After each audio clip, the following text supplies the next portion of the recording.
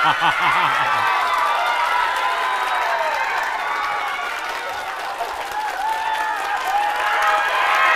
嘿，行了行了，好，太开心了啊！这个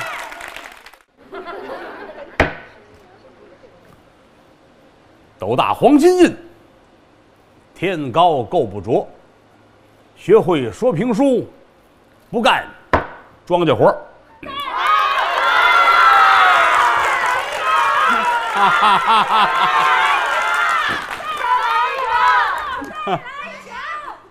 这个有人一起哄啊，我感慨非常，只能说呀，你们盼这一天太久了。再来一个吗？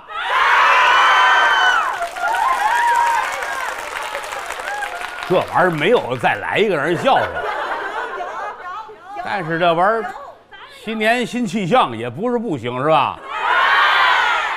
难难难，道德悬，不对知音不可谈。对了知音谈几句，不对知音枉费。说天耶！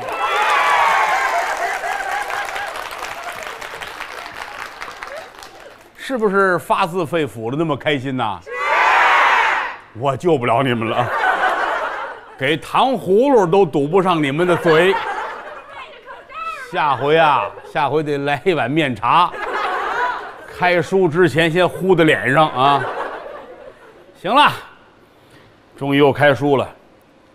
这个我这个人呐，我老说自个儿是个废物，为什么呢？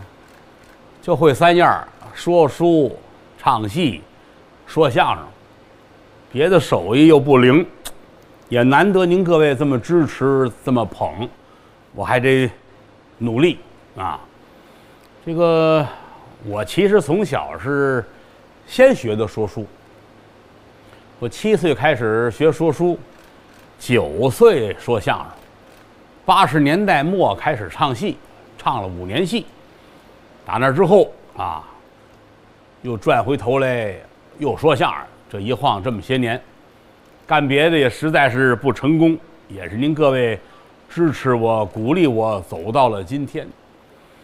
这个说书呢，其实是分两种，就是在中国啊，咱们这个说书，咱也不知越南说书怎么论啊。说书都说说书，哎呀，这个说书的艺术家，那个评书演员，其实所谓的说书是分两种，一种是评书门的，一种是古书门的。评书门的呢，你比如说袁阔成先生，你比如说《聊斋》的刘立福先生，哎，这个是评书门的。说书，还有的呢，叫古书门的，啊，就是您看是说书的先生，他的名字里边带个田字的，带个连字的，带个什么的，他是唱大鼓带说书，他那个书是一边说一边唱，说一会儿唱一会儿，唱一会儿说一会儿，西河大鼓书、烙亭大鼓书、东北大鼓书，他是这么来的。当然到后期呢，好多古书的演员呢就不唱了。为什么呢？他有时候带个弦儿麻烦，你挣钱还得俩人分。咱 这个不重要啊，不重要啊，就是反正一个人说呢，他踏实啊。所以说，好多古书艺人到最后呢，就把这个鼓都放下了，专门的说书。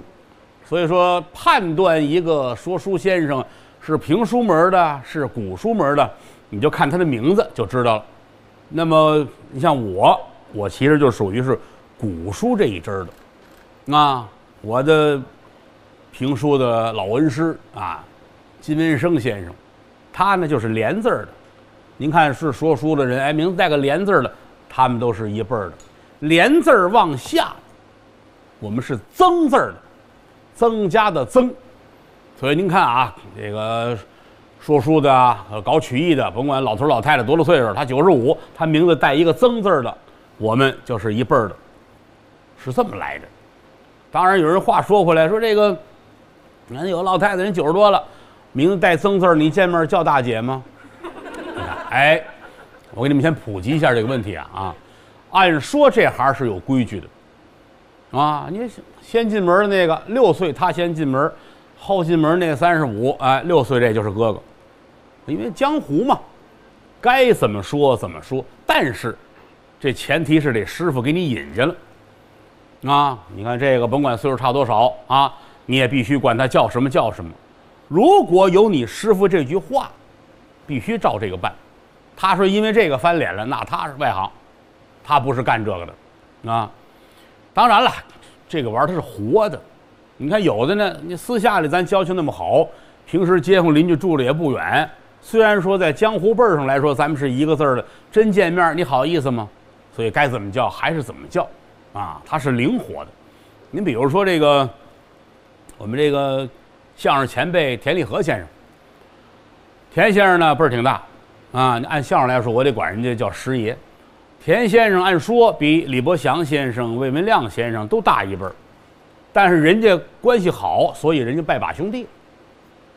他们是哥们儿，你看这玩意儿，在人家之间没有差一辈儿一说，这就是活学活用。啊，你包括德云社有一个谢金，谢金，你们有什么可乐的？少谢是吧？啊，你少谢人家里辈儿可大了，啊，他的曾祖父叫谢瑞之。他祖父叫谢书阳，他父亲是谢天顺，我管他父亲按相声门来说，我得管人叫师爷。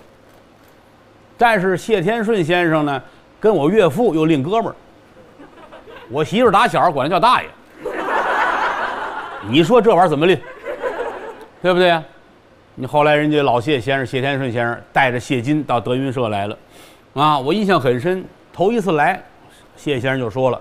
这是我儿谢金，我让他拜你，来，跪着拜我，那胡来了那是对吗？我说您可不能这样，这咱没法拎了。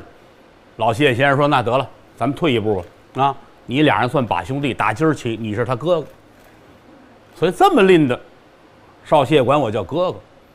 但是这个是家里辈儿啊，他终归在相声界他得有个名分呢。可他这个身份胎里带，打家里出来就是这个辈儿，你说让他拜上小局去，这不像话。”是吧？你看，对不对啊？你不能因为和啊岳云鹏红，让他外上去，这不像话。那怎么办呢？他必须是个文字的。按我们这行来说，那会儿后台有一李文山李先生，啊，我跟李文山先生商量这事儿。李先生是王世臣先生的徒弟，王世臣先生相声巨人，能力最大，那去世了啊。让李先生做主代拉师弟，让谢金算王二臣先生徒弟，就解决了他这个文字辈儿的说法。这东西它是既有规矩，还有使用方法。当然台下这个少谢人永远就是啊哥哥怎么着，哥哥怎么着啊。但真写在相声家谱上，规规矩矩的，人家是我师叔，那是两回事儿啊。其实啊，干我们这行。内行人没有人爱琢磨这个，真的，它不重要。还有一个，你后台都是干这个，你掰扯这个，会有人催你，真的。他你不是你，你要自媒体，你可以是吧？你现在研究这个哈，发一个写个那可以。人干这行的没有人研究这个呀。你比如说啊，那个末代皇帝溥仪，他有一个妹妹，格格。啊，人家是改姓金了，就是清朝倒了之后，爱新觉罗不都改姓金了吗？人家这个这奶奶，人家叫金蕊婵，啊，人金老太太嫁给京韵大鼓艺术家白凤鸣先生，人白凤鸣那个演出海报也没写着皇上是我大舅子，你 你有这么拎的吗？咱得讲理，对不对啊？天津梅花大鼓艺术家花小宝。啊，嫁给了后来嫁给这个爱新觉罗普佐先生，天津这帮唱大鼓的老太太也没说呀啊，皇上是我大哥，没有意义。好多年前北京有一个有一小哥们儿，古曲的票友，二十出头，就爱这个，也拜师，拜师之后问他师傅，你可现在我也有门户了哈，这个跟跟他们都怎么拎呢？他师傅说了两句话。第一句话就是我呀，我跟马三立先生啊，我管他叫三哥。第二句话，我管苏文茂先生，我管他叫大哥。这个苏文茂跟马三立啊，就差着好几辈儿了。人家老头儿的意思就是，不用去拎。我管马三爷叫三哥，管苏文茂叫大哥，你还不明白吗？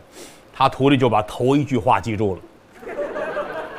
他二十出头啊，我师傅管马三立叫三哥，那就说我跟侯宝林是一辈儿的。真事儿啊！有一年我们在广德楼，北京广德楼演出，他抱着孩子上后台串门来了。他跟我他是不敢呐，啊，我那会儿也年轻，他他一直跟我很客气啊啊，抱着孩子过来，抱着孩子看见我了，快叫大爷！孩子喊大爷啊，好好，一回头都看见我媳妇儿了啊，抱着孩子叫姐姐啊。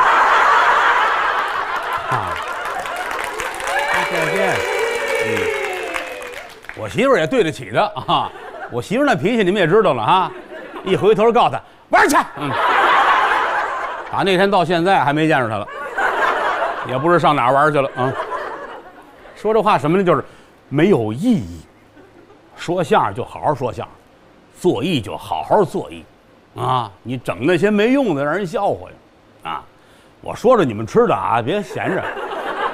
一会儿弄一手糖也是事儿啊！你们那表没有了，表呢？没有表我没法说，我数学也不好，是不是很开心？你们？嗯，尝尝甜不甜？尝一口。哇，为什么什么什么？为什么不干炒账？哎，好话。你是不是管马三爷叫三哥？哎，就就这个事儿能说好些个，就是后台这事儿。来，再点了吧？来，鼓掌鼓掌。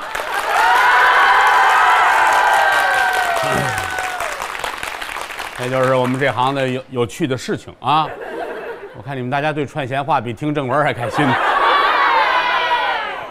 不能老串闲话，咱们得干点正事儿了啊！今天开始给大伙儿说一个大部头的书啊，就是《三国》啊。我就喜欢你们这个状态，什么都没听见了就跟着起哄。三国现在也没什么人爱说，其实在过去也没什么人爱说。为什么呢？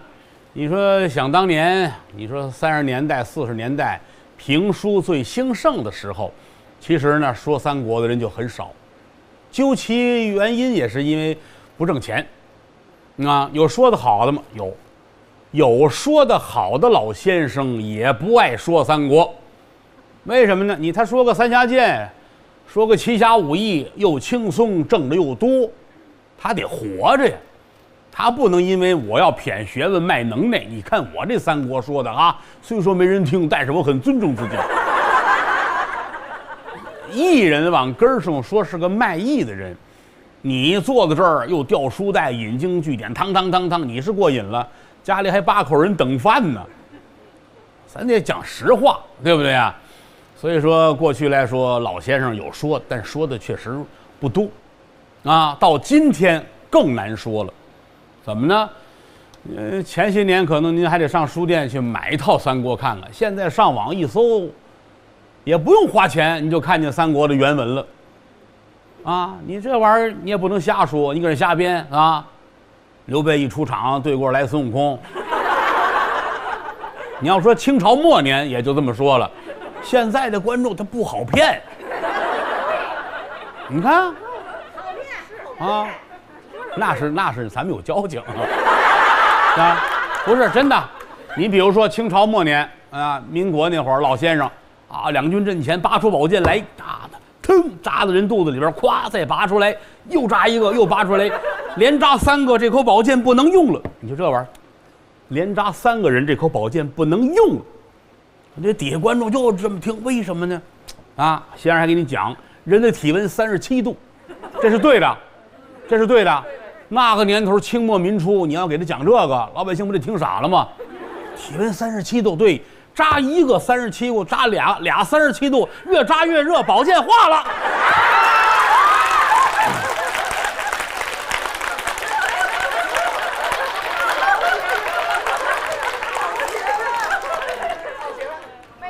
现在要这么说，你们得报警去啊！这是诈骗呢。但是咱换一个角度，你要说二十年代，对吧？三十年代初，你上哪儿说这，他一定会有人信呐，对不对？怎么说都对啊。而且现在各位，啊，两军阵前啊，刀来枪往，骑着马，呱呱呱呱呱，他打动不了人。花一亿五千万拍一战争电影，你都不爱看。你怎么能看一个人坐那瞪眼说瞎话呢？评书这个行业不会特别的好，但是他也死不了。他到现在卖的是艺人个人的魅力，啊，这个是最难的。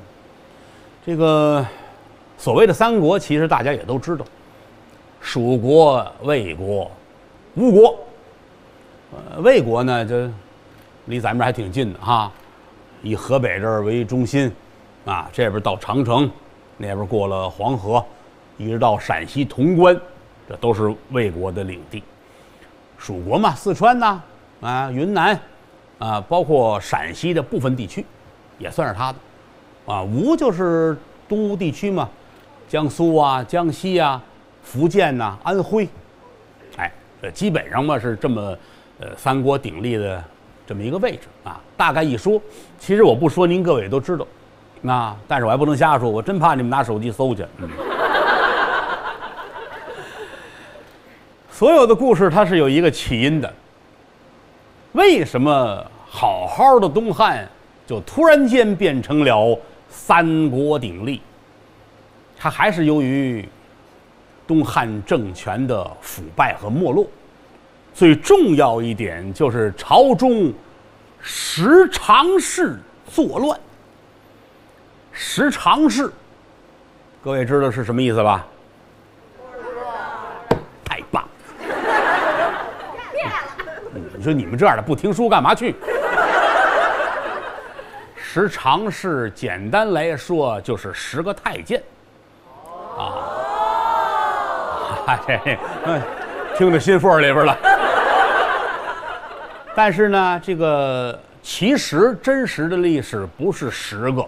它是十二个，可是呢，《三国演义》本身它就是演义，它跟《三国志》还是有区别，啊，他拿这十个人呢说事儿，常侍呢本身也是简称，这个太监那官儿叫常侍，但是全称叫中常侍，中间的中，哎，经常的常，侍奉的侍，啊，十个做。中常侍的太监，这么一说明白了吧？要不说说这玩意儿累呢。我要说个《聊斋》，咔嚓一打雷出一大狐狸，可省心了。啊，这个中常侍这个官儿啊，其实在西汉的时候就有。汉朝分两块，先是西汉，后是东汉。这个各位您可记住了。有人一说说反了啊，东汉西汉这个错误不能犯。他最早的时候，中常是他还不是一个有实权的官儿，他是有奖励性质的这么一个称呼。你比如说，相声管理局副局长，比如说啊，工作很好，带着演员下去什么慰问去啊，帮着农民伯伯除草啊什么的，表现非常好。哎，这个副局长做得好，奖励他一朵小红花儿。这个小红花就是中常侍，但是到了东汉之后，这个小红花它成为一个岗位了，它不单纯是奖励你一个虚的一个空的荣誉上的东西，不是了，它有实权了。这么一说，听懂了啊？哎，西汉的时候还不是，到东汉的时候正经是个官了，而且最开始是四个名额，到后来。越颤颤越多，哎，八个、十个、十二个。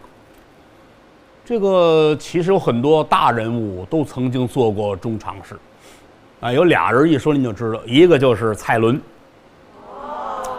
哎，蔡伦这个有一个著名的歌曲叫《十三香》啊，就夸过蔡伦。蔡伦是宦官，啊，蔡伦是宦官。当然了，这个造纸是他给人类的留的一个大的功绩，但是本人来说，他是个大奸臣。蔡伦，您记住了，干了很多坏事啊，不是个好人。这这今天这书也不涉及他，咱们就不提了啊。还有一个人呢，也是汉朝的啊，这人叫曹腾，腾空的腾，他是中常侍。他伺候了四个皇帝，这个不容易啊，伴君如伴虎啊，四个皇上都看他顺眼，这得多大的艺术水平？这个难了啊！一人难趁百人心，守着皇上那哪有准谱啊？伺候四个皇上，而且这个人呢很清廉，就这么高的身份，从来没干过为非作歹的事儿。朝野上下都说这是好人，啊，他还有一媳妇儿。有人说这宦官怎么有媳妇儿呢？哎，他在宫里边啊有一个宫女儿，姓吴，吴氏，他们俩人呢，这叫对食。爱看明清电视剧都知道哈，宦官无妻，宫女无夫，深宫内院这个太寂寞了。其实各位您说真哪位？您比如您各位啊。谁选上进宫跟皇上过日子去？这个皇上一看，哎，挺好啊！这个戴着口罩，拿一糖葫芦，这可以啊。如果真选上还行，就怕那个选上之后到皇宫，皇皇上把您忘了，你天天举糖葫芦坐那哭去吧，是不是啊？那个日子就没法过了呀，啊！所以怎么办呢？天长日久，有的时候呢，这个。就难免互相之间寻找一种安慰，哎，这太监跟这宫女俩人得了，挺好了，咱们在一块儿吧。哎，这宫女给太监洗洗衣裳，啊，这个跟他一块儿俩人坐着吃个饭，这叫对食。你包括到明朝，很多时候，有的时候皇上还主动的跟他们说，哎，这不错啊，你得着吧，啊，这都真事儿，这都真事儿啊。所以说，曹腾他有一个对食的媳妇儿。啊，姓吴，吴氏。到后来，曹腾去世了。他死之前，他这个身份很高，他不光是中常侍，啊，朝廷给他很多的封赠啊、爵位。这个爵位需要有人来继承。宦官也没孩子，但是他有个养子，就是家里边哥们兄弟谁家得这这给我吧，算我儿子了，啊，就这么一个叫曹嵩，嵩山少林寺的那个嵩。哎，这曹嵩把他爸爸这份荣誉，什么叫小红花，全拿过来了。但是没有他父亲这么廉洁，啊，有身份有势力，况且他不是阉人呢，所以他的想法就多，家里很有钱。后来这个曹嵩有五个儿子，大儿子呢小名叫吉利，大名叫曹操。大伙这就理解了，哎。提前铺垫一下，让您知道知道曹操的来历，这是他们家的身世。这个太监呐，历朝历代为什么很多时候，呃，严禁宦官干政呢？就在这儿。你别看他不是什么大官儿，但是你哪怕是大将军，你是定国王，你是什么一品大员、宰相，你有的时候你弄不过他，他天天跟皇上在一块儿啊。有时候千万不要小瞧你，比如说，咱举简单例子，西太后过生日，啊，那个外省官员进贡，送什么呢？三尺长的珊瑚一对儿。那个年头啊，珊瑚三尺长一对儿，这不现在你更不好弄了，保护动物了啊。那个年头来这么一对儿也不容易啊。哎呀，送到宫里去，马上要进往里边送，咔嚓掉地下了，摔碎了一个。这官就傻了呀，之前都写上了啊，亲爱的西太后，啊，亲爱的老佛爷啊，祝您身体健康，万事如意啊，年年有今日，岁岁有今朝。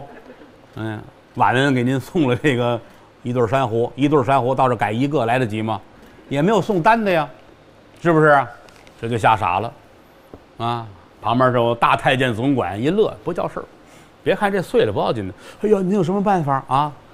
扫了扔了就得了呗，扔了不行啊，得给西佛爷看呢。好，万两白银，我帮你处理这事儿。好，好，好，我愿意出出万两。好，坐着坐着，给沏水啊，拿块点心啊，让他先坐会儿。哎，喝一杯茶，喝不下去。喝完之后，您看这事儿，走，咱们看看去吧。领着他出去，到那儿一瞧，好家伙，摆上了一对儿。这钱花的就值，啊，那怎么回事呢？库里边这样的珊瑚有的是，打仓库里拿俩来摆那不就是了吗？给西太后一看，这这他送来的，西太后还能守着吗？啊，行，挺好，拿走吧，就拿走了，这是花钱买道对吧？你光绪皇帝结婚，大殿里边九盘苹果，这九盘苹果每个里边是九个，都得要整个的大个的通红的，一点色儿不能有。越往上那越大，顶头那九个那尖儿得这么大个大红苹果，都摆好了。这儿请皇上，负责这官儿姓蒋，蒋在人这儿等着呢。再一回头，这九盘苹果上面那那九个尖儿没了，你大苹果那最大的那个，这九个没了。这会儿皇上要进来，您这算怎么说呀？对不对呀？旁边太监就这么看着你，蒋大人乐了，一伸手打怀里往外掏。大苹果九个，啪啪啪全摆出来。这还不是刚才丢那个，是他自己准备的。回头就告诉这太监：“老兄，您草率了，就知道你得这样。我早有准备，是吧？就是那会人防太监防成这样，何况东汉末年。”他是十个大太监串通一气，那东汉江山他是怎能不亡？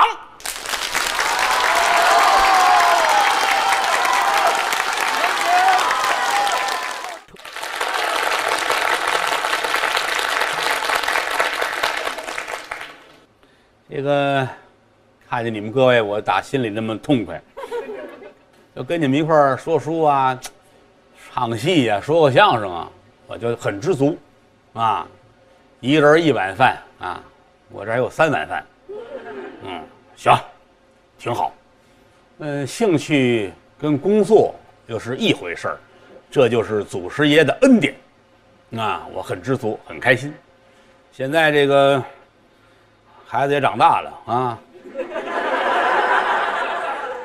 俩儿子还挺省心啊，大的你们也知道哈，郭赘婿。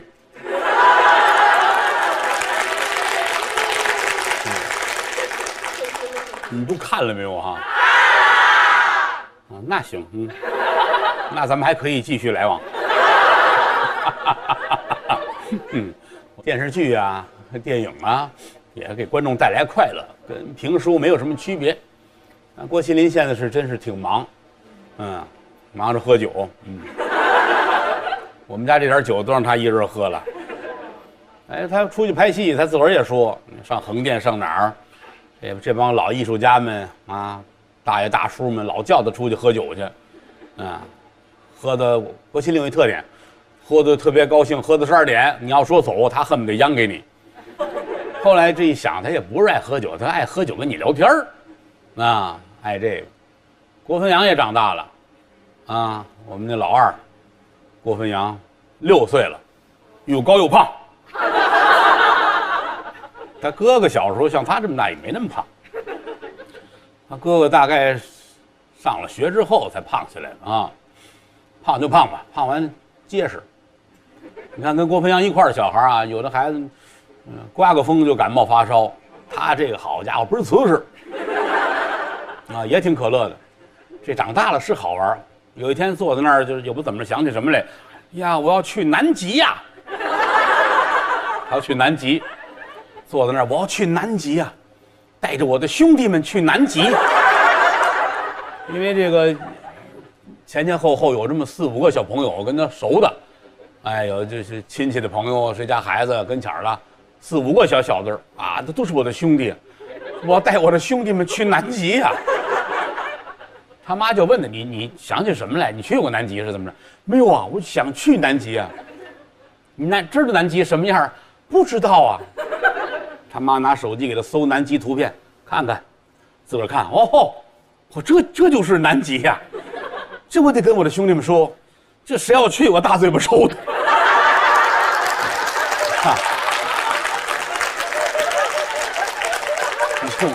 我就在那边坐着，我听完我都乐了，这前后反差太大了啊！好家伙，那净这个，还有一天也是，牙要掉，牙要掉，啊，害怕了，这可怎么办呢？没事儿，啊，说还得还得长呢，谁都得掉，掉完长。哦哦哦，嗯，这说天黑睡觉吧，哎，还趴在枕头上了，你怎么趴着睡觉啊？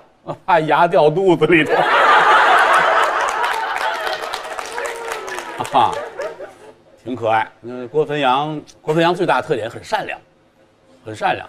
拿手机拿看看着那个非洲小孩吃东西那样半夜里哭醒了。啊，他妈说你怎么了？就问怎么能给那个非洲小朋友送点吃的去？心重，一沾这个就受不了。小时候也是，前几年三四岁家里小孩去，谁孩子坐那儿哭，他也跟着哭。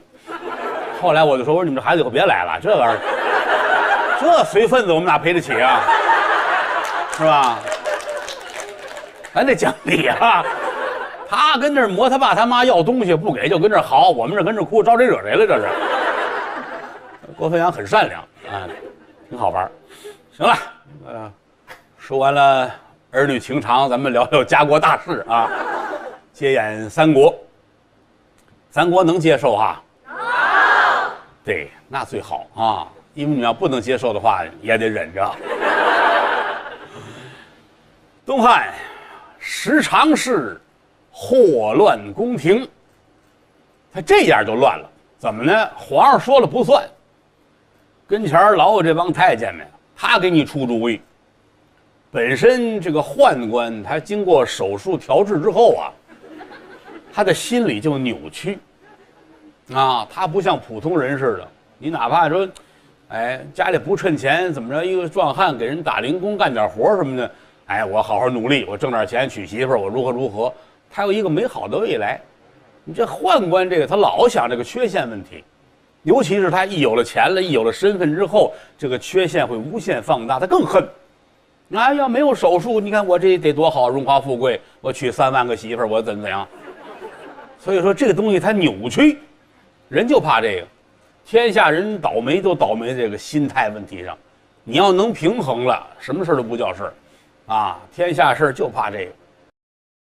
所以说这十位在皇宫里边这么一闹，皇上没准主意，而且天下的官员都是这十几个太监安排的，谁好他用谁，拿江山弄得跟老太太过日子似的。那就乱套了，这就应了那句话：“官逼民反，民怎得不反？”这儿开始要出一件大事了，就是黄巾起义。黄巾起义，他没有由于他推翻东汉政权，但是他是最大的导火索。啊，整个的这个三国都是从这儿起来的。黄巾起义的这个男一号张角，他是弟兄三人，张角、张宝、张良，哥仨，一个逗的，一个捧的，一个逆缝的。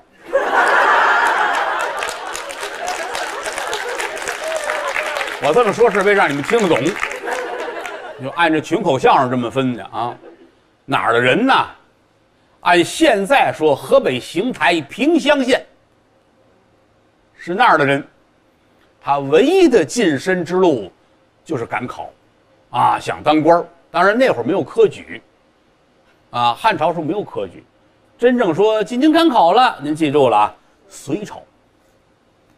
可是那会儿读书人他无外乎得当官呐，学会文武艺，货卖帝王家，没有说我念了三年书，我是为了马路边摆一摊卖糖葫芦去的，那你就不如不读书啊，早挣三年钱。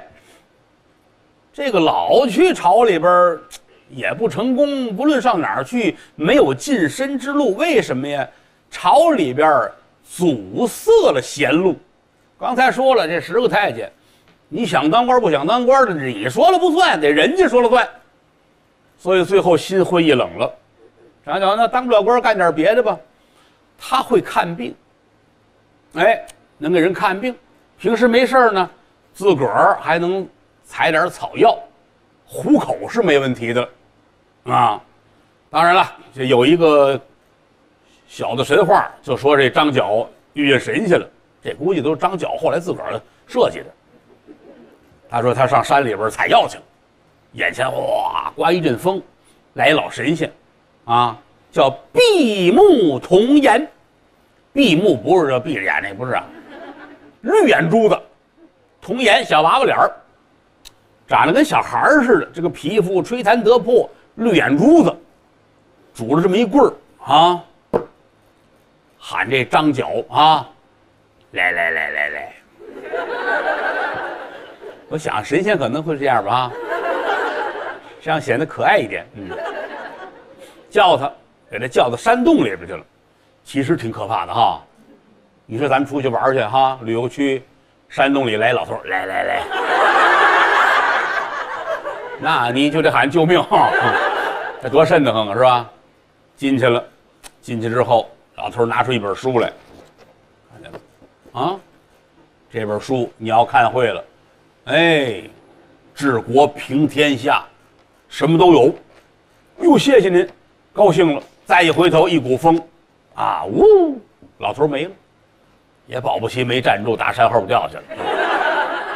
拿书回家吧，一瞧这本书太棒了啊！这个都是神仙的方法呀，学会了之后呼风唤雨，撒豆成兵啊！从头一篇开始学，先学拼音是吧？啊喔呃波鹏摩佛哥，我知道那玩意儿怎么念。反正就有本书吧，回来之后，他经过刻苦的学习，很努力，于是他就有半仙之体。我个人对他这个学艺的过程表示怀疑。但《三国演义》原文上人家是这么写的，就说得了仙人给的书，回来之后经过他的努力，成功了，给自个儿贺号叫太平道人。嚯，这回行了。十里八乡都知道了，他呢，该给人看病还是看病，但是在这个过程当中，他的心态也不一样，跟这个俩弟弟商量，啊，二弟张宝，三弟张良，你看这事儿能不能成功？哥俩很支持他。现如今天子荒淫无道，失常事专权，民不聊生，哀鸿遍野，倒不如咱们就反了吧。反了之后，大哥您就是皇上。我是娘娘，她是太后。张角说：“咱们再商量商量吧。”啊，人哥仨是怎么商量，咱就不管了。反正是打这儿起就决定了要做一件惊天动地的大事。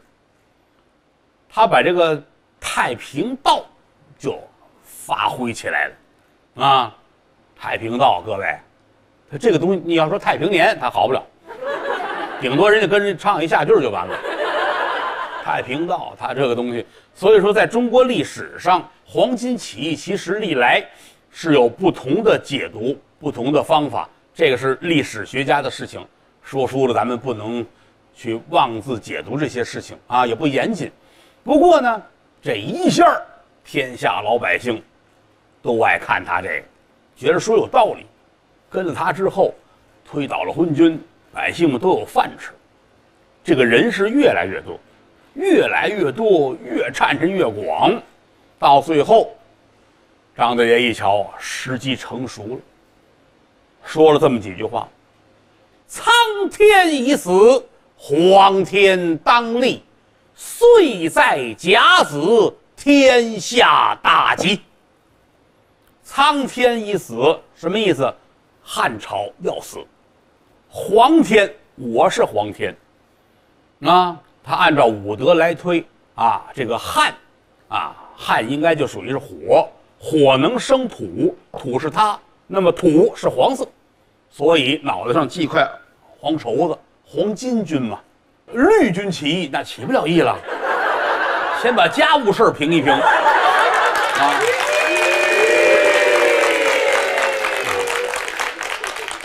当然了他这一下闹的虽说没成功但是把汉朝的政权给晃动的直哆嗦朝里吓坏了因为什么呢？就这儿一挑头天下都跟着支应，说明你政权太腐朽啊。那怎么办呢？时常侍也给出主意，皇上也问文武群臣，最后想了一个办法。怎么办法呢？权力下放。各位，听书听的是书以外的东西。我给您讲了三国谁把谁打了，这他抽他一嘴巴，俩人吃饭去，讲故事没有意义。为什么这个书累就在这儿了？这个书你得给人掰扯清楚了，家国大事，每个人物的心理，当时天下的状态，把这个掰扯清楚了，才能说明白三国。那么它根本原因错就错在这儿了，权力下放。好处是什么呢？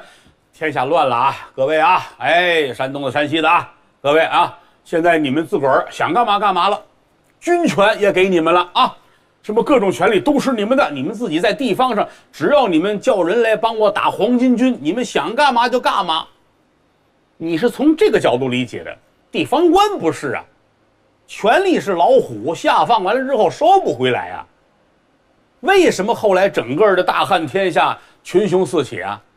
人人有权利啊，他哪怕管三个县，他也挑梁出来，我要如何如何了，而且有那上边说法啊，对不对？朝廷让我在这儿怎样怎样，我可以招兵啊，我有权利，这都是我的，他没个不乱。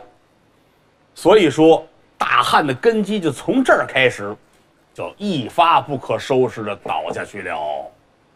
当然，黄巾起义没有成功，啊，他说了。苍天已死，苍天当时也没死，苍天又活了三十六年，啊，这个历史有的时候很可爱啊。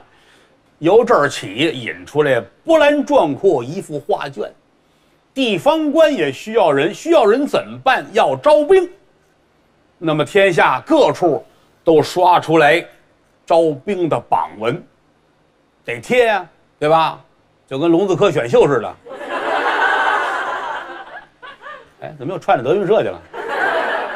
这得招人呢，这儿也贴，那儿也贴，哎，这一张贴在了涿州的城门以外，贴到涿郡这儿了啊！一大帮人站这儿看，啊，官府说的，为了打这个黄巾军，不管你多大岁数。不管你相貌如何，啊，都可以来为国效力，怎样怎样？这一帮人都在这看，就在这儿脚底下站着一个人，不到三十岁。看，看到最后，唉，长叹了一声，没说话，唉，就在他身后头。有人大声的喊了一声：“看！”是不是吓你们一跳？后边这主也吓前面那人一跳。一回头，后边站一大个，黑黢黢一张脸，啊，那胡子呀，脚下一根儿能当门弓子用。凝眉瞪眼，大丈夫不思军前效力。唉声叹气有什么用吗？哎，这俩人谁呀？开始叹气这个，刘备刘玄德，后边喊一嗓子大个儿，张飞张翼德，这才出场。但是这会儿俩人谁也不认识谁。要是电影手法，就得这个一回头，唰唰唰唰唰唰。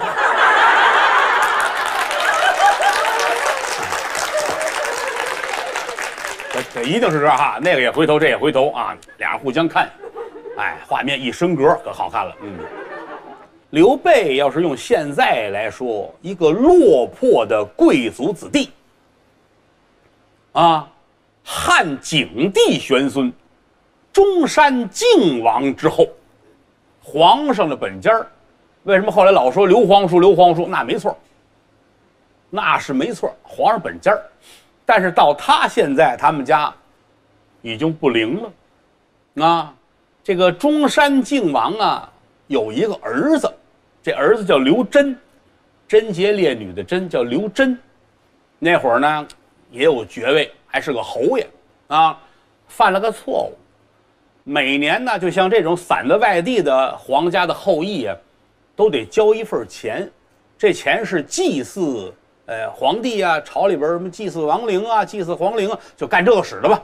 就是你们散在外头了，每年家里边，上坟什么的，你们都得花钱，类似这个意思。咱们简单的说，这个钱他没交。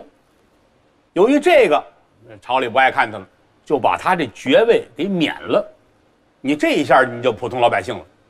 所以从那开始，这一支儿越来越落魄。你到刘备这儿就已经完了，手工业者了，啊。他父亲死六嫂，他跟他妈一块长大的。原文上说刘备知席饭具，有人说我听别人说知席饭履，那也对。知席知席子，他母亲有这手艺，就咱们家那炕席，人字儿的、万字儿的那个老太太有这手艺，知席子。您想他干这个，他就肯定挣不了什么钱。他呢，饭具，饭，小饭的饭，具，尸体的尸里边一个双立人右边一个姓楼的楼，这字念具，是用麻和野草搓的绳子编的鞋，这叫具。那个年头是卖给穷人穿的，所以说，刘玄德知席饭具。饭具有的时候绕嘴，人也不容易说，所以到后来一般都说知席饭履之辈，吕也是鞋，意思都对，但是不如这个具用的准确。啊，你后来不三国里边无论谁一骂刘备不都是吗？大耳贼，知其犯吕之辈，人骂街都往根儿上骂。啊，你管你什么皇叔啊，蜀国什么这老板啊，趁多少钱了？你这卖草鞋的。所以说今天。刘玄德走到这儿，看见这榜文了，很感慨。为什么呢？他跟老百姓不一样，他是皇上本家儿啊。往上倒，这江山有他一份儿。虽然说他现在落魄了，但是这种感慨，就这个状态，结合现在自己，百感交集。所以，唉，叹了口气。后边这张飞呢？张飞比他生活就强，啊，原文上说张飞在此地，家里有酒店，而且也卖酒，也杀猪，挺有钱的啊。那后来咱们老说张三爷推车卖肉嘛，其实人家可不是卖肉啊，他家里边有点产业，最起码现在来说小康是没有问题的，啊，这一回头四目相对啊，俩人抱拳拱手，互相的介绍一下。这个得跟人说，我姓刘，名备，字玄德，啊，呃，汉室后裔，现如今如何如何？哦，张飞也挺客气，张飞比他小年轻啊，呃，姓张名飞，乃是此地人士，啊，在这儿如何如何？哥俩聊聊天，越说越投脾气，啊，有人说怎么越说越投脾气？嗨呀，很正常，这就跟男女搞对象似的，啊，他跟这个俩人来往半年了也瞧不上。啊！打街上一回头，哎呦嚯，这好看，我爱他。这个人跟人之间好多事情是没有道理可讲的。刘备、张飞越聊越投脾气。张飞说：“咱喝酒去，旁边不远。你想啊，城门边上，大买卖、小买卖、大酒馆、小酒店的，咱喝酒，我请您喝酒去。好嘞，好嘞，好嘞，好嘞，请请请。来到这儿了，这一进门都认识啊，张飞吗？快请进来。哎，炒菜。”啊，萝卜皮呀，麻豆腐啊，炸灌肠啊，啊，疙瘩汤、炸酱面，这是个老北京炸酱面馆吃什么不重要啊，您记住了，在三国里边，从来无论您听谁说书或者看原文，三国的书从来没有在吃饭上耽误时间。您记住了啊，我们这行有句话，哈，就是没完没了吃饭的《济公传》。啊，就是这话啊，撑不死的《济公传》，饿不死的《三国》《水浒》。你看这玩意儿，你要听《济公传》，《济公传》就就吃饭，一天到晚的，啊，一天到晚这喝酒，这吃海参，这那个啊，老得吃，他吃就是玩儿，吃是他的正事。《三国》里边没有没有在吃上耽误功夫的，啊，俩人坐在这儿吃饭，聊什么？聊天下大事，啊，这一说，哎呀，就把张飞感动坏了，太棒了！我是个粗人，没有什么念过书，人家跟我一说，人家这个，哎呀，高兴，我再敬您一杯。叫这会儿的功夫，这个酒店门外来了一辆车，不是汽车呀，手推车，啊，车上装的是几麻包粮食。这车往门口一放，推车人进来了。他往里边一走，刘玄德一回头，为什么要啊一声？来者他是个英雄啊！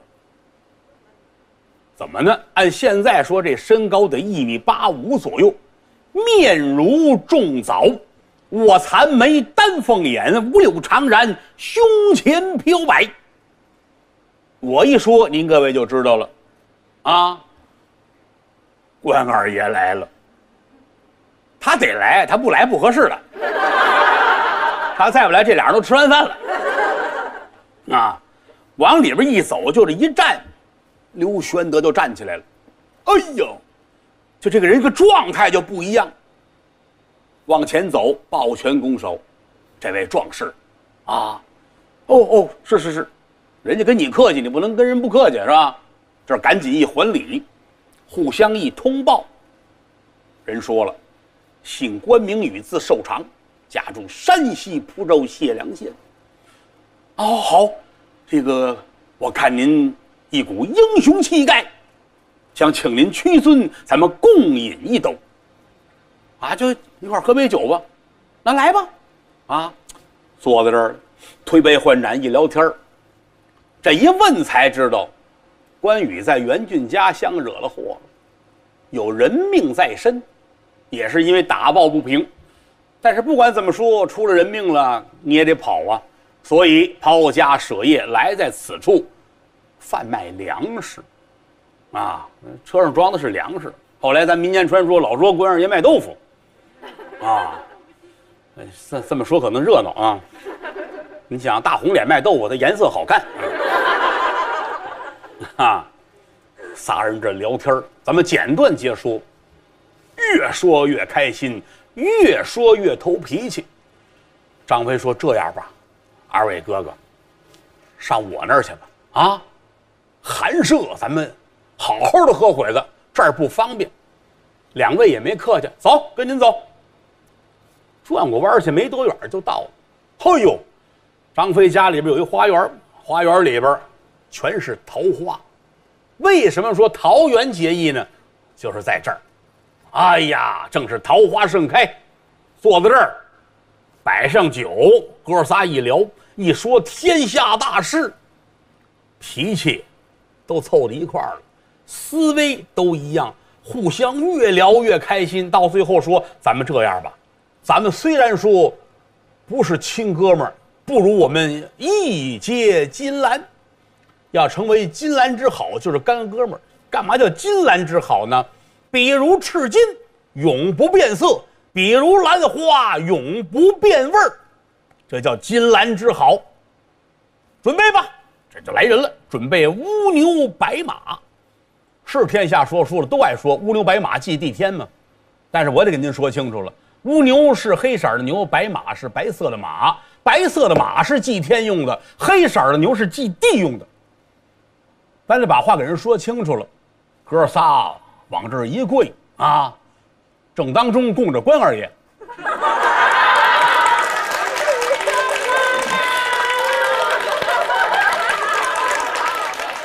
当年是没有啊，这是道具部门的错误啊，那年头还没有呢。哥仨跪在这儿啊，苍天在上，厚土在下，我弟兄三人。愿皆为异姓兄弟。这个从今以后，匡扶汉室，倘口不应心，神天共禄，禄是诛杀的意思。我们仨今儿起自己就哥们儿了，我们要匡扶汉室啊，干好事儿我们要如何如何帮天下百姓，而且我们仨亲哥们儿一样。啊，这一个头磕在地上，如果以后谁口不应心，老天爷您给你一个报应，是这意思。啊，嚯，哥仨这一磕头，旁边家丁管家都感动坏了啊，这一拜。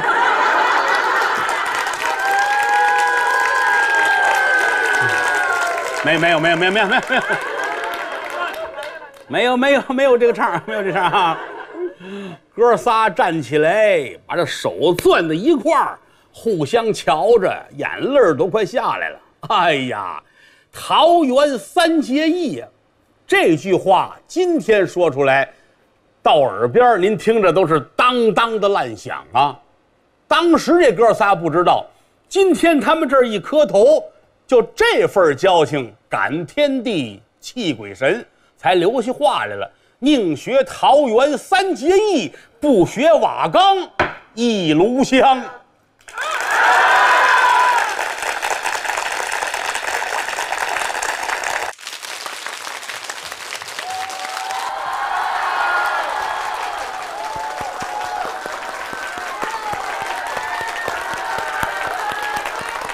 谢谢谢谢。快坐，快坐，快坐。哎，好，受累了啊！哈哈哈哈哎呀，一看见你们就高兴啊！哎呀，有人说我瘦了啊！我很受用啊！一去二三里，烟村四五家，亭台六七座，一枝红杏出来了。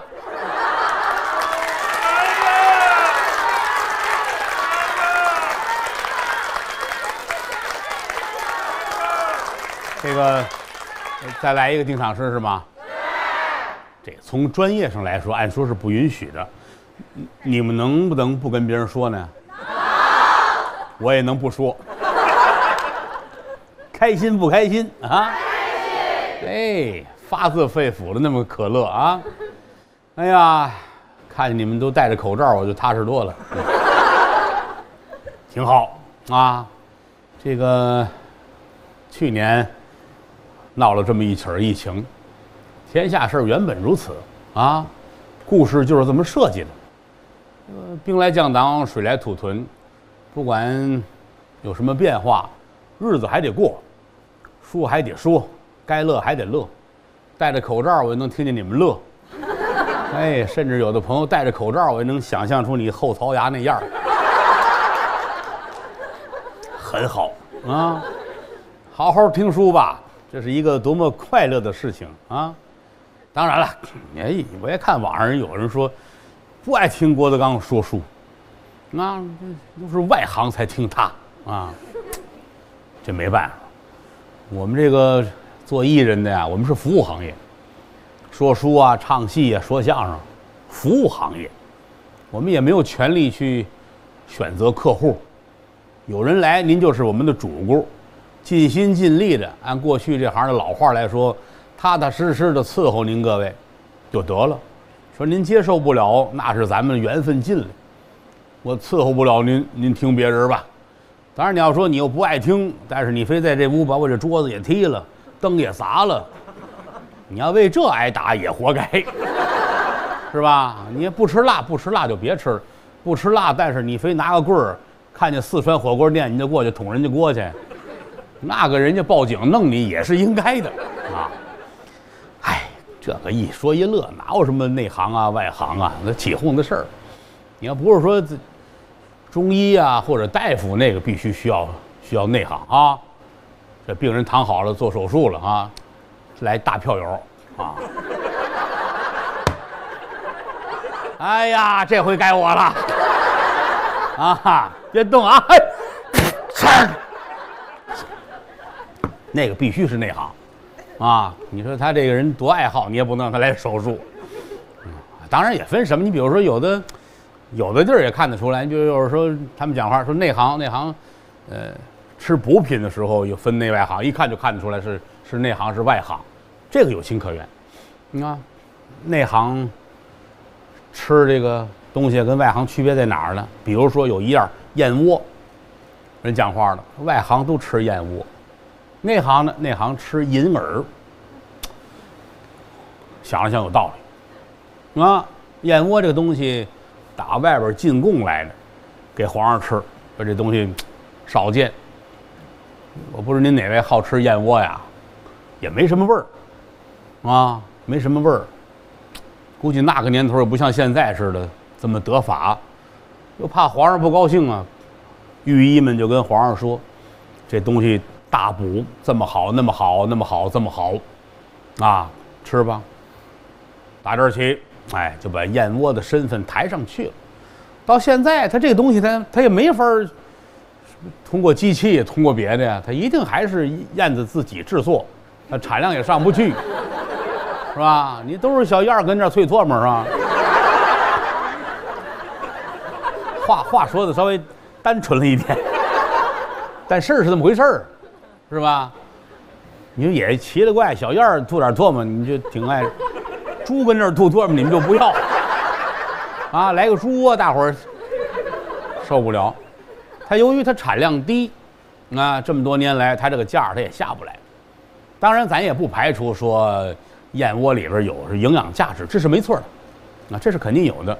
但是内行讲话，内行说我们吃银耳，啊，银耳的药用价值不次于燕窝呀，就这么简单，啊，外行。吃燕窝，内行吃银耳；外行吃人参，内行吃黄芪。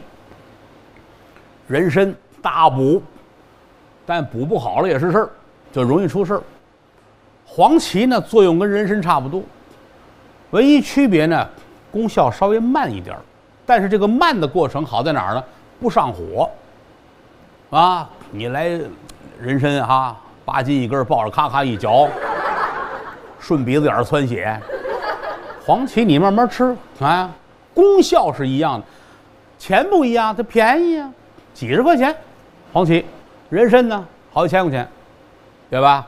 外行吃人参，内行吃黄芪，啊，还有那个啊，外行吃鹿茸，内行吃韭菜，吃韭菜一样，跟鹿茸一样补，你这个玩意儿对吧？这两者价钱就不一样。啊，那听相声，外行听郭德纲啊，内行哪有内行啊？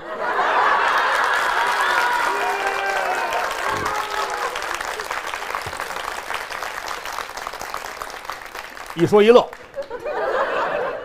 出去别跟别人说没有内行啊，会他们打你啊！一说一乐啊，这个又到咱们开书的时候了。上文书说到哪儿了？太棒，太棒啊！我就等你们这句两句话是一定要会的，一个就是再来一个，一个就是这个忘了。哎，以后说这得加钱啊！来一个吧。别别别别！啊，让人笑话啊！这是对传统文化的尊重啊，尤其是对我的尊重。嗯，哎，你要让我主动说的话，我估计我不会上来自己爱说三国的，因为三国他不能骗人，还不能想着说，而且这个东西最要紧的就是听三国听的是什么呀？听的是三国以外呀，三国以内它没有什么呀，故事你们都知道。京剧都唱遍了，河北梆子也唱遍了，电视剧也演了，电影也演了，听书听扣，他这里哪有扣啊？对吧？我也不能瞎编。长门坡两军阵前来了九义十八侠，我肯定能编得出来，编得很好看，但是就违背我的初衷，我不能胡来，因为我上过初中。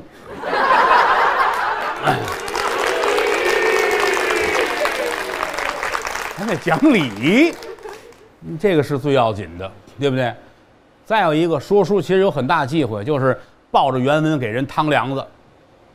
拿过三国来，三国怎么说？他这儿大概翻译成白话给人一念的，那玩意儿谁听啊？那不欺负人了吗？对不对？说是说三国以外，你得给人分析啊，当时天下是什么样的，这个人为什么要这么说？他说这个话的时候心里边是怎么想的？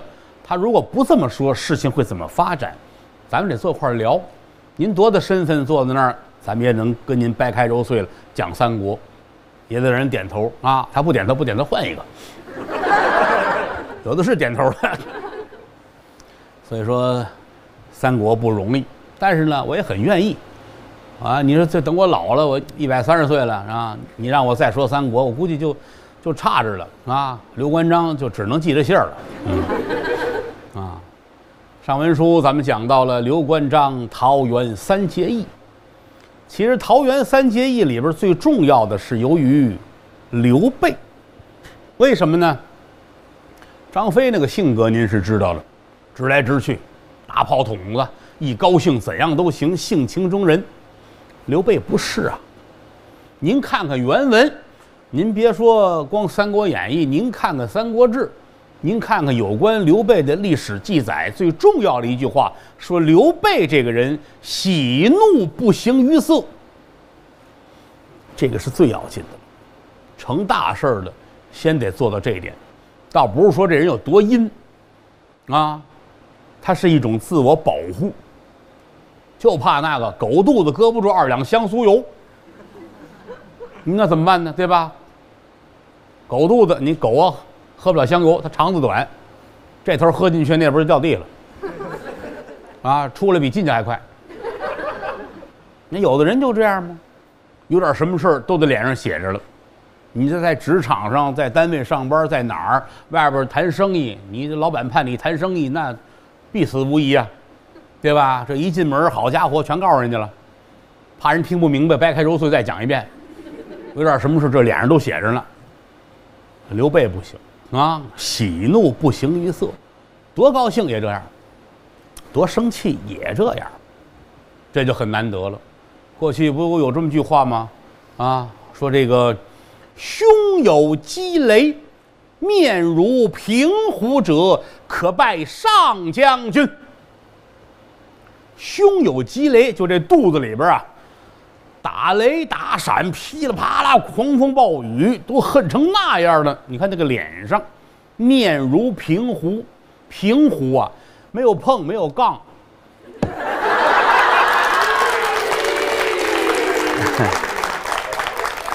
这句不算。平静的湖水，这心里边恨你恨的都不行了。你看我这个脸。还踏踏实实的，说这样的人可拜上将军。对呀，你说在职场上很需要这样的，这也不是说教您各位学坏，最起码也代表一种修养，也是一种自我保护。那么今天跟张飞、关羽一聊天刘玄德兴奋的都不行了，打破了他的常规，说明是真喜欢这两个人。当然了。刘备这一辈子，就到最后的时候，啊，就是为了关张报仇，那会儿做不到了喜怒不形于色了，发全国之兵打东吴，以致蜀汉政权的破败，那是另一回事儿。今天呢，哥仨在桃园这儿结义了，磕完头站起身来，要各叙年庚，得说说谁多大了呀？分大小个儿。这一说呢，刘备岁数最大，啊，说于兄我吃长二十八岁。记着啊，这一年，刘备啊，二十八，他是十月二十八的生日，所以说刘备是天蝎座。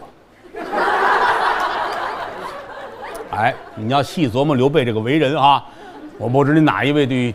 星座有研究哈，你琢磨琢磨他这辈子干的事儿，很符合，啊，很符合。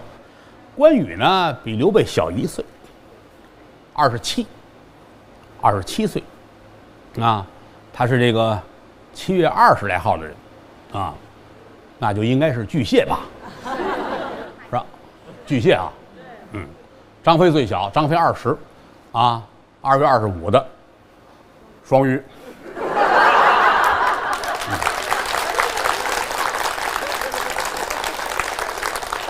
哎呀，你说说书容易吗？你以为那钱那么好挣啊？给你个凳子坐那儿好坐，你得能说出点东西来啊！啊、哦，这仨人各续年羹，那甭说了。刘备行大，关二爷嘛，张三爷，就是从这一天开始定下来的。把座儿摆好了，大哥您先坐。刘备往这一坐，关羽、张飞过来，纳头就拜，给大哥磕头。磕完头，这儿站起身来，刘备挪到边上去，关羽坐下。关二爷坐好了，张飞撩衣裳跪倒，参见二哥。这完事赶紧搀，搀起来。张飞往这一坐，该你们俩了，来。这个不是不是历史啊，不是历史。这要是我在那儿，我准这么来一回啊，对吧？该我了，来二位来，哎，俩人也得瞪眼，去去去去去去，哪儿就到你了啊？很高兴，刘关张结义，到后来留下一句俗语嘛：“宁学桃园三结义，不学瓦岗一炉香。”瓦岗一炉香呢，就是听过隋唐都知道啊，甲柳楼三十六友结拜，大伙儿都说，要是交朋友啊、拜把子呀，按桃园结义来，可别照着瓦岗寨他们来。哎，这是句老话相声里边我们也说这句话，但是也从来没有细致的解释过为什么天下会有这么个说法。桃园三结义，哥仨交情在这儿。但是你要从事业上来说，这仨大男人最后不成功，不成功。你别看他占据了三分天下，啊，拿关二爷来说吧，这么大的能耐，到最后怎么样呢？大意失荆州，麦城归天。关二爷，张飞那更甭说了，让两个鼠辈范江、张达给杀了。啊，刘备更甭说了，对吧？为了给关张报仇，发全国人马攻打东吴，最后自己白帝城托孤，江山社稷全完了。所以从这个角度出发，这仨人事业上不成功，人生不是赢家。但你看这个瓦岗寨这各位啊，三十六友，到最后大唐朝这都是开国的功臣，有的凌烟阁上都画着图呢。人人事业是个成功者，那么为什么我们倒觉得这不成功这哥仨值得我们尊敬呢？这里边有俩字儿，这叫忠义，叫忠义。您就拿这个关二爷来说，在曹营的时候，曹操对待他，那天下人都知道。说书一说到这儿，那上马金下马银，修下一府分两院。啊，不能对他再好了，好的不能再好了，走遍天下也没有任何一家能够给关羽这么大的待遇，不管是荣誉呀，哎，方方面面的都是这份儿的，但是没有拿住他的心。斩颜良、诛文丑之后，听说大哥的笑了，马上我得找我哥哥去，挂印封金，三次辞曹，灞桥挑袍，过五关斩六将，千里走单骑。我得找我哥哥去，忠义在这摆着呢。张飞更甭说了，这么大的能耐，在刘备手底下这大半辈子就是跟着这一万多兵，因为什么呢？没有这批人，东征西讨啊，打一仗败一仗，打一仗败一仗，一直赤壁之战之后，张飞才算缓上点儿来。如果说跟所有的其他的不管哪路军阀，跟哪一家老板，他的待遇都会比这个强。但是就一直这样忍着，为什么呢？那是我哥哥，一个头磕到地上了，得拿我哥哥放在心里。那么说，刘备对得起他们哥俩吗？对得起。关张二弟死了之后，刘备就急了，给我兄弟，我得报仇。诸葛亮告诉他不能这样，知道吗？休养生息，咱们跟东吴别打仗，跟东吴和好。缓上来之后打魏，诸葛亮说的对吗？对。这一辈子诸葛亮说什么，刘备都听，唯独这一次，没听。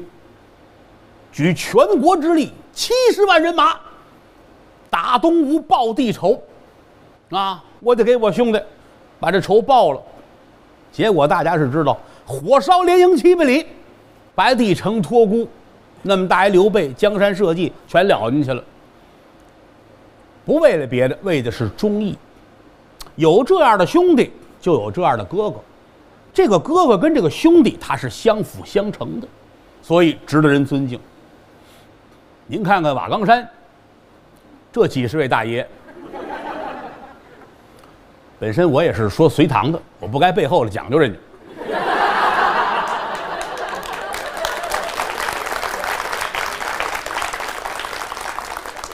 但是咱就事儿得说事儿啊！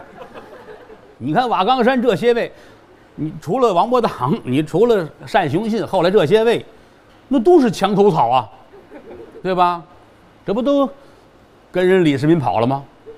投降的时候都告诉了，为了天下的苍生，为了黎民百姓，都会说着呢，都会说着呢啊！咱就说一个人，秦琼。秦二爷是隋唐的书胆呐，对吧？你等我说隋唐时，我再跟秦琼道歉啊。咱得讲理，关键是，对吧？马踏黄河两岸，先打山东三州六府七十二家堂官，交友似孟尝，孝母赛专诸，好词儿都是秦二爷身上的。这个专诸孟尝，一个是对老娘好，一个是对朋友好。啊，专诸，专诸横啊，专诸刺王僚吗？刺客，很厉害，在街上无论跟谁打架啊，呀，打的都不行了，老太太喊一声就回来。老怕哪太老太太没喊，让儿媳妇去拿我拐棍去，到那儿拐棍一晃悠，他就回来了，就这么孝顺。啊，孟尝那甭说了，孟尝君嘛，三千门客呀。不管你是干嘛的，上这儿来，咱们一块儿吃饭。孟尝君跟人聊天的时候，屏风后边老有人拿笔记，聊天儿啊，这前面得聊家住哪儿啊，日子怎么样啊，后边都记下来。聊完天儿到后来一看这单子，哦，这桌住的什么什么地方，家里不好，打发人去给家送钱去，交朋友嘛。孟尝君，你看一一块儿吃饭，有一主啊，坐那地儿啊，有人挡着光了，这主也小心眼儿。是不是我这个饭没有别人的好啊？是不是我这个菜不灵啊？啊！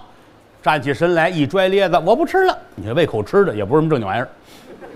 站起来要走，孟尝君过来了。您看看我这份儿，跟您那一样。咱们不分贵贱，争嘴的这个拔出宝剑来给自个儿切开死了。为什么呀？谢罪。我不该这样做。你这个消息传出去，来的人更多了。为什么家里三千食客？那是一个谎数，只多不少，所以天下人都说交朋友得说孟尝君。隋唐是拿这两位比秦二爷，啊，交友在孟尝，孝母似专诸，似专诸他做到了。秦二爷对老娘那这份儿没得说。那您这个赛孟尝做到了没有呢？哎呀，这就两说着。啊，隋唐里边谁对秦二爷最好？单雄信。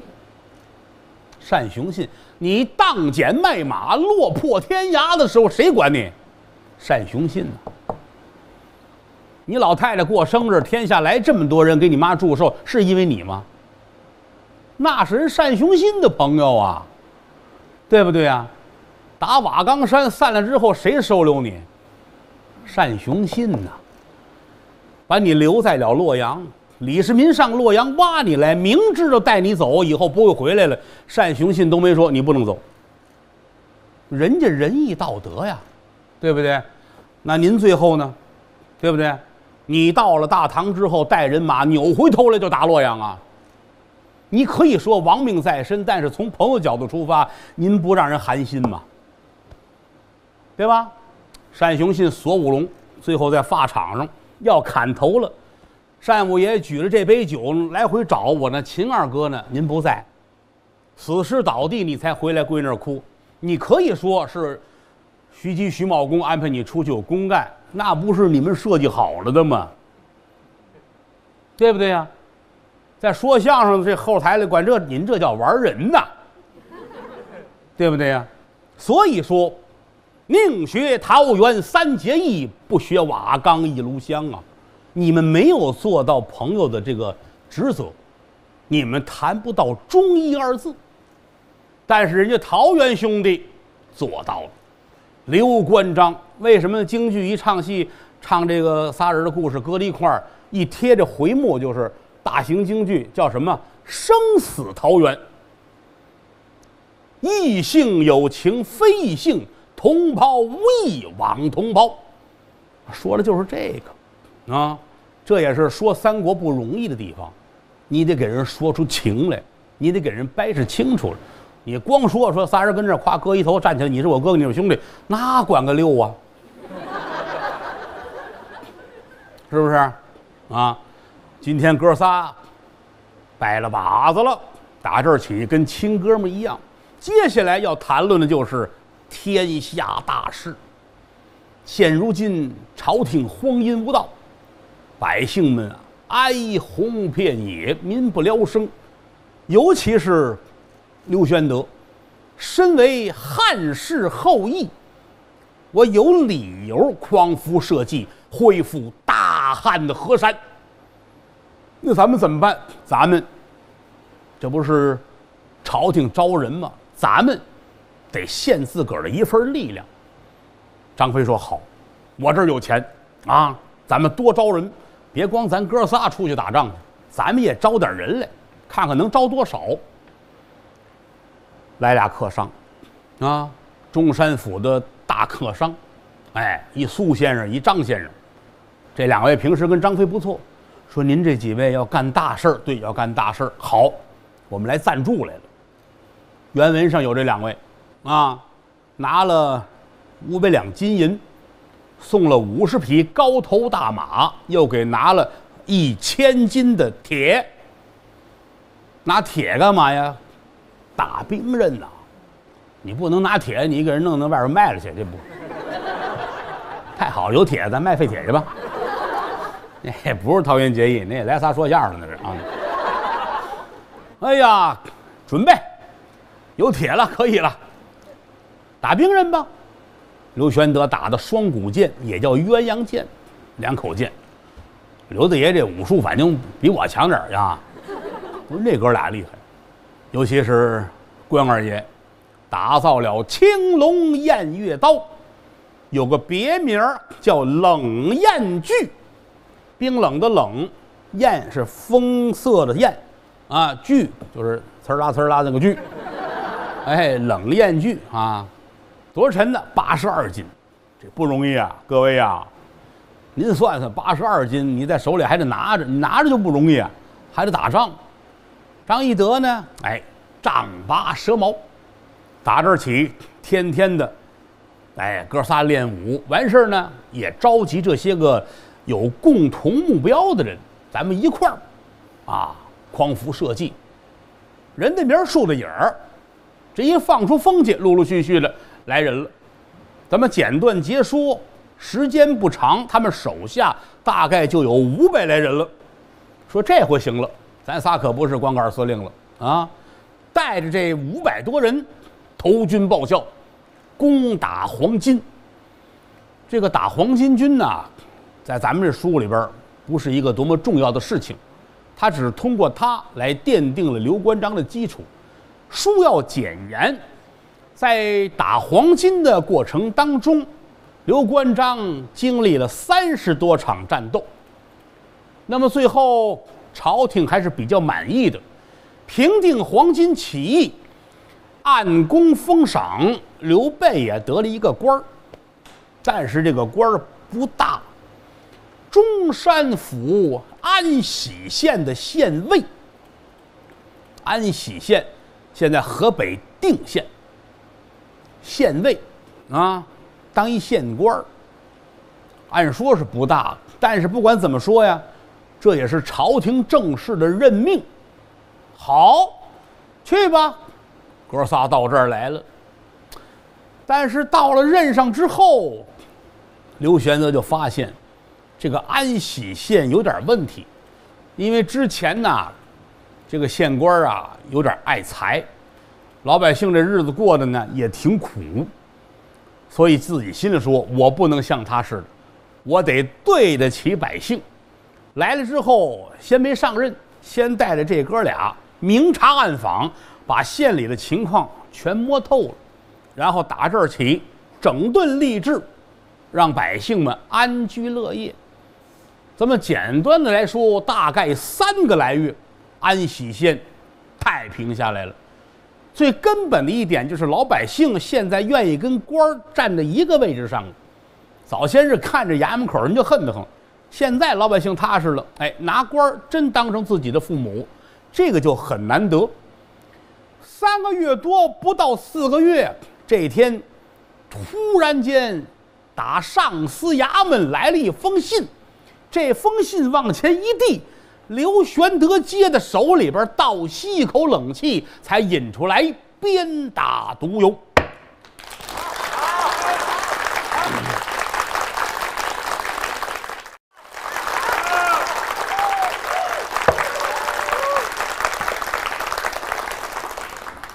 道德三皇五帝，功名夏侯商周，五霸七雄闹春秋，顷刻兴亡过手，青史几行名姓，北邙无数荒丘。前人播种，后人收，说甚龙争虎斗？对。哎，不来不来不来不来。啊，好吧，说甚龙争？啊，够了，让人笑话。哪有一说书定场诗给好几个的？那不赔了吗？谢谢爸。听书是不是很开心呢？是嗯，我其实特别爱说书啊，因为打小先学的说书。我去，我小的时候，我七八岁那会儿，在天津，那说书老先生啊、老太太们，那都健在。啊，天天听他们念叨说这些事儿，很愉快。有的时候跟他们上园子，他那个一般来说小书场都没多大，坐个五六十人、七八十人，就已经很不错了啊。坐在那儿沏上茶，听他们一说，嗑着瓜子儿。有的时候在那场面桌边上，啊，你看我那会儿听燕桂荣先生西河大鼓书，他这场面桌在这儿，观众在那儿，我有时候在他这儿坐着。小儿边上那儿，因为什么呢？他那儿有一个墙上有一插销，我后来有一小收音机、录音机，我就是录老太太唱的，我就搁在那儿方便，老听啊。这都是八十年代了吧？那是啊，现在也没有那个环境了啊。我特别有时候睡觉的时候还容易回想那个状态，尤其冬天，书馆门口大棉门帘子撩开之后，里边大炉子。炉子上坐着水，坐着这一屋老头们，听说净老头们，就我一小孩儿啊。那屋里边聊天的、嗑瓜子儿的，坐那儿一听书。现在回头一想，恍如隔世，那个氛围、那个状态太美好了啊！现在也完了，老先生们也都去世了，再熬些年，我都快成老先生了啊！但是这个这门艺术很凋零。很凋零，它也不像说相声，说相声全国您甭管是真的假的哈，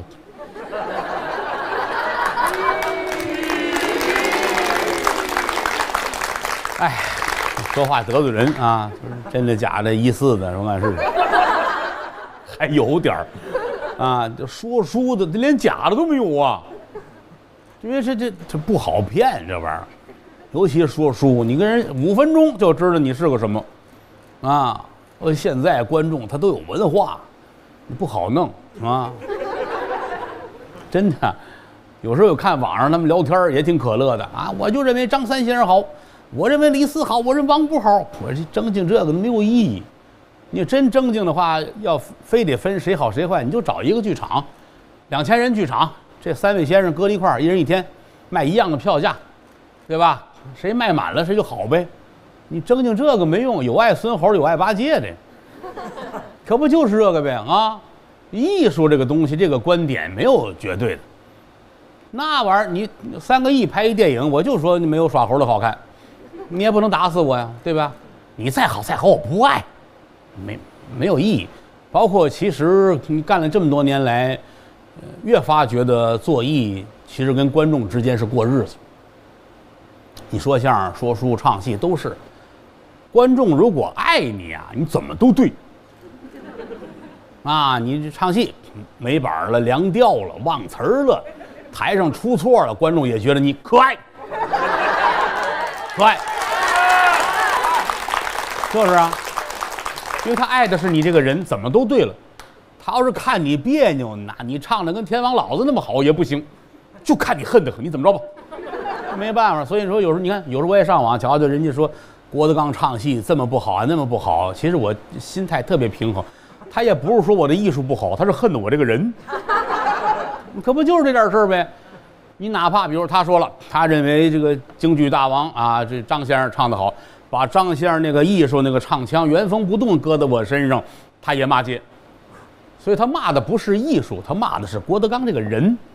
那我琢磨透这个呢，我就不能生气了。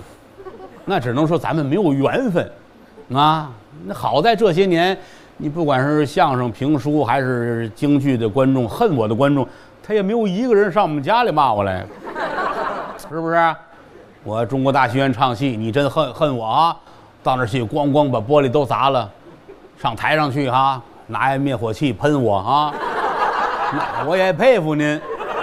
你在家里骂街，我也不知你是谁，你。我想跟你道歉，我也不认识你，你这怎么弄呢？啊，消消气儿吧，啊，玩点别的吧，也挺好。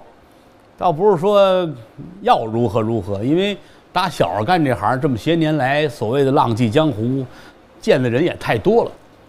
我们这行啊，会吃吃细饭，不会吃吃气饭，就这么简单。老先生教育我们说，就是你记住了，先学不生气，再学气死人。你要心窄，你别干这个，啊，戏班的嘴，澡堂子水。在说相声的眼里边，看谁都是烙饼；在唱戏的眼里边，看谁都是外行。这是我们总结出来的。说相声呢，说相声没有唱戏挣得多呀，那过去，所以说说相声看谁都是企业家，瞧谁都琢磨我怎么能从他那儿 K 出饭来。所以说相声看谁都是烙饼。唱戏的看谁都是外行，这是实话。您唱二进宫，台上就仨人，互相看对方还是外行呢。我我八十年代末我就唱戏，我唱了五年戏，我天天在后台，那个就见多了。反正目前为止，没有谁让我觉得哟他是真心实意的夸谁好。你要说唱戏的互相之间，您真好，他有原因。第一就是你真次，你可不了解他们啊。夸你，他是知道你实在，他在心里不拿你当人。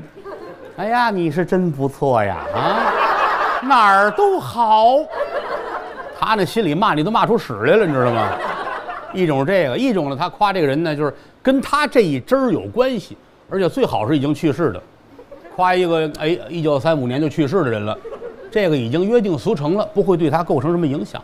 就怕这这四十五那四十六这俩人都，您放心吧，他不可能夸你好。啊，因为唱戏的要一骂起人来急了，连自个儿都骂。我太了解他们了，我在这行里，我都这么些年都快待出人精来了，我都，挺可乐。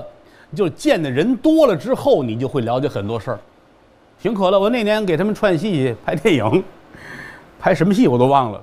山西省晋中市，去山西我还挺有感情，我祖籍是山西。明朝弘治十一年，我们家打山西。呃，移民出来那是明朝，所以说一说上山西，我说去吧。但晋中我没去过，我印象很深。到他那村拍戏，哎呦，那个村啊，满村都是那个枣树，枣树特别好，而且秋天，那个枣熟了没人摘，掉在地上都是，你就走吧，随便采，遍地的枣，啊，印象很深啊。搁那站着人，村长来了，村长带着家里人。哎，在这儿拍戏，我们很高兴啊，也很照顾您，这个那个的，还是很喜欢您，要跟您照相。好家伙，带了好多人跟我照相，他们家亲戚，那照吧，那人家是挺客气的。照完相之后，村长打开手啊，手里边拿着这么一捧红枣，也没有什么照顾您的啊，尝尝我们这儿的特产吧啊！我赶紧客气，哟，谢谢谢谢，我不要不要，地上有啊。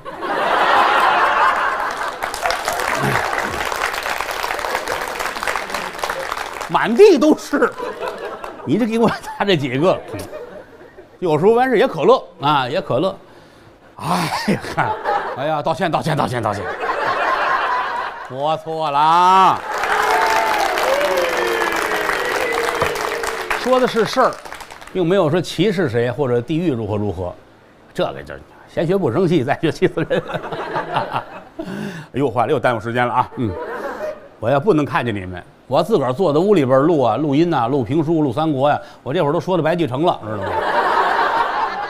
跟你们一块儿净闲玩儿，耽误朕的大业。上回书说哪儿了？八宝，你们吃点枣吧。孺子可教也。开心不开心？开心。行，好的，嗯，以后常来吧。啊，坏了，我忘了说哪儿了。嗯，安喜县刘备上任，啊，忘是不能忘啊。你指什么吃啊？干这行有一好处，只要脑子在。那能干到一百岁，啊！你说相声、说书都是，哪怕上岁数腿不利索，给我扶上去啊！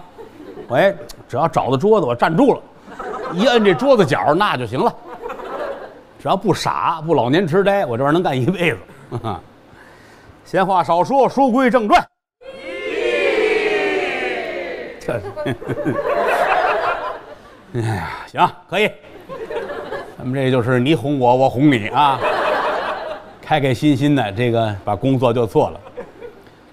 刘玄德安喜县上任，把这个整个县呢安排的是井井有条，百姓们很爱他，因为之前的大老爷三天两头的想辙，让老百姓出钱，刘太爷没有。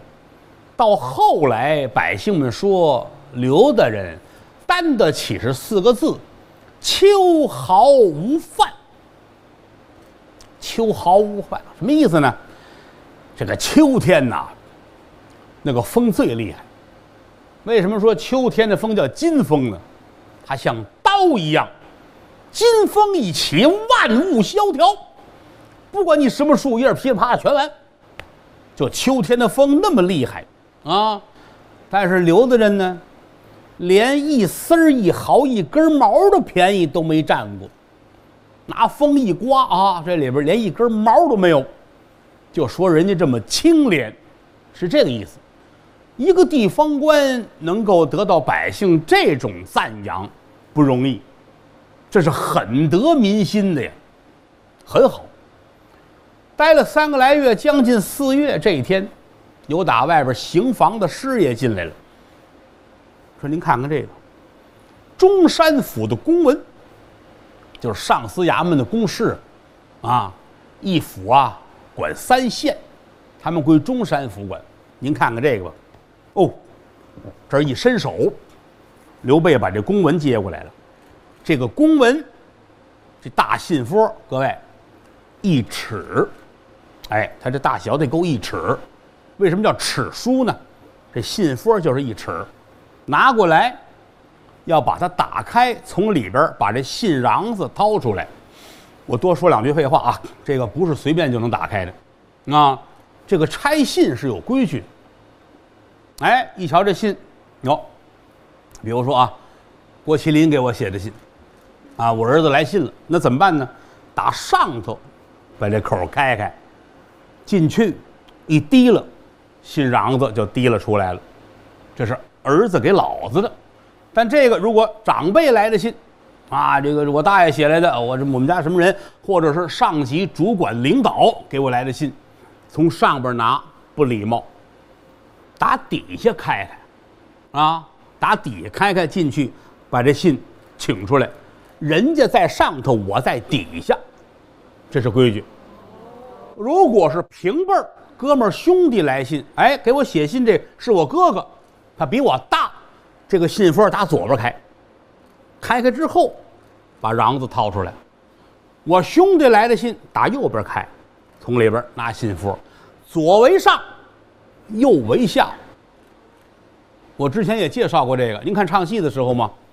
比如说我们这是戏台，您的观众看戏，戏台上摆一桌子，摆两把椅子，您一看上来演员连说带唱往这一坐，哎，比如说老两口子吧，那个老头儿那个员外一定坐在这边，老太太坐在这边，因为左为上，右为下。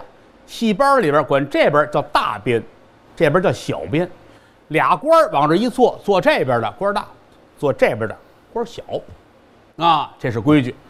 如果是媳妇儿来信了的话呢，把这信一翻个儿，这信纸后边这信封不这么粘着吗？把这原封这儿把这儿拆开，把信瓤子拿出来。各位说书那么简单呐？这。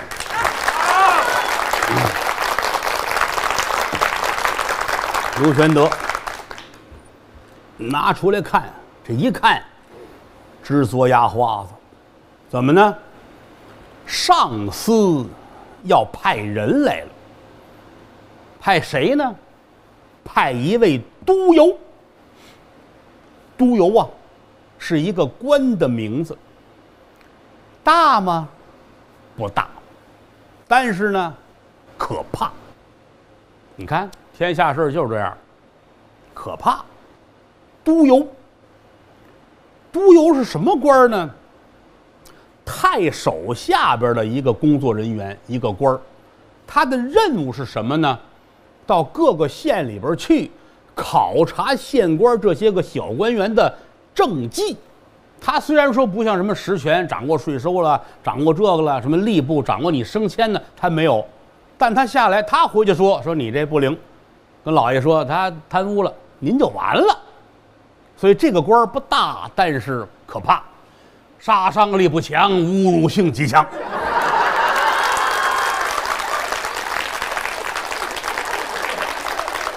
啊，要来这么一个官儿，后边写着日子，哪天哪天哪天他就要到了。安喜县准备行辕，行，自行车的行，辕，辕门的辕。什么叫行辕呢？就是这个官到这儿来，他得有个临时办公住宿的地方，这个叫行辕，你得准备这个。这个督邮上这儿来考察来呀，刘备倒是不怕，也不贪污，对吧？老百姓也爱我，我们没问题。但这个行员是个事儿，怎么呢？太穷了。像这种官员到这儿来，不是说随便找地儿您住吧，这不行。他说：“你怠慢他，你得给他安排的特别好。这个屋里边最起码墙上来说，你得有些个字画吧，屋里边得有个百宝阁吧，你得有点东西吧，连吃带住。他不是一个人啊，少说了几十人，他跟这儿待个三五天、十天八天的，人吃马嚼，这份挑费怎么办？”刘备犯愁的是这个事儿。哎呀！挺为难，啊！但这个东西也没法跟别人商量，只能说到时候看吧，咱们随时再说吧，就很为难这个事情。还没等他来，又三天，接到了上峰的另一份公文。这份公文看完了，刘玄德冷汗下来了。这份公文什么意思呢？就相当于是朝廷里边的一份简讯。就是通知一下，接下来朝廷有一个工作，什么工作呢？要对破黄金之后的官员举行一个杀太。杀太，杀字的杀，淘汰的汰，什么意思？就是要淘汰一些官员。黄巾军打败了之后，有一批人因为军功做了官了。现在朝廷认为天下太平了，他稳当住了。回头一琢磨，给你这点官儿啊，他委屈啊，所以说他准备收回来。毛病在这儿了啊，收回来呢？那怎么收呢？就得派督邮下去去查。这就是再一再二，让你心里有个准备啊。所以看完之后。心里说够呛啊，可是还有一丝犹豫。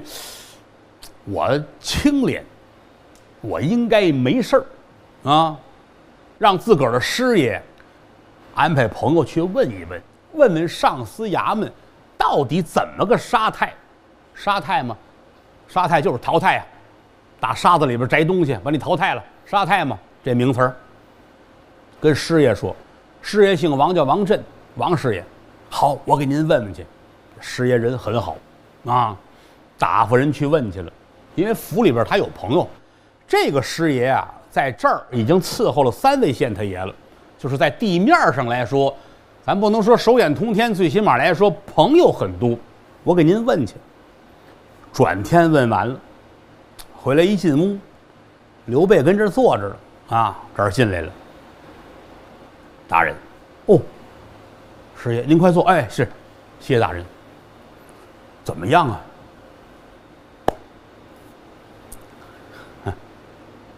你要看这表情，就不太好。怎么了？是这样的，我有朋友啊，嗯，在中山府啊，在府衙，他今天给我带的信儿，说是说留任的太爷必须是举孝廉公的方可。孝廉。也是个功名啊，举人、秀才、孝廉，啊，拿现在的话来说，咱们说简单一点的，就是你得必须是什么什么大学毕业，你得有什么什么文凭，你得拿他拿这卡你，啊，这就是朝廷啊做的扣。你这次不竟是因为军功你们做的官吗？好，军功这事儿过去了，咱们从文化上要磕你们了，啊，你到底是不是什么什么毕业的？你有没有这个身份水平？如果不是的话，这个官儿必摘。刘玄德一抖了手，干了。刘备心说：“我初中二年级就不上了。”见笑啊，见笑。这是我。那天我们家开了个会，我是初中二年级，我儿子郭麒麟初三。我外甥王九龙初三，哎，虽然说我读过二十四史，虽然说我家的书房比这棚大，但是我连个初中文凭都没有啊！此番杀太必有我呀！那不重要，那不重要啊！反正这意思您各位听明白了，就是刘玄德这官儿。要保不住了，哎呀，心里挺难过。但是咱们前文书讲了，刘皇叔喜怒不形于色呀，啊，面带微笑，辛苦了啊，谢谢，你可不得谢谢人家呗？人家给你凡人脱壳问去了，你也不能你心里边就跟人家拽咧子是吧？凭什么呀？你这，那就不是刘皇叔了，是不是啊？不像话了就。谢谢人家吧，师爷呢，心眼很好。这王震，王师爷：“大人，这个好多事情也未可知啊，等都邮大人到了之后，嗯，咱们再见机而作吧。人家能说什么呀？劝劝呗啊，这不还没来了吗？等他来了之后，咱们看看，咱们随时说，也不见得您非得走，就是说点宽心的话。好好。”谢谢谢谢谢谢，等着吧啊！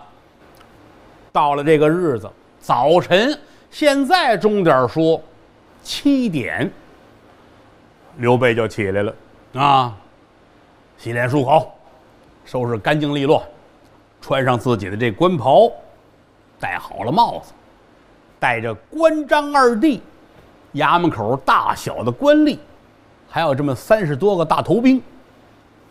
出郭相迎。原文上的话，出郭出城郭，就得到城外边去等着人家去，等着吧。打早晨七点，等到中午十二点，刘玄德腿都木了，说：“跟着我溜达溜达，这不成，啊，活动活动腿，那个不尊敬。啊，等着，一直到正午，瞧见那边马挂銮铃，烟土飞扬，来了这么几十个人，来了吗？来了，啊，他这个一个是督邮这个官儿啊，他自个儿带着二十来个人，另外呢还有上一个县送他过来的三十个兵。这咱们得交代清楚了，听书听的就是细致的地方。这几十个人护送他，啊，眼瞅着就到这儿了，终于来了。刘玄德一撩自己这袍子，屈步前行。什么叫屈步呢？撩好了衣裳，稍微啊哈着点腰，哎，这脑子铁胸叠肚不行啊，哈点腰，往前走，屈步，比这个跑要慢，比这个走要快，小碎步往前倒，这叫屈步，代表的是尊重。这个劲儿可难拿了啊！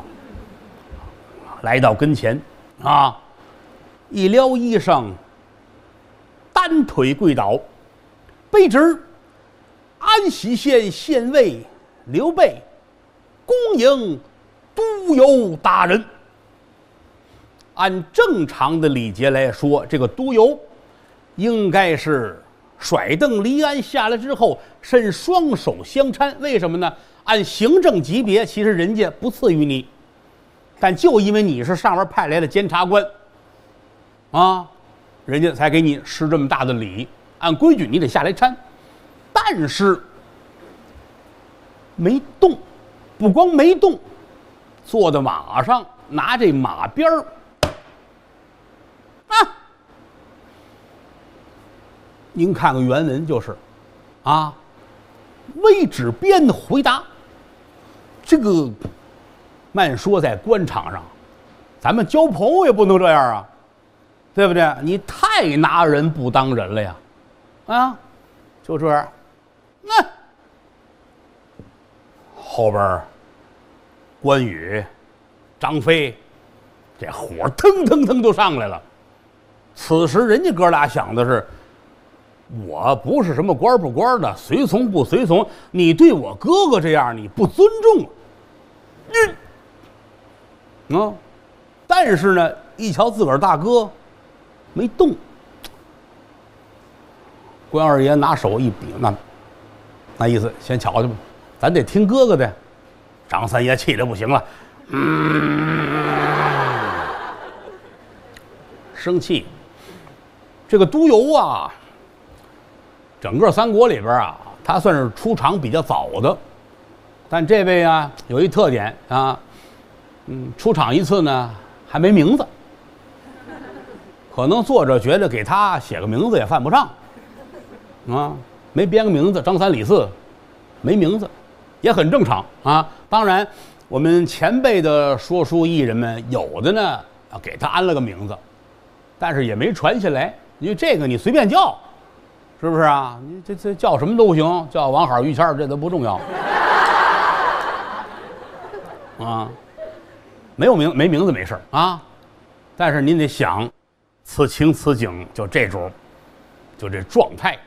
都有来在了安喜县，他这一不下马，在张三爷跟关二爷这儿就先标明挂号了。张三爷那意思过去，我就给他拦下来。关二爷还是比他脾气温和，那意思别给大哥惹祸啊。赶紧往前来一步，关二爷一伸手扶自己的哥哥，人家不给节骨眼儿，咱们自个儿得给节骨眼儿啊，对不对？又何况人家已经嗯，那可能就是起来是吧？对不对？管他是不是呢？过来一搀，刘玄德这才站起身来，抬头观瞧。为什么要观瞧？我得看看呐，谁打鼻子眼里边这样说话呀？抬头看看这毒油，好家伙，头戴乌纱不得点儿，有一颗红缨是猴屁股色儿，穿蟒袍，墨绿色儿，上绣着团花朵朵，像茶碗儿。腰里系着牛皮板儿，转圈都是金钱眼儿。大饼子脸儿，牛皮癣儿，还有一点小刘海儿。倒抹子眉，三角眼儿，长得像个狗熊崽儿。独有到此天涯地，哪曾想破坟头遇见大铁铲儿。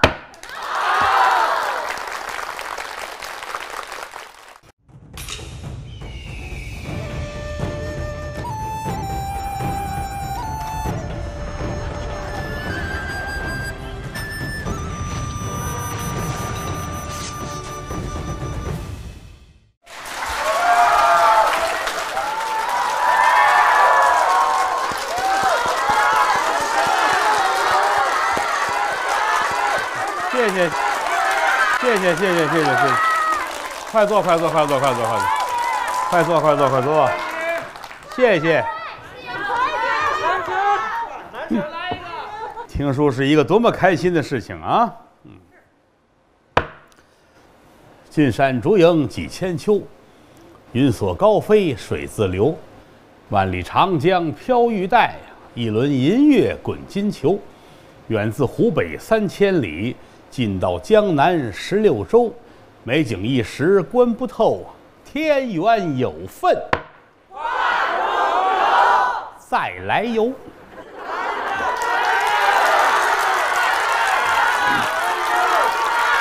来来来来来，天缘有份，画中游。哎，这两遍都没猜对，这就没法跟你们玩这知道吗？啊，这个诗啊，有好几种说法啊。我们粗略统计一下，可能有四五种。里边来回的换某个词儿啊，其实也实在是没什么意思啊。玩会儿得了，不能老玩这个，没意思。说书是最开心的事情啦。哎，你看。该起哄不起哄，那救不了你们了啊！说书啊，其实还真是不需要特别多的人，尤其这种面对面的说书。你看，我们小时候看老先生说书，基本就这样，四五十人、八九十人，啊，我印象很深。我们小时候听书，我们天津有一老前辈，这老前辈说书说的挺好，他有一个外号叫“宝了横”。什么叫“宝了横”呢？现场这观众啊，要是不超过十个人去，你就看他那个客气呀，谁都是他亲爹一样，那可哎呀，啊，这个只要一多了人，那算完了。啊，观众超过十个人了，他今天挣钱了，这嘴咧着跟八万似的，啊，就不好好搭理人了。啊，观众您辛苦了，他也不理人家，外号叫宝了横。我印象特别的深，有这老先生也也都去世了。有时候可能也是我快上岁数了，我老爱怀念当年这些事儿，这些人挺好。那会儿就听书去，为什么要听书呢？我们小时候学说书的时候啊，就顶数说书这行难。啊，我们得先伺候着先生，先生说书，我们在那跟着续个水啊，或者就坐边那么听着。说书没有人教你一句一句那么教。你去听，你像观众一样去听，仨月下来把这这这书听一遍，完事就直接问你会了吗？说不会，不会，别干这个了。你多余干这个，就愣告诉你，你多余干这个，就是他说你听，听完就得会。这就是为什么这个行从业人少的原因。对呀，对呀，说书过去太挣钱了。说书多挣钱呐！你慢说说书，咱举一个简单的例子。那会儿我跟说相声的老头聊天老前辈，因为他岁数也不是特别大，没有想象中那种老前辈，但是他赶上了就所谓的在地上演出，马路上说相声撂地，他赶上过。可他是小孩儿。我说你那会儿挣钱吗？他说我没有资格开整份儿，他是孩子，他学徒。他没有像正规演员一样，今天我挣多少钱？没有这个。那么他挣的钱呢？就是今儿啊，大伙儿都分完了，还甩点零头，给你吧。或者这有几张破的票，短个角，给你吧。他就挣这个钱。我说你挣这个钱是一个什么概念？他跟你这么说，就在旁边那儿拉洋车的、蹬三轮车的那大个儿那壮汉，他一天挣的钱啊，家里边七八口，他这一天的钱，全家七八口人足吃足喝。我说你拿这零钱呢？他说我拿这一天的零钱就盯那拉洋车的干一个月的。这还是说相声的学徒，要到说书的先生那还了得呀，对不对呀？那会儿真挣钱呢。所以说这行他这么暴利就不能人人都能干，这叫天道。人人都挣这份钱，那没有王法了。就是你听，今天听完了就回家之后把今天的倒磨一遍。先生跟书场他说仨钟头，我得来一遍，也不可能都记住，对吧？大概能记住，哎，差多少哪儿不全，这个回来去问去。先生一瞧，嗯，这小子有心，是这个材料，他在教你呢。你短的那点地儿应该是什么是什么？有些个里边的盔甲字儿啊，有些个诗什么的，这个他告诉你，那个听是听不会的，啊，告诉你该背你得背去。这样的话，仨月算一套书听完了。哎，老师换地儿了，换一茶馆，你跟过去，接着再听，这个是说书的过程，啊，没有说给你本书照着背去吧，那个疯了，你也学不会，观众也不爱听，所以当年学书是这么一个过程，到今天也是如此，全是卖个人的能耐，看你的发挥，看你的水平，啊，当然那年头也没有说，在书场里还拿个什么，那会儿 M P 三了，拿个什么手机搁着就录。也没有啊，当然有的话，老先生人也不让录啊。我们那会儿录大鼓，来燕国荣先生这让录，录吧没事啊，爱听可以。你要不人家，人家那个好多说相声还说说郭德纲就偷着录他们东西呢啊。怎么串到这儿来了？这话赶话赶到这儿了啊。其实好多事儿，你看这么些年来哈，你自媒体也说。说相声也说郭德纲什么偷录人家天津相声艺术家的现场录音才有的今天哈，我真是我也没搭过茬这个事儿，我也没反驳过，因为我觉得这个事儿就如同说我是英国女王似的，这个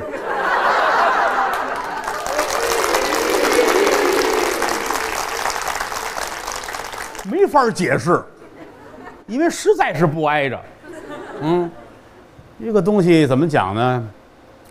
顶层的技能是不怕模仿的。你看杰克逊，全世界都模仿人家，也没看人家短块肉，也没瞧你们谁指着模仿杰克逊，你就发了家致了富了，买了房子买了地儿，你也没有啊。老在一个安全区域待着，其实是最不安全的一种行为。我这句话你们要记下来。你想这个道理吧啊！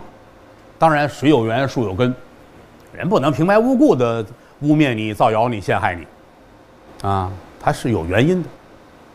叫这个是九九年，应该是北京有个中和戏院，之前我们在那儿说书说相声，后来人家说能不能请点天津的老前辈来，这事儿我是承办人，啊，我跟我们有一相声前辈范振钰先生。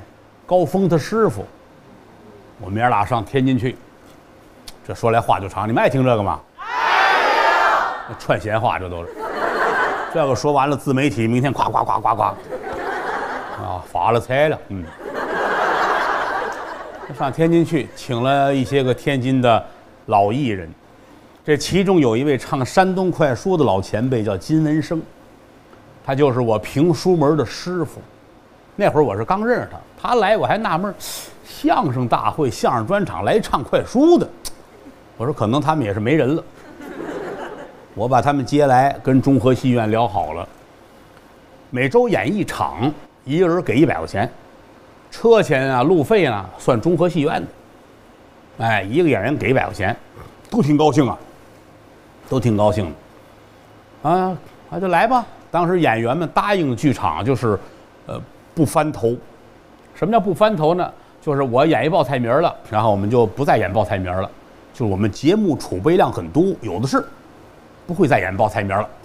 中和戏院那就演呗，反正一周一场，就这么演下去呗。哎，每天我是头一个，我开场，完事我再主持节目，啊，天天这么演，我还行，我那会儿也年轻也冲啊，观众也挺挺捧。演完之后，第二场、第三场，几乎就台下很安静，啊，泥两场我们叫这两场都泥了，然后再上场山东快书，金文生先生，好家伙，我大开眼界，我从来没想到一个山东快书能把现场豁楞成那个样儿那个包袱啊，咔咔的山崩地裂，观众乐的都不行了。所以每场演出下来之后，金先生就说：“你看见了吗？啊，咱爷俩开两回场。”我开一回场，他开一回场，你看二场、三场泥呀、泥的都不行了，体现北京观众高素质，就这么看着你。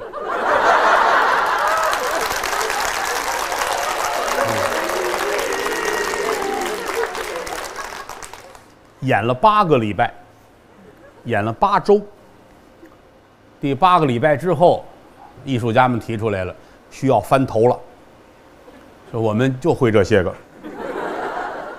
他一翻头，中和戏院翻脸了。你们怎么说的？不是不翻头吗？啊，这个这不像话，也掉座了，开始啊，哎，所以后边就不演了。在现场有两位热心观众，我印象很深，姓李，哥俩，哥哥带着妹妹，每场都来看来。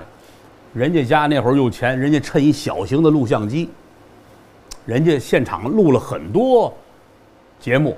录完回去之后，那还录像带了，他也洗掉了一些个没有人笑的节目。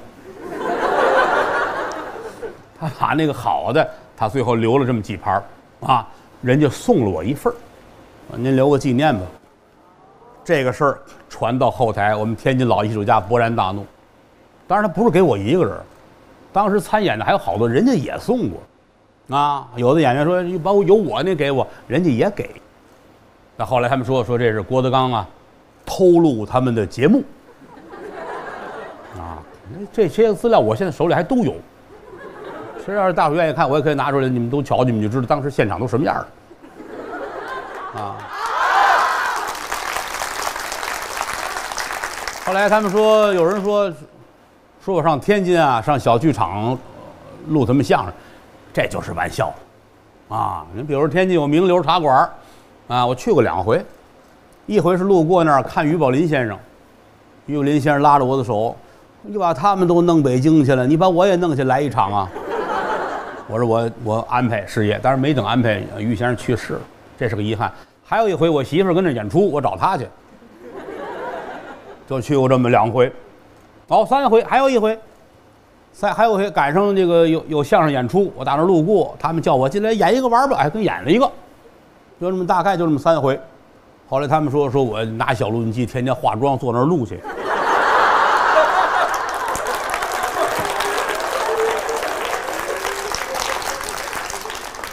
我真是觉得就是就是笑话，我没往心里去。但是后来我因为一件事情，我觉得可能我才想到，可能这个事情对我有点伤害。你看我上东北演出去，黑龙江有一说相声的，我原来印象对他特别好。因为我认为他是干这个，就在我们这行里边，我认为你是干这个的，咱们是自己人，台上你好，这是一个最大的奖励啊，认可呀。我一直认为他是干这个的。到了黑龙江一块吃饭，酒席宴前，他跟那喝点酒，他说这么句话：“你看你这么大能耐，这都是当初偷人家天津说相声的，我就跟吃了蛆似的。”啊，出来之后告诉我经纪人王海，今生今世不要再跟这个人联系。就是我高看他了，我认为你是干这个的，他今天借了点酒，他把这话说出来，说明他信了。否则的话，他不会说这个话，这就没法聊天了。这就好比是珠宝商进了棒子面市场，咱聊不到一块儿去。我说的是珍珠翡翠、猫眼钻石，你是饽饽饼子发糕。我看你吃的干巴，我给你端杯水，你又做了嘎嘎汤了。咱别探讨艺术了，咱先吃饭吧。啊，这就是关于艺术的见解不同啊。当然不能老跟你们说这个，你们回来出去一传一传去，显得怎么地似的啊！哎呀，咱得说三国呀！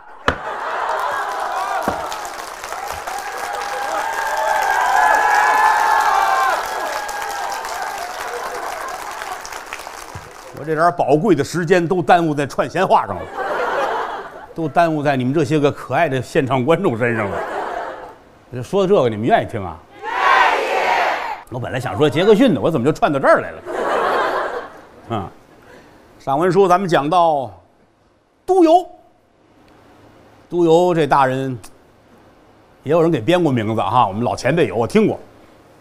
哎，给起个名字叫什么叫什么，但他起完之后呢，他他可能自个儿也不信。他说着说着他也不说，他也是这督邮怎样怎样。哎，我们就看明白了，说这也不重要，有没有名儿，他就是挨打来地。啊，谁都知道鞭打督邮嘛，但是呢，咱们得把事儿 得交代清楚了。啊，刘备刘玄德带着关张二弟，带着县衙的人，迎接到安喜县的城郭以外，接这位督邮。啊，督邮坐在马上，撇着大嘴。连句嗯，请起都没有，鼻子眼儿，嗯，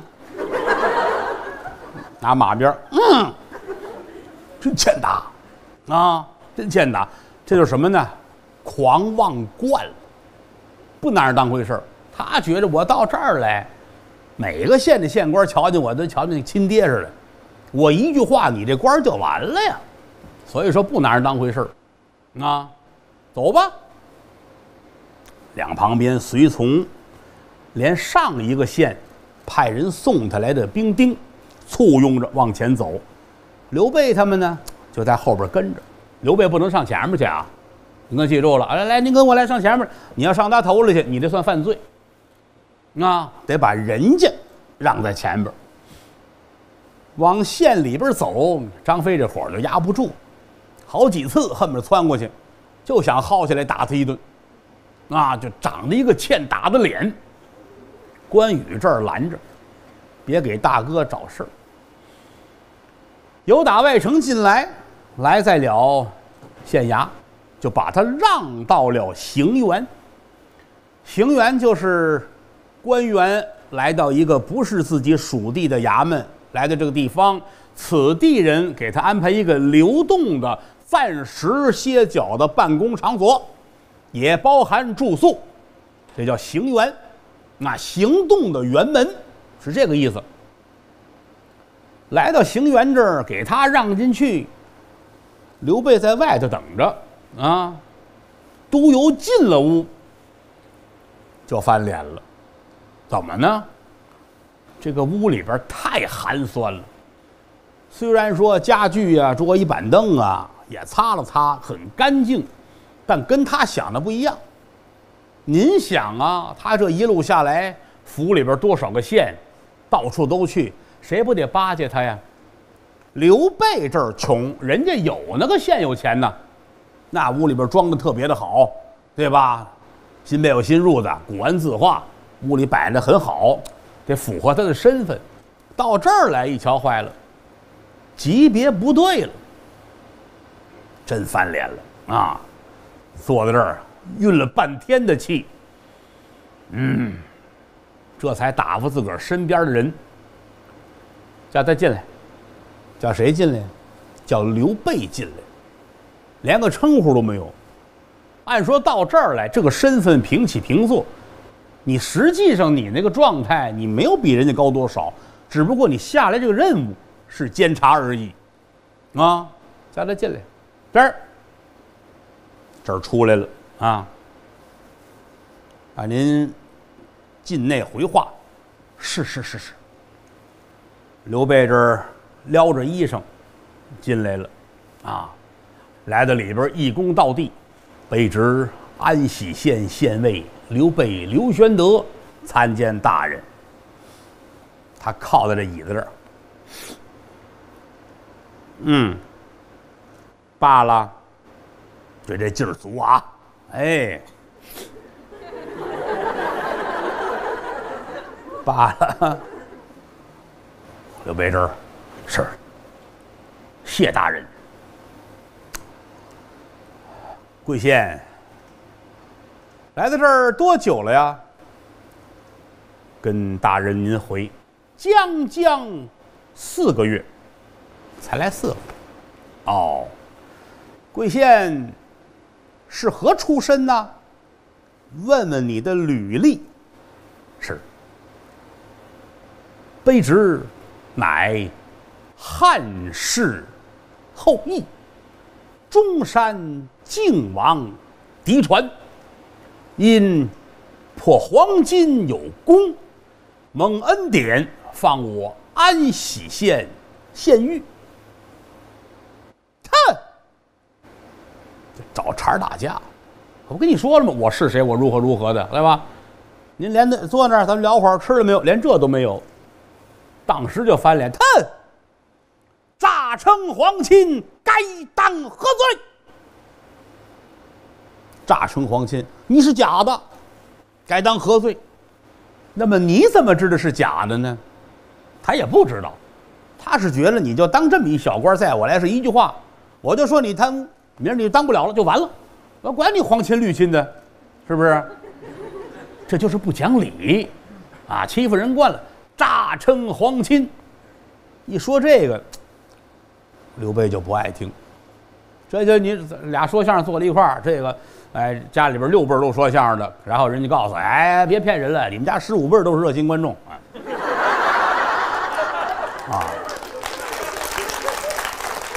这个那就叫侮辱性极强嘛，是不是啊？关键人家正经啊，大汉朝后裔呀，对吧？景帝玄孙，中山靖王之后，这是真的。你这一说，人家一根儿刨了，把人这一支儿全骂了，哪能这样去啊？但是又不敢搭茬儿，暗气暗憋。都由看他这样儿，哼，哎，不光诈称皇亲，而且你还诈冒军功，打黄巾军这点功劳也是假的。啊！此番朝廷杀太官吏，就是要清除尔等。明着告诉你，我这回来淘汰某些个官吏，就是你这样的。刘备就这，哎，大人你住口，不让说话啊！你住口。这样吧，我给你一晚上时间，回去你拉一个单子，啊。你在上面给我写清楚了，这四个月之内，你在安喜县接受了多少贿赂？金银多少？器皿多少？文玩字画多少？拉一个单子来，明天把这个单子给了我，我看一看，咱们再做定夺。这就是明抢啊！你还得承认你是贪污。你还得给我拉一单子，然后我明天按着单子找你要东西。明抢明夺吗？啊，大人去吧，去。打这出来，那么大的英雄啊，就这火在心里边窝着。看，说理上哪儿说理去？你跟他有什么理可说？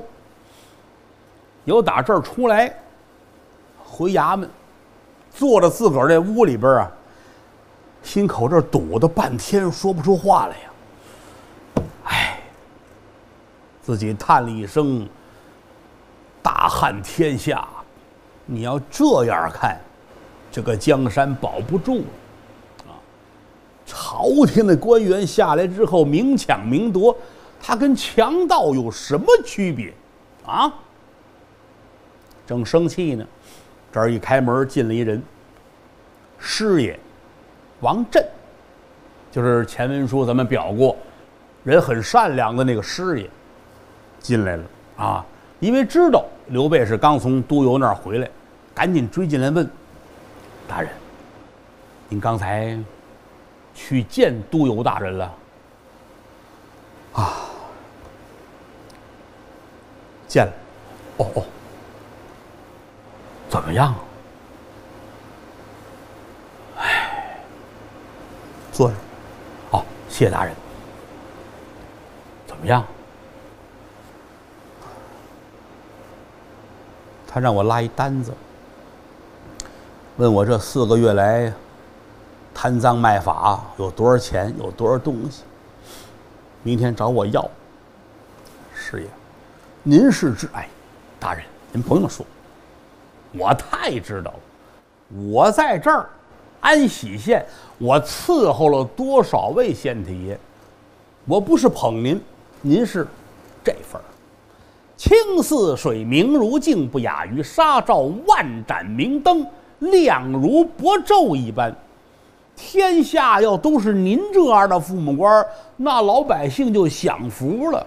我知道，他这个是，就是讹诈于您，您没有啊？百姓们都说秋毫无犯嘛，对不对？哎，秋毫无犯不秋毫无犯的倒不重要。这明天这怎么交差呢？你没看刚才他那个状态？我问了，他这一路上啊，可是发了财了。无论到哪儿去，谁都为了保住自己这官儿啊，都怕他说什么。呃，所以说您，哎，这按说我不该说啊，大人。您您不行也得运动运动，运动运动就您得花钱。啊！刘备叹口气：“ 你 我拿什么运动？啊？包括你说他来住这行园，你都知道，咱没有那么些富裕钱呢。再一个，我这样你也清楚，我哪有闲钱打点他？又何况你看他这状态，不是仨瓜俩枣就能了事儿的呀。人是憋着发财来，你不是来两根黄瓜他走了呀？对不对？”这怎么弄？大人，您别着急啊，咱们想想办法。刚说到这儿，有打外边又来人了，进从，就是这儿贴身的工作人员啊。进从来了，就跟师爷说：“师爷，都邮大人请您呢。你看了吗？刚才找刘备叫他进来，到师爷这儿不一样了，请您呢。”哦哦哦哦，好，大人，我先去。哦，好好好，你先去，回来咱们再说。好，您别着急，别着急。这个师爷人特别的好，有打这儿出来，急急忙忙去见都邮。到这儿进屋一瞧，都邮坐在那儿正喝茶呢，撇着嘴啊，这嘴咧得跟八万似的啊，坐在这儿。师爷赶紧进来啊，一躬到地，下令。参见大人，哦哦哦，哈哈哈乐了。你看他跟刘备没有啊？他这乐了，哎，把茶杯撂下，站起身来，还搀了一下，啊哈哈哈哈免礼免礼，哈哈哈，感情他会乐啊！你说这个玩意儿，转变的很巧妙啊！坐坐坐坐坐，刘备来的时候都没让座。坐坐坐坐，这有椅子。哎呦，不敢！哎呀，什么敢不敢的啊？有座当坐，坐下好来叙话。是是是，谢大人，快坐快坐快坐，坐这儿了。坐这儿也不能大模大样的，这是有身份、有尺寸的地方。啊，这这儿。不行，啊，其实呢，就是就和这椅子边儿，啊，欠着身子，这半拉屁股担在这椅子这儿啊，这往前看着老大人，就是人家一张嘴，赶紧就得起来，啊，这是做下属官吏的规矩，就这儿。哎哎，不不，坐坐坐坐坐坐坐，不不用起来，不用起来。嗯，安喜县待了几年了呀？跟您回。哇，待了五五年多，五年多了啊，将近六年了吧？哦，哈哈哈哈哦，这是安喜县的老红人了。不敢不敢，在这儿伺候好几位太爷高升了。哦，现在跟着刘大人在一起，是是是，哎呀，这个玄德公刘大人，这是我也没想到啊，这个让我真是发自肺腑的佩服，为人忠厚啊，善良正直。那行了，别说这没用的话了。嗯，这个你来呀，我叫你是有事儿。大人您吩咐，你会写字儿吗？大人，我 我师爷不会写字儿，好，好，好啊！晚上回去给我写字儿，啊，写一写这四个月刘玄德在此地贪污了多少的金银，古玩字画都有什么？这一篇纸你给我写满了，明天交给我。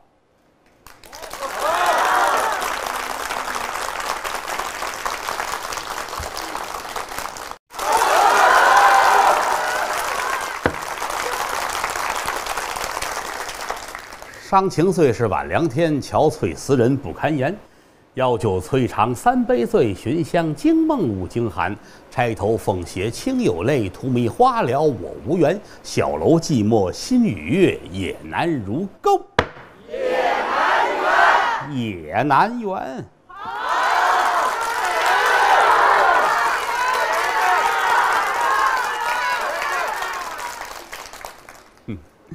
我可爱看你们这起哄的状态了。你们都有地儿上班没有啊？没有。我一看就是啊，都是跟着督邮来的哈。对。挺好。这个《三国演义》一上来啊，就先安排一个暴力项目，就是鞭打督邮。督邮在这个故事里边，整个三国里边，就是一出场挨了顿打就回去了。你再往后翻啊，你从《三国演义》你一直翻到《明英烈》，你也不会再看见督邮啊。它的意义就在这儿，他就是干这个来地，也是用它告诉大家桃园弟兄每个人的性格，也通过这件事情导致这几个人不能在安喜县踏踏实实的上班啊，跟这儿好好的。哎，一天到晚的料理老百姓的什么生活什么的，不可能，注定是要做大事的，还是这么一个安排方法。所以作者写东西都是有它的意义，这也是刘备的命运。好多时候人都说：“哎呀，人呐，别跟命争。”当然了，我们也可以批判性的来说这句话，啊，这个不要迷信，你要努力啊，你们只要努力，都能坐这说书啊。天下的事儿很好玩人生的故事就是这么编的，啊。闲话少说，书归正传。后来吧，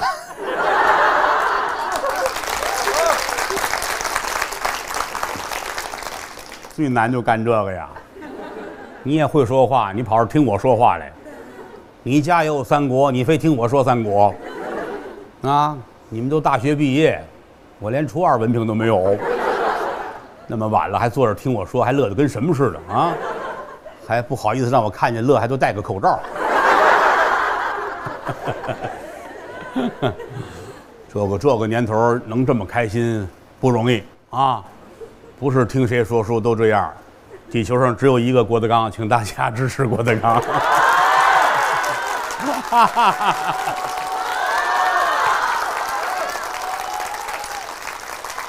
一说一乐，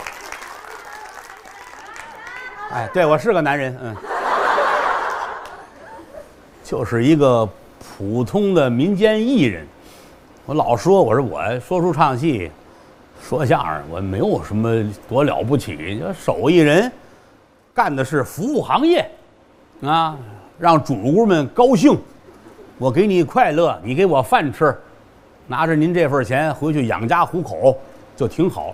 别的我也没有什么太大的追求，我算了算，我一天吃饭有十块钱就够，啊，嗯，最爱吃豆腐，豆腐熬一白菜，啊，反正也得有肉，有肉吃不了几块有没有吃不吃那是我的事儿反正摆上我刀两筷子也算有荤有素了就行了，面条也行，馒头也能吃，嗯、冲个鸡蛋汤也行，挺好。就怕山珍海味，就怕人请我吃饭。好家伙，这屋雕梁画栋，跟坐在养心殿里似的。啊，大高背椅子后边站一大美妞，端着个壶，喝一杯倒一杯，我都能报警。我跟你说，真的，可害怕了。酒席宴前，认识不认识的，互相说点瞎话，你捧我，我骗你，没有意义，真的。当然，人家也不是说人家吃饭那个不对啊，就是说我人比较格色，啊，所以说台下的郭德纲实在是挺无味的，挺没意思啊。交朋友别交我这儿了，嗯，有两天您就烦了，得交于老师那样的。那个人就是在三教九流的朋友，哎，家里还有动物园啊，那个连人带马带狗他都能玩，你知道吗？我不成啊，我就坐在屋里边喝点水，摆弄摆那花啊，就天凉了养个虫子，看看书，有时候愿意写字画画，写的也不灵，画的也不好。我那两天我嗨，我一天都没学过，我也没临过帖，画画也没老师教我，我就觉得可能是那样就能画，我就画了。啊，那怎么办呢？我看什么淘宝、闲鱼上还净卖我的字儿。我一看，他们还有人说说这你不告他，这都是假的。我说当然知道是假的。说你告他，我告人家干嘛？我说哪个写的都比我好啊！啊，这个多给我洋腕儿啊！你看郭德纲写的还不错。我说我这不知道他在哪儿，在哪儿我得谢谢他去。啊，哼，挺好。人生就是这点事儿，乐乐呵呵比什么都强。千万别跟自个儿较劲，你跟谁较劲都是跟自个儿较劲。真的，天下的矛盾都是因为这个。你包括你上网看看，为什么一网上又谁跟谁又卷起来了，谁跟谁对着骂起来？天下的矛盾从哪儿来？逞能。你看看网上这个评论评论电影的、评论歌星的、综艺节目评论唱戏的。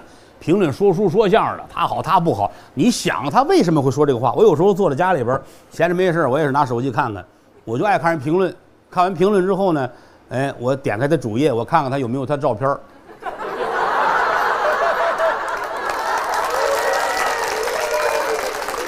你你试试，您按我这法试试啊。一个是你看看他那脸，一个是你看看他其他的发言，完事你再回过头来看他刚才骂的街说的闲话。你就一下，哎呦，他应该这样。为什么？他需要一个发泄，而且他张三李四俩人对对着，跟真事儿似的啊。为了京剧哪句唱，为了相声哪段，俩人打的跟什么。其实你往后看，把这纸都撕破了，后边就俩字逞能吗？他无外乎就是我比你懂得多，对不对？你以后你比如说郭德纲唱戏，唱一个《济公传》呀，唱一个《封神榜》，哗人来帮人骂街。你点开他那个主页，你看他一定是喜欢什么《空城计》呀。定军山呐，贵妃醉酒啊，锁麟囊啊，因为你唱的戏已经超出他点评范围了，对不对？再再有一个，有人也说你麒麟剧社，你干嘛不唱那个戏？我确实跟陶阳他们说过，我说那个戏你别唱，空城计什么这你别唱啊，你上陶然亭看看去，陶然亭那大爷打二十五岁就在陶然亭唱这一段，这天下所有人。只要能正常发音的，给你这个时间，每天到台上亭站河边那儿唱这一段，唱二十年，那你一定好的不能再好了。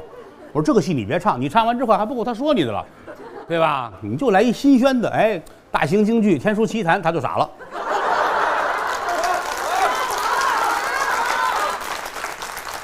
要不他们他们恨我就在这儿呢，想骂他下不去嘴，这不就是个乐吗？对不对呀？又不是争房子争地，看个戏，谁把谁家孩子扔井里边了，没意思。接演三国，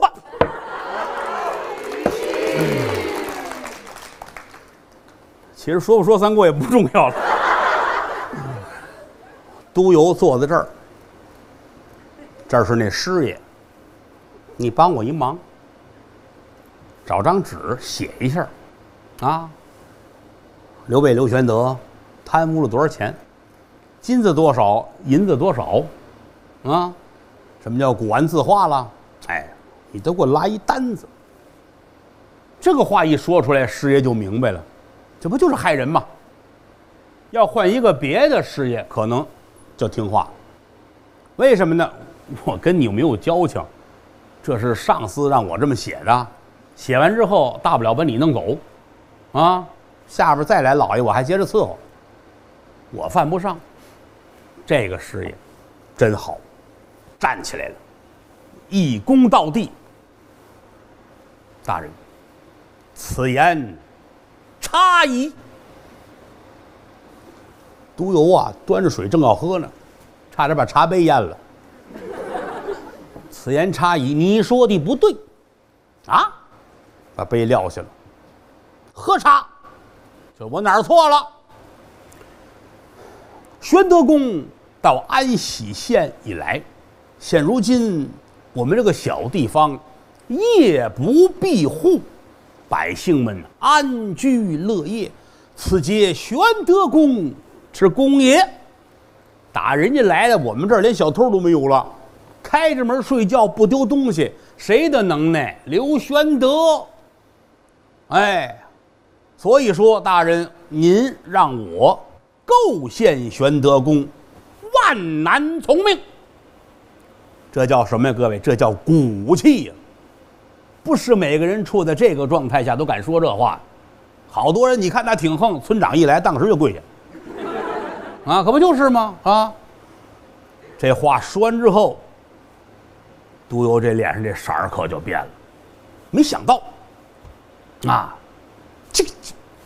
连个品级都没有，他是个师爷，啊，而且这个师爷这种身份呢，嗯，在这会儿啊，其实还属于是县衙里边的小吏，其实还算是公务员虽然说他身份低，你要到了后期，你到了什么，到了明朝，到什么之后，师爷根本就是县太爷的私人物品。您记住了啊，衙门里边好像有一师爷站在老爷跟前儿，包括您看电视剧，县官这儿审案，这儿坐一师爷写字儿，这师爷是县官开工资，是他带来的，不在编制里边儿啊，可以雇仨，可以雇五个，只要你给老钱。这些个人为什么带人来呢？帮着挣钱呢。你过去咱说有的时候老爷一上任一来来七八个人，啊，之前县衙门里不管是班头了、衙役了、差人了，全走，人家有自己的一整套人马，来了各个部门都得是我的人。为什么呢？他是拿这个做官当生意干。那会儿到后来到清朝，有的时候有捐班儿捐班儿是买官儿啊，啊，我要买一个什么什么县的县太爷或者哪个府的知府，只要钱够了，运动足了，这就行了。我凑不齐这么些钱，咱们哥几个一块儿吧，大伙儿凑钱买这一个官儿买完之后咱们分，我是县官儿你是师爷，你负责刑房，你负责什么？你负责咱们一块儿上任去。他能不贪吗？他做的是生意呀、到那儿之后，赶紧三下五除二把这买卖安排一下，打老百姓身上弄钱。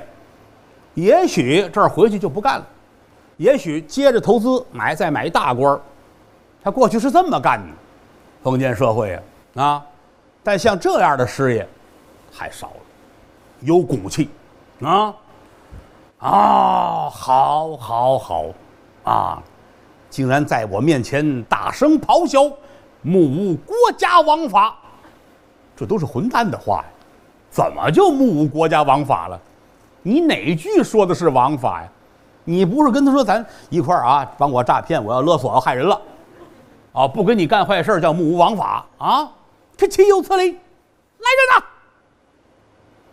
他自己呀、带着二三十人，今儿来的时候呢，还有二三十人是上一个县护送他来的。他这儿一进了行辕了，人那些人就走了，所以现在院里边是他自己的心腹。这么几十个人啊，一说来人，啪门一开，进来四个兵啊，大人，把此逆贼捆在明柱之上，被花五十。逆贼，这是个造反的贼，人家不怎么就造反了，绑在明柱之上。他这个屋一出去，外边有柱子，廊檐下有柱子，绑在那柱子上，被花五十。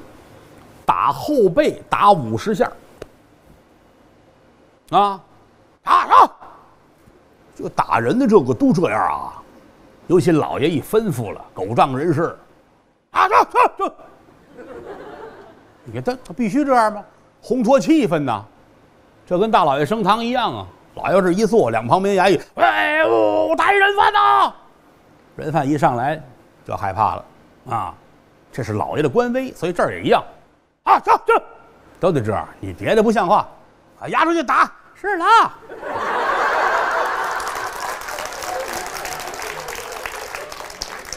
不像话啊！不像话，把人往外一拖，那这会儿就不拿人当人了啊！平时还行，您留神，哟，看台阶啊，慢点，这儿走，就滑。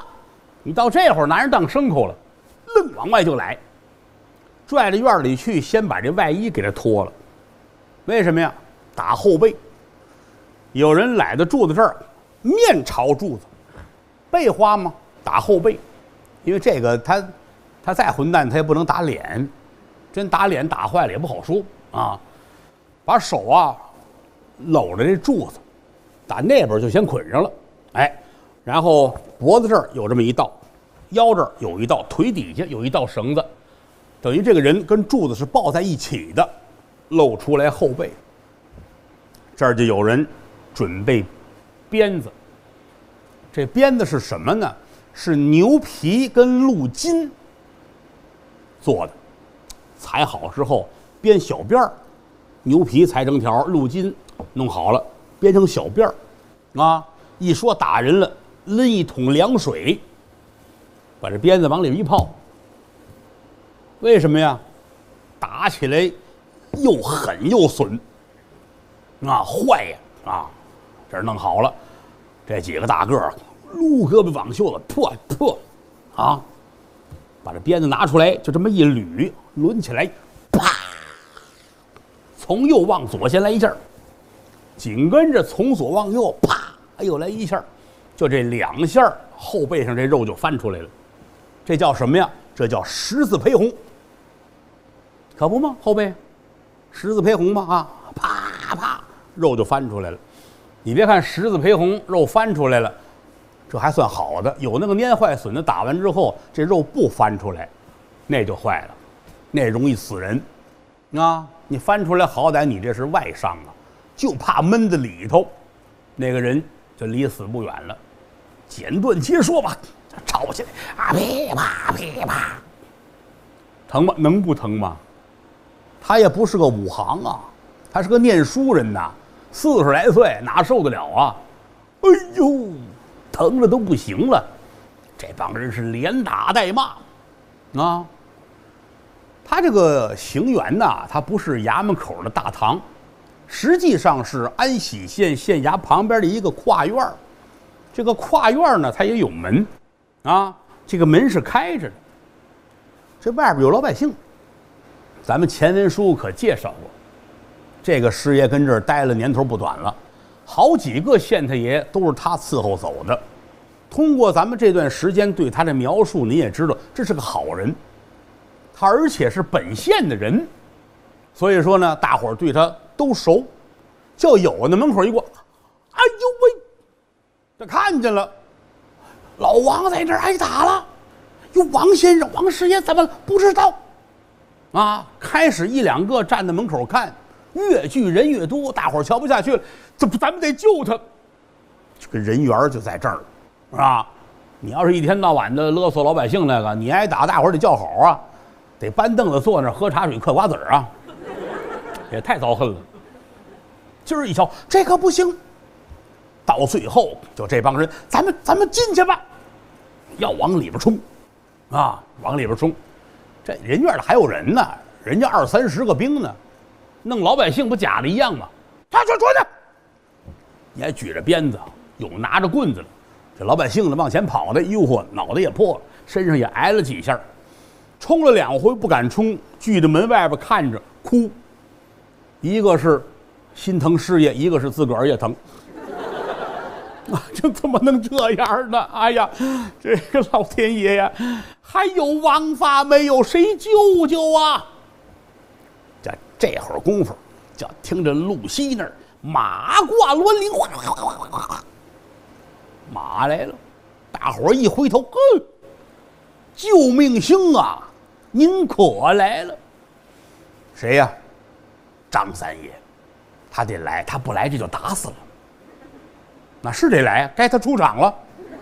啊，骑着这匹踏雪乌骓，由打那边就过来了。啊，这一天半的，这心里边恨的就不行了。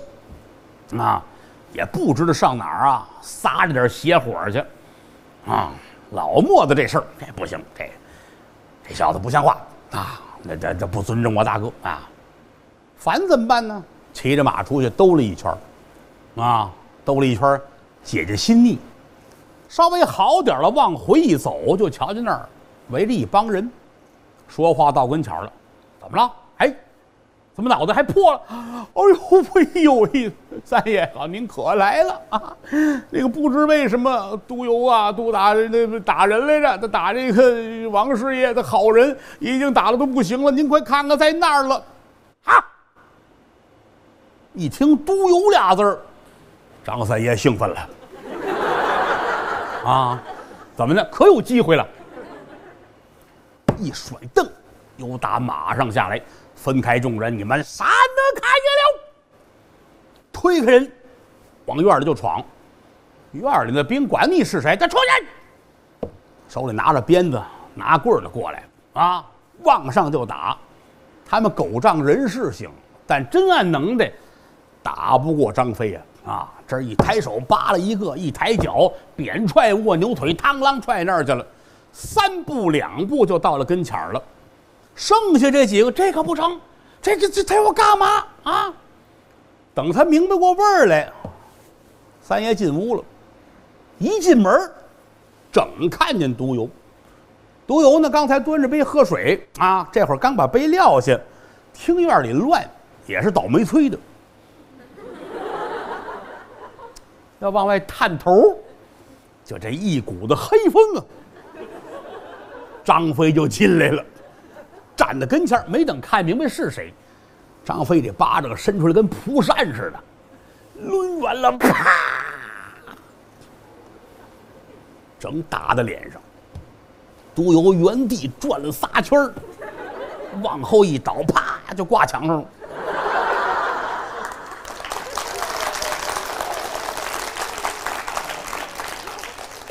杜由心说呀：“这墙上终于是有了名人字画了，啊！”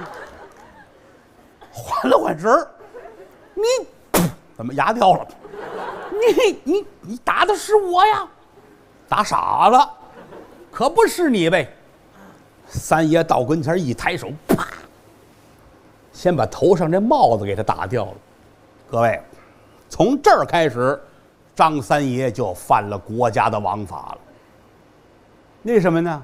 他是朝廷的官员呐，你把他这帽子打掉了，你就已经犯了法了啊！但这会儿顾不过来了啊，帽子打掉，拿手一薅这发髻，那会儿人不是头发包起来吗？哎，一薅这发髻，往外就走。你要说揽着胳膊，你给我出来，他可能这样，唯独揽头发，你你别这这啊，疼啊！一人就领出来了，打里边往外一拽，外边还有兵丁呢，拿着家伙，嗨！可是谁敢上前呢？神鬼怕恶的呀！再一瞧，好这黑爷，眼珠子通红，要吃人的，这手抓着自个儿的大人啊，他不知道要干嘛呀！我他上废话啊，看着就行啊，谁也不能为他去玩命去。就这一会儿功夫，张三爷抓着都有，打这院里边出去了，就到这行辕的门外，跨院的门口，门口都是老百姓，我说这这这这，大伙都爱看啊！你看打谁，大伙都爱看，热闹吗？啊，到了门口了啊！张三爷一伸手，把这都邮身上他系着丝绦呢，哎，把丝绦解下来。啪啪啪，两扣，他这门口这有拴马的桩子啊，就把人在桩子上捆好了。这地上啊，也不知道谁呀、有一筐柳条。这柳条呢，就是刚才老百姓们可能是谁呀、哎，捡来的或者打算烧柴火用的，正好就在这儿。三爷乐了，嘿，叫啥了？一把就抄起来了。你叫都邮？哎，是是是是是，说话都不利索了。你找我大哥要金子了，这这这这没给啊！我给你，我这儿有柳条金。柳条金呐，来吧，啊啪啪啪，打了多卖力气咱不好说啊，反正这一筐柳条全抽折了。那些个兵也不敢过来呀，就在那儿看着啊。老百姓叫好啊，打着毒油啊，兔崽子味儿的。哎呦喂！救命啊！救命啊！就这会儿功夫，又打衙门那边，玄德来了，打起来了还不知道吗？啊！刘备啊，带着关羽急匆匆就过来了。三弟，你住手！看见了，你住手！哎，这说什么呀？张飞把手里柳条啪一扔，大哥，似这样的害民贼，你留他作甚？这刘备这心里边很复杂，为什么呢？之前想的是匡扶汉室，我是国家正式在编的县太爷，我要在这儿好好的工作。但现在这个状态，这事儿怎么圆？如果到上司那儿讲理，我讲不出理去，他说了算呢，我就愣了。关二爷关羽过来了，大哥，荆棘丛中起安鸾凤。荆棘，树枝上都是刺儿，这样的地上，这样的植物，它能落凤凰吗？啊？什么好鸟能在这地儿待着吗？是这个意思。哎，这刘玄德叹了口气呀、罢了，罢了，这也是我刘玄德命所该然。张四爷看了看，哥哥，杀了他吧。都邮吓坏了！哎呀呀呀呀！几位爷，你可千万别介！哎呀，求求你们饶我饶我一条狗命吧！啊！刘玄德叹了口气：“参官呐、参官，我有心杀了你啊，恐怕脏了安喜县。事到如今，说别的也没用。俺刘备空有一份报国之心，怎奈权臣当道？也罢。”二弟，取印信前来。县官不有个印吗？印信前来，就在后屋。关羽去就拿出来了。刘大爷接过来，给督邮挂到脖子上了。啊，将此印信退还朝廷。我弟兄三人从此要浪迹天涯。父老乡亲们，再会，再会。哥仨往外走，百姓们舍不得。但是也有那明白人，别拦着了，惹了大祸，赶紧让他们走，还能活条命。哥仨留在这儿出事儿了，哎呦，刘大人您一路好走啊，我们谢谢您呐，我们谢谢您。哥仨骑着马由打县衙往外就走，那么说他这个行为叫什么？各位，裸辞。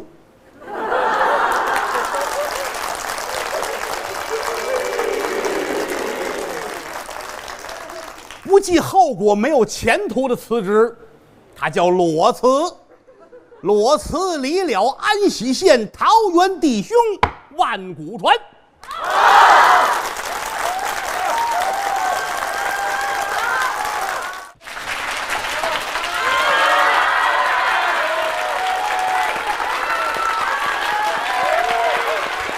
谢谢，谢谢。快坐，快坐，快坐，快坐！谢谢，谢谢，谢谢！哈！谢谢，谢谢！哎呀，人来了不少啊，我很欣慰啊。走遍天下，游遍周，人心好比长江水自流。只见桃园三结义，哪有相交到脖头？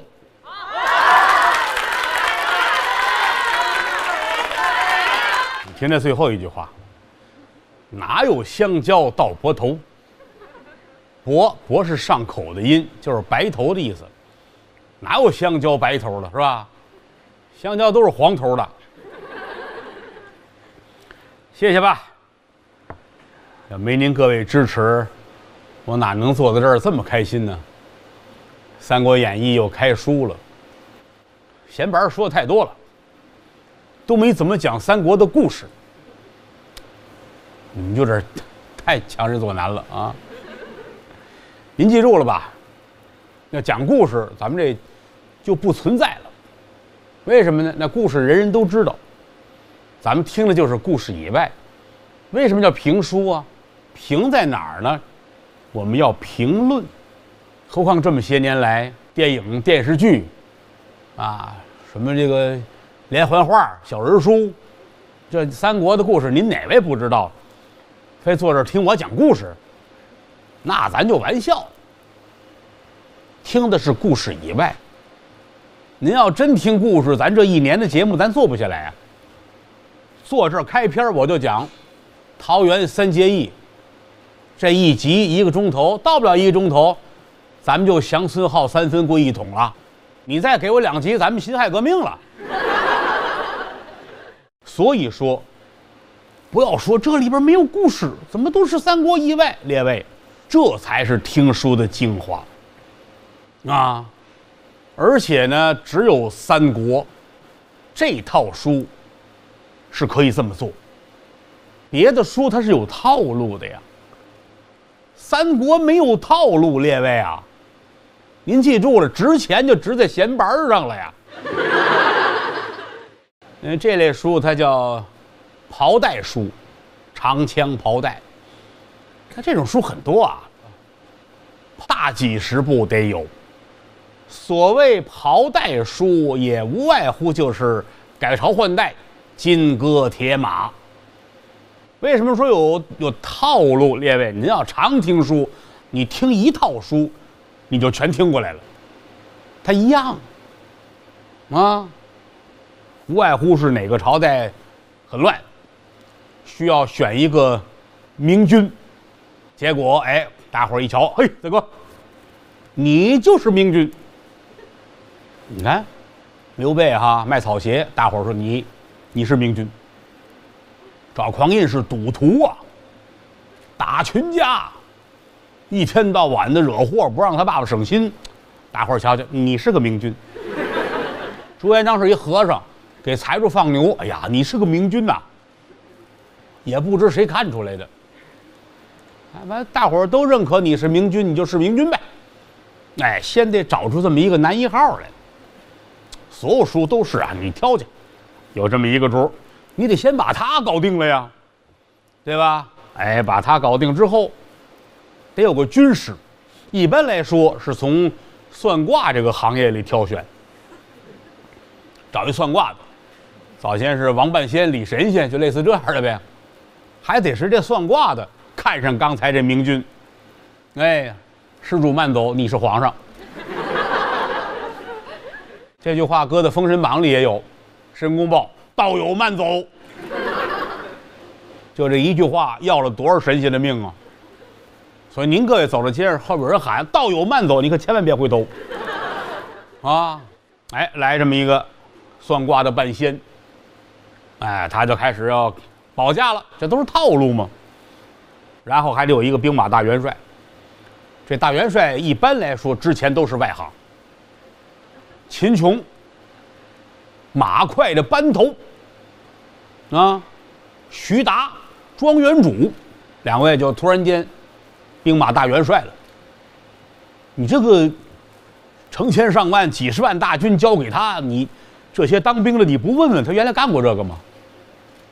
怎么你们就这么放心跟他走了呢？对吧？秦二爷马踏黄河两岸，践打三州六府，七十二家堂官。他是历城县的马快班头啊，逮小偷、抓贼，地面上欺负老头，这个归他管。八十万大军给他，你放心吗？你们怎么就认头跟着二爷走了呢？对不对呀？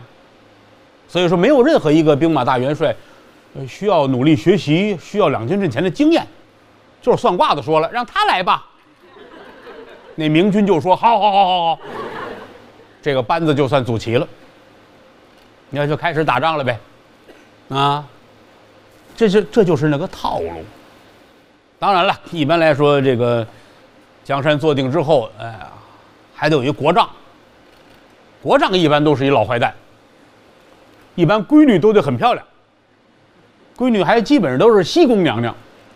您听书一般都是西宫娘娘要害人了，啊，西宫娘娘这么坏那么坏。挑唆他爸爸，他爸爸一般来说呢，也没有别的理想，就是要谋朝篡位。基本上来说，还都得勾结藩邦外国。也不怎么着，西宫娘娘的爸爸都有海外关系。你看，勾结藩邦外国，哎，跟哪国的郎主啊，什么金古达、阿古达、完古达，他们都有交情。哎呀，金木乎、银木乎、赤木乎，这都认识。完事就是里通外国，那夺取江山社稷。你要说以前这个国丈啊，在朝里早先是做官的，你有这个想法也有情可原。好些个国丈是老百姓啊，怎么突然间你闺女进宫了，你就有这个想法了呢？哪儿你就勾结藩邦啊，推倒江山社稷啊？的套路。而且在所有的这个评书里面，您记住了啊，武艺高强的谁先出场谁死得快。可这主一出来，能力大了啊！了不得了，别着急，你往后看。哎，再出来一个，刚才这就不是人了。啊，你包括这个一说书摆阵，弄弄就摆阵。两军阵前没辙了，摆一个大阵。这大阵呢，方圆十里地，这阵里边有这个有那个有那有这个。要不打不了这个仗，赢不了这个阵，你就怎样？江山社稷就输了。这帮人也糊涂，绕过去不就完了吗？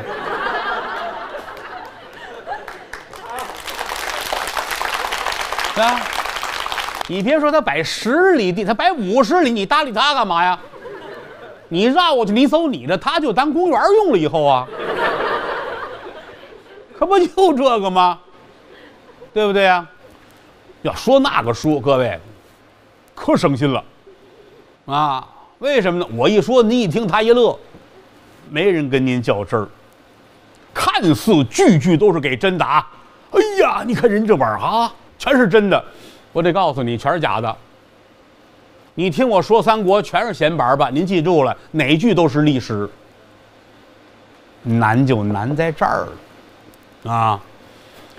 那比如说这个，上回咱们已经讲到了啊，三大主演已经出世了，刘关张，啊，刘皇叔、关二爷、张三爷。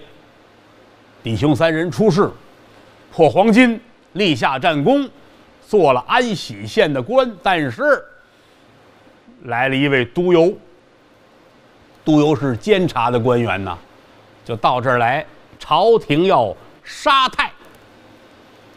咱不再细说了，因为上文书咱们讲过了。我要再复述的话呢，这玩意儿说的死也说不完，啊，老得复述。杀太就是要淘汰官员，但是这个东西难就难在为什么要淘汰呢？它里边有环套环的关系。总而言之，一句话就是朝廷昏庸。不开眼的独游到别处去，那个无论到哪儿远接高迎啊，要钱给钱，要什么给什么。到这儿来要什么没什么，完了给打一顿。张三爷鞭打独游。打完之后，哥仨跟老百姓说了说这个事儿。刘玄德把自己那官印拿来了，官印，啊，叫谁印章啊？安喜县那官儿，你得有一个印呐，把那个印挂在督邮的脖子上了，啊，这叫什么呀？弃官，就是我不干了。这不是朝廷给我的吗？哎，拿回去。在汉朝的时候，就这种做法是经常的。并不是说打刘皇叔这发明的啊，不是。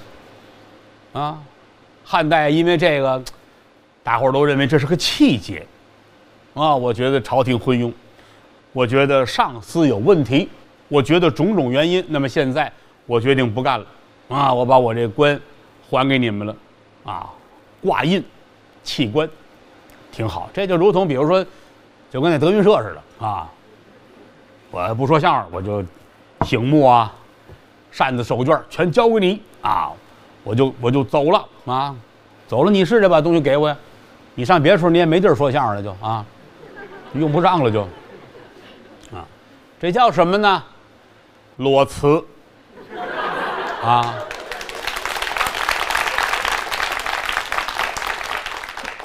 不计后果，没有前途，没有目标，想一出是一出，就叫裸辞。你不是说提前说好了，头天晚上你舅舅跟你商量，打他那儿走。上咱家来，进门就是副总办公室，都给你腾出来了。你看着，哎，给你的钥匙怎么怎么，这这是有准备。这个是辞了之后还没犯辙呢，这叫裸辞。裸辞离了安喜县，桃园弟兄不上班。啊，这都唐诗，哪有这个唐诗去啊？他这算是出来了。哎呀，倒是挺露脸，啊，挺露脸。因为想当初有过这样的高人呐，就是裸辞了，挂了印了，日后也啊风光越足。那那谁，王莽篡汉的时候，有一个官叫马成啊，知道马成这个人吗？好，谢谢大家的坦诚。嗯，马成不就是吗？那是王莽手下的官吏，不满足王莽。啊，对朝廷有很多的意见，也是把自个儿的印挂那儿了，不干了。啊，不干了，追随着刘秀，你到后来人刘秀做了皇上了啊，东汉。哎，马成跟我这么些年，这个人有气节。想当初在王莽那儿，他不干了，挂了印跟着我到今天，非常的重用他。到后来，那个封他一官儿，啊，封他个侯爷，比王爷低点封个侯爷，平书侯，啊，你们这一乐还真是啊，触动我的心事啊。评书侯就不如相声侯厉害。这个平是平安的平，书呢是舒展的舒，评书侯，不是不是这个了。他要是评书侯，他跟我差着档次呢啊！我是坑王，这不一样 啊。马成，到后来这个嗯云台二十八将，有人家人家排了第十九啊。马成啊，马侯爷，这个一九八几年的时候，文物普查，正好还找出来马成的这个墓，在哪儿知道吗？挨着北京。平谷县的县城大概一里多地，在河道边上就是马城，他那个墓在那儿。今天这个节目录完之后，各位啊，您上那儿祭奠一下吧，好吗？真听劝。马成裸辞之后，到后来封侯耀祖，刘关张是连范哲都没有啊，哥仨去哪儿呢？对吧？你之前是安喜县县尉，现如今，您仨人没有工作，待业青年，又何况你们惹了祸了，上司衙门派来的监察督邮让你们臭打一顿，这因为这个给你们拘留了也说得过去啊，对不对呀？怎么办呢？哥仨骑在马上，也没什么可说的，心里边郁郁不乐。哎。这就应了那句话了：“此处不留爷，自有留爷处；处处不留爷，老子穿棉裤。”啊，爱着棉裤什么事儿了啊？想办法吧，总得有地方去投奔。想来想去，刘皇叔一拍脑门想起来了，二位贤弟，喊关张二将，大哥。我想起一个人来，呃，也是我刘氏宗亲。此人姓刘，叫刘辉。咱们去投奔他。你二人意下如何？全听大哥的。要投奔刘辉。那么说，他这条道走对了吗？列位，太对了。他要是不投奔刘辉，《三国演义》到这儿就完了，啊，就收了。哎，正因为今天一拍脑门想起来了，咱们有一条道这条道到后来成就了刘玄德的一条政绩。哥仨去吧。说书就这样，那一张嘴难表天下事，这哪说得过来呀？终归他哥仨赶路还需要点道利用这个时间，我们要介绍一下当时的时代背景。这个朝里边啊，这会儿的皇上是哪位呢？是刘宏。听这个名字，可能您很熟悉，因为后来铁道游击队有一位叫刘宏的，啊，但这差着年头呢啊。这位英雄咱不提。咱得说这位皇上刘宏。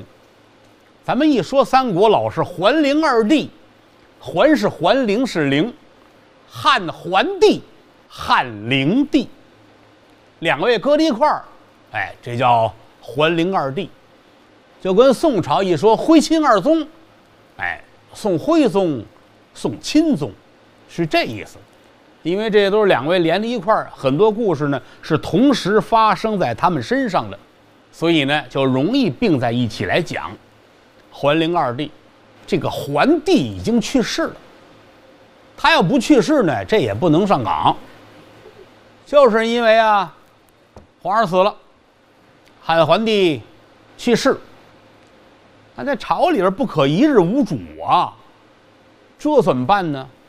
当时朝里边是窦太后专权。太后说：“这得找一个合适的人呢，找谁当皇上呢？得在本家找，还得在咱们老刘家找。汉刘江山这个没有说上，你问问门口卖报的那个干不干？这不行，还得在自己家里找。找来找去，就发现了，哎，有这一个人合适，他的名字叫刘宏。说在哪儿呢？这个呀，好，汉室宗亲。”在河间国，所谓的河间国就是现在河北的深州。不知您哪位去过呀？出蜜桃，你听相声那个报菜名深州蜜桃，哎，就是这个，在深州。啊，说好，这把他接来吧。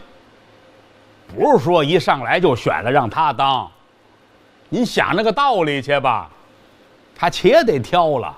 权衡利弊，哪针儿离着近，谁跟谁什么关系？用他有什么后果？用那个怎么不好？这都杀了一遍，到最后就是他了吧？接来吧，当皇上了。多大呢？十一岁。当然了，也有的书上记载是十二岁，但这不重要。归了包堆儿是一孩子，十一岁。啊，在院里正撒尿和泥呢，来一帮人，陛下别尿了，走吧，接您上宫里尿去。有什么区别？那您走吧，那儿乐呵啊。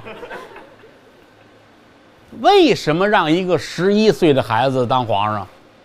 各位，好控制啊，这好管呢，对吧？来了之后给他化好妆，穿好了，戴好了，往那一摆。他不要干嘛就干嘛呗，对吧？啊，合适，哎，他继了位了，就是灵帝，灵特别聪明那个灵，哎，可灵可灵的了，就是他，灵嘛，还真灵，确实是灵，尤其是逐渐长大之后，他在这个钱上边，他跟其他人不一样。你首先说他。他发明了发明了很多别的皇上想不到的来财的道儿。你比如说这个提成，皇上，天下都是你的了，他要提成，啊，举例子来说啊，盘盘国库吧。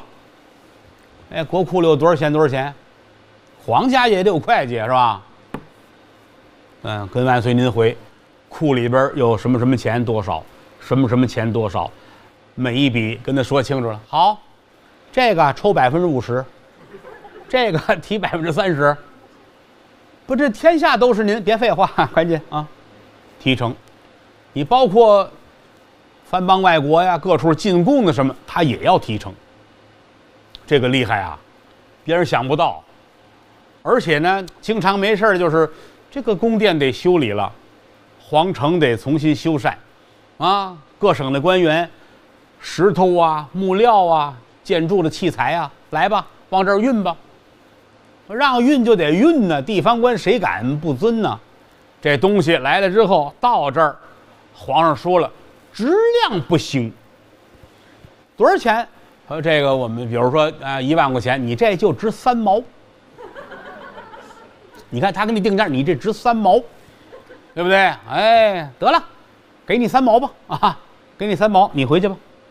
这个东西到他手里，他再告诉那个省的官员，这个十五万的东西你要不要？他挣这差价，这生生是一个让皇上耽误的土财主啊！啊。天天就这出，到后来觉得这个还是有问题。我这么大一皇上，我天天叨叨这沙石木料干工程了，行不行？对不对？好的商人一定要知道我的资源是什么，我的资源就是权力呀。我不卖官，我等个六啊！我好，这要了亲命了啊！那个对他来说，那不就是假的一样吗？就你，你在这儿，你从一个副队长熬成一个队长，熬三年，你对他来说顺手这么一说，来一万个总队长，那不假的一样吗？对吧？对他来说不叫钱那个来卖，好家伙，明码标价。而且到后来呢，就是已经卖完的这些个官儿，他还得跟你商量，怎么商量呢？想不想继续做这个官？万岁，我想好的啊，预支。二十五年工资总额，你二十五年应该挣多少钱？你先拿来，损透了。这皇上得亏没说相声，我告诉你们，就这缺德主意都让他想透了，啊！天下做官的也净抖楞手啊！你要说那个贪官什么的还好一点你赶上那个清廉一点的官，你根本就干不下去。就这么一个主。他可是发了财了。发财之后呢，他有朋友。他最好的朋友就是朝里这些个太监。咱们开书的时候曾经讲过，汉朝为什么最后瓦解兵消啊？很大的根源是由于十常侍作乱，十个大太监为首，祸国殃民。为什么呢？那帮着皇上卖官啊，帮皇上挣钱都他们啊。为首的俩人啊，一叫张让，一叫赵忠。张让、赵忠是这帮人的头。皇上最爱这俩人，啊，说了说这张让就是我爸爸，赵忠就是我妈。你看，不是我编的，各位，您翻翻《三国志》，您看看《三国演义》，连正史在野史。专家考证，民间传说都承认这是真的。啊，张让我父也，赵忠如我母也，这是皇上说。皇上能这么说话吗？对不对？说这俩人，一是我爸，一是我妈。哎，里边这个叫张让的这个最坏，要不他是爸爸呢？他最坏，哎，心狠手辣。你别看他是个太监。就历史记载，张让所干的那些个事儿罄竹难书。就说张让这个人，祸国殃民。你说天天守着这么一帮人，那个皇上他能好得了吗？就这帮人把皇上团团围在中间，汉灵帝一门心思的就听他们的。有那么一天，汉灵帝说：“这个今儿天可不错。”啊，啊天儿挺好的，哎呀，春暖花开了，哎呀，外边柳絮飞扬，我看人们都戴上口罩了啊啊！这个我想到皇宫的顶楼上看一看风景，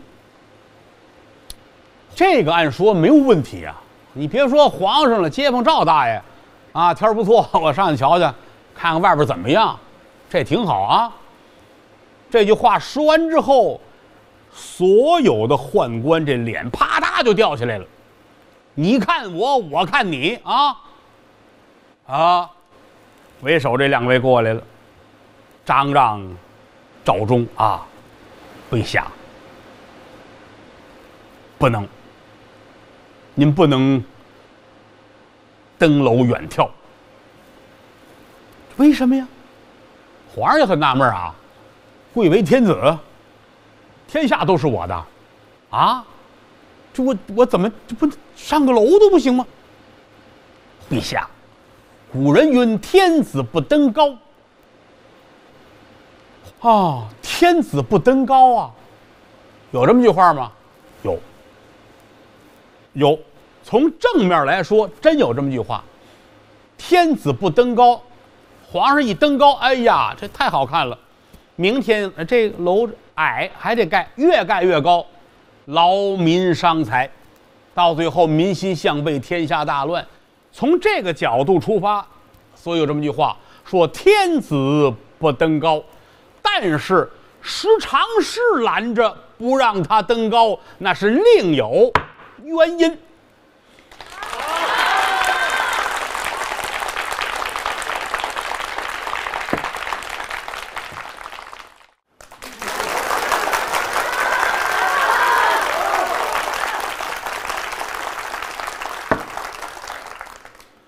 铁甲将军夜渡关，朝臣待漏不惊寒。山寺日高僧未起。看来名利不如闲，不如闲。很纳闷，为什么那边有几位妇女知道这个？啊，一定是我们的老观众啊，好大下茬啊！我一看这边，这是新来的，还没有熟练的掌握这个流程啊。看戏不让叫好。听书不让搭茬，还有王法没有啊？人是需要在不同的位置环境来决定想说什么话的，所以没事啊，你们该喊喊，大不了以后不让你们来呗，多开心是吧？啊，真的啊干这个，不是不是我自己说，不给钱都干，真的，何况还给这么些钱是吧？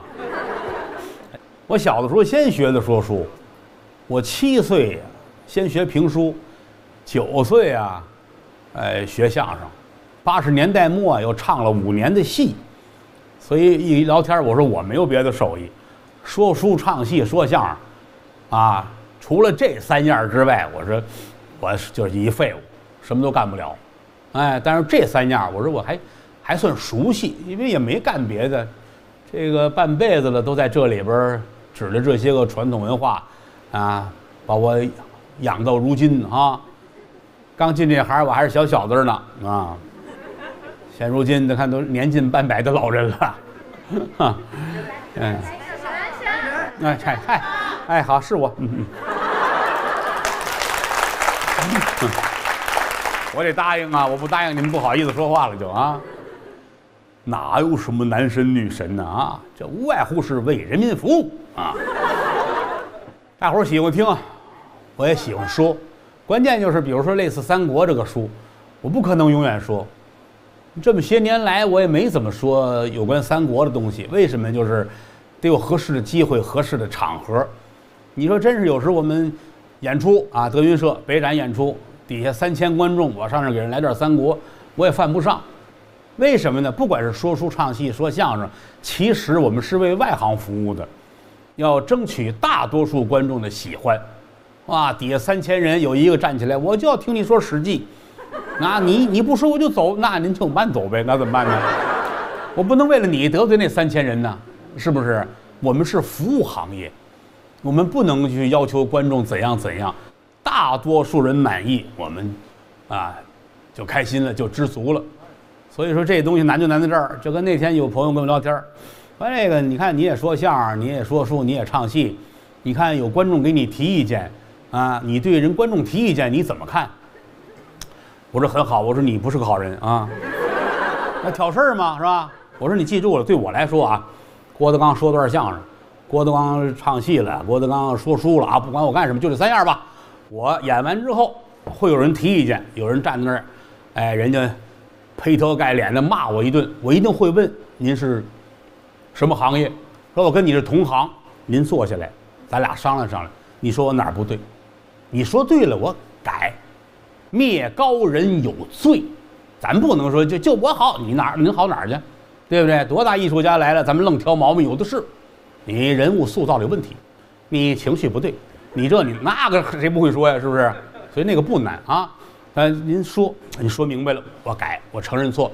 你要说的不对呢，我跟你讲，你看你这儿提的有失偏颇，这个应该是怎样？所以这是没问题的，这是跟内行之间。但如果您是观众，你说的全对。你看，就这么简单，对吧？你是干这个的，你内行跟外行掰扯什么叫对错，那你就外行了。所以说，观众说什么都是对的，人家是主顾，人家花钱捧你，人家没有不对的地方。所以说，这就是我们的宗旨啊！观众是我们的衣食父母，没有您各位，天大能耐，你说给谁听去？是不是？尤其说三国，多难得呀！现如今这年头还能凑齐这么几十个没事干的人在这儿，得讲理呀，对不对啊？说书说书难在哪儿知道吗？难在就是，过去说书也是怕这个，就怕底下站起了。您那句话不对，这应该怎样怎样，让人问住了。我们这行最丢人的事就是让人问住了，那就那别干了，对不对？所以说现在好就好在，你看编导还告诉你们别搭搭茬，就怕你们问我。当然你们也问不住我，我多是非是不是？挺好，就是干这行年头多了呀，还不老有那句话吗？人老奸马老滑。我虽说没这么老，我也没这么奸猾，但是就是经历的多了一些，我就愿意站在别人的。那个位置啊，那个角度去考虑一些事情，其实谁都不容易。我记得我三十出头，德云社刚有点起色的时候，有时候看网上谁要骂我，也真挺生气的。啊呀，那不是那样的呀，他冤枉我呀。但是后来就想开了，人也没有真那么恨你，人家也是说着玩儿。好多事儿你知道是，别人说不不是那么回事儿，啊，不用正经，就跟。好多年前，我老看有时候，哟，报纸，嚯，郭德纲曾经偷盗过戏剧服装。哎呀，我看完我都我都我都惊呆了。我后来真仔细想过这个事儿，我真想过这这件事情啊。我后来想这个事儿，它不是没有没有原因的啊。这个我有一段时间在文化馆上班，文化馆您各位都知道哈。有一次收拾屋子，归置归置仓库，就那个装那个老电视，这么大个电视盒子。收拾出这么两盒子那个扭秧歌了呀，唱小戏儿的那个那个衣服，就扔在那儿，扔在我们这个后头那个不是锅炉房，因为后边是做饭的那屋。我们有一王师傅做饭特别好，在他那灶台旁边就堆在那儿，没人要。我们那儿呢，我有一个说相声的老师啊，靳金来先生，他的孙子就是现在德云社的靳鹤兰。他爷爷，他爷爷没事就喜欢呢听河北梆子，啊，说你们今儿收拾屋子找出服装来，我说对，我说就什么都有，都在那儿扔着了。下午那哪儿那个小帮团帮团小的那种，比群众业余活动的强点那个，他们唱四郎探母，短件龙剑，建议杨四郎穿的建议，短件龙剑，你那堆里边有吗？我说我哪知道，那年头我也不懂啊，我们爷俩就上那翻腾去了。啊，翻腾去，翻腾完了也没有啊，就咵了一扔。我说你们就要要要没要就拽了就完了，哎，就就这么个事儿。后来这个让人传出来说郭德纲偷盗什么贵重戏装，我估计啊，就那俩那俩纸箱子能卖十块钱。嗯，但这个东西呢，有时候到今天，我有时候上网，不管是头条啊、微博上，还好多人。郭德纲，你还曾经偷盗贵重戏剧服装。我一瞧，好，这这这大哥在陕西，这大哥在贵州，他怎么会知道当年这个事情呢？他也知道这是假的，但是这么说他能解恨？天下的事儿不就这样吗？假作真时，真亦假；真作假时，假亦真啊！不能跟你们再传这种闲话了啊！上文书咱们说到哪儿了？好家伙啊！你们这个老观众又附体儿了。你们忘了我不能忘，汉灵帝要登高，对不对？对。恭喜我啊！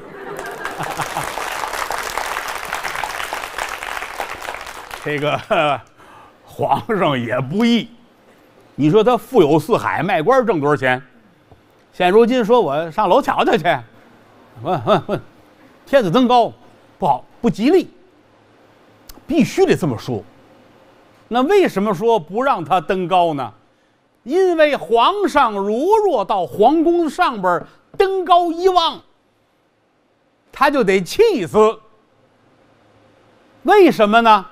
因为所有的宦官都挣了很多钱，你上去一看，外边这些房，哪家都比皇宫修得好。他这个毛病在这儿呢，啊，您得这么想啊，那些沙石木料，皇上不能自个儿盯着去卖去吧？不得这帮太监帮你去吗？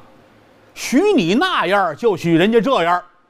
雁过拔毛啊，人人都得挣钱呢，所以当时这个十常侍为首的大太监、小太监，那个挣的钱都没数了，人人买房置地，家家修的比皇宫好，所以不能让你登高啊！你登高一瞧，我勒个去呀！最寒酸的是我，那这日子就没法过了。所以呢。这些位都拦着他，陛下不能登高。为什么不能登高呢？岂不闻古人云？他就拿古代的话打压你。天子登高对社稷不利。要骗人就往根儿上骗。他怕什么说什么，对吧？你看来一财迷，他你得跟他说，你这样做会让你永远不能发财的。哎，他一听这，哎呀，我我我，对不对啊？你这来一财迷，你跟他说，你这样做，你永远拿不了相声大赛一等奖。你对他来说没有诱惑力。对皇上，你就得这么骗他啊！天子登高对社稷不利。皇上一听，嚯，可那可不行啊！有没有地下室？我待会儿啊。这个东西很奇怪，你不管是一个部落，一个公社。一个公司，一个相声团体，还是一帮人，这里边一定有一个为首的人，在他的周边一定会有一层一层的人把他围起来，这帮人围着他各取所需，那么这个过程当中，他们一定会拦着领导不让他登高，不让你登高，就是不让你知道事情的真相，他就一直围着你。把你围死了之后，人家再去围另一个人，所以这个东西很奇怪，啊，各位您有做生意的，有在哪个单位里边当领导的，您仔细琢磨琢磨，就刚才我所讲的这些，可能对您的工作多多少少有一点启发，啊，兼听则明。说这个事儿，就是告诉您各位，就这些个太监有多么的万恶。天天的，皇上有的是钱，你说卖那么些个官儿，卖那么些个沙石木料的，他挣了钱干嘛呀？他得糟践。哎呀，您想得出来的法儿，他就想得出来，准比您那个有过之而无不及。天天没别的事儿，你看，有一段时间呢，有几个小太监就琢磨，万岁爷最近精神状态不好。怎么能让他高兴呢？嗯，说怎么也不能让他高兴啊。他没有什么可值得高兴的了。不行，咱们得想办法。哎，看谁呀，有主意，想来想去，真有一个小宦官，聪明。我有办法了。他想了个道，什么呢？他发现皇宫里边什么都有，唯独缺少一样——驴。也对呀，皇宫里边弄驴干嘛呀？对吧？皇上要出门，他也得是马车呀。哎，这个新鲜，找了四条驴来，哎呀，干干净净、漂漂亮亮的，刷洗的很好，哎，喷上香水，啊，弄到宫里来。万岁爷，您看这，皇上乐坏了，好，好，这太棒了，这个高兴。那驴能干嘛？拉车呗，弄个小车，皇上坐好了，前面来一宦官。拿着小鞭子嘚儿驾，在皇宫里边跑驴车玩跑着跑着，皇上腻了啊！来，我自己来，你下来，你下来。皇上坐前面，哎，嘚儿驾，玩这驴车，高兴啊！实在是无聊。好，这一下不要紧的，民间这个驴涨价了啊！就这个玩意儿，老百姓也是。这驴多少钱？驴八块。现在呢？现在十五。为什么？哈，皇上都玩驴了，那驴还不得跟着涨价吗？啊！又没多久，又玩腻了。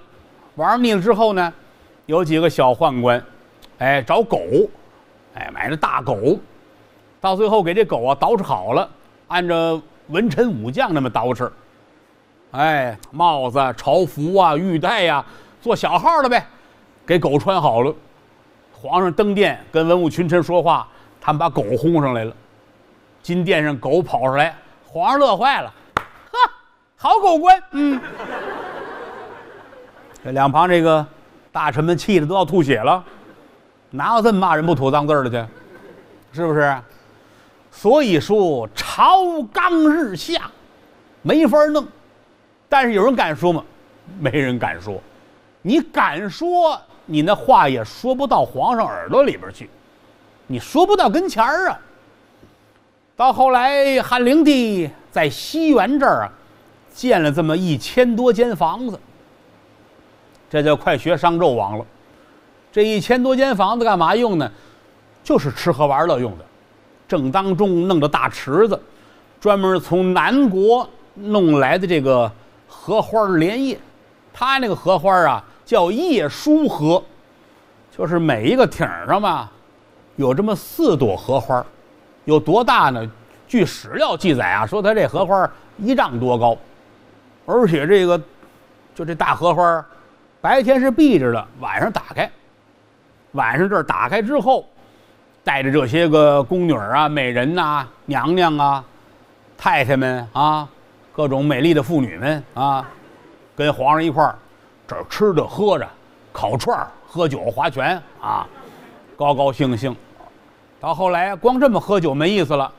皇上传圣旨，让让这些个宫女们呢，都光着膀子跟这儿。皇上也把背心也脱了，棉坎肩全脱了，啊，一块儿连喝带玩，荒淫无道。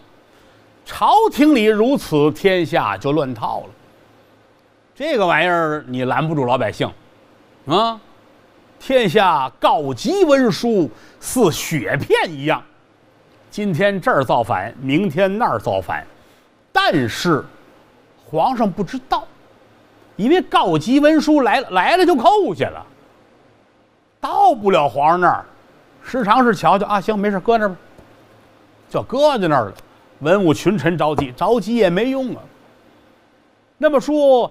满朝文武就没有一个人敢站出来说：“我跟皇上念叨念叨吗？”列位，真有。有一位简易大夫，这人姓刘，叫刘陶。实在看不下去了，长此以往，国家一定会完呢，黎民百姓遭此涂炭呢。我为了社稷，死。也要死在皇上面前。想见皇上很难。金殿上他也不是到点就上班啊，你得对机会呀。哎，这一天让他逮着一合适的空，说这天下午，皇上那儿跟这几位常侍啊、宦官们啊喝茶聊天呢，也不怎么着，这么一节骨眼儿，刘大人就冲进来了。这一进来，哎呀，呵，雕梁画栋，金碧辉煌。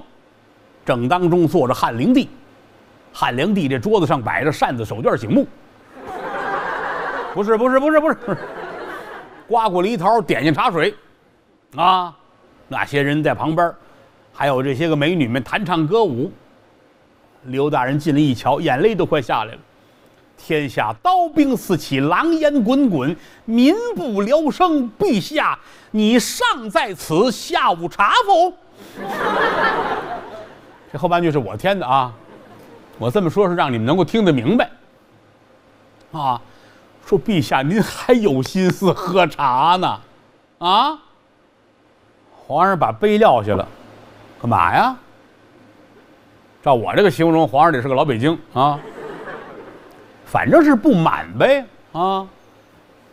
刘爱卿怒气冲冲闯进内廷，意欲何为呀？就是你怎么那么大的火呢？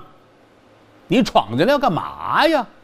哎呀，陛下，我主啊，天下刀兵四起，告急文书，雪片纷来呀！难道说我主您就不知道吗？啊，四海承平啊！皇上认为天下人跟他日子差不多，家家下午茶呢，啊，聊天啊，喝酒，撸串看电影，听相声，听书，大下茬啊，家家家都很快乐吗？啊，这个怎怎么怎么会这样呢？嗯，陛下，拿手一指，指这十常侍，陛下。望我主亲贤臣，远奸佞，这就摆明了骂街了。您呐，倒霉倒霉他们身上了。这句话一出口，十常侍啊，就解这帽子，啊，把这帽子解了啊，都搁在那儿了啊，摆一地啊。这几个人撩衣裳都跪那儿了，眼泪都下来了。戏精本精附体。都是影帝级别的，陛下，陛下冤枉啊！臣等为主江山，忠心一片，万岁杀了我们吧，以堵他人的口舌呀！会说话呀？啊，哼，咣咣的磕头啊，眼泪哗哗的，给皇上感动坏了，啊，真生气，拿手一指刘涛。你汝家亦有近士之人，什么意思？你们家也有亲近的，简单说，你也有朋友啊。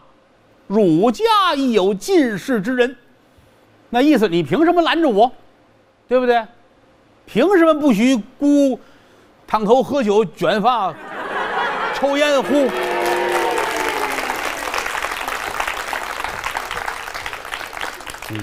说原文累啊，也没有意义啊。您各位非想看看当年《三国志》啊，《三国演义》原文怎么说的？您买一本去啊。不行的话，上网搜一下，在线阅读不花钱啊。我把它掰吃碎了，是让您各位能明白。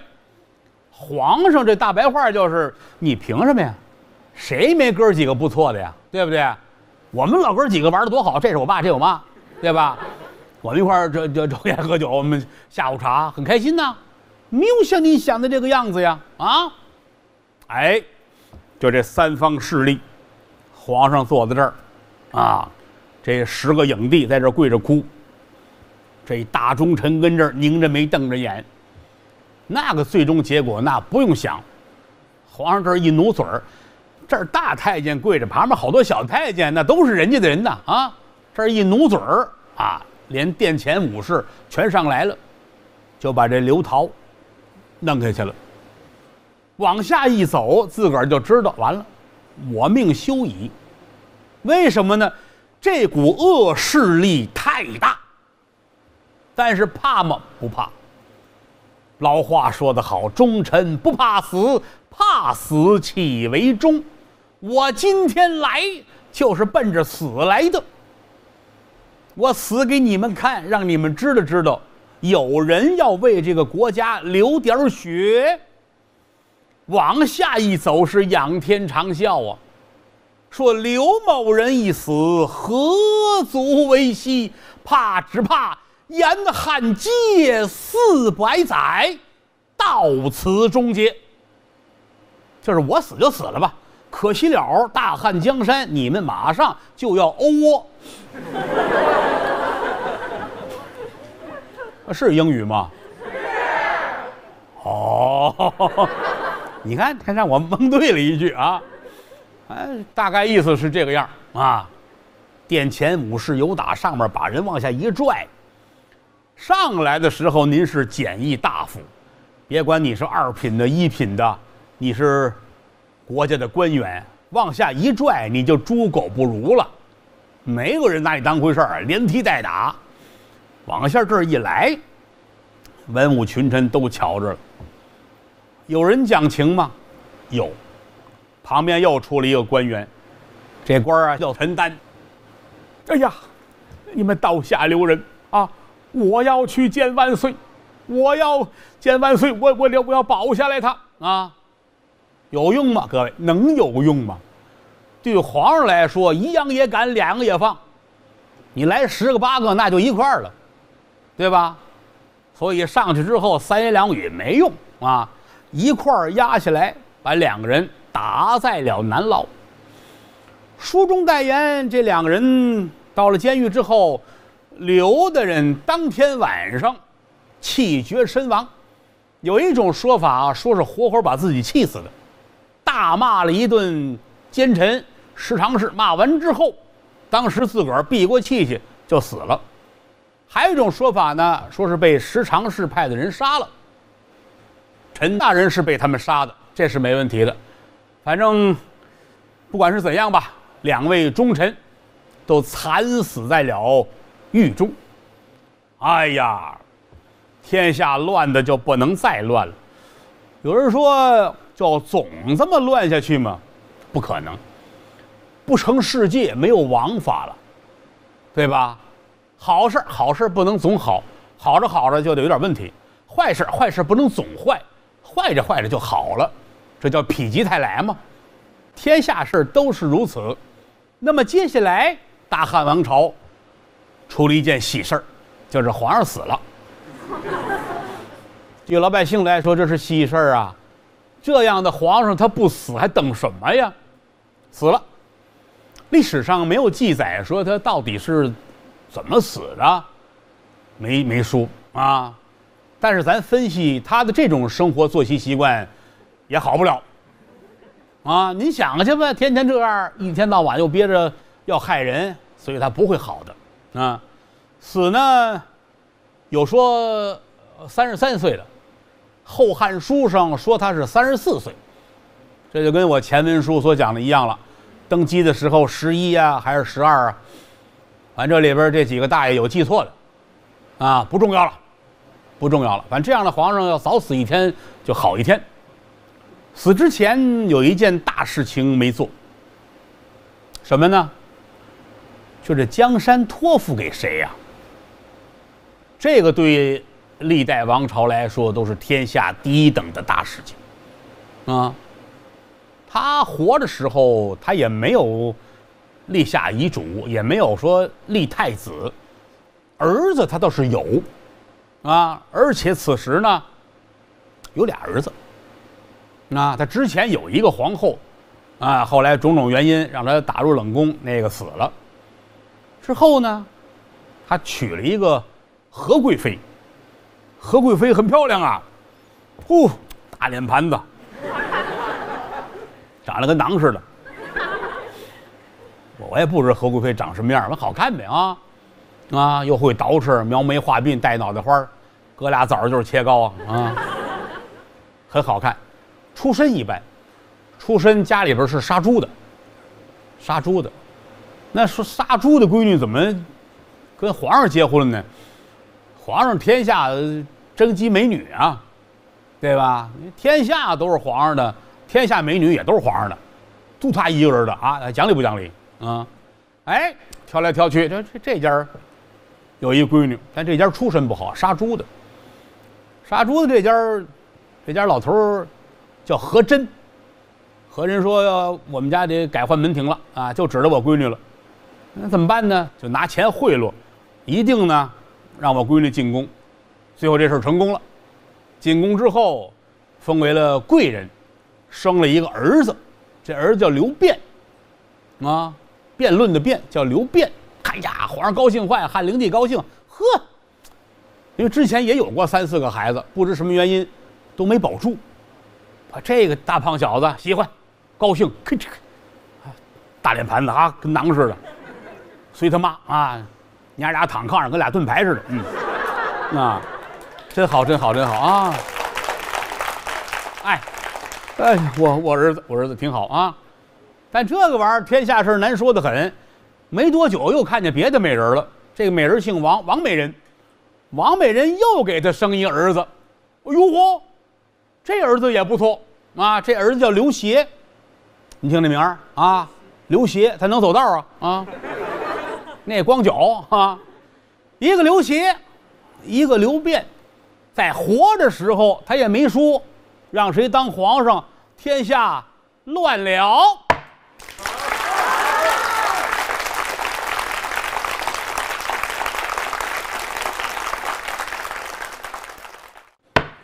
风吹河北岸，花开向阳枝。打开《三国志》，咱们先念定场诗。嗯，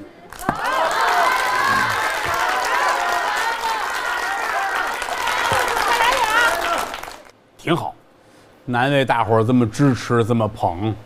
我这个能力一般，水平也有限。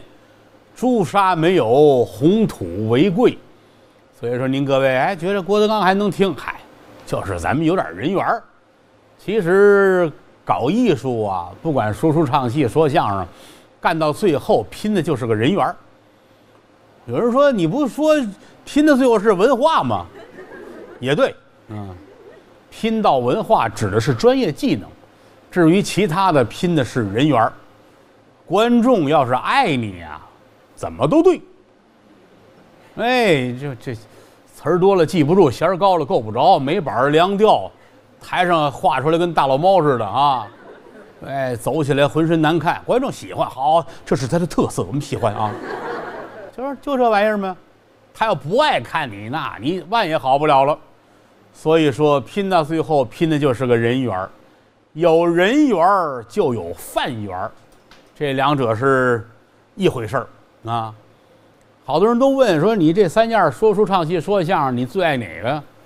我最爱肯定是最爱唱戏，因为八十年代末期说相声也不挣钱，我那会儿岁数也不大，你说相声也看不出前途来，从兴趣出发是更喜欢，呃，唱戏，啊，你比如说我跟我们那个相声前辈，我们的泰山北斗少马爷马志明先生聊天的时候，马先生也说过这点，他说我小时候就是喜欢唱戏，不爱说相声。为什么呢？您他老人家年轻那会儿说相声，不是您现在看的什么园子茶馆，没有那个呀，那都破的都不行了，底下有那个破板凳，有的摆个木头墩儿就算凳子了，人家花仨瓜俩枣的听相声，你说那个看着有什么有什么兴趣呢？对不对呀？这就是为什么我要跟后台聊天，我说我必须让这行业好，我得让你们挣了钱，才让有更多的人觉得这行业还有点意思。你不能说这行穷的不行了，人家跟家吃的好好的，上你这儿一块儿天天要饭来，你这个行业就没有存在的必要。所以我必须要让说相声的好，对吧？所以这是一个生存的愿望。所以那会儿马先生就说了：“说唱戏多好啊啊！台上穿着蟒袍啊，玉围着玉带，台上那个状态。”所以我当时也是如此。你想八十年代末期说相声上哪儿挣钱去，对吧？当时倒是。也有专业团体，那会儿团里边人家说了，说相声的这团每个人啊，比如说你挣三百块钱，哎，不给你三百块钱工资，你每个月交三百块钱工资，然后就是放你出去自己挣钱，哪那么容易呀？对不对？又是八十年代末期，一月三百，那搁到现在那还了得呀！所以说实在是看不见前途。那会儿唱戏我还挺高兴，我唱戏我记得最开始的时候，我们那会儿唱戏是小班儿，就是不是国家院团。这就后来好多人咬吃我的地儿，说郭德纲唱戏并不专业，因为他不在国家院团拿国家工资。我我确实没有在专业院团上过班儿，哎，拿这种演出费拿国家工资我没拿过。当然您也不能按这个来来决定一个演员是否专业。我现在说相声，我也不在专业院团，那这么说，我说相声是业余的了？那我说相声业余，你们告诉我谁是专业的呀？那不就抬杠了吗？那这打架了，那就那就没有意思了啊！咱就说这个事儿。所谓的小班呢，就是民营团体。呃，八十年代末还有大批的戏剧的老艺人，还有剧团退休的老演员、老艺术家，还有团里边。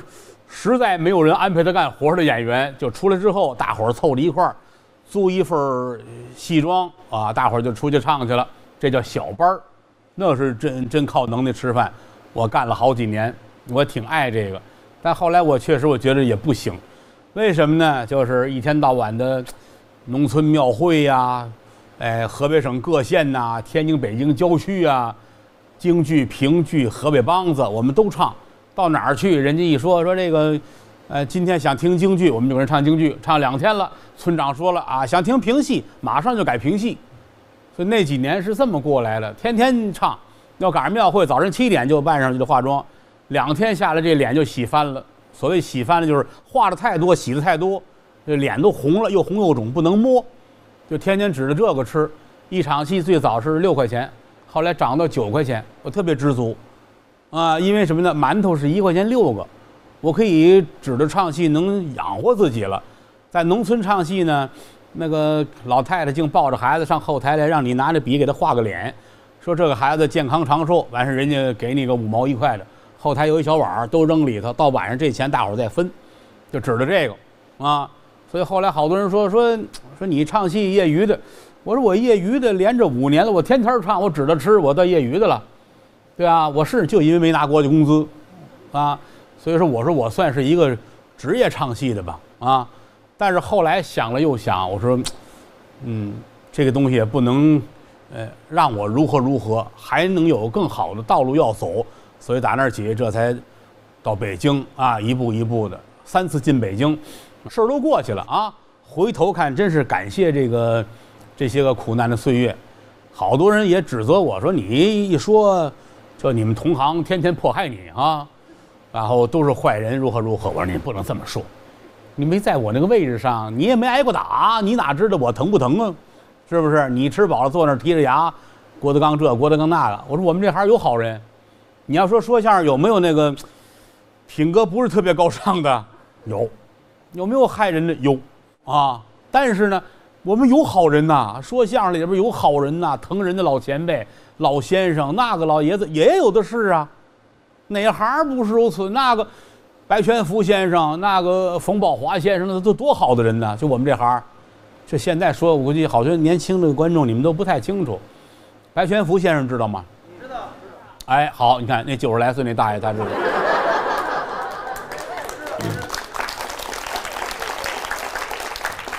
白全福白先生，我得管人叫叫师爷，就我们这一辈儿的啊。都得管人叫师爷，比我们大，人宝字辈儿的，啊，当年人家就是老北京啊，过去天桥有云里飞，那就是人家家里边的，啊，后来白先生到天津曲艺团，跟这个常宝霆先生一块儿说相声，呃，大伙儿说常白指的就是他们两位，那个白老爷子那个疼人，不是可爱，哎，跟老佛爷似的，那么胖胖乎乎的老爷子，住在天津百货大楼。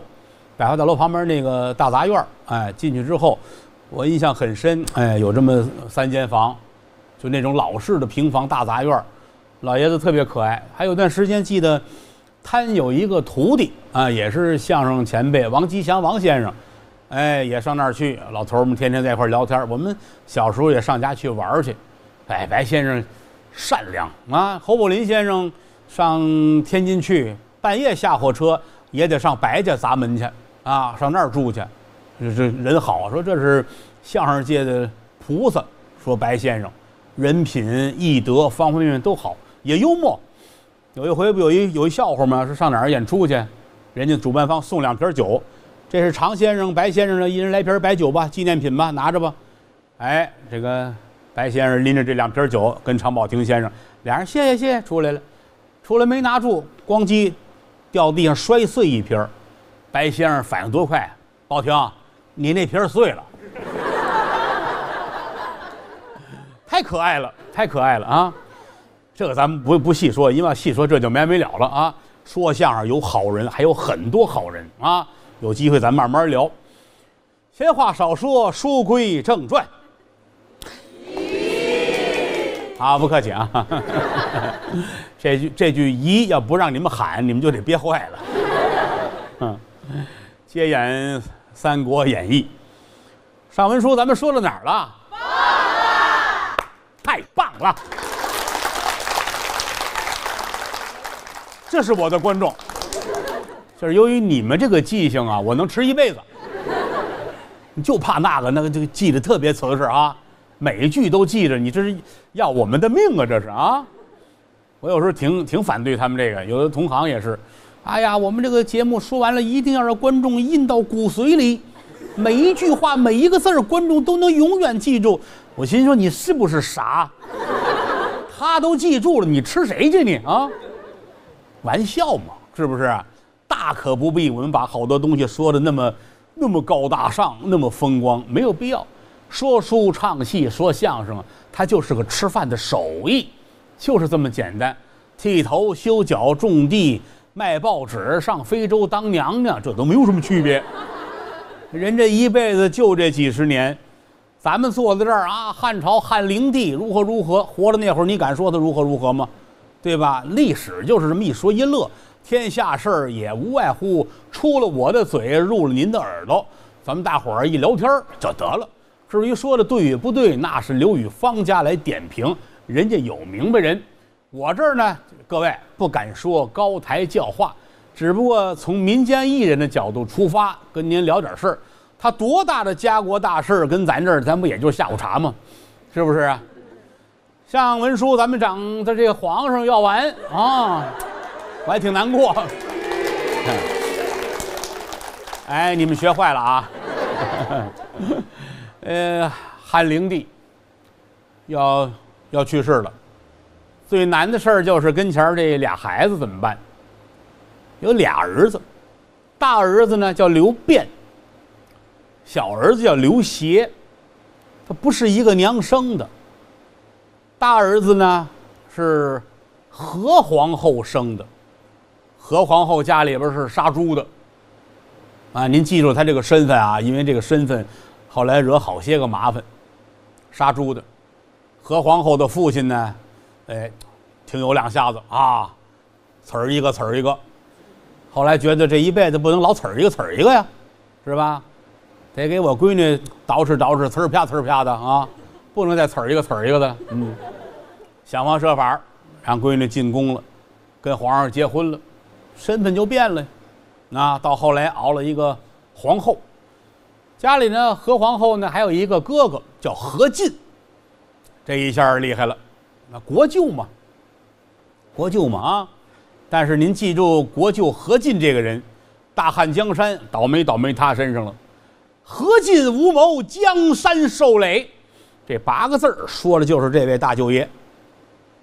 这一支儿生了一个男孩儿，这男孩儿叫刘辩，您记住了啊。皇上很少有忠贞不二的，就跟一个皇后，咱老两口子踏踏实实过一辈子。你慢说，皇上说相声也做不到，是吧？哎，哎，这天下又来了啊！张美人、李美人啊，王大漂亮、李大顺都来了啊！这些个好看的妇女们。就都来了，皇上得挑啊啊，这个高那个胖，这个白那个黄，哎，这个好看，这个王美人，王美人早先是赵国人，她的祖父王袍，啊，当年也做过大官，家里有这么一个闺女，呼，漂亮之极，要多好看多好看。据历史资料记载说，这个王美人有一个特殊的兴趣，算术。咱也不知道你是怎么回事啊，一沾算术、数学，爱，啊，就冲这一点，他就是我的冤家对头。我打小就不行，我舍弃了做数学家的好几个机会，嗯，没成功。你说人家啊，爱这个，这一进宫来，皇上爱的不行不行的，一见此女大吃一惊，好意思凉水浇头，怀里抱着冰。皇上改了杜十娘了，啊，好，那就结婚吧，结婚睡觉吧，啊，皇上也干不了别的啊。到最后，王美人也生了一个儿子，这儿子呢叫刘协。列位啊，这是两支儿啊，哎，刚才咱们说了，何皇后生这个，这叫刘辩。这边呢是王美人生的这个。叫刘协，这个十四了，这个已经九岁了。这活到十四，这个不算什么；这活九岁，这个太难了。一百个机会差点没死了。怎么呢？打他妈一怀孕，我这不是骂人啊啊！从王美人一怀孕就开始说完了。列位，皇宫内院，你想怀孕就怀孕呐？那么些个宦官都没怀孕呢，还是怀不了孕呢。尤其呀，就这些个娘娘啊、妃子，这不用我解释，就这么一个院儿，对吧？就这一个大爷，带着这些妇女一块过日子，他能不打架吗？是不是？反正是你好了，我就好不了，所以说你就不能好。道理特别的简单，尤其是何皇后，那个家庭背景那是词儿一个词儿一个呀。猪都敢杀啊！没有这么讲道理的啊！说这个不行，王美人就就犹豫，说现如今我已经有了孕了，按说这是皇上的孩子，我应该把他生下来。可是要这样的话，容易连他带我都留不住。为什么呢？何皇后心狠手辣，她哥哥现如今大将军何进，手握重兵。啊，又有兵权，这个玩意儿怎么办呢？咬了咬牙，说：“我呀，我喝点药给他打了吧。打这起就弄点药来，哎，憋着喝完之后把这胎打了，也奇了怪了。这药不灵，喝完之后没动静，不光没动静，还总做梦。王美人就梦见自个儿啊，背着太阳，天天在外边晨练。”哎，锻炼身体，背大太阳。王美人就想：难道说这个孩子，他这个有什么来历不成吗？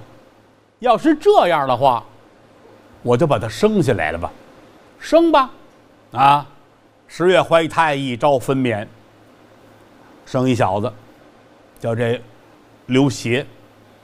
这消息一传出来，皇上高兴坏了。他之前有好几个皇子了。也不知道什么原因，都糟践了，都没活下来。所以之前这刘辩他爱的不行了，但这个玩意儿哪有嫌多的呀？再来十个八个也行啊，都是他的。好，又来一个，高兴啊！他是高兴了，何皇后能高兴吗？哼！哎呀，冤家对头，那没有没有别的说的啊，弄死他吧！啊，弄死他吧！弄死谁呢？就连大带小全不能要。这小的呢，送到了所谓的冷宫了。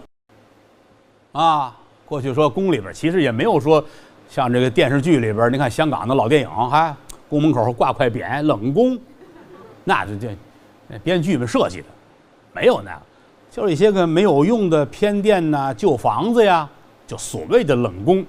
啊，就是冬天也给冷气那个地儿，皇上都不爱你了，就搁那搁着呗，活就活，死就死，没人管你了，就这个地方。但是呢，东东汉呢时候，他管这个地方叫报事，啊，也有那个负责的小太监干活的。这里边有一个很有名的太监，这人叫朱植，呃，来一孩子搁在这儿啊，他也知道，哎呦，这是王美人生的，汉家一点骨血，他就偷偷摸摸的。弄点米粉呢，弄点什么奶汤，就偷着喂这孩子。那边呢说孩子没找着，就把大人毒死了。王美人是被鸩酒毒死的。这消息一传来，皇上很生气。啊，这不能娘俩都完了呀，对不对？这到底是谁把他母子二人都害死吗？寡人得给他俩人报仇。难道说孤王还不如杨三姐吗？嗯，这没有，这我编的，这是啊，就说这个意思。杨三姐嘛，还得给姐姐啊小外甥女报仇吗？查呗，那还不简单吗？一问就知道啊。哦，何皇后干的。汉灵帝勃然大怒，那真生气了。皇上一生气，那还了得？啊，君王发威呀！血流成河，他不是说俩说相声，俩人动手打起来了啊！最后得了，买十块钱烤串，这事儿就了了。皇上生气还了得？那得人命关天呢。何皇后真害怕了，怎么办呢？得找人帮我，找谁？找哪一位能帮我？要不说他聪明呢，他找的十常侍，因为知道势力最大。这十个大太监啊，跟这十个人一说，这十个人呢，权衡利弊，想来想去，我们得管，我们得帮他。第一，啊，他现在这个位置，在这个后宫里边没有超过他的。第二，他哥哥何进手握兵权，我们团结一块儿，对我们是有好处的。十个太监，那个骗皇上还不容易吗？是吧？你一句我一句的，哎，连吓唬带哄，最后把这事儿呢，算是给摁下来了。皇上说：“那就拉倒吧，这事儿就过去了。”但是从这天开始，何皇后就知道了，我要跟十常侍绑在一起，他们在关键时刻是能救我的。您记住了啊！现在他们是一条战线的了。那边冷宫里还一孩子呢，慢慢慢慢的也就长大了，但是后来这个消息也传出来了，传出来之后呢，来人把孩子接走了，谁接走了呢？董太后。太后说：“弄来，来，我看着，这是奶奶看孙子，所以说这个孩子是老太后看大的。老太后为什么呢？”有人说这个什么骨血如何，那都次要，那都次要，啊，因为老太后跟皇后之间，他们是有竞争的。我手里也攥着一个孩子，也是皇上的儿子，你说怎么办吧？您明白了吧？这是皇宫内院的婆媳斗争。也就是说，有一个问题就摆在了汉灵帝的面前，这个问题就是：如果你妈你媳妇掉河里，你救谁？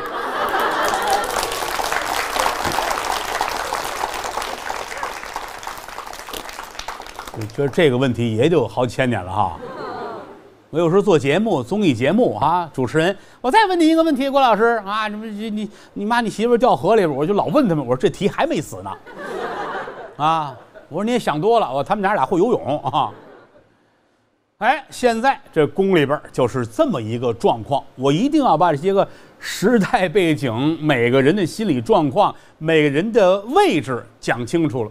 这就是为什么说三国不容易的所在啊！咱们就说点别的武侠故事，瞪眼一边，你也不知谁对谁错啊！但这个不行，它都是真实存在的。所以说，这个朝里边。不太平，尤其到现在了，皇上这就马上要完了，啊，什么病咱是不知道，啊，要死死之前，这个常侍们找皇上来谈事其中十常侍里边这有一个了不起的常侍，宫里的掌握兵权的宦官，叫简硕，简硕呢。是西元军元帅，手下有兵，而且带着八大校尉。您也甭问八大校尉，八大校尉里边有俩，一说这名字您就知道了，一个叫袁绍，一个叫曹操。您就知道这个蹇硕他多大能耐了啊！蹇硕在皇上死之前，就跟皇上商量：“您呐，得把何进杀了。要杀何进，为什么要杀何进呢？这是宦官们的想法。皇上眼瞅着就完了。如果皇上完了，要是立这个刘辩当了皇上，何家这支儿就全上去了。他舅舅手握兵权呐，我们怎么办？所以先除何进。从他们的脚步，这没问题。人想的对，啊，跟皇上说这个事儿，当然他们不能这么说哈，给他刺儿一个刺儿一个，这，啊，得从江山、社稷、百姓、朝廷，哎，方方面面，哎，这一说，这必须得杀他。大伙儿这么一说，汉灵帝呢，这会儿就要死了。到最后说这么句话：“容朕思之。”啊，就是你们让我再想一想，容朕思之。这就分在什么场合听，知道吗？你比如说，咱们几个人哈，咱们大伙儿一块儿说出去吃饭去，啊，您各位跟我说，郭老师，咱们上那儿呢，咱撸串去，喝啤酒去。我告诉你们了，容朕思之啊，那就是不跟你们去，啊。那么搁到这儿来说，什么意思呢？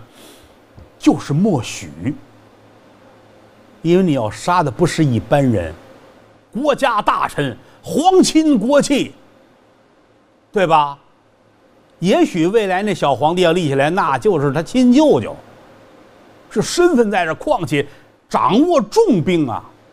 皇上这只要一闭眼，天下几乎就是他的了，对不对呀？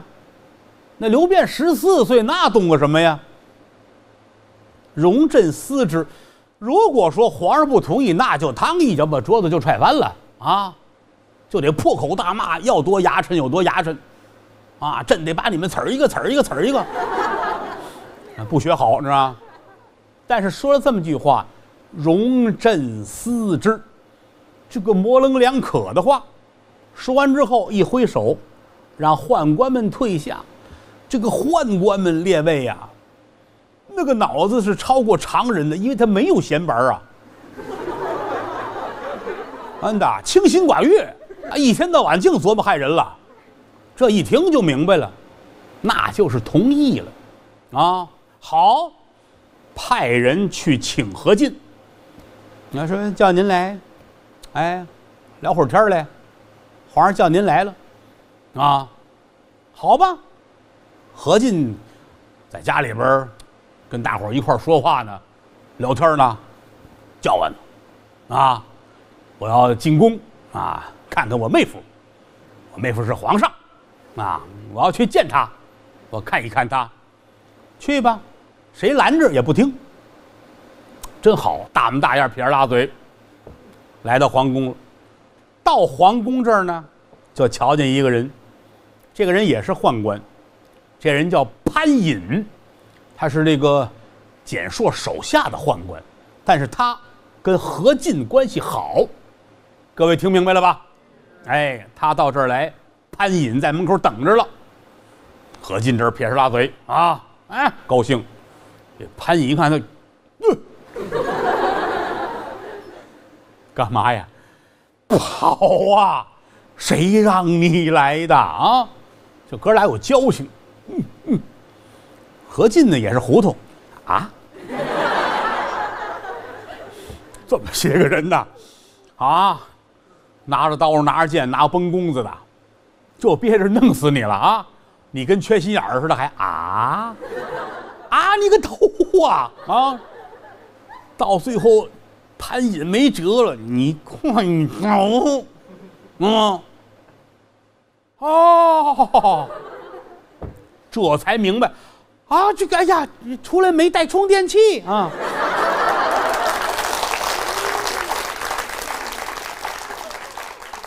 跑吧，噔噔噔噔噔噔噔噔，跑回家了进门直喘，哎呀呵，想不到的事情啊，太危险了，没带充电器啊，家里还这么些人呢，啊，怎么回事？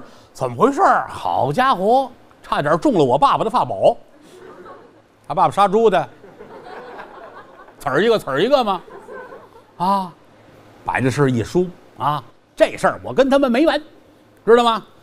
点齐所有的精兵，跟我进攻，杀光所有的宦官，都同意不同意？这儿站起一个来，我反对，反对无效。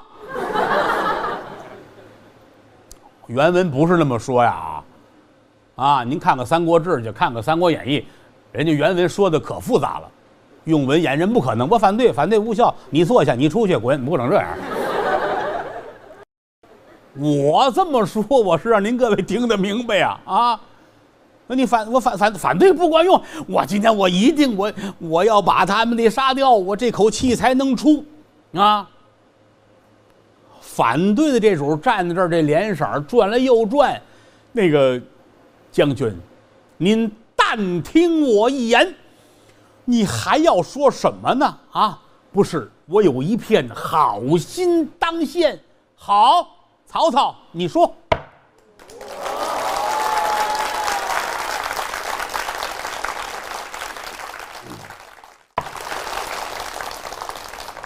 道德三皇五帝。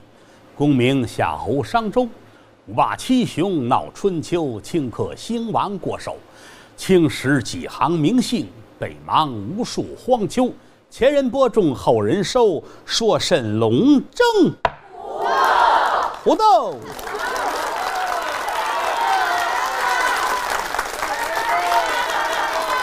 不给，不给，不给，不给！反对无效。听书是不是很快乐？那好吧，那我继续努力啊！我也挺爱干这个的啊，干别的也不行。你让我摆个摊卖东西，我数学又不灵，是吧？想了又想，我可能就就这个命啊！数学家、科学家人也不差我一个啊！给人当太太又是男的啊！真的，别的别的也不成去，你这玩意儿。开个酒吧，我也坚持不下来，到十二点就困啊，是不是？卖早点又起不来，实在是废物啊！谢谢您各位给我这么一个机会，这个玩意儿非得是我先喜欢，然后才能把它说好。你要说命题作文，那就完了。你非给我来一故事，孙家庄的故事，这个玩意儿，对吧？大王庄的轶事，这就差着了。他非得是我觉得有意思。天下事儿都是如此，成功者都是由兴趣上所来，就跟说相声似的。那么好多人，你看我们这孩子一个可贫了，没大没小啊，也不爱上学，上你们那儿去吧，你赶紧弄走啊！好家伙，又不会说话，又没个人缘凭什么我们这儿收容所呀？我们得要好的呀，好的来到这儿都未必学得出来呀，难就难在这儿了啊！现在有时候回头一想。我觉得这一路这几十年走过来，祖师爷待我不薄，真的，给我提供了好多的学习的机会。我小时候学说书那会儿，那会儿什么天津的老前辈们还都健在。我后来想了想，我几岁的时候，七八岁、八九岁那会儿，那个老头们岁数大了都八十多了，啊，年轻的也六七十。每周他们有一天在鞍山西道那儿。说书的高祥凯先生家有一大聚会，天津所有的说书的、唱西河大鼓的这老头老太太们，在那有大聚会，就我一小孩儿，给他们续水啊，递个瓜子儿啊，坐边听他们聊天儿，啊。后来我想了想，这真是祖师爷愣让我吃这个呀，啊，那些个老头老太太一辈子说书的经验，你现在说你提哪位，那都是这行里边了不起的大英雄啊。哪那么容易让你天天坐那儿听他们说闲白啊？讲这些个书怎么着？那可真是的。回头一想，啊，很感慨，很感慨。包括说相声，就这些年一步一步的，挺好。那一个人能够把兴趣和工作合在一起，我很知足。那你说钢厂的工人就人就这么愿愿意炼钢啊？纺织女工就喜欢纺织啊？工作嘛，你待着不也得吃饭吗？但如果恰恰你又喜欢纺织，你又是个纺织女工，那就另一回说一声啊，高兴嘛。说相声、说书、唱戏都是如此。我们见过好多那个有时候唱戏的演员聊天也是，他说我不爱，我实在是不爱。我别看我台上好好也是技术工种啊，我退休了我就不干这，我可熬出来了。你说那怎么办呢？对吧？但恰恰他又爱这个，他又拿这当饭，他一定会好啊，这是错不了的啊。我有时候老爱想我们小时候那些个。说相声的老前辈啊，说书的老头们啊，要是能活到现在，给他们都接出来录一些个资料，留一些个视频什么的，也得多棒啊！真有那高人呢。也可惜那会儿哪有这些个先进的设备啊？没有啊，当年那会儿连 M P 一都没有啊。这就是没有办法的事情啊。我我印象很深，我。到了九十年代末的时候，嗯，那会儿稍微日子好一点点，我们在北京还接了好多天津的相声老前辈，啊，接着北京在中和戏院那儿连着演了多少场，就看着他们我就就挺高兴，啊啊，这是我记得之前跟您各位聊天说我们说相声有好人啊，有好先生，你比如说冯宝华先生，这都是那会儿，有人知道冯宝华先生吗？呵，罢了，这这。不是骗我哈，为什么总是你一个人知道？我记得之前聊白全福先生也是他那儿，我知道啊，你真知道啊？啊，那个保安让他出去，知道太多，一会儿词儿一个给你。冯宝华先生是我们相声界的老前辈，他老人家是拜的马桂元先生。啊，马桂元先生是马三立先生的大哥。那他老人家是那一阵儿的，哎，捧逗都好，啊，特别和善，特别善良，瘦瘦，哎，刀条子脸儿那老爷子，在中和戏院演出的时候，他从天津来，每次都到鲜鱼口去喝炒肝去，啊，喜欢喝炒肝什么的，就老北京的做派。特别可爱的老头儿，有不会的，一问马上就告诉。我印象很深，就是那一法老先生好多还净是保守的了，不愿意告诉你，啊，但是他没有，这个让人很敬佩，啊，你看我有一段相声叫卖布头，听过哈？卖布头里边前面要有这个学叫卖，其中我有一个那个学炸油条的，嗯，记得吗？记得。过去说炸油条的吆喝。扎了个圈，圈里套着杆木连僧，就木到西天，打开了丰都城。这段听过吧？哎，这就是冯宝华先生教我的。啊，我在后台，他还主动叫我，那个你会不会呀？我说什么呀，师爷？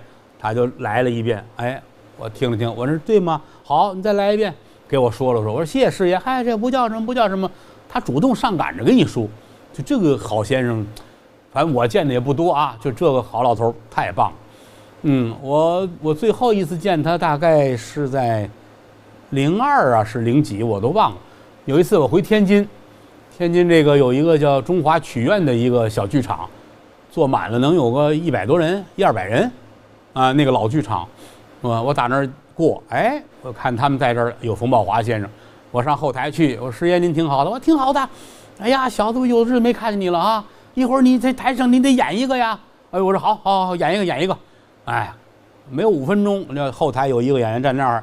咱们这个后台有规定啊，外来的演员不能随便就演一个呀。啊，其实我是从这儿路过，老头儿那么一说，人家我是觉得你一客气啊。但是他这句话一说呢，我印象特别深。就冯先生站那儿，老头儿就愣那儿了，就那么一个老实的人，就趟就来这么一句，当时就特别尴尬的就站在那儿了，就整个的特别气氛。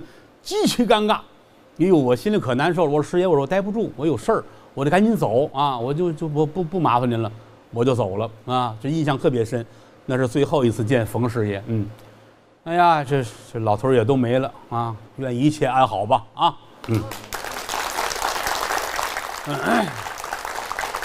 这就是那句老话：要知山下路，问我过来人。啊，这都是我亲眼所见。亲身经历的事情，你就等着我以后上岁数，我一百八十岁了，我就我都把他们都写下来啊。哎，好人我也都写下来，那个我也都写下来。到一百八了，咱也不怕得罪人了啊。我写上谁说的，姓什么叫什么，小名叫什么。闲话少说，书归正传。那也得这样。上文书咱们讲到哪儿了呢？哎，值得表扬啊！这就比刚才啊说的奇迹多了。啊，接着讲汉家天下。何进呐，挺生气，因为进宫呢 差点人给撂在那儿。这回来之后，哎呀，都跟我走，咱们打家去。去到那儿，咱们摁住了就给他们放血，啊！旁边有人站起来，我反对。上文书咱们说到这儿，谁呢？曹操。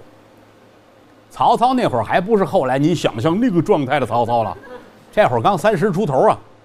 你看了这么些人，都说对，咱们走，这赶紧啊，这就拿棍子、拿刀啊、拿板凳咱们打架去。唯独曹操冷静，成大事者必须如此啊。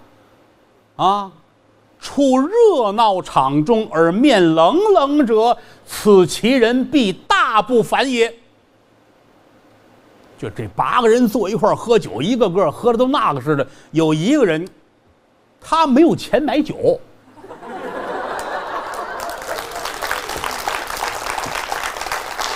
哎，这是缓解一下紧张的气氛啊！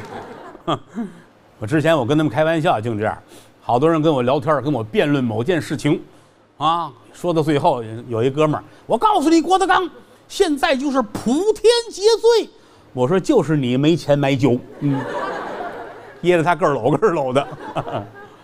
但是曹操确实是一个绝顶聪明的人，啊，你他小的时候，他有一个叔叔不爱看他，这个家里很正常啊，经常是舅舅不爱看谁，谁不爱看这很正常。他有一叔叔就不爱看。没事儿呢，还老上他，上他父亲那儿啊，举报去。啊，他爸爸叫曹松嘛，啊，哎，这不行，这个，这这这个了，那个那个，这个不听话了啊，怎么样怎么样，老举报去。他呢，挺恨他这叔叔，想一主意。走到马路上，看见他叔叔了，啊，叔叔这一过来，他这叔叔您好，说了声您好，紧跟着咣叽一下，口吐白沫，躺地下了。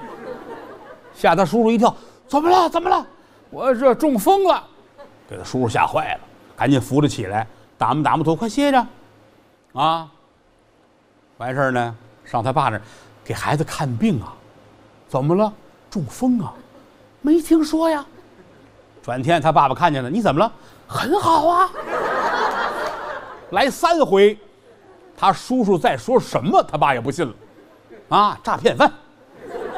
说我儿子中风，你看我儿子，我儿子还能大跳，啊！你说他那么小，他就那么聪明，包括到后来，举了孝廉，做了官之后，他这个脑子跟别人都不一样。你比如说，他做这个大洛阳北都尉的时候，官不大，就是相当于刘皇叔在安喜县那个身份，啊，咱们简单的说就是，比如说就相当于。县公安局局长，就类似这个身份，但是刘备那跟他这个这都难受，为什么呢？刘备在安喜县，穷乡僻壤、野店荒村，在那儿谁怕你呀？对不对？所以那个官不好干。曹操这官也不好干，在首都，对不对？在这儿也是如此啊，你敢管谁呀？毛病就在这儿了。哎，但是他聪明。让人呢打造了十几条五色棒。呃，看电视剧、看电影，官一升堂，那衙役们拿着个棒子，哎，他那个特意弄的五色棒，啊，就挺好看的，各种颜色，一段一段的，拿着这个，晚上什么茶街啊、茶叶啊，拿这个打那些个犯禁的人，晚上逮着一个，这主啊喝了醉酒不行了，还拿着把刀满大街溜达。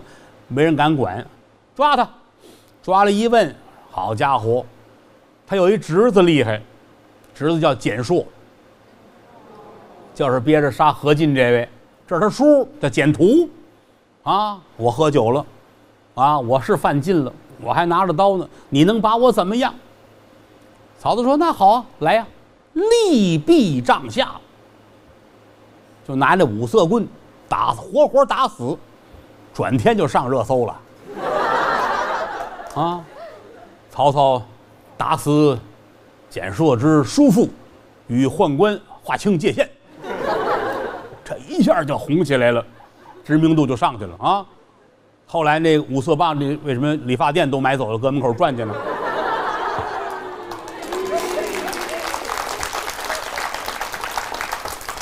有脑子，聪明，所以今天他站起来告诉何进：“我反对。”啊，说你说这个是该杀，但是宦官势力太大，而且办事咱们得周到。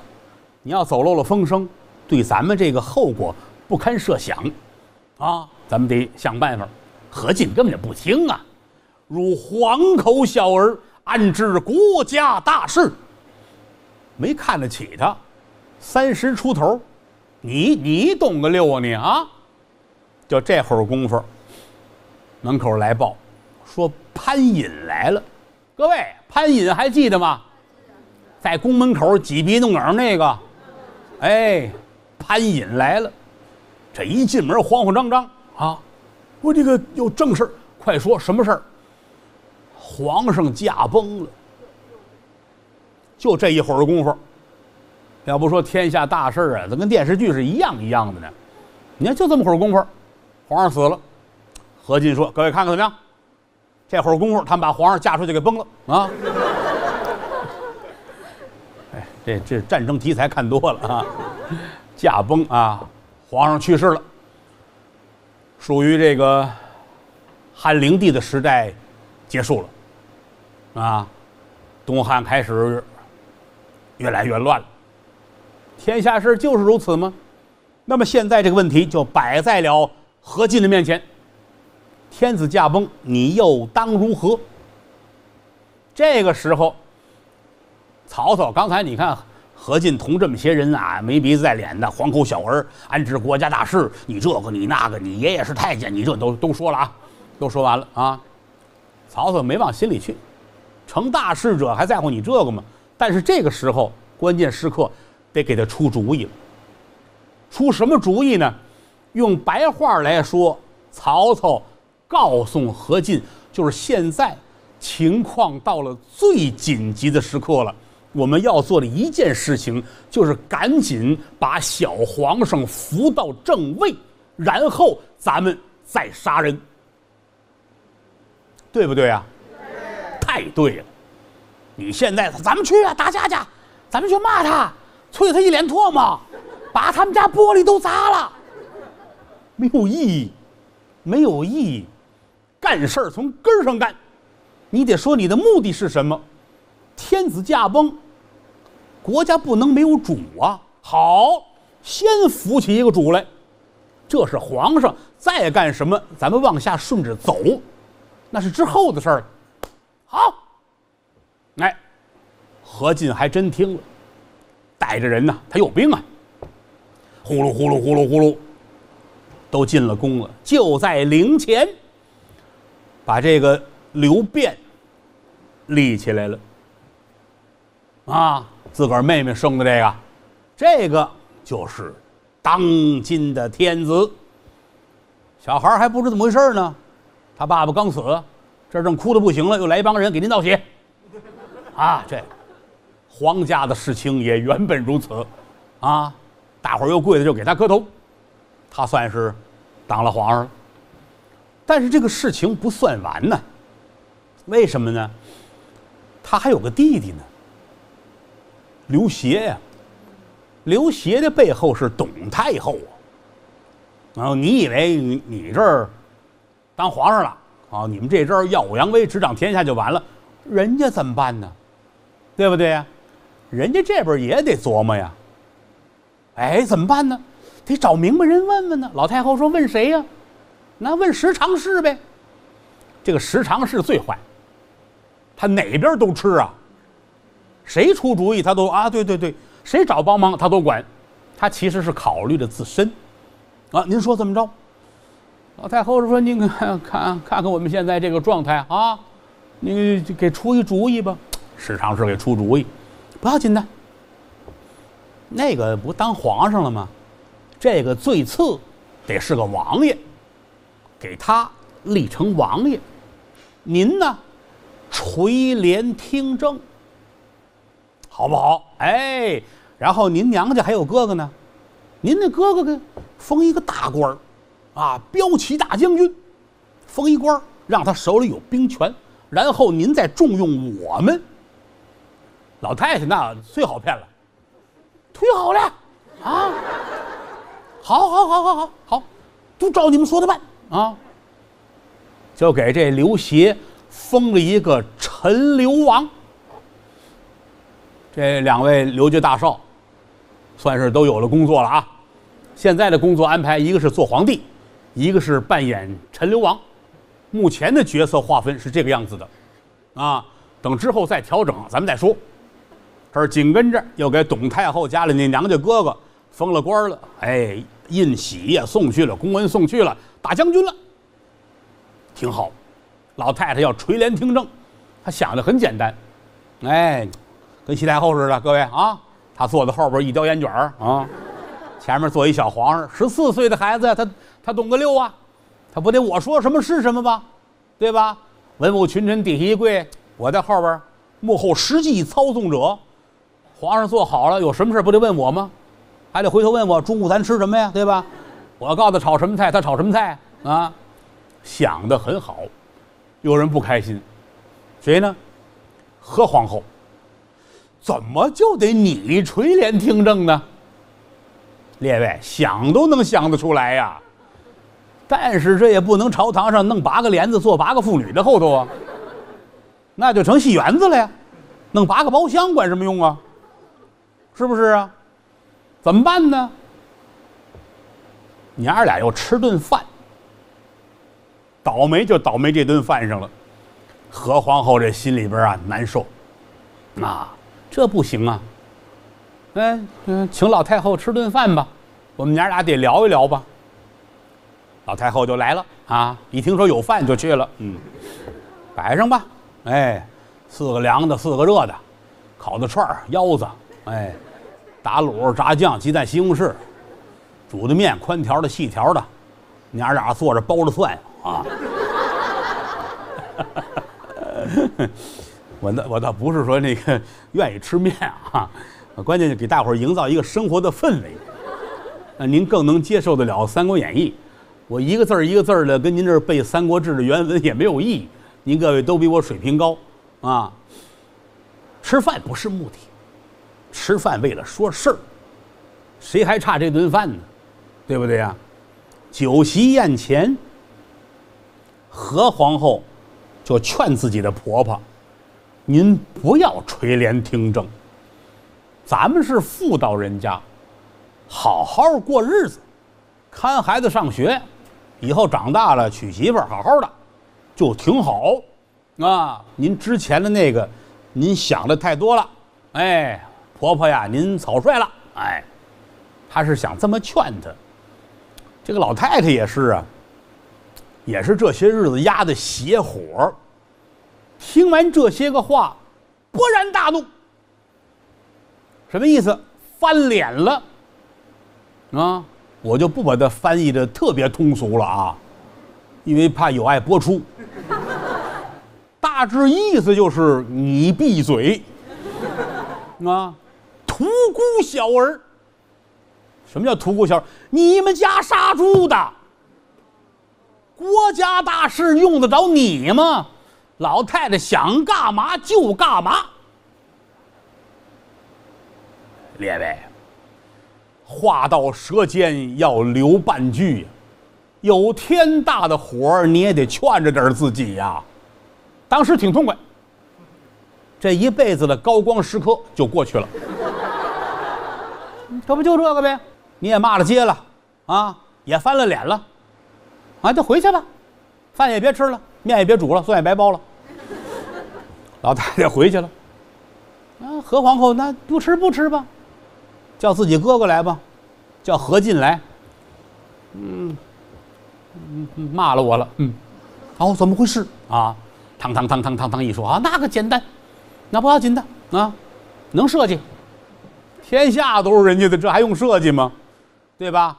转过天来，小皇上跟这儿登殿，哎，这儿刚做好了，大臣里边有人就递上本章来了。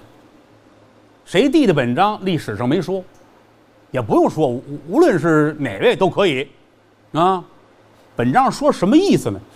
说董太后啊，这董太后不适合在皇宫住，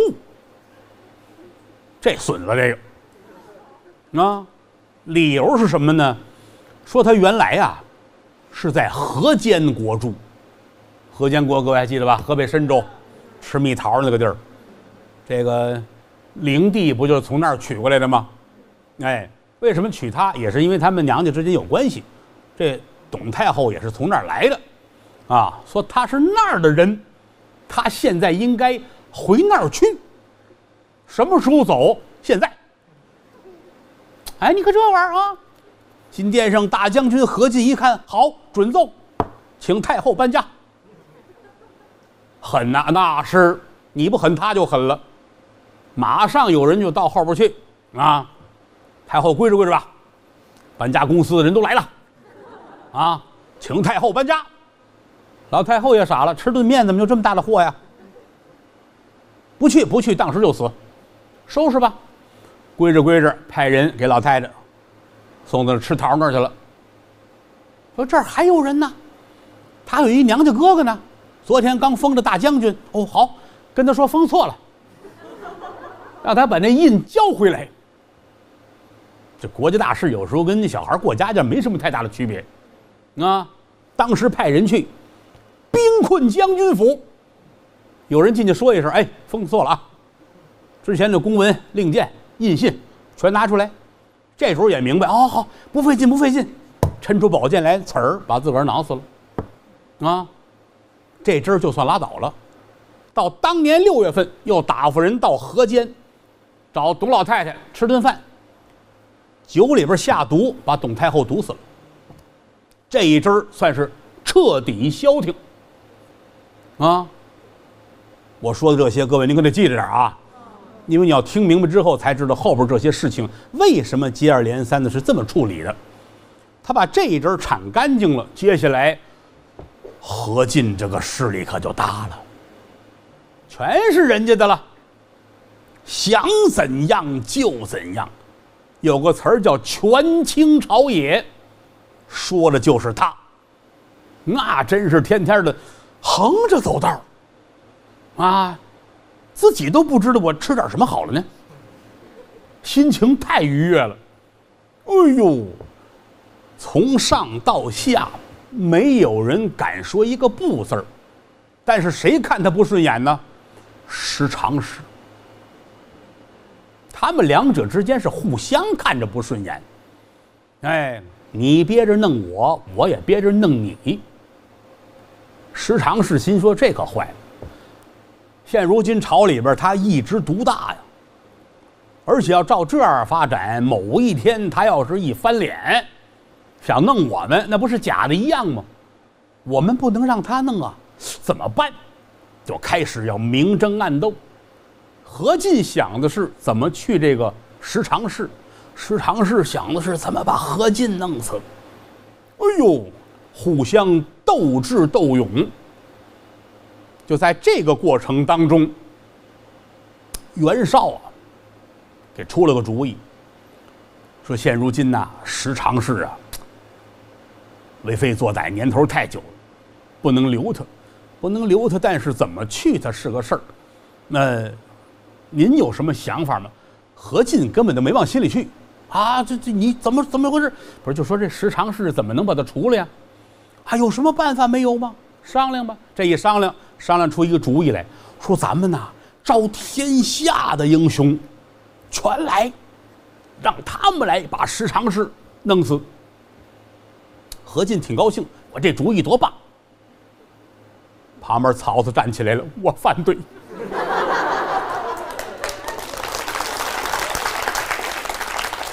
怎么呢？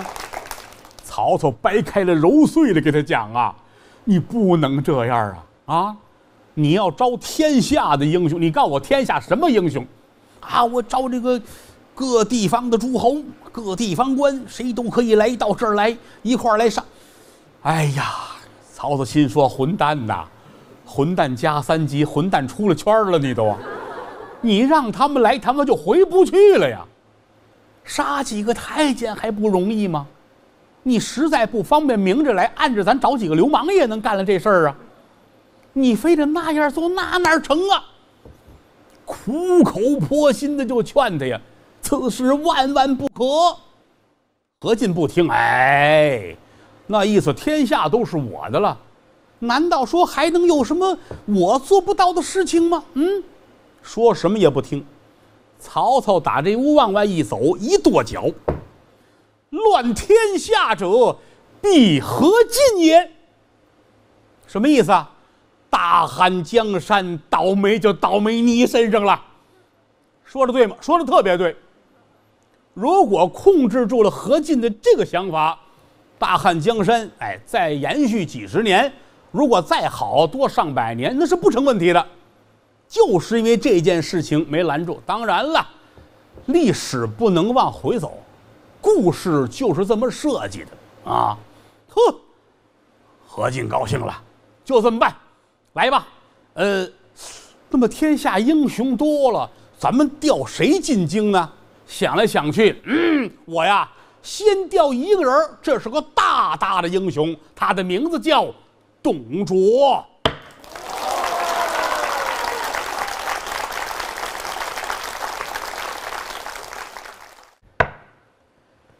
善恶终有报，天道好轮回，不信抬头看。苍天，对，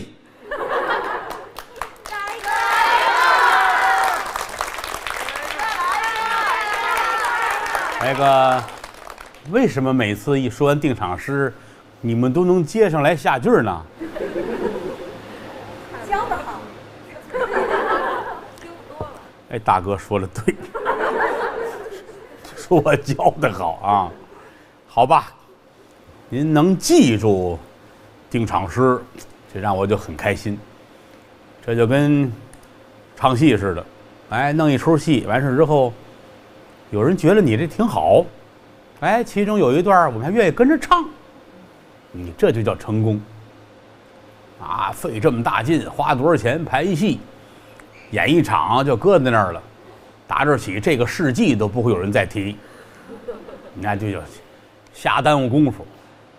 嗯，各位喜欢喜欢定场诗挺好，但定场诗不能说的太多，会让人笑话的。嗯，这个每次一说书啊，我就觉得自己是个有用的人。打这桌子往外一走，我就觉得完了，我的领地呀，啊，就这几尺，嗯，这是归我负责的啊，出了桌子。你们说了算，挺爱干这行的，这无穷的乐趣，真的。你哪怕说哈，外国有几个国家给我让我当皇上去，也没有，反正是。嗯。说书啊，谈古论今，过去讲话这叫坐谈今古。当然，过去人家说书也跟现在不一样。过去那说书先生一年在北京，比如说。说四个茶馆也就够了，仨月一块地。那南城找一茶馆大大年初一开始说吧，说仨月换北城了。三个月一倒，三个月一轮回，一年呢有这么四个茶馆就干起来了。而且有的茶馆呢还愿意给先生多拿钱，为了让您上我们这儿说书来，我们这儿提前给您一笔钱。还有的你看头天的钱。先生都自个儿拿着，最后一天说完之后，这明儿换地儿了，这钱人家茶馆不跟您下账。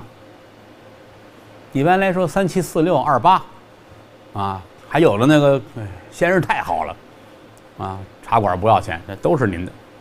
那茶馆指什么挣钱呢？茶水瓜子儿啊，不比您说书挣的少啊，那很厉害。当然这就是凭能力了。还有的说书呢，就是说板凳头什么叫板凳头呢？先生说书两点开书，您那个能耐两点开书不行，没人答应，怎么办呢？你十二点半说，有愿意听的就听，不听拉倒，这叫板凳头。过去说书是这个样子，啊，挺好。现在也很少有这种那个小茶馆儿我们小时候说书，跟着先生上茶馆儿那屋都没多大，有的坐三十人、二十人就不错了，这挺好。那会儿说相声也是，我小的时候想象中说相声就就是那样的一个屋子，坐个二百人、三百人就了不得了。后来我们这相声越说越热闹了，场地越说越大了。啊，我见过最大的场子就是体育场坐十万人，嗯，那是迄今为止我演过最大的一个场。后来我是再也不干这个，观众跟我谁也看不见谁。体育场那不是体育馆啊，体育馆那房子有盖儿，体育场没盖儿。这头一排离着我好几站地，黑压压，谁看不见谁。而且这声音它有过程啊，我这一说完了，传到他那儿去，头句话他到耳朵，我这第三句都出口了。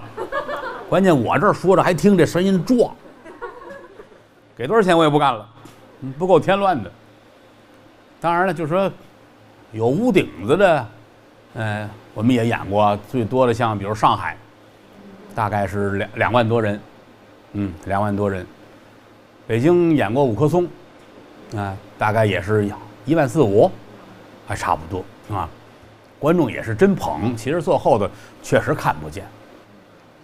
五百人以内的这种剧场，其实是为了演员自己高兴。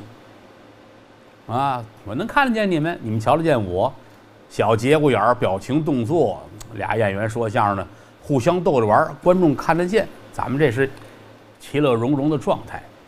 你真一万五、两千八的，这您坐后头瞧不见我。啊，有时候那个嘴欠的说相声还得问人家是没钱买头里的吗？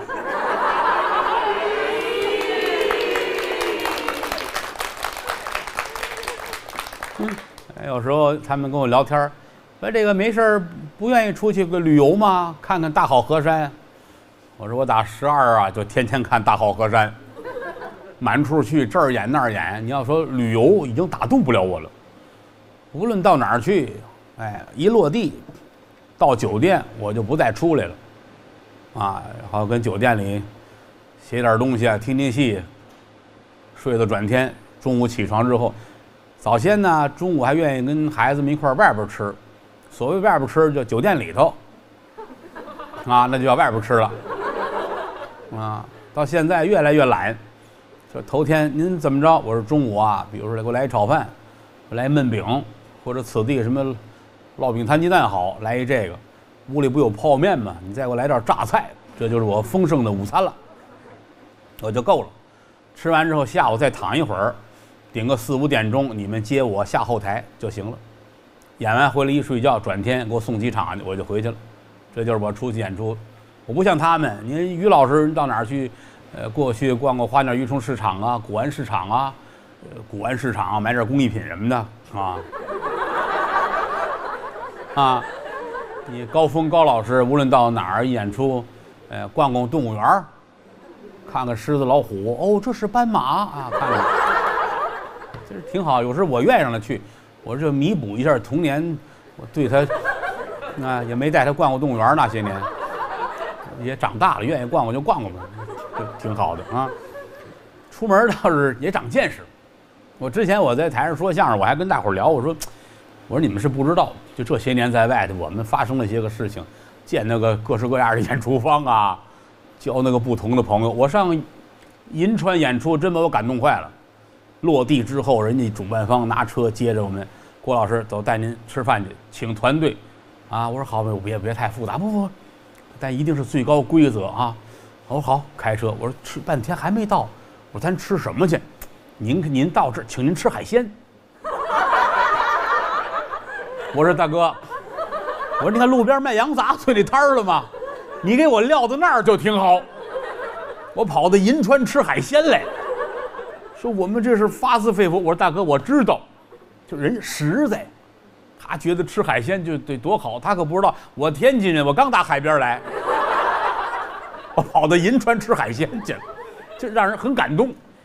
我说你不用这么费劲，就是你们吃什么，那个什么面条啊啊，就你们那个烧饼啊，呃那就行了啊，羊杂碎这个我来一碗我就很好了，就如同我过生日了。你可千万别弄那个，好家伙，弄一桌金碧辉煌，啊，摆什么冒着冷烟那个那个，咱别费那劲，啊，我说我可好养活了，啊，就说这说跟说笑话似的，人家还觉着怕不合适，但对咱来说，咱不是那么想啊，咱哪能那样去？当然也有那，比如说当初二十年前我们头一次做山西商演，山西那那几位妾爹也把我弄着了。我是我祖籍是山西，我们家是明朝弘治十一年由打山西迁出来的，山西汾阳，我祖籍是那儿，明朝，啊，当然现在也没有什么亲戚在那儿住了，嗯，这对不上号了啊。那回把我气乐了，啊，那哥们儿可能也是没怎么干过这个，我印象特别深。我说那弄点水喝呀？哎，好，他出去了，半天拿进来了，拿三瓶水，矿泉水，因为一般到哪儿演出去说要点水，最起码一包一包矿泉水，对吧？这怎么两瓶三瓶？后来有人告诉我，您别喝碳水啊，他外边找了半瓶给你兑的，兑兑完之后拿进来，啊，他告诉我别浪费，别浪费，不能这样，别浪费啊。对吧？我记得记得特别清楚，当天晚上晚上到了就十点十一点了，接我们吃饭去。我说那个，千万别麻烦啊！我说刀削面，你不是刀削面好吗？吃点面，我就记得他那脸上都乐开花了。好。后来我经纪人跟我说，我那经纪人王海，你跟他说什么了？我说我跟他说要吃碗面，他上后厨了，告诉了什么炒菜都不要，就吃面 啊。我说我说我没说别的，弄点凉菜什么也行。我说我就差着，对他就说去了，他肉的一概不要，啊！我说那你说怎么弄啊这玩意儿？我当年这这这都是真事儿啊，哪说理去？啊，这有机会再给你们细念叨吧，不能老说这个了啊。汉末江山，国运清微，啊。大汉江山就如同啊，半瓶半瓶的矿泉水，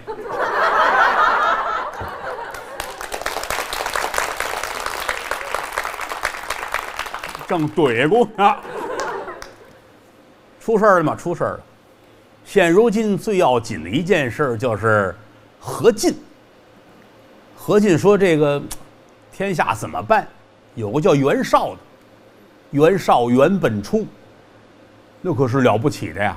名门望族，家里边出了好几位四世三公，大身份的人，袁绍出的主意，招天下的英雄，各路豪杰进京来，一起铲除这些个权阉，叫人来帮着一块儿把宦官杀了。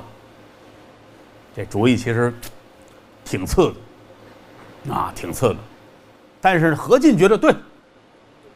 因为何进的这个知识面啊，一直停留在杀猪那儿，词儿一个词儿一个，他觉得这个对痛快呀，对不对？而且他想这个很好，他们来了，大伙儿帮着弄，不是我一个人干的这事儿，以后传出去这是大家的事情，不是我一个人的事儿。这个人有的时候就往好处想，啊，你包括我们做节目，包括有时候你看我们。拍戏呀，我们有自己的影视团队，哎，郭老师，您看我们最近写这个这电影剧本或这电视剧，您看这个哈，观众看完之后如何如何怎样怎样？我说你爱不爱？我太爱了。我说你问人家了吗？对不对？做节目、写戏、弄相声，最要紧的一点就是不让你替观众点菜。你爱吃那管什么呀？爱吃回家吃去。人家吃不吃啊，对不对？这很重要，就跟录评书似的，是吧？你要问我，我可能就录个神鬼妖狐，对吧？郭德纲讲鬼故事，录这个好天马行空，一说不是痛快，这人之常情，对吧？你那个犯哪门子倔强啊？是不是？没有意义。何进就犯这浑，啊，这太好了，他想的都是好的。每一个失败的人在干事之前想的都是好的，对吧？那您说，那拍电影的，一个亿、两个亿、三个亿拍的，到最后一卖卖四块钱、六块钱，他哪个戏拍之前不得开两年的会呀？请专家，请明白人，请大文豪，天天坐一块儿喝着酒聊天分析剧本，探讨这句话，研究时代背景，商量这个电影上映之后的观众情绪。你们这三年花了好几个亿，拍完之后卖六块钱，怨谁呀？那就是你们光往好处想，不怨别人，怨你自己，这是最重要一点。哎，而且呢，他这次找天下找的最不应该的这些英雄里边，他不该找这个董卓。董卓是西凉刺史啊，各位，我不知您哪位熟悉三国。可能您看过电视剧啊，看过京剧什么的，董卓是一个大奸臣的形象出现，啊，脑满肠肥啊，吃吃喝喝，这这只是脸谱化的一个片面的说法。其实董卓是个人物，董卓是这个甘肃岷县那边的人，他是那儿的人，他家住这个地儿啊，挨着那个什么羌人那个少数民族的地儿很近。他们家本身就还挺有钱，这主儿从小好打架，好练两下子，骑着马，说拿这弓箭，据说左右开弓，他可不是一个随随便便的大傻胖子，他不是啊，而且两膀一晃千斤之力，那是个人物。你想，他就在甘肃当地，他跟那些少数游牧民族们玩的特别好，就那些个人拿他当神仙一样。是这么一个主啊，心狠手辣，而且会交朋友。只要那些个游牧民族的人上这儿来，他看就好，好好的招待，杀自个儿家里边耕田的牛给人吃，来多少全杀。到最后那个头目一看太感动了，家里边牛都没剩多少，回去之后给他送了一千头牛，就臣服于他。啊，就说他这人是这份的，我们愿意跟他交心。所以说他是最厉害的一股潜在的势力。关键他还有野心呢，这就要了命了。你千不该万不该，你不该叫他进京啊。那怎么办呢？密诏已经来了，密诏，哎，就是以皇上的这个名义也好，朝廷的名义也好，其实是何进写的。那不是公开的那种告示，哎，那意思就是现在朝里边时常事，祸乱宫闱，这个不对那不对，国家兴亡需要你进京来除贼，你带着兵上这儿来把这事儿弄了，为国效力。密诏，这东西来了，董卓乐的都不行了，高兴，好家伙，乐的都说普通话了，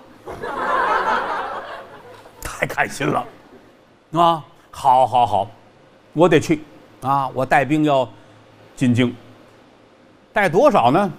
二十万，大兵二十万进京。但是人家董卓身边呢，也有那些个有文化的谋士。他现在是西凉刺史啊，他不是说家门口跟少数民族打架那个傻胖子，他不是。有文化人，大伙儿也得商量这事儿。咱们带二十万兵，这就要进京了。咱这个事儿怎么办？大伙儿一商量，咱们呐，活鱼不能摔死卖。这是句老话活鱼嘣了巴拉吧，这多好啊！你怕把它摔死再卖，你犯不上。对咱们来说，这是一个好机会。这不是一封密诏吗？咱把它挑明了，上奏天子。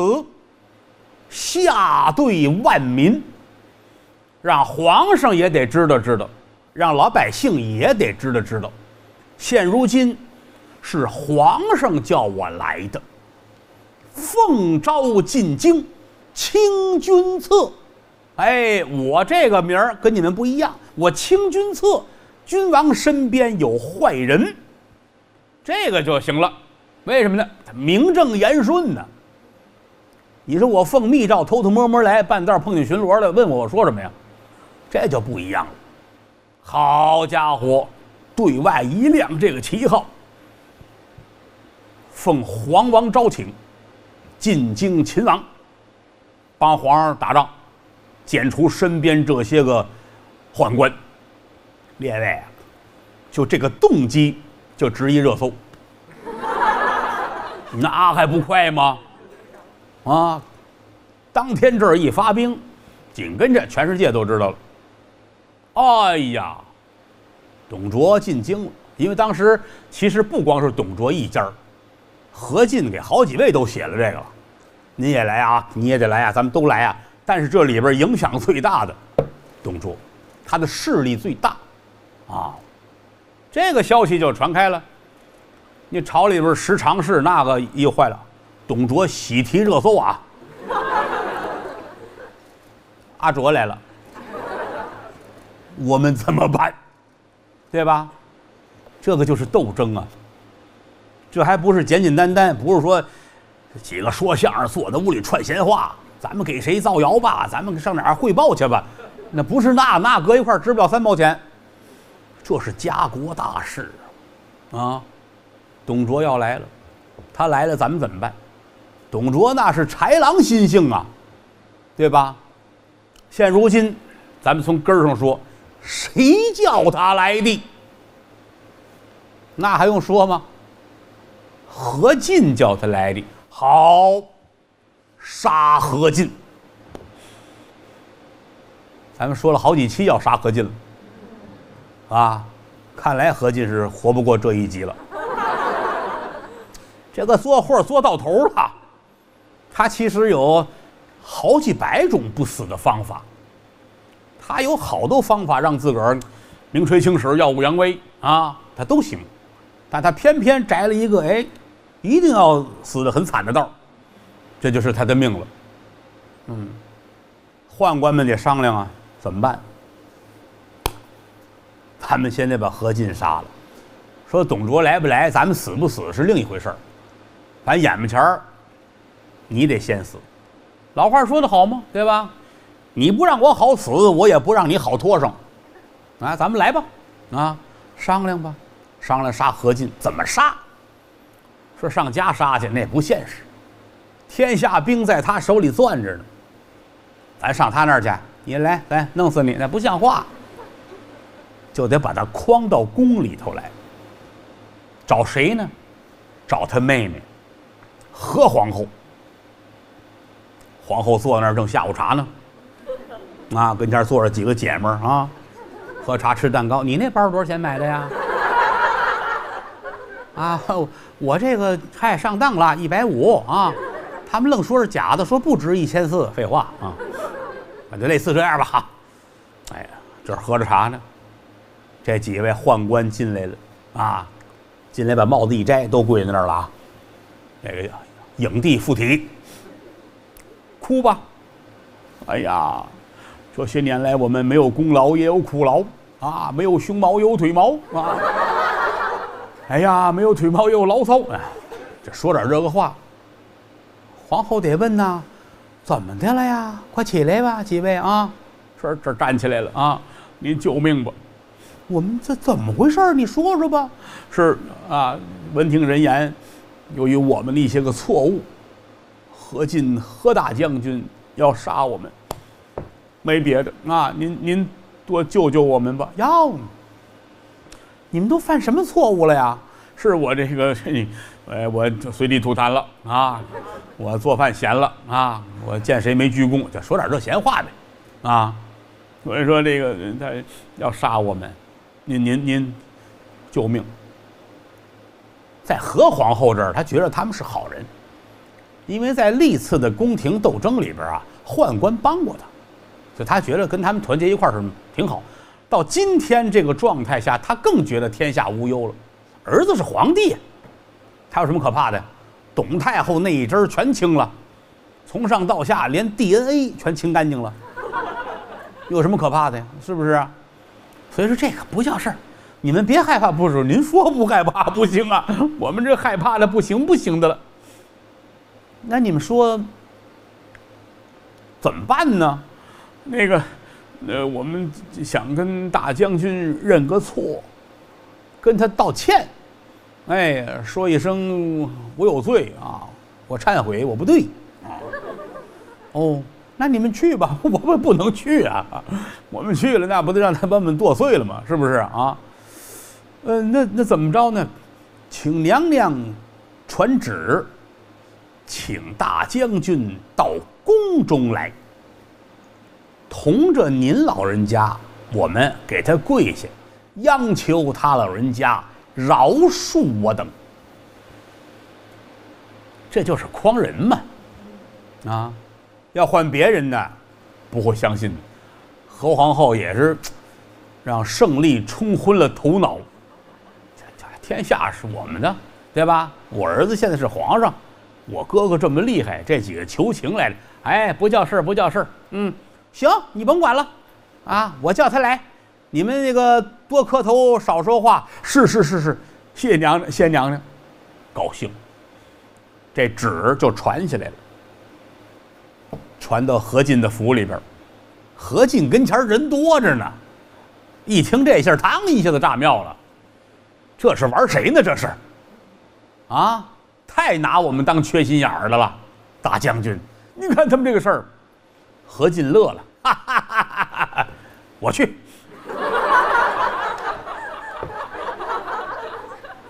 这个没有办法，各位，故事就是这么设计的，啊，人到了这会儿，这个词儿就得他说，啊，我去，我去，太棒，我妹妹想我了，啊，我妹想我了，这一屋人都傻了，啊，袁绍眉毛都拧起来，你去，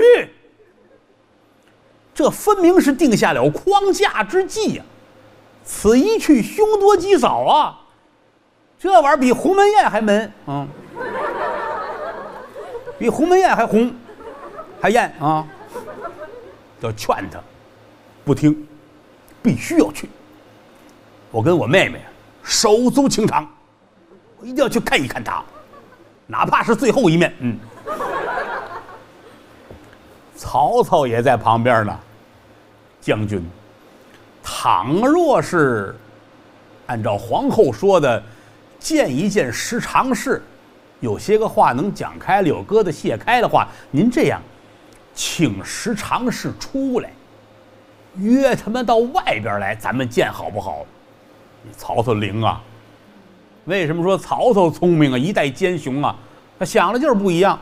你的目的不是见面道歉吗？你出来，咱外边道歉，找一饭馆或者哪儿，不挺好吗？你不能去。何进想了想，去，我等不了了，我必须要去啊！要去，要去，要去，就要去。这些人啊，大眼瞪小眼儿啊。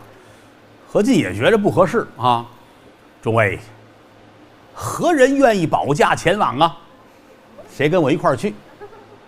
袁绍站起来了，本初冤枉。袁绍叫袁本初啊，我愿意跟您去。好，好，好。选了俩人，一个是袁绍，一个是曹操。点齐了御林军一千人，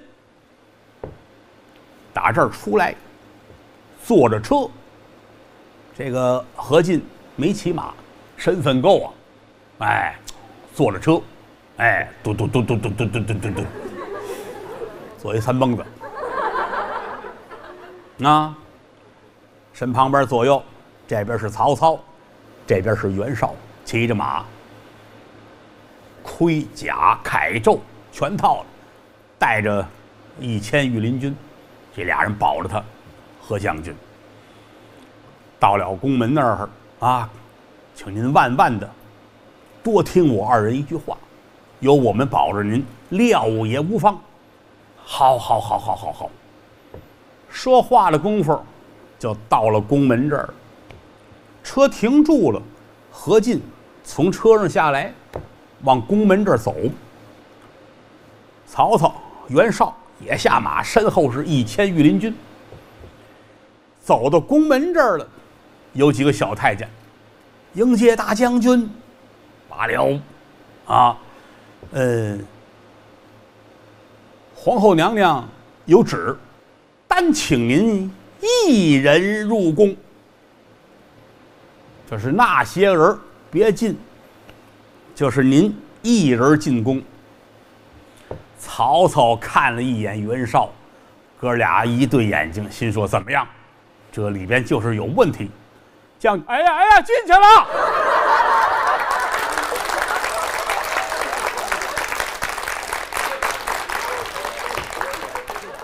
俩人一对眼神的功夫，何进进去了。啊，走到里头还回头，那意思你们多保重吧。这两位就傻了呀，哎，不，哎，你想啊，皇宫内院进去可不就看不见了呗？这怎么办呢？而且现在这状态不能擅闯宫门呐。你要说跟着何进，你们进去就进去了。单纯你们俩人带着说，一千人往里边冲，这不行，这算造反，这这怎么办？哎呀，你看我，我看你，等着吧。真着急呀！啊，等来等去的，就好像听见里边有脚步声音了。俩人喘了口气儿，哦，心说这算差不多了。来呀，把车顺过来，把何进的车。顺过来了，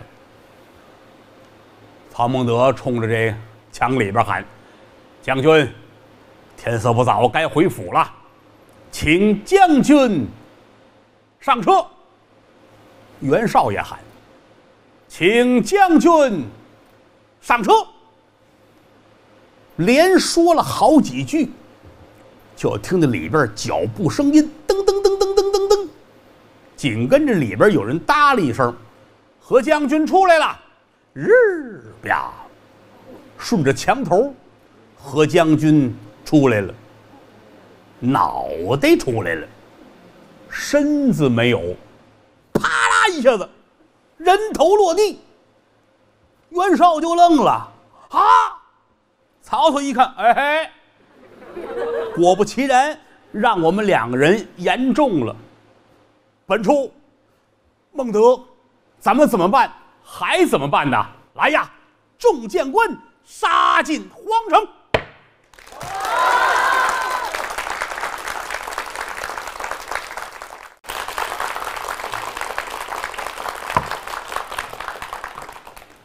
金山竹影几千秋，云锁高飞水自流。万里长江飘玉带，一轮银月滚金球。远自湖北三千里，近到江南十六州。美景一时观不透，天缘有份画中有。再来游。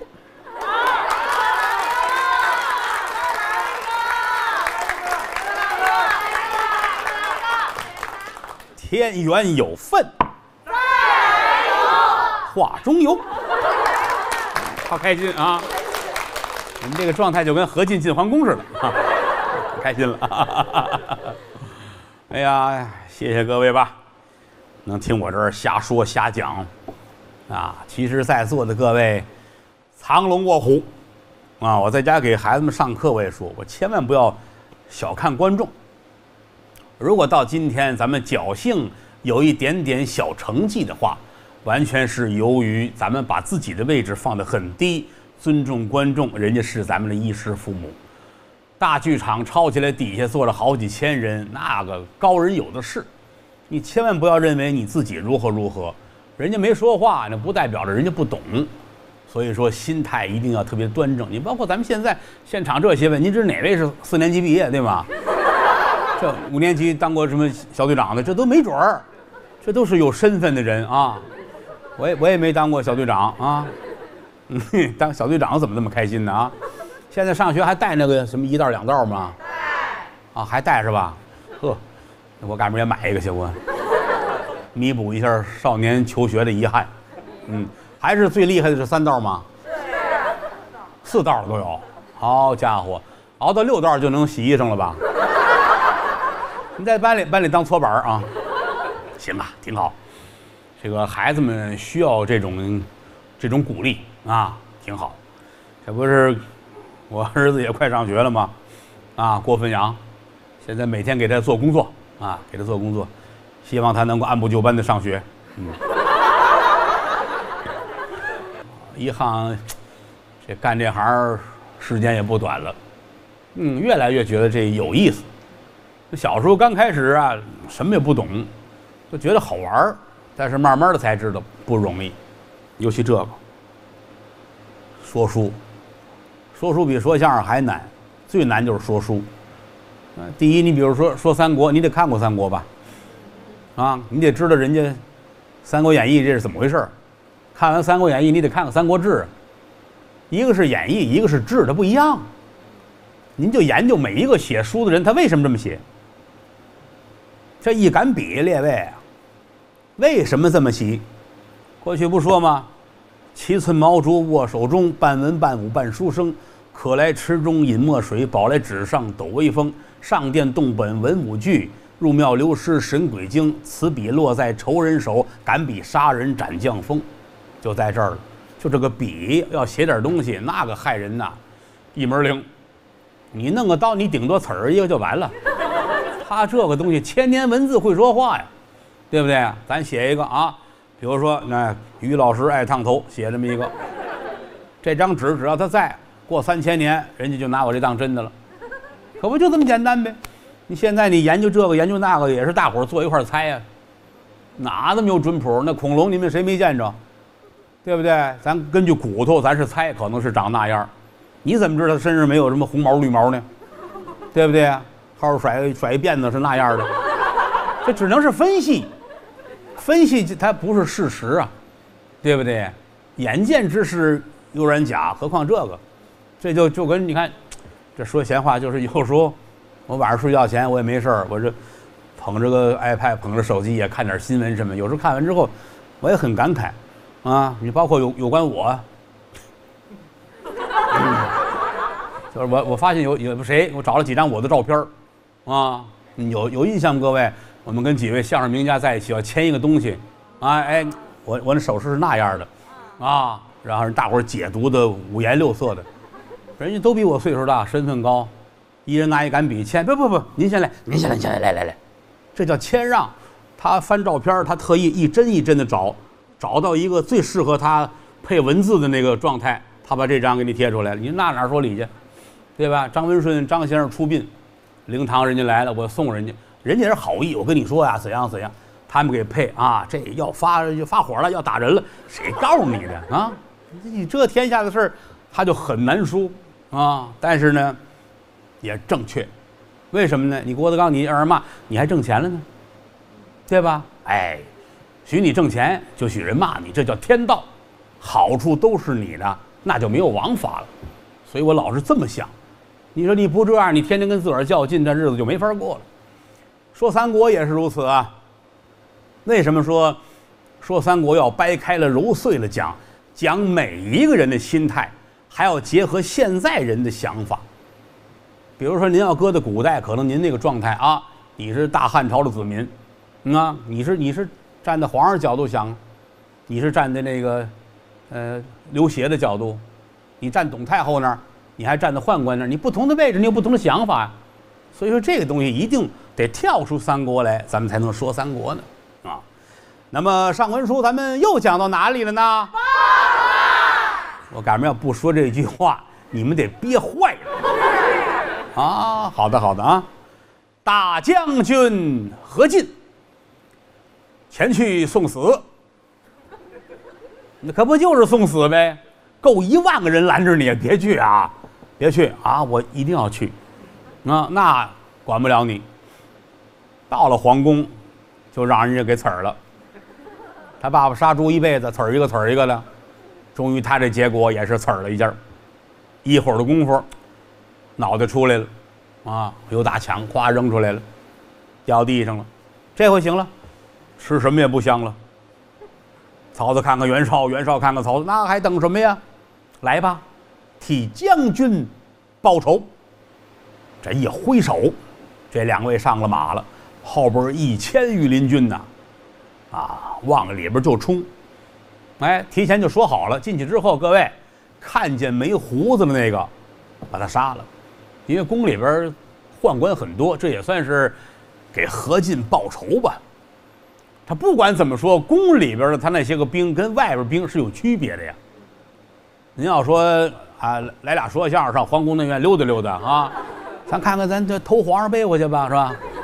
皇宫那个兵弄你那一门灵，但在外边这是战场的兵啊，真打仗不要命的主啊！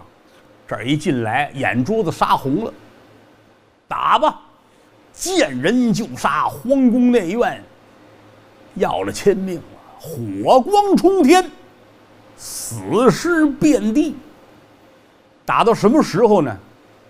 打到了二更天。这里边为首的这个宦官叫张让。前文书咱们介绍过，最坏就是张让，但是也最灵。他看出来了，这儿啊不能待了，在皇宫里边待着没有好。最后无外乎让人摁着杀，已经死好几个了。我得跑，我跑可是跑，我不能自己跑，我得带俩小孩跑。第一就是小皇上，十四岁的少帝刘辩；第二个就是九岁的陈留王刘协。我得把这俩带走，啊！喊这俩起床。俩小孩睡迷迷糊糊的，哦，今儿怎么天亮的早啊？什么天亮的早啊？出事了，跑吧！哎呦，一大帮宦官，啊，裹着这俩孩子，骑着马，往外就跑，跑到哪儿去了呢？跑到这个地儿叫北邙山，跑到这儿，这就已经杀乱了，皇宫里边都乱成那样，皇宫外边您想，就全起来了。四个字儿：刀兵战火，乱了套了。哎呦，眼瞅着到三更天了，张让瞧了瞧，不行了。他这人倒是啊知足，说我也差不多了。看现在这个状况，我是难逃一死。我别让他们逮着我，我自个儿解决吧。给这俩小王子。磕了个头，转身投河自尽，算是落了一个整尸手。罪大恶极啊！最后他自杀了。俩孩子吓坏了，一个十四，一个九岁，九岁比郭汾阳刚大三岁，对吧？你上学也顶多三年级啊，他能懂得什么？刀兵四起，眼前都是死人，咔嚓捅了一个，孩子能不害怕吗？俩孩子吓坏了。打马上也掉下来了，手拉手，不是一个娘养的，他是一个爹呀，啊，手拉手赶紧跑，就这会儿乱套了，谁也顾不过来谁了。俩小孩转过去，赶巧了，打这边来，农民伯伯，怎么呢？也住在跟前儿的，都这么乱还睡觉啊？哪有心那么大的人呢？这一开门，看见俩孩子。看穿装打扮就不是一般人，你要说来俩孩子穿俩大褂，就得问啊，龙子科的吧，是吧？他一看这状态，赶紧问。这一问才知道，少帝，赶紧跪着就磕头，得见驾呀，先进来，先进来，让进来，先坐在那儿，又给倒水，先安慰着。一会儿的功夫，外边来了。一个是有散落的宦官，一个是朝里的大臣找过来了。这里边就包括有袁绍，还有一位司徒王允。王司徒大家知道，到后文书吕布戏貂蝉的时候，那是他的主场。找吧，皇上丢了呀，十四十四也得找啊，啊，找来找去，找到这儿了。哎呦！陛下，赶紧接出来，又把马牵过来，好言宽慰，别担心，别害怕，有臣等在此保驾，料也无妨。请两位上了马，这儿是少帝，那儿是陈留王，俩孩子带着俩宝宝，赶紧往回走。安全第一呀，保住了，啊！这人马往外一走，就瞧着远处火光冲天，大队人马就冲过来了，旌旗招展，号带飘摇。正当中有一杆大都旗，白月光斗大的一个“董”字儿。王允一跺脚，截胡的来了。谁呀？西凉刺史董卓进京了。董卓来了。董卓是奉命进京啊，杀张让他们来。没想到啊，来晚了。张让也死了呀，何进也死了。啊，请他这人呢，都也死了。请他杀的人呢，也死了。按说他就应该没事了。但是他来可不是为这来的呀，半道就听见信儿了，就赶紧问怎么样了。现如今，最后有人说，说少帝他们啊，在北邙山一带好，拨转马头，带着人就奔这北邙山这儿来了。来到这儿一瞧，迎面来了一彪人马，这儿坐着俩小孩儿，俩小孩儿都吓坏了，哆嗦不行了，尤其这小皇上。刘辩坐在马上直哆嗦呀，马都跟他哆嗦。你看，看对面兵似冰山，将似将海。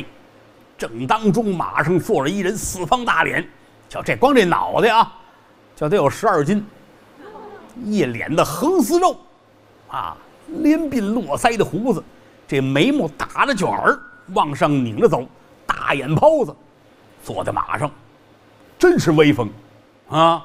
两旁边各种的战将，高挑着灯笼火把，亮子油松。小皇上傻了呀。董卓坐在马上，一勒丝缰。天子何在？天子何在？谁是皇上？啊？天子何在？这个气势，这个东西啊，有的时候很难说。这就跟您看街头那个。愣头青的小伙子打架似的，啊！你瞧这主儿可能个儿不大，你看这又高又壮，这俩人一见面，这嘡一下子给这大高个打躺下，往脸上咣咣踹几脚，他就怕他一辈子，就这么简单。其实俩人你说真说拼拼力量，拼拼这个拼拼那个，他未必行，但是就这一下，他就输在气势上，而且打这起怕一辈子。啊！我不知道您哪位有打架的经验啊？啊！你说这个玩意儿，天资何在？就这一声，小黄差点尿了裤，吓坏了啊！这个时候就看出来陈留王的与众不同。十四的那个直哆嗦，九岁的这个稳当住了，坐在马上。皇上在这儿，他在边上，拿手一指董卓：“汝是何人？”就是你谁呀？那么些个大臣将军，没人敢搭茬的时候，他问了这么句话：一个孩子，汝是何人？这你是谁？董卓也愣了。他在西凉，那就是此地的土皇上。而且像他那个性格，此番到了这儿，心说：嗨，天下是我的了。来个小孩问我，这一问呢，他就愣了啊。西凉刺史董卓，哦，汝来保驾，汝来劫驾。你是保驾来的，你是造反来的，就愣这么问你，汝汝是你呀？汝来劫驾，汝来保驾。董卓就愣了，臣前来保驾，即使保驾，天子在此，还不下马？这话说的又近呐，保驾了，下来。这话音刚落，董卓打马上就掉下来了，走到跟前一撩衣裳，咕噔跪下了。臣西凉刺史董卓叩见吾皇万岁。到现在皇上都没说话，坐马上哆嗦。还就说陈留王平身护驾回宫，有个样儿啊。这个九岁问题是啊，董卓站起来，翻身上了马，他这个心里有这么几个念头：第一，很开心。说书啊，最重要一点就是抒情戏理。您看唱戏那都是假的，但是你为什么跟着戏一块哭、一块高兴、一块乐鼓掌呢？因为你觉得唱戏的人唱的对，他在情理里边。说书也是如此，啊，抒情戏理嘛，咱得讲理。董卓为什么要开心？此时此刻有什么值得开心的？他从西凉出来到这儿来干嘛来着？明明是一封密诏，他对外说这是正式公文，请我来帮皇上处理国家大事。那么今天同着皇上同着这么些人。问我是保驾还是节驾？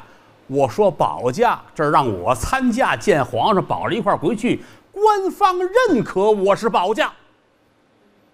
你们谁也不能再说我是叛臣，我不是怀有歹心到这儿来要干什么，皇上都承认我是来保驾的，就是名正言顺了。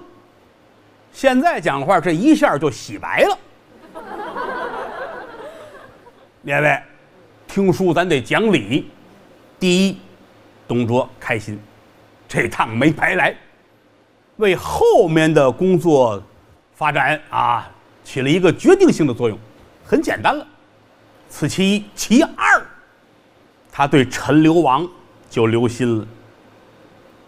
太棒了！啊，这个慢说君臣，列位，天下爹娘爱好的呀。我教徒弟也是这个，我说一遍他就会了。那个为他，我就吐了血了。我怎么这么爱他？我，我就这么说，这么掰开揉碎讲，你不明白，不明白，你该干嘛干嘛去吧，对不对呀？所以人都是如此。董卓他再狠再坏，但是好歹他明白啊。哟，这个太棒了！你看坐在马上个状态，就这个贵族气概、王者风范，有来言有去语。我这么大一身份，他问的我个哑口无言。这是个人物，在他心中就有了废帝之见，什么意思呢？我打把那个我得拿下来，我得把这个送上去。一切都是因为今天的这个对话改写了汉朝的历史。当然，后来人家董卓也做到了，啊，这儿就先护送着所有的这些人先回去吧。因为董卓一到，这点事儿也就差不多了，啊，大兵压境还能怎么着啊？护送着皇上先回皇城。回去之后，那就剩哭了呗。何皇后啊，宫里这些人呢，死的没死的，惨了的各式各样的啊，该哭的哭，该闹的闹。这都完事之后，天下就算是暂时的太平了。到这会儿，大伙儿才后悔。后悔什么呢？不该让董卓来呀！怎么呢？天下是他的了，他说了算了。大兵二十万，而且到这之后，何进的很多兵都让他收了呀。整个朝廷上上下下唯我独尊，跟他讲理，你怎么讲理？你没法讲理呀！啊！文武群臣没有办法，大伙儿想主意，短期内没有主意。这天，董卓要大宴群臣，因为在这个状态下，吃吃喝喝是避免不了的了。大伙儿互相熟悉熟悉也是需要的，互相留个电话啊，扫个微信什么的啊，初来乍到的互相照顾吧，啊，谁能耐大照着谁，这是需要的。在酒席宴前，董卓把这杯撂下了。主公，喊各位大臣，主公，桌有一言，主公听了。我有句话，各位听听。啊，大伙儿一听，杯也撂下了，筷子也撂下了，牙签也撂下了。啊，听着呗。现在他最厉害呀，他说什么是什么啊？你瞧我，我瞧你，心说不知道干嘛。看着吧。董卓这坐着，捋着自己的胡子，哎，金少，金上，皇上，啊，当今天子金上，金上软弱，陈留王聪慧可喜，我有意废帝，立陈留王为君，诸公意下如何？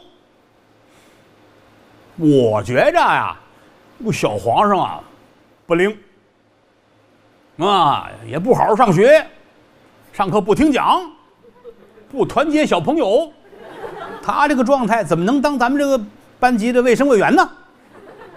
陈留王这个这个同学好，这个宝宝非常的可爱，我让他坐在这个位置上，您各位同意不同意？是这么几句话啊。这个话说完之后，整个的酒席宴前鸦雀无声。这不是小事儿啊，各位呀！这不是说德云社选选队长，三队队长调到五队去啊？你的道二，他的底，咱们换换。不是那个呀，国家大事啊，换皇上，这没人敢说话。就在那儿，有人站起来了，我反对。这个这个不是曹操，嗯，为什么要说这么一句呢？呃，环境太压抑了，啊，让大伙儿撤一撤心火。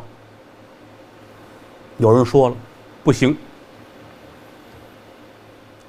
金上并无过错。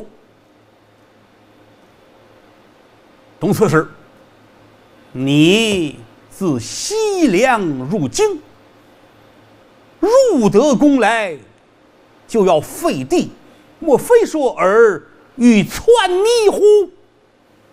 这话说的有劲呢。金上，小皇上，没有过错。你说的那个什么，这个了那个了，不好好学习了，睡觉什么不洗脚，那都是你编的。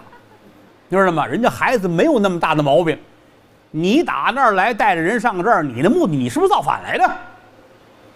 是这个意思。这个话说的有劲呢啊！刚才大厅里边很安静了，这句话说完了，死一般的寂静。怎么呢？这眼瞅着就要出事儿啊！董卓一听这话都愣了，还有人敢这么说我？本来是歪在这儿坐着，您看过影视作品也知道，董卓胖，还不得三百斤啊，大肚子，歪在这儿，平时舍不得起来。这一听有人骂他，啊费很大劲起来，心说我得瞧瞧是谁。看了一眼，谁呀？荆州刺史丁建阳。董卓啊，根本就没把他往心里去。这个丁建阳呢，姓丁，名元，字建阳，他也是何进请来的朋友。他其实跟董卓身份一样的，快来吧，帮忙打架来吧。但他来晚了，他来的这人都庆功宴了。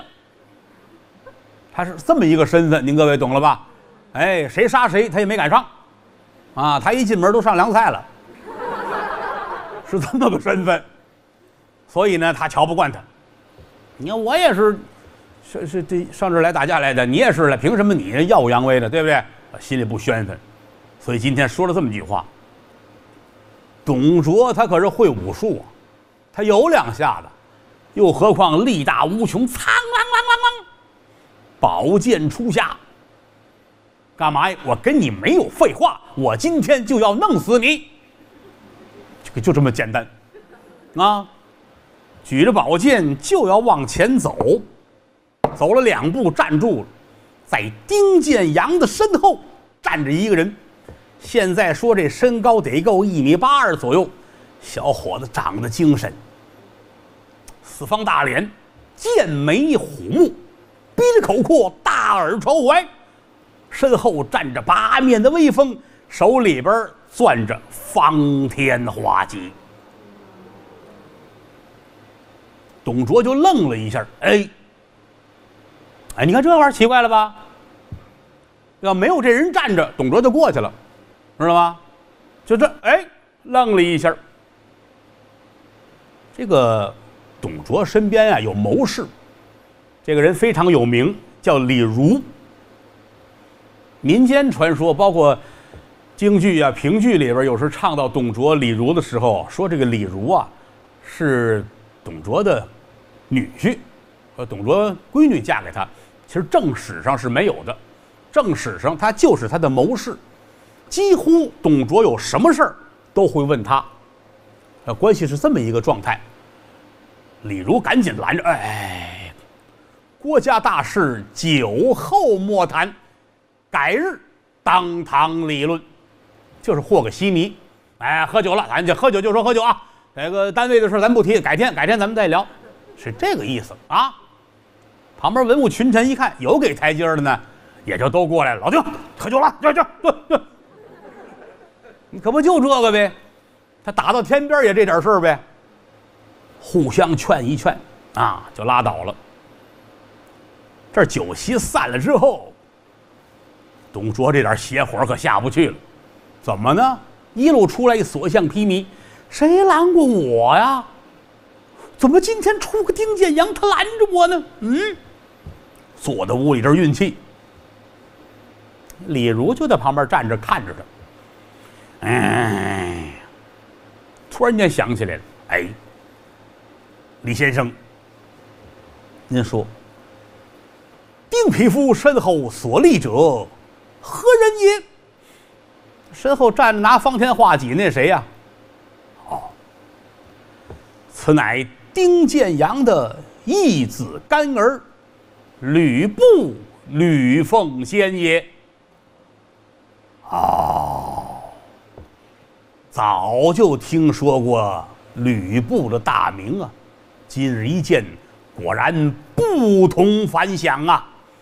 哎，可惜如此的猛将不能为我所用啊！啊，是，呃，你也别着急，若有此心，呃，我想一想，咱们定能将此事做得周全。好，但愿如此吧。嗯。这正说着是呢，有打外边噔噔噔噔噔噔噔噔，脚步声音，军卒进来了，报，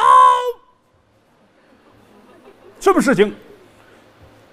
丁建阳率本部大军在营门以外排开了战事，这这这这叫您出去这这会战。啊，呵，这个匹夫真真岂有此理？怎么呢？人家杀过来了，因为那会儿啊，这个军阀混战。啊，也不像您想象的那种什么军队，这就是说翻脸就翻脸，说打仗就打仗。哦，那赶紧，董卓也赶紧的顶盔贯甲，罩袍束带，带着人呼噜呼噜，这就迎出去了。一瞧那边是丁建阳的人啊，在那儿站着那主，一看，哦，这就是我刚才念了半天的吕布吕奉先呐。哦，董卓发自肺腑的爱呀。好，好，好，哈哈哈哈来吧，哪位将军愿出马生擒丁匹夫？打仗，那个年头打仗跟现在打仗它不一样啊。尤其想当初，甭说别的，就光这准备马就费很大劲儿。而且您可能也看过电视剧，也瞧过电影，啊，您觉得这个两军阵前，俩人骑着马怎么怎么打，如何如何？您看的那是电视剧，真正的两军阵前，这骑着马打仗怎么打呀？下回再说。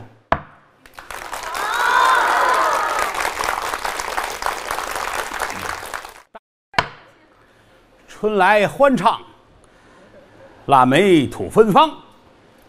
你扮猪吃老虎，我演那个喜羊羊。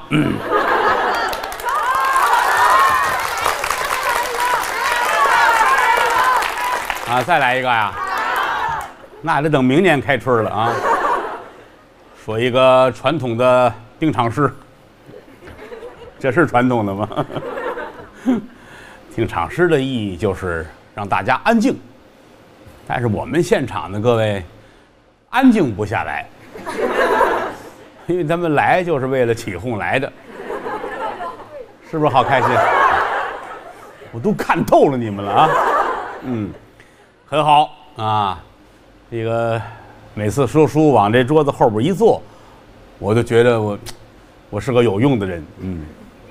把这桌子往外一走，我就差着了。就干别的，也实在是不灵。我老说我是废物，又没人相信，真的。哈 哈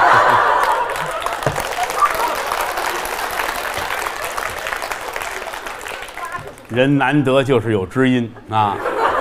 这个，你看这个废物，这先生。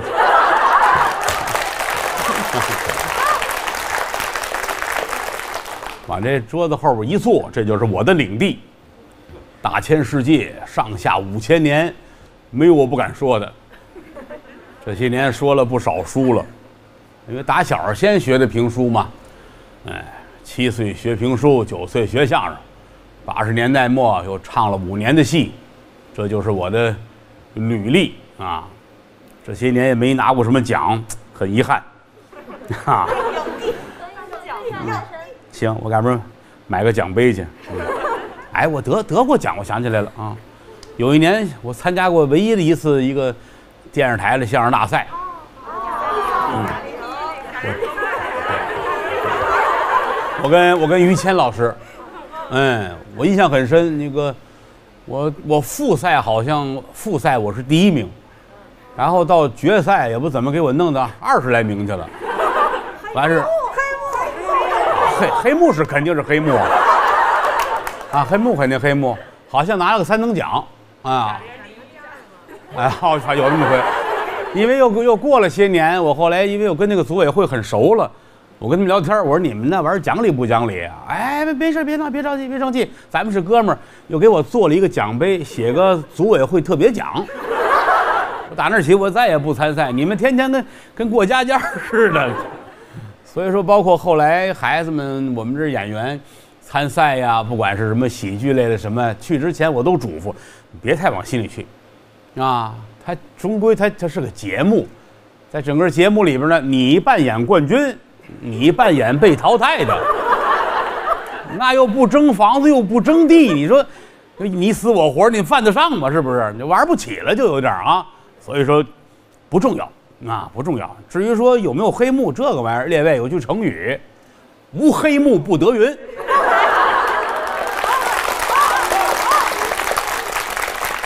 有有有有黑幕，有黑幕。这个一说一乐，观众们喜欢啊。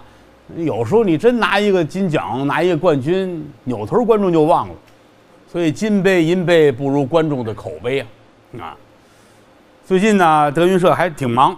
啊，因为这个有天津德云社又开张，啊，加上我们这几个戏，嗯，一个是德云马社，这都都快杀青了，拍了时间不短了，还有我们那个北纬路甲一号啊，也在筹备。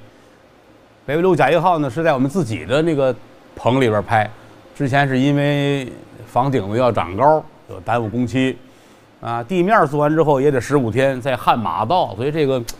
就是工期一拖再拖，是吧？什么时候能干活了，那就马上开机。今年还有还有俩电影，哎呀，啊，是啊，好多人都一听我拍戏都顿足捶胸的啊。这个他是这样啊，你看我们有时候谈事儿啊，我们自己团队的人老鼓励我，啊，我们我们郭老师是有电影情节的，我说你住口。咱有时候跟平台聊，跟什么别的公司聊，人家愿意高抬我啊，说我有电影情怀，我这呢，我说没有没有没有没有，我我我说相声说了多少有点成绩，说书观众也爱听，唱戏也能卖钱，我说人生足矣，还样样都好，要疯啊你啊，不可能。有人说那你还霍霍人家电影啊，还糟践人影视剧，我说没有办法啊，我说关于电影我是这么想的。因为影视圈它跟说相声不一样，这个你看说相声啊，我们认为这个老艺术家张三说得好，就永远所有人都认为张三就是好相声演员。李四差着，大伙儿就知道李四永远是差着，因为他的能力在那摆着了。我们看过他演出，确实说的不好，他是可以放在明面的。影视圈呢，因为他就他这不可抗拒的东西太多，而且好些东西是虚无缥缈的，所以影视界唯一的来确定一个人好与坏，是按他上一个戏来说。这行特别奇怪，他曾经啊拍过一个电影卖钱了，哎，这人就一辈子大伙认为他是行的了。就这个导演没拍过一个卖钱的戏，就永远他是个棒槌，所以他们老得说这人不灵不灵。我说我就因为这个，我反正这么慢慢往前拱着干呗，早晚会有一个戏让我要赶上能卖钱的。哎，那个只要一卖钱，我就能堵你们的嘴。以后再干不干，那看我开心不开心了，不重要。我是因为这个，所以就屡屡行行的，又有朋友，有好多人愿意撺弄，愿意拿钱，咱也不知道他们怎么想的啊。闲话少说，书归正传，就爱说点闲话。一说闲话就勒不住，谢谢吧，谢谢各位的支持和鼓励。接演三国，这个三国呀很简单啊，但是呢也很难。简单就在于你不用你编故事，别的说书、别的评书都得编故事，还得给人设计各种扣子，生疏熟悉，听不腻的曲艺。听书得听生的。啊！荒郊野外来一书生打这过，咔啦啦一个雷焚开了，里边出一狐狸，狐狸一摇头变成一大老虎啊！哥，这就算行了。他没听过，他老听这后边为什么呢？是吧？生疏，这熟书这玩意儿怎么说呀？这个桃园三结义说出花来，咱不能说这个哥仨跟这一磕头啊，来宇宙飞船吧？你多一个环节都不能加呀！鞭打毒油，他能打到哪儿去？对不对啊？所以说三国跟故事没有关系呀。三国听三国听的是闲白儿啊，全是闲白儿。听三国听的是这个生疏熟悉听不腻的曲艺，熟悉看戏他愿意看熟的，看个苏三起解呀，看个什么？他要是里边有段唱，他会唱，这算行了。台上也张嘴，他跟底下也张嘴，摇头晃脑的，高兴。生疏熟悉听不腻的曲艺，听大鼓也是如此啊。哎，一边听一边跟着拍巴掌、鼓掌，这就是人的乐趣。但唯独到咱们这儿了，难就难在这儿了。它这里边呢，有真的有假的。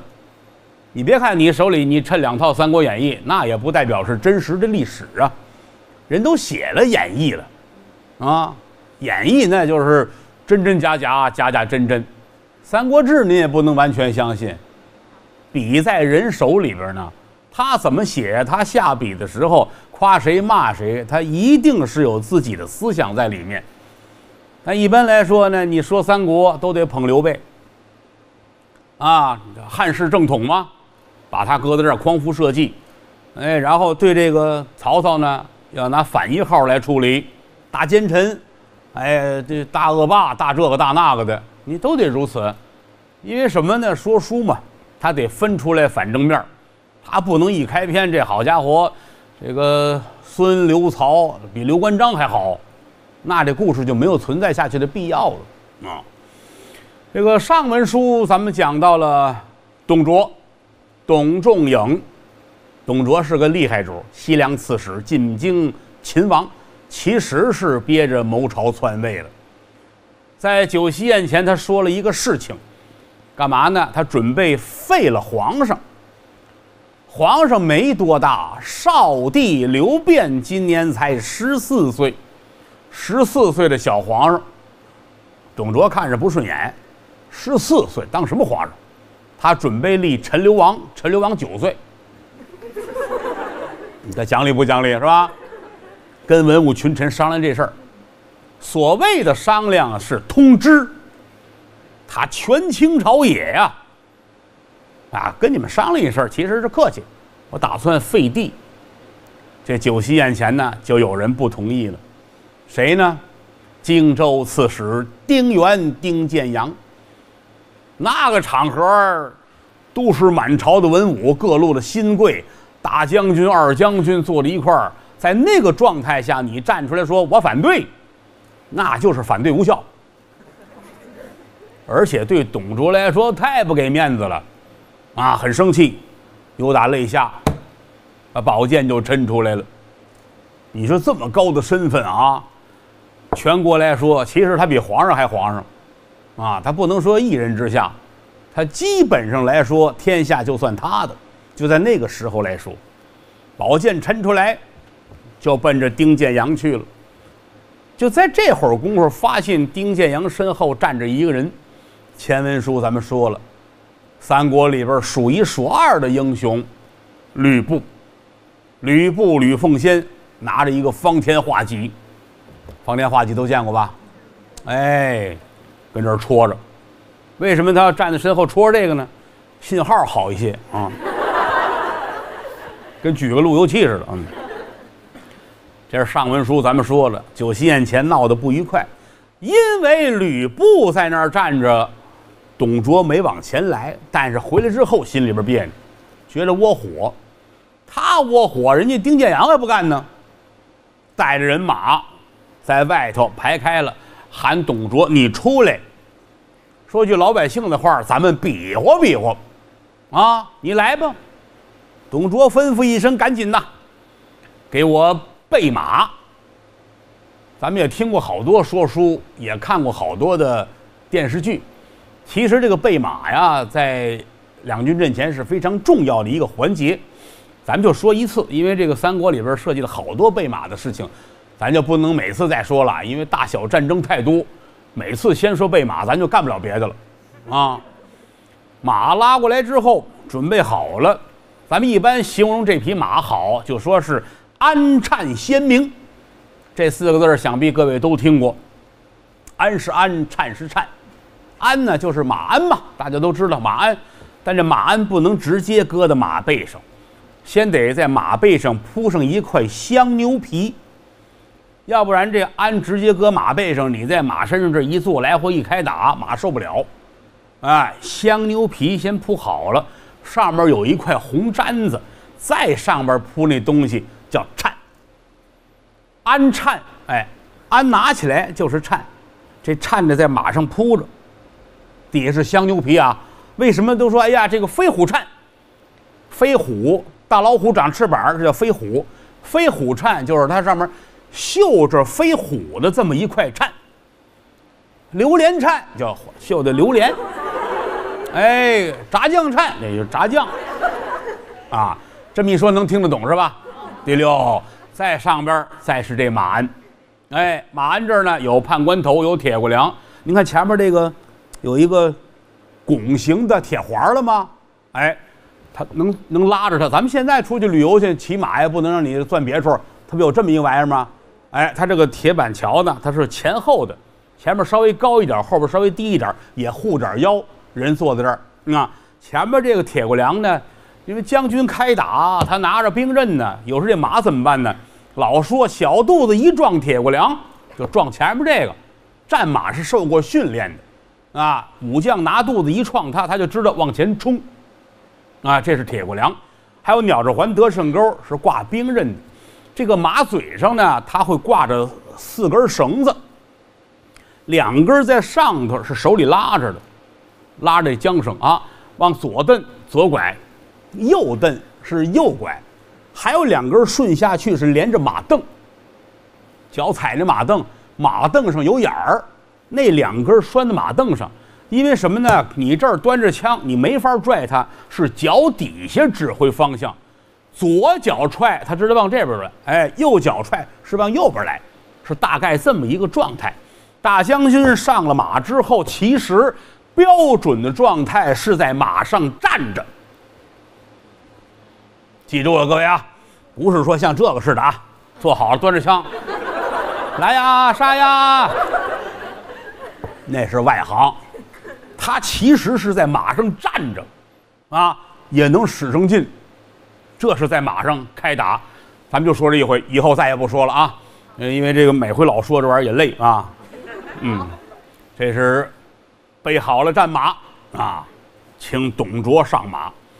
有人说董卓还能打仗吗，好家伙，董卓是甘肃岷县人，他打小居住的地方跟少数民族交界，那些个羌人的首领跟他最好。他第一是力大无穷，第二来说功夫娴熟，所以说他不是一个你脑子里想象中电视剧里边那个董卓，脑满肠肥啊，一个文官形象。他心狠手辣，而且在两军阵前是这份儿，这是真实的董卓。上了马，李儒保着来在了两军阵前，外边人家一字排开，丁建阳、吕布就在对面。丁建阳坐在马上，顿足捶胸啊，恨！为什么恨呢？这玩意儿天下事难说，他也是啊撒邪火。董卓怎么进的京啊？那不是大将军何进请他来的吗？说现如今呐，朝里边乱了，有这个十个宦官大太监呐，祸害天下，啊，这个请西凉刺史董卓，你是英雄，你带兵进京来，咱们一块儿歼灭国贼。但是何进请的不是光董卓一家儿，他请了好多人，有的就没来。有的来晚了，谁来晚了呢？丁建阳就来晚了。荆州刺史丁原、丁建阳，他来来晚了，他到这儿天下太平了。之前什么杀何进，他也没赶上；张让投河，他也没赶上；小皇上逃亡在外，他也没赶上。啊，这宫里乱乱哄哄，他都没赶上。他来的时候庆功宴，啊，风尘仆仆来了，人进门来，请请请，哦，好，来一杯，来一杯。所以说，他心里边，他他对这个董卓他看不上，咱俩是一个身份来的呀，都是叫咱们来帮忙打群架来的，我来晚了，你看他抢先一步，他来了，坐在上面吆五喝六的，他点菜啊，他负责开酒，他说开哪瓶就哪瓶，我来了，我哎呀，他心里不宣愤，所以酒席宴前，董卓一说废少帝，废少帝。把小皇上废掉，他才敢站出来说不行，我反对啊！当然了，反对无效，这才回去把兵马拉出来，因为他是各自的部队嘛，人马嘛，把自个儿的队伍列齐了。董卓，你出来，咱俩比划比划。这才有今天两军阵前。董卓坐在马上，不看别人，就看吕布，怎么呢？真爱。好，这个将军呐，威风八面的，呵，太棒了。这个人就这样，你哪怕是，呃，敌对势力啊，他觉得好，他这个状态他就不一样啊，越看越爱看。人家丁原、丁建阳坐在马上骂街了，董卓尔乃国贼也，寸功未立，妄言废帝。寸功未立，你对国家有什么功劳？寸功未立，妄言废帝。哦，来了你就说把皇上灭了，你这就是造反啊！一回头，吾儿奉先何在？吾儿奉先，我儿子吕奉先，吕布叫吕奉先吗？吾儿奉先何在？擒此董泽。话音刚落，吕奉先。手里攥着方天画戟，这匹马离弦之箭，奔两军阵前，直奔董卓那方向就来了。《三国演义》的原文说的很简单，并没有说吕布这儿一出来，这边来什么大将，两个人打多少回合都没有。原文上处理的很简单，就是吕布往上一冲，董卓就往下败。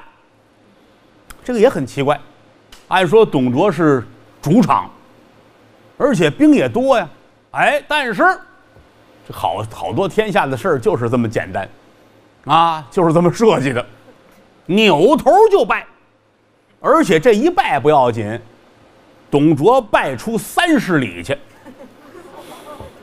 三十里地，各位打北京追着通县去了，啊，追出三十里去。吕布也没追，就回去了。这晚上赶等回来，董卓坐在这儿，直嘬牙花子。四个字儿：心事重重。现如今心里边是两件别扭事儿。哎，第一就是吕布，太棒，怎么看怎么好啊！若得此将，天下可得也。啊，我来是憋着谋朝篡位，啊，我要当皇上，得有人帮着我，别人帮我不行啊。张三，张三嘴不利索；李四，李四不会唱；王五不会学方言。啊，赵六舞台经验太少，怎么也不成。唯独吕布，这吕布要是跟了我，这玩意儿得多棒！恨只恨这样的将军不能到我的手中。哎呀，这是仇。其实这个仇呢，算是新仇，就这两天刚有的。他打进了都城之后，还有一件发愁的事情，什么呢？传国玉玺不见了。就这些日子满处找。传国玉玺，您知道？你别说传国玉玺了，您哪位有公司？你单位那章找不着了，你是不是也着急啊？您合同章乱七八糟的，就这一堆章，你没有这个，您这公司干不下去。传国玉玺，这一说这就是和氏璧，大伙儿都知道吧？好极了啊！你们来个代表说一下吧。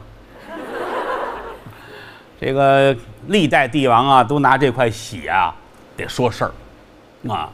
这春秋的时候，有一楚人，楚国人啊，叫卞和。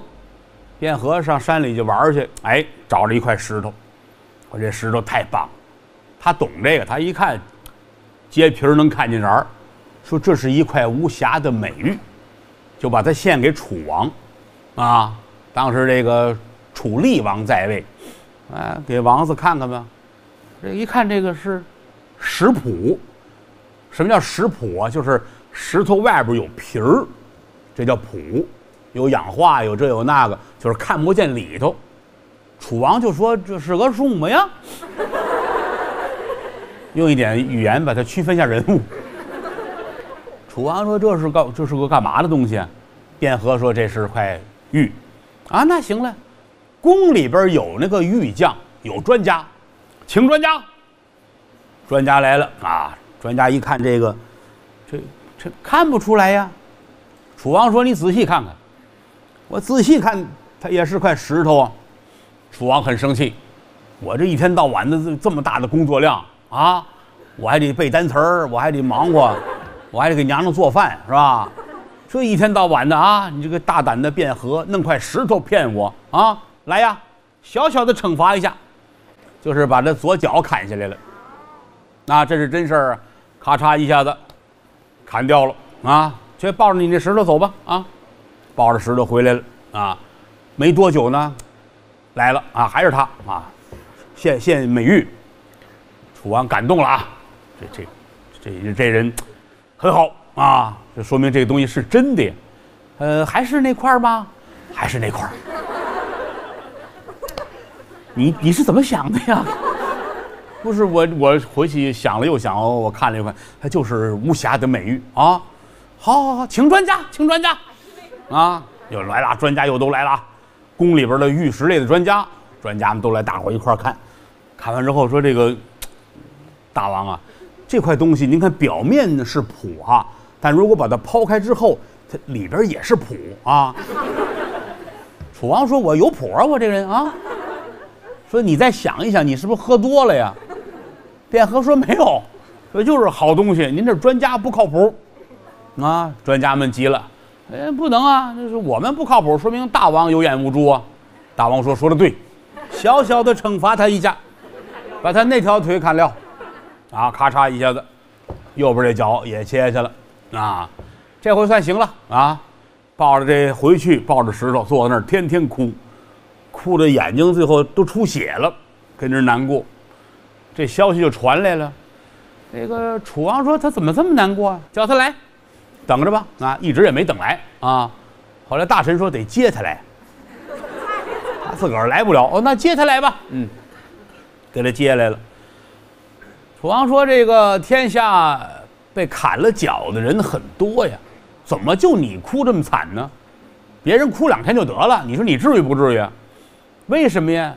卞和说：“我哭的不是别的啊，我哭的是玉在圃中无人拾宝啊！难道说偌大的天下就没有人知道它是个宝贝吗？”这下把楚王感动了，请专家。倒霉倒霉专家身上了啊！都把专家都请来。楚王说：“到底这玩意儿你们看着怎么样啊？”专家们说：“这要想看的话，就得切开它。”哦，那早说呀啊！那切呗啊！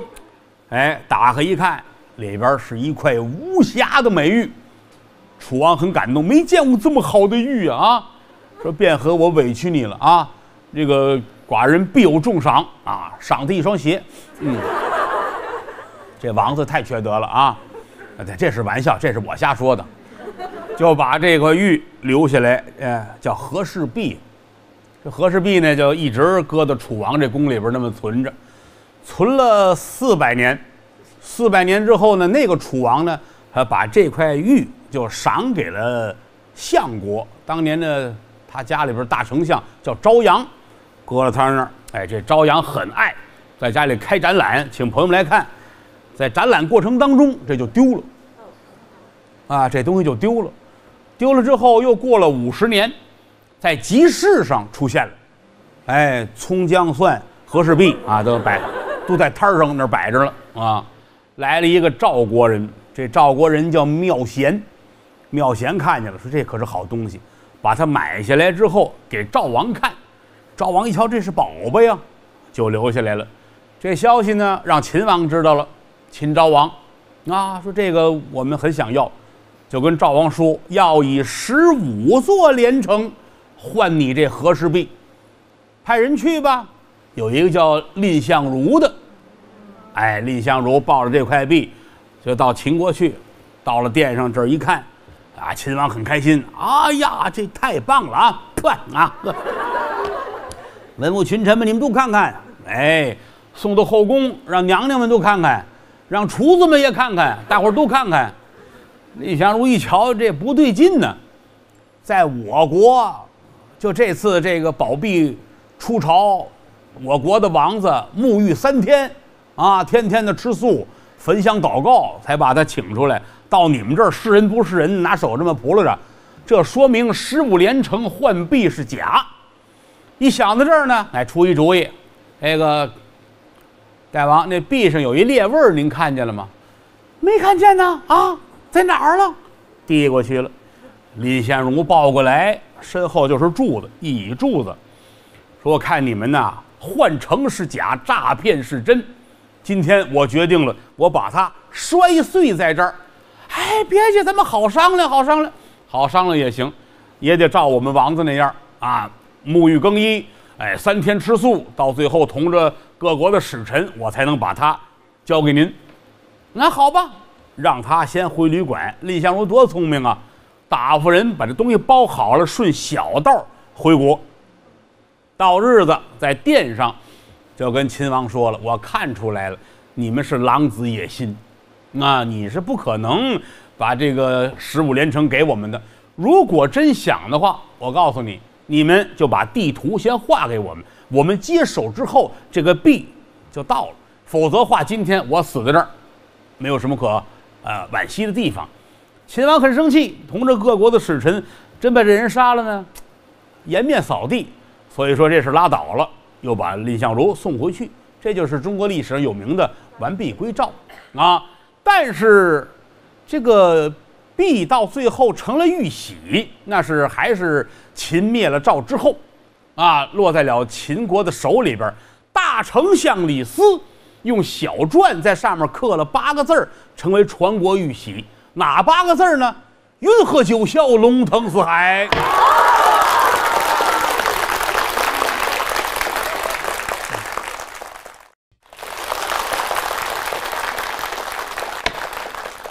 难难难，道德玄，不对知音不可谈，对了知音谈几句。不对知音枉费，说的对。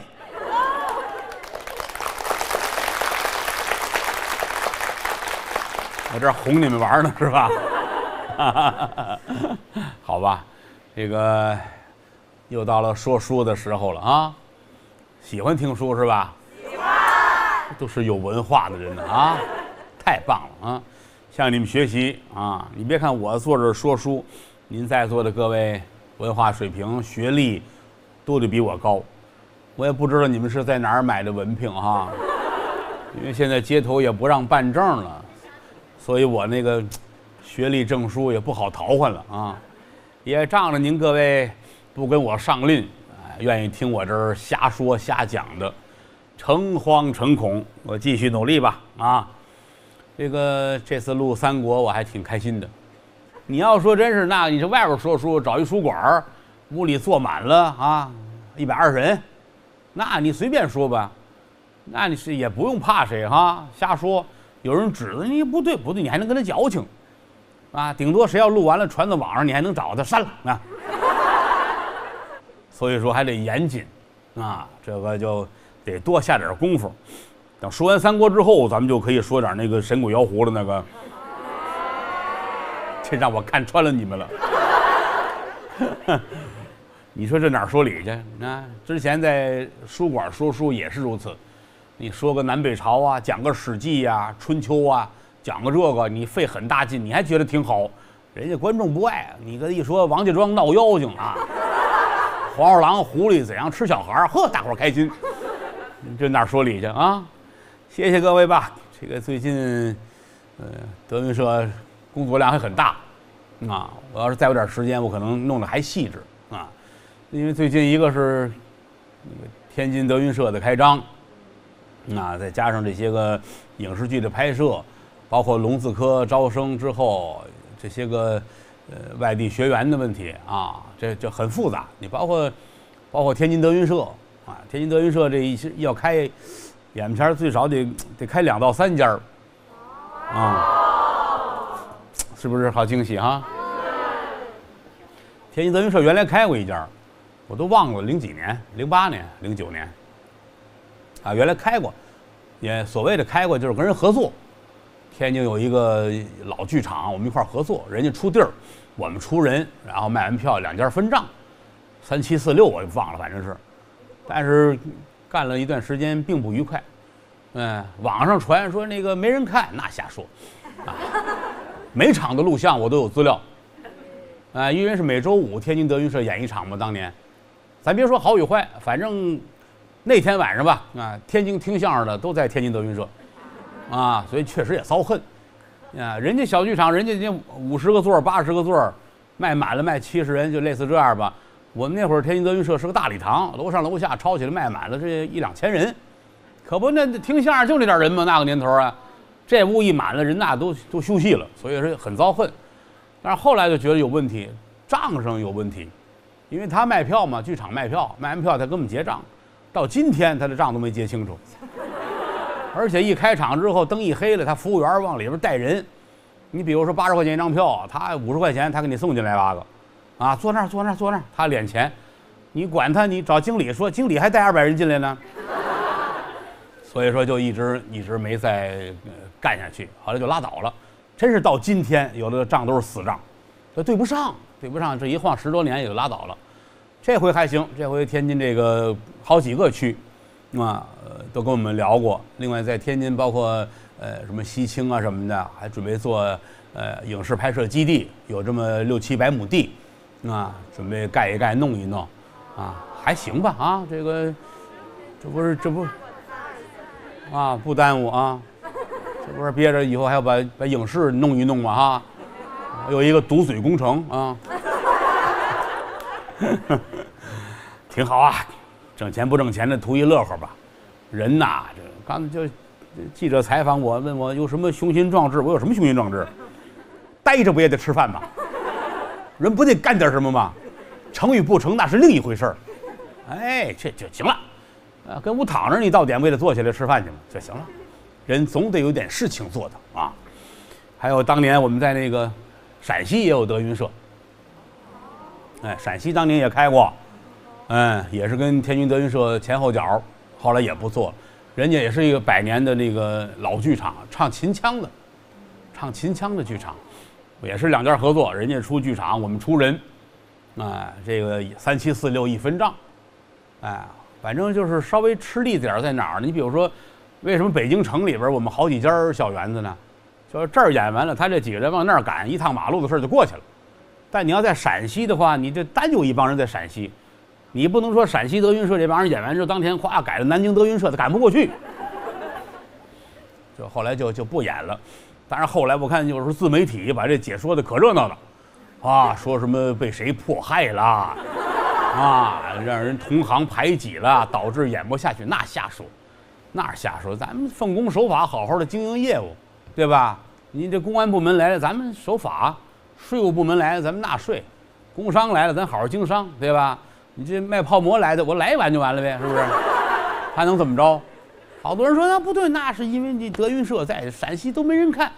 我说那八千人一场体育馆怎么有人看？二百人小园子没人看，咱别抬杠，没有意义啊。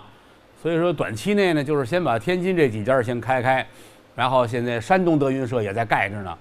啊，在盖着呢，他那个风格不一样，啊，你看天津这几家竟是那个老园子，古香古色的，嗯，山东济南的那个是在市中心盖了一个大楼，啊，楚天楚地大楼，也是几十亩地，然后，呃，楼里边有七个剧场，这是山东济南那个山东的七个剧场，对，有山东德云社，有山东麒麟大舞台，有说书的永安书场。唱地方戏的丹桂戏院，就类似这个，还有那个沉浸式的喜剧的舞台都有，啊啊！当然了，我有时候也挺爱看自媒体们这个编故事，一点小玩意儿他给你翻了花的说啊，也挺好，也挺好。谁不都得活着吗？不容易，挺好。天下哪有什么对，哪有什么错，都对也都不对，就这么简单。闲话少说，书归正传。嗯，上回书说到哪儿了？正文啊，你们记不住，要一沾闲玩儿啊，你们这个能耐大了啊！上回说的和氏璧了，啊，不是为了要占大伙的时间，是把事情得说明白了。找这传国玉玺，什么叫传国玉玺？对吧？它是由于和氏璧，最后上面是八个字儿。有这八个字儿，就是当时的封建社会的帝王，哪哪八个字儿呢？去去去去去去！受命于天，既寿永昌。这八个字儿，哎，过去来说，谁手里攥着这个，谁就是皇上了，啊，就一辈儿一辈儿的往下传。当间丢了好多回，你包括秦始皇拿着它。坐着龙舟过洞庭湖，哎呀，走到这儿，哎呦，这个水呀翻腾起来了，这是不是底下有有龙王啊？啊，湖底有龙王不开心呢？秦始皇把这玉玺啪扔里边去了。过去讲究这个吗？说有这就镇住了。你慢说这个那个，咱们民间传说什么县哪儿哪个府里边闹水灾有水怪，最后怎么办呢？都找县衙，县太爷拿那印章，咵盖一张，扔到里边去。拿这个来镇着点儿，说这东西辟邪，何况皇家玉玺呢？秦始皇那个咵就扔去了，扔之后扔在水底，那年头哪儿找？但是八年之后被人捞上来了，啊，又送给朝廷。反正打这儿起就一辈儿一辈儿的，每一个正统皇帝呢都得有他，没有他叫白板皇帝，就是您这是假的。这过程当中呢就很很复杂，你包括王莽篡汉的时候。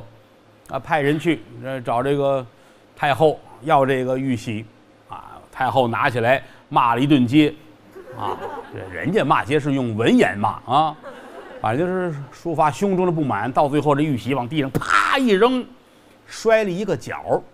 王莽接过来之后，找那个能工巧匠把这角用黄金给镶上了。打这起留下一句民间俗话：有钱难买金镶玉。老说金镶玉，这叫金镶玉，黄金镶的玉玺，啊，这是经常的丢，上下五千年，玉玺是经常丢，很奇怪。咱等多的要是有时间，咱们就说这块传国玉玺，每一个朝代它都出现过，也都丢过，但是按照民间的说法呢，就是非得有那种仁义天子在的时候，它才能出现。哎，这东西只要一没了，说明这王子要完，啊，最后出现好像就是溥仪被赶出紫禁城的时候，打那之后，这东西就一直丢了。反正各朝各代，哎，一会儿出来，一会儿没了，一会儿出来，一会儿没了，咱也不知道是哪个魔法师在做法啊。那么这次董卓进京之后，先搜玉玺啊，这是凭证，你得有了有合同章，有了公章，你才能说法人是你啊，对吧？但是没找着，因为那天袁绍、曹操带着一千羽林军在皇宫里边杀了一个乱够，各位您都记着吧？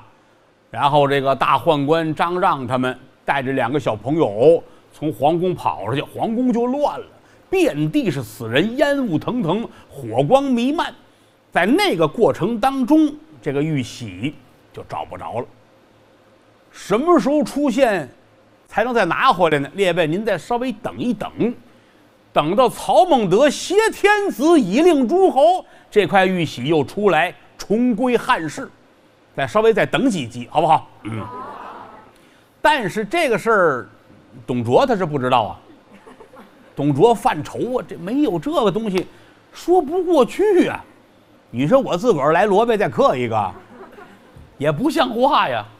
本来心里边这些日子就因为这块玉玺很犯愁，又加上了吕布，哎呀，这么好的人才到不了我的手里边，这儿倒上闷酒了啊。喝着，心里头别扭着。旁边是他的谋士，叫李儒。李儒聪明啊，真是灵。他是董卓的智囊团，而且是说什么听什么，言听计从。旁边看着他，扑哧就乐了啊，说：“您这个心里边，莫非有要事在怀吗？”哎。李先生，我想的是那吕布吕奉先。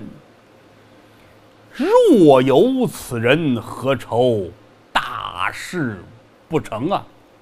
哈哈哈哈哈！些许小事，何足道哉？那意思，您这个有点犯不上了。这是小事啊，先生即将安出。即将安出，现在没人这么说了，什么意思呢？你有什么好主意？啊，你有什么好主意？你说说吧。当年人讲话，即将安出，啊，嗯，咱们有人跟吕布是同乡，可以让他顺说吕布前来归顺。哦，哈哈哈哈哈哈！呃，此公何人也？哪位高人呢？说是谁呀？李儒乐了，虎贲中郎将李肃。说的对吗？对。这个李肃呢，呃，跟吕布是发小，老乡，打小还就认识，那有这么个交情。好，快请，请他来共谋大。是，请去吧。到那儿就叫来了，那还不简单吗？是吧？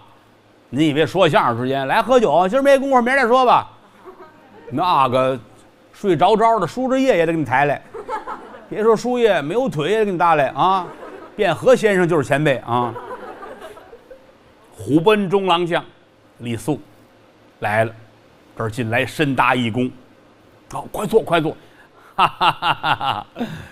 李将军，啊呃，温德将军与那吕奉先是同乡吗？啊，是啊，我二人乃是同乡。呃，您那意思您要干嘛？哎，关键奉先文武双全，英雄气概，可叹不能为我所用啊。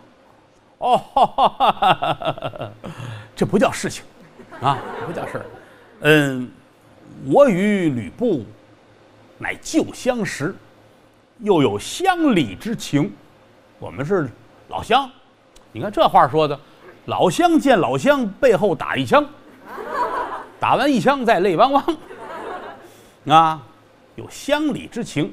嗯，我跟您这么说，吕布此人有勇无谋，见利忘义。我去找他去，一定能够顺说他降顺董公。哈哈哈哈哈哈！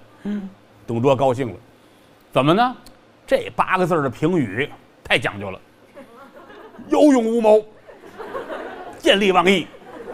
这人性不定得多次了，你想去吧，啊，很勇敢，那确实是嘛。两军阵前多大能耐呀，很勇敢，没有谋略，没脑子，而且见利忘义，那个给块饼就投降了，啊，这是个形容词。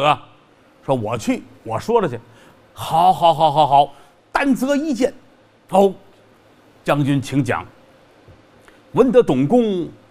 有一骑宝马良驹赤兔，愿将此马顺说吕布。就我不能空手去啊，给他别的他也不在乎。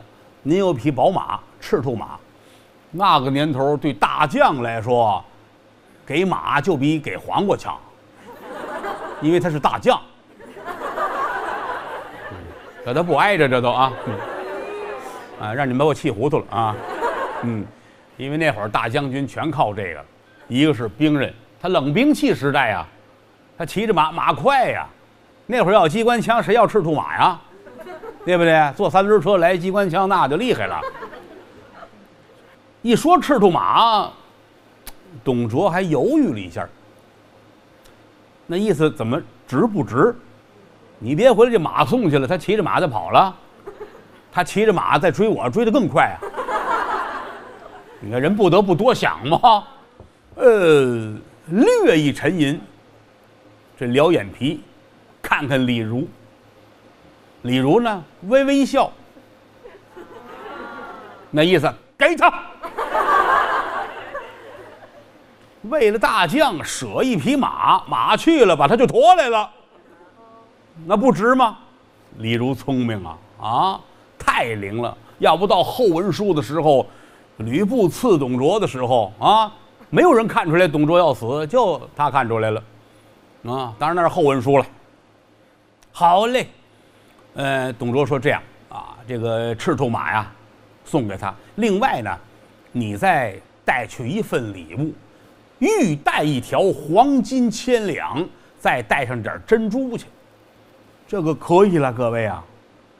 这个东西，尤其对吕布这种见利忘义的人来说，是最管用的了。因为说这都说了，爱小便宜，喜欢这个。你要说来个董卓签名照，这不管用，那不管用。东西准备齐了，李肃带好了，回去准备准备，转过天来，去见吕布。吕布他们在外边安营扎寨，头天不打起来了吗？在外边安营扎寨呢。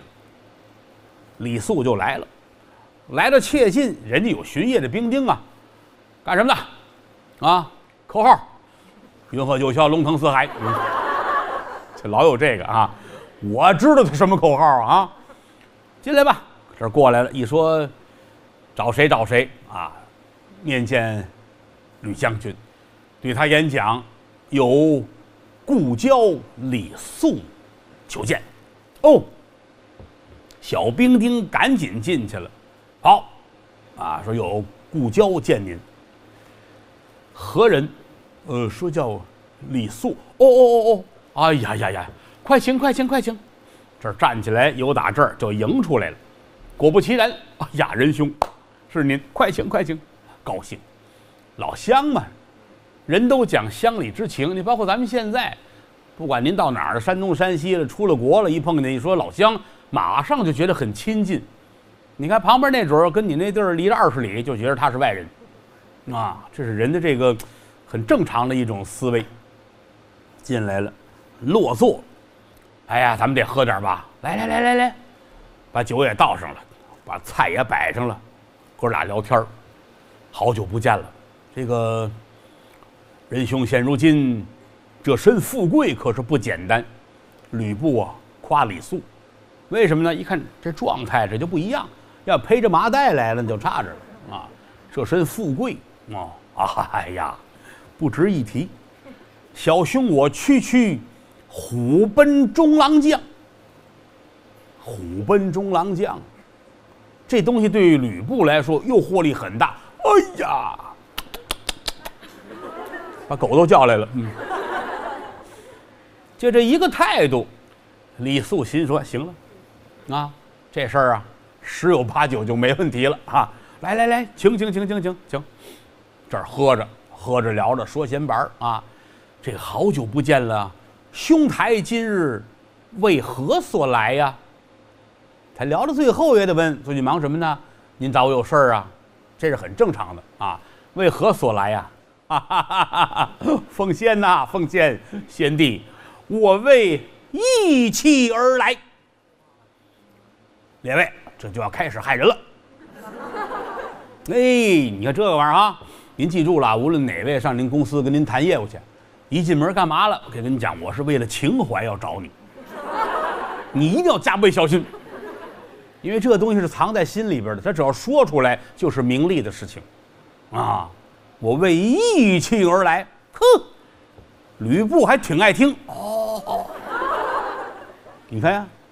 要不说他上当呢，他是必有原因，为义气而来，很感动自己，很高兴。这看着，嗯，是这样的，为大将者，无有宝马良驹，如损双足。就是这个大将军，你这没有好马，就跟没腿是一样的。我今天来特献龙驹一骑，骑就是骑呀，骑马的骑，多音字儿。搁在这儿呢，得说骑。哎呀，一骑良辰，啊，一骑马，两头驴，三口猪，是这个这个意思啊。龙驹一骑，就是我给您送一匹马来。好，现在何处？现在场外。来来来啊，奉先随我来，带着出来。什么东西能够打动你，你就容易被什么东西击败。很简单，你比如碰见。碰见于老师，你告诉我哪儿哪儿烫头烫的好。那你要跟我说这个，我能给你退出去，我用得着吗？是吧？啊，你要跟于老师说，他就哪儿哪个师傅啊，能烫什么花怎样怎样，对吧？这就是你跟高峰，你得说什么相声怎么着了啊？唱快板的如何如何了？哪儿卖竹子了？他准跟你去，一筐一个准儿。这就是对病下药嘛，啊，出来吧。来了外边一瞧，哎呀，太棒了！宝马良驹，这个身上啊，这个毛啊，红扑扑的。有人说有那么鲜艳，您去看去。啊，马咱们有呢，枣红马，它比普通的马的颜色还要艳，浑身上下一根杂毛都没有，头至尾够丈二，蹄至背八尺五。细蹄儿寸，大蹄儿碗，唐脖吊肚，安颤鲜明，往这一站，那就不一样。这个好马跟那个英雄是一样的。你说咱们看人也是，这一帮人站在一块儿，一定有一个让你一眼打上，这主不一般。这就是气质的问题。有的呢，他他怎么捯饬，怎么穿，往上一摆活，你看那样，你也知道他好不了。啊，这东西瞒不了别人，看眼神儿，看状态。看他这个感觉不一样，马也是如此啊。有那个马往这一站，你看着就是驴肉火烧的命，对不对？他熬到头了，他会拉磨，可不就这个呗？但这个就不一样，宝马呀，尤其为大将者，看见这个馋的不行了，到跟前来，一拉着缰绳，左脚点蹬，飞身上马，哒哒哒哒哒哒哒哒，来了一圈。这也正常，就跟咱们现在似的，送辆自行车，你不赶紧得跑一圈去吗？是不是？回来得夸，哎呀，宝车呀，宝车呀！你也没见过什么。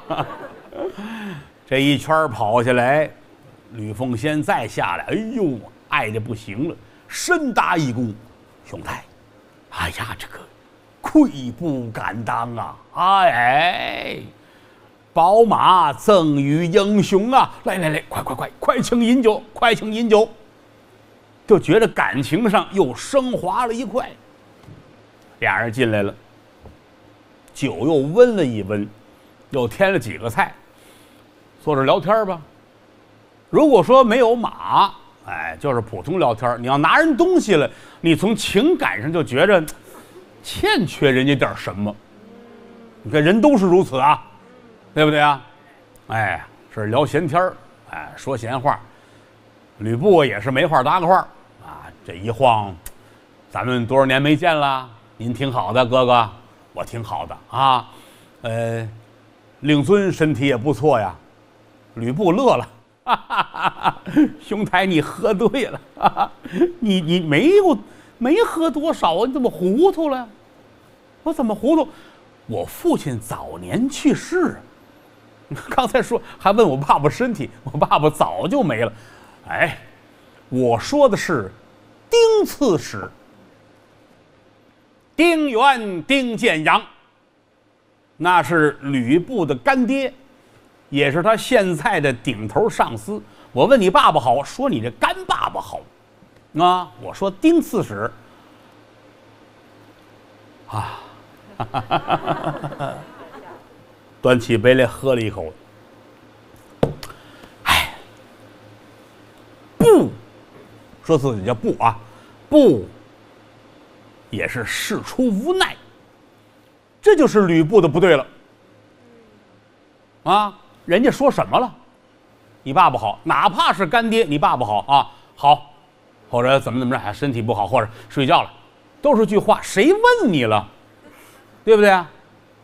你来这么一说，哎，我事出无奈，我问你了吗？对不对呀？这叫什么呀？这就说明他人品有问题。你这一下你就彻底把自己交代出来了。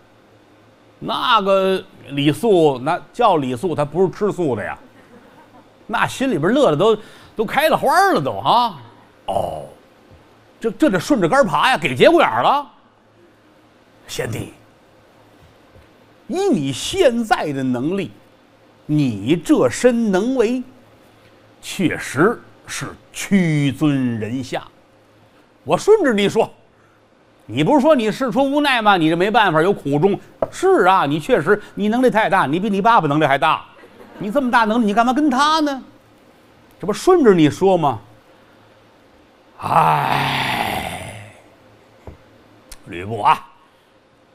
越听着这话越顺，对，我确实能力很大，啊，我怎么能让他当我爸爸呢？那你问谁呀？那不是你的事儿吗？对吗？这就看出这个人的品性来了。哎，天下大乱，我也是万般无奈呀，还得说我无奈。哈哈哈哈哈！奉先。你看看，小兄我，区区不才，我尚且是虎贲中郎将。我跟您比，我比不了。现在我还是虎贲中郎将，超过你多少倍？嗯，这话说的都往心缝里边捅刀啊！我这么大的能耐，我没这。哎呀，哎。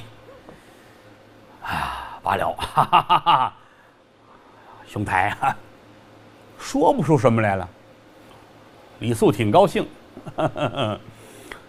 嗯，贤弟，此处也没有外人。小兄认为天下英雄此时为董公儿，就是现如今叫董卓最厉害的。唉，奈何我无有捐爱之功？这是吕布的原话啊。我无有捐爱之功，捐，涓涓流水的涓，哀尘埃的哀，我没有一滴的水，一点土的功劳，这叫捐爱之功。我无有捐爱之功啊，我投报无门呢。啊，这话说到这份上，李素乐了，随身带着一包袱，把它打开，往桌上一摊，黄金千两。这是一堆啊，珍珠旁边还有这个董卓特意让他带来的礼物啊，都摆好了，往这儿一放。奉仙你看看这个，啊，兄台，这算何意？凤仙，董公爱才爱贤，倘若你有意投奔的话，我愿做你引荐之人。哎呀，兄台，这使得吗？使得使不得都在你，奈何你还有义父丁原呢？哥哥等着，我杀了他！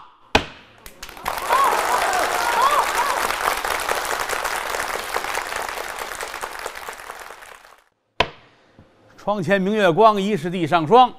举头望明月，我是郭德纲。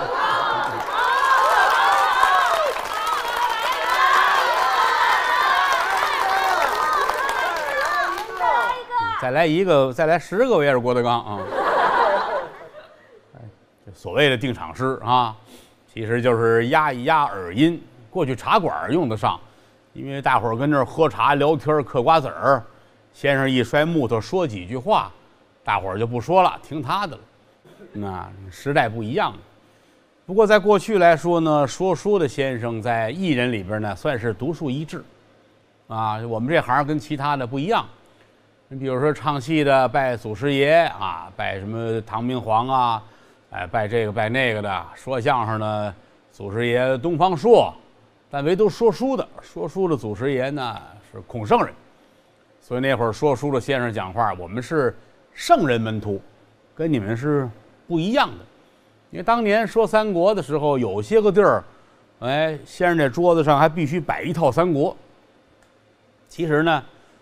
他说那个跟摆那也不挨着，但说着说着呢，还拿过来看两篇儿让说书的，哎，这做派这姿态都得摆匀了，底下观众踏实。那你看他有书啊，有书啊，啊，好多先生到某地去，不了解当地的习俗，说书这桌上不摆书，当地人不认可，觉得你瞎说，啊，就得跟道具似的摆上，用不用的哎。来唱片儿，哎，现在你真摆上这个，你也让人笑话，也不合适啊。这么多年来，说书这个行业是越来越难干了，信息量现在越来越大，人人都是自媒体，谁都有手机，想问点什么，上网一搜就知道了。过去那完全得听说书先生的，他说什么是什么，而且那说的活灵活现，你不信不行啊。但是现在不好骗了啊。现在观众都学坏了，你还讲理不讲理的呢啊？但是挺好啊，嗯，不会再回到当年那么兴盛的时候了。过去这一趟街上可能有二十家书馆，多少个说书的，以后可能不太会有这种情况了。但是这行呢，它也灭不了啊，就希望它好呗，因为它其实卖的是演员自身的魅力。同样的事情从这个人的嘴里说出来，可能就不太一样，啊，这个就拼的是个人的知识储备量。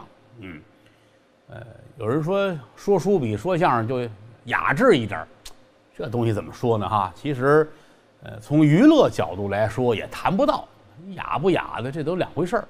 嗯，有人过分要追求这个，你雅你雅到头也就是昆曲吧，昆曲那是真雅哈。我不知道您哪位喜欢昆曲啊？那昆曲不是一般人欣赏得了的。那每句唱词里边都是典故。那前清的时候，那举子们那个念书的人都抱着《康熙字典》听，他每一句都典故，你听不明白呀，那还了得？当年昆曲那也是由于朱元璋一句话，才引起来大伙儿对昆曲的重视嘛。啊，朱元璋大明朝一建立了，哎。朱元璋这个皇上其实挺有特点，嗯，他跟其他皇上不一样。有一天，他问一个老头这老头叫周寿仪呀，就是昆山人，上海边上，昆山人。这皇上跟他聊天闻昆山腔甚佳，而亦能讴否？听人说你们那昆山那儿的小曲小调挺好听的，你也能唱吗？就这么句话，闻昆山腔甚佳，而亦能欧否？欧就是唱啊，你也能唱吗？就这么一句话，给天下的艺人带来了生机。哟吼！皇上这个话是什么意思？啊，这说明是要大力的推广昆山腔了。于是连文人，当年的编剧、官员、秀才，老百姓里边有点水平的、有点文化的，这个觉得商机无限，属于我的机会到了。因为皇上问了一句“昆山腔”，大批的人投入进来，咱们写剧本吧。万一写完剧本，皇上再问咱们呢？咱们编曲子吧，咱们排戏吧。他就是由于朱元璋的一句话。整个的社会从上到下，所有的人都觉得机会来了，大伙儿一起研究昆曲，才把昆曲创造出来。上有所好，下必啊，就这么简单的事情。再比如说，人家朱元璋问我：“闻太平歌词甚佳，而亦能欧否？”咱也得说能欧，能欧，忒能欧了。所以天下的事儿你听着很复杂，其实很简单。很简单，道理很朴素，啊，你干我们这行，你就得琢磨透了呗。其实天下事儿也都跟评书是一样的，不管什么事情，说到根儿，也就是一个故事。而且历朝历代好多故事，它翻来调去就这点事儿，换个男一号，换个主人公，换个发生的地点，可能有一不同的结尾，也就是如此啊。闲话少说，干点正事儿吧，好吧？哎，我我就不该啊给你们说这句话。我一说这，我就知道他们得高兴坏了啊，是不是就等这句呢？咱们当务之急，咱们得先解救一下丁建阳同学。这个丁原、丁建阳、丁先生啊，现在生命受到了冲击。上文书咱们讲到，虎贲中郎将李肃面见吕。奉先要聊一聊接下来的宏图大事。这个吕布啊，要不然说这后世对他的评价不高，确实这个人品有问题。啊，一瞧见赤兔马，瞧见玉带，瞧见黄金，瞧见这些摆在跟前的金银财宝，眼珠子一亮，马上就忘了这个丁原对他的好。就算不好，可有一点，你管人家叫爸爸呀。对不对？这个称呼他不是个老同志，对吧？二大爷啊，三叔、五舅，他不是这个呀。你是管人叫义父，出来进去的，人家管你叫儿子，你这个关系就不是一般的。虽说没有血脉，但是状态摆在那儿，你们是亲人呢。你怎么能见利忘义呢？这是吕布这个人的大不该。所以说万古千秋，没有人说他好。到后来所干的这些事儿。三姓家奴啊，如何如何的，他都是有原因的。当然了，这个玩意儿你要拿现在的角度来看呢，你所有的人都是如此。人活一世，在社会上混，首先，人都是需要一个安全保障。第一步的安全保障呢，我得吃饭，我需要干净的水。外边下雨了，我得在屋里躺着。哎，地上呢就不如床上好。我有张床了，我我还得有个褥子。有褥子就得有被，有被子我得来个枕头啊，我这儿能躺得好，这可能是最早的需求。这个过去之后呢，他可能有更高一部分的期待。我需要有一份工作，我一天挣多少钱，我得买买馒头、买饼、买咸菜。再之后呢，我不能光吃咸菜，我得好有肉。当他能吃得饱、喝得足之后呢，他就有更高的需求，他需要比如说情感上的。支持，需要人尊重我，啊，你们得拿我当回事儿，我得如何如何的。他随着这个位置的变化，他是不断调整。所以之前你说丁原给他也好，他是对他有有激励的，啊，他是有激励的。但是呢，这边就怕就怕比，你你这是丁原，你这是董卓，你所付出的东西，提供的这些个，你不如董卓给的这个激励大，所以你注定你是要失败的。这也是事实，这是没有办法的啊。但是这说到这儿，咱们就说还是得讲良心呢。问题是天大的激励，你这里有人情在这儿呢，啊，有句老话嘛，你可以不害人，那枪口可以抬高一寸呢。是不是？哎呀，这个没有办法，当时出了那个情况下，我们没有，我们都得一块儿的就动手得打他啊。人家就有打得轻的呀，对吧？人家就有少打两下的，怎么你就得往眼珠子上扣呢？对不对？那就是品性的问题，这个解释是不管用的。今天一瞧这满桌子东西，吕布是心花怒放，说：“恨我无有捐爱之功，报效无门。捐爱，涓涓流水，尘埃，啊，尘埃那土那么点儿，流水就这么一滴的，这么点儿的功劳我都没有，我怎么好意思到人家董卓那儿去投奔呢？啊，说了这么句话，这就是互相给台阶儿。那李肃呢，人家是干这个来的，对吧？奉先，似你这样的大英雄，岂能甘居人下？这话损了，我可没说让你干嘛，但是我把这事儿摆在前面，你这么大能耐了啊！你天天你让他支持着，你这样替你不值。吕奉先点点头，那话说到这份上了，好。呃，奈何寸功未立，兄台，你看我现如今，奉先事不宜迟。这个聪明人说事儿啊，不用说的那么细致，啊，都都说明白，那是流氓打架。这事儿怎么办？喊您抓紧，这就明白了。呃，我想把他弄死，你看我从哪儿捅这一刀呢？我认为你把小刀磨得快快的，揪着脑袋刺儿去。那这俩搁在一块儿，两毛钱一斤。明白人说话可不就一个眼神的事不是？对吧？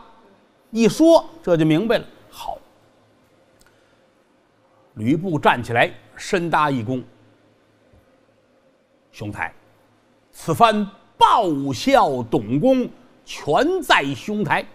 那意思，我办完了，你得给我搭这桥。好，好，好，好，好，静候佳音。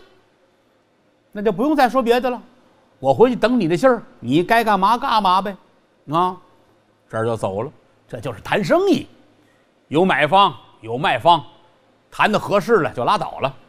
当然倒霉的是丁原呢。天儿很晚了，哎，丁原坐在屋里边看书啊，喝酒，正琢磨下一步呢。你跟董卓闹成这个样子，接下来咱们怎么办？啊，就这会儿功夫，一挑这帘子，又打外头，吕布进来了。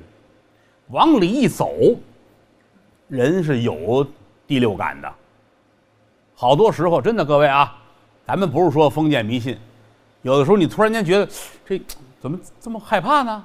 或者怎样的，它必有原因。这不是单纯一句说这人迷信就能解决了的。人对这个宇宙的了解最多到百分之五啊，很多事情是无法解释的，只能说咱们现在咱明白不了。但是人。人是一个很奇怪的一个一个生命，其实您细琢磨吧，好些个事情真是说说不明白、说不透。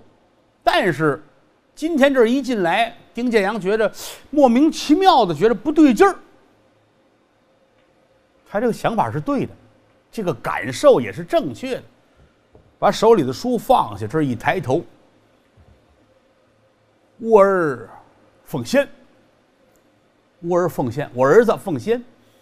就这四个字儿啊，后来大伙儿也都用。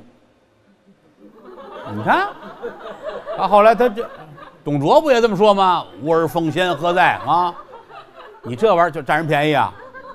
这俩叫人儿子都让人弄死了，所以说伦理包袱有时候不好，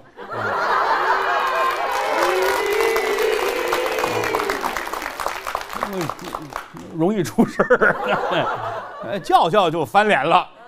啊，喊着喊着就不乐意了啊！吾儿哼奉先啊，这一说这个，那意思黑更半夜你干嘛来了？吕布这眼眉就往起来了，嗨，哪个是你子？没有这么不讲理的，对吧？刚才吃饭的时候，俩还说了哈，爸爸你晚安，睡觉吧啊！这一会儿再进来，谁是你儿子？你这玩意儿就没法交往了。不能够再继续愉快的玩耍下去，原文上说这个地方也很简单，我们也不能把它敷衍的多么的复杂。你要说武侠小说、公案呐，什么男女感情的评书啊，这个地方我们要多做文章。但是这个《三国志》也有，《三国演义》也有，咱们不能玩了命的给人去铺垫啊，没有意义。很简单，就是吕布把刀掏出来，走上前，咔吧啦嚓，就把丁建阳的人头砍下来了，就这么快。为什么快呢？折自己的尴尬。欢迎各位，你说此时此刻还能有什么可说的，对吧？跟你商量点事儿，我现在不要脸了，我把你宰了，然后我上那儿去，我要当官了。你有什么可说的，对吧？丁建阳肯定得问他啊，为什么当初你怎么认我当的干爹？这些年我对你好不好？不能让你说出这个话来呀！你说得出口，我就下不去手了。不能等你说，所以上来咔，就把脑袋切下来了，死尸倒地。吕布攥着这脑袋往外就走，得跟大伙儿有一个交代。胎，这胎是喊一声，各位请注意啊！胎，丁原不仁。丁原不仁，他这人不仁不义，这就叫诈骗了，对吧？但是总得给自己有一借口啊，他不能拿着出来，我错了，你错了，你给他安上去，对不对？丁原不仁啊，我已经把他杀了。满营将官愿意跟着我的留下来，不愿意的自行遣散。原文上说，大概走了一半就是原来丁部队的人，因为有的人也瞧不惯你，哪儿哪儿你们打起来爷俩动刀，脑袋瓜子就切下来了，是吧？跟着下去没有前途。现在说允许我们走，那拉倒了，回家种地去了。所以说呢，就走了一半剩下一半吕布归着归着，带着他们，就投奔了董卓。可这一见董卓，董卓乐的都不行了，高兴啊啊！朝思夜盼啊！这个美英雄现在是我的人了。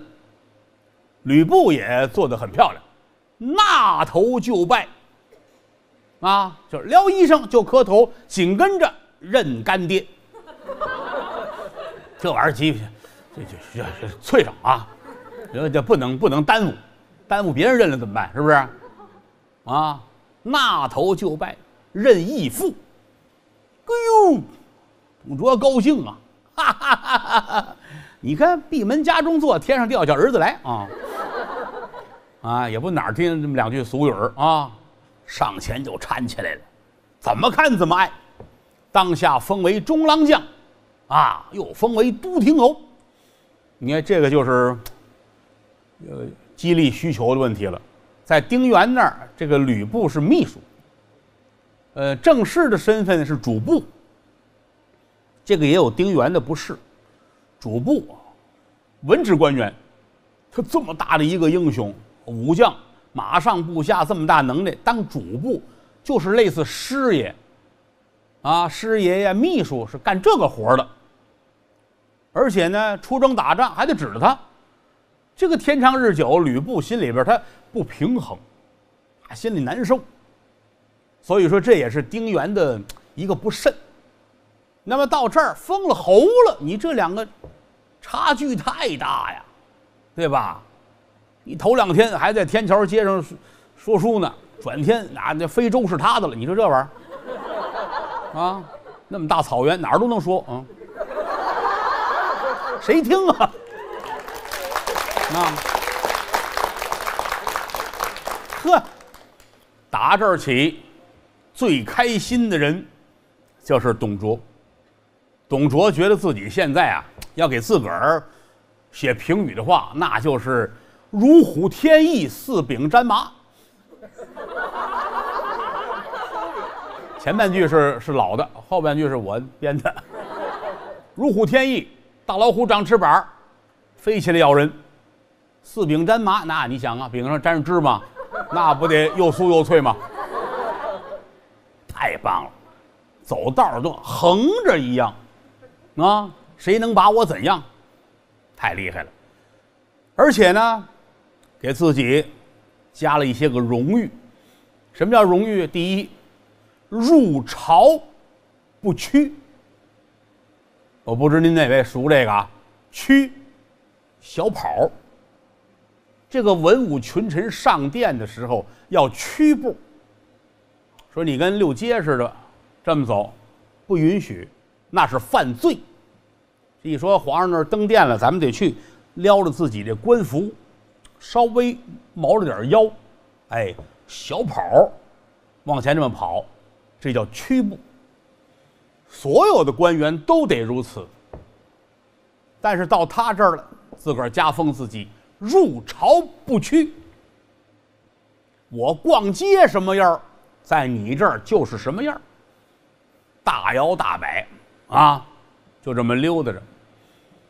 剑履上殿，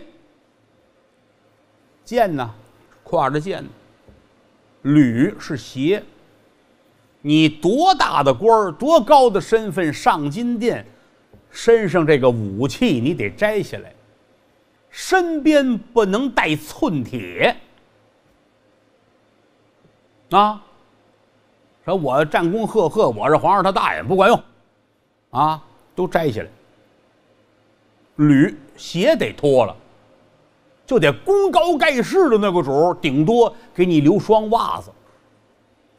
基本上头上殿都得光脚，皇上这铺着红毯子呢，红毡子，就是你那个鞋底儿不能蹭到毡子上，就打大殿外边往里一走，个个的光着脚，撩着衣服往里边小跑，对皇权的尊重。董卓没有。到哪儿去挎着大宝剑，在金銮殿上。当然了，也没有说带着剑上金殿就能刺王杀驾那么些个武士呢，啊。不过你能带着剑上殿，那就说明皇上拿你当亲人。啊，脱鞋没有，啊，哪怕外边踩完了雨、插完了泥，人家上金殿也是哭嚓哭嚓的就来了。看来鞋里边有水啊，还得哭嚓哭嚓的。身份吗？还有两点不明。什么叫不明呢？不提名字。第一是诏书不明，第二是赞拜不明。诏书啊，圣旨下来了啊，比如说皇上出圣旨叫高峰上殿。啊，著名相声演员。啊，一队传笛，德云社总教习高峰上殿，啊，就都得提。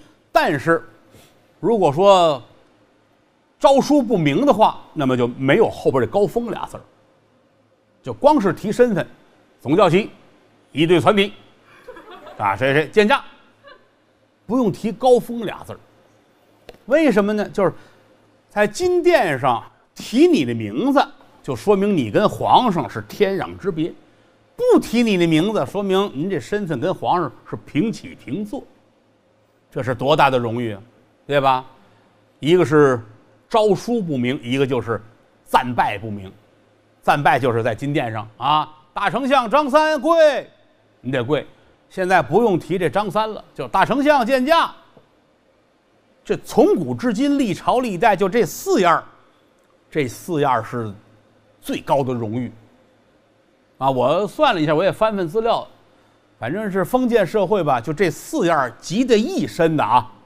因为这也不一样，有的就是占一样，有的占两样，就这四样全齐的就一个人，就是北宋有一位王爷叫赵元衍，山前住个严元衍，啊，山后住个严元衍啊，那个不是那人，叫赵元衍。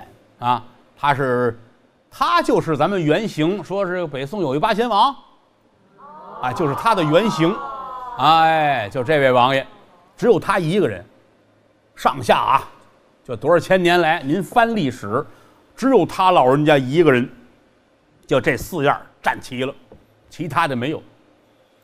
但董卓这个不是皇上给的，是他自个儿设计的，对吧？你他设计，我要在金殿上跳街舞，那也没办法，对吧？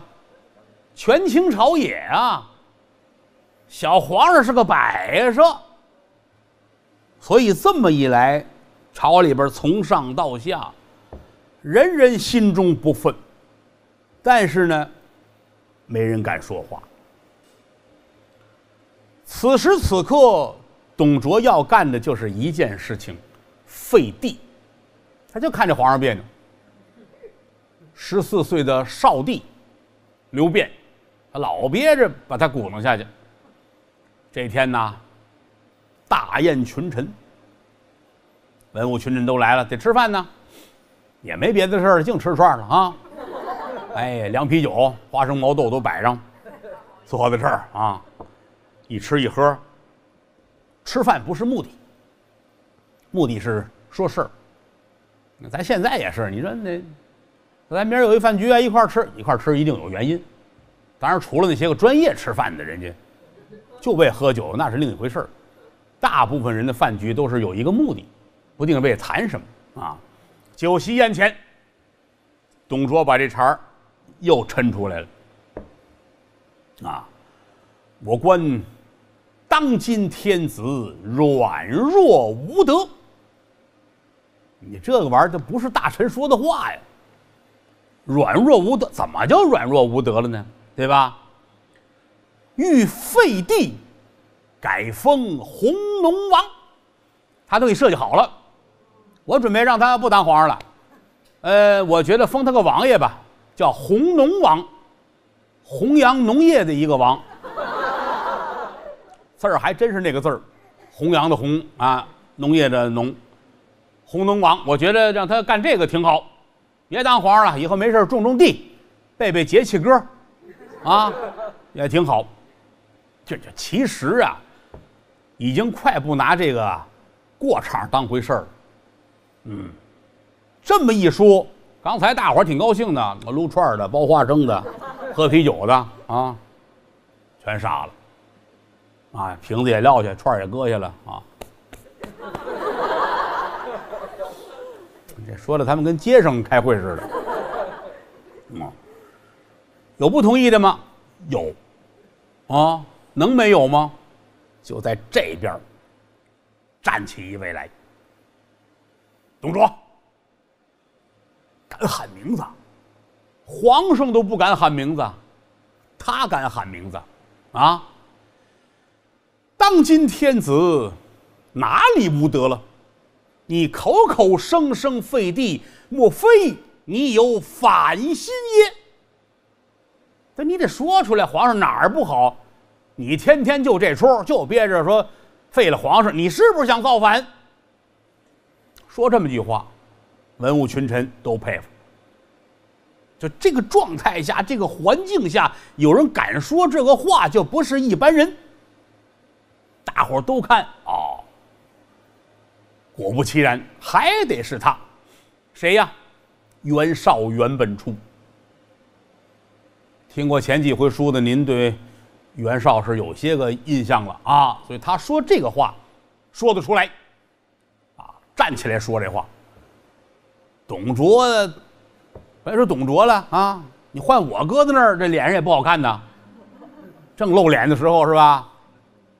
让人站出来，当当当怼这么两句，一伸手，苍啷啷，扭打肋下，就把宝剑抻出来了。袁本初，这个人要是一喊大名儿，就是要出事儿了。你回去琢磨琢磨，你爸你妈要说你的时候是吧？你想这道理去呗，是吧？哎，平时怎么都行。哎呀，我的儿啊，闺女啊，呵，宝贝儿啊，你这你那个都行。他多的一喊大名你准惹祸了，他要翻脸了，对不对啊？袁本初，拿手一指这宝剑，难道说你以为我的宝剑不利吗？这我这不快吗？对吧？袁绍乐了，把自个儿的剑抻出来了，让你尝尝是你的力还是我的力。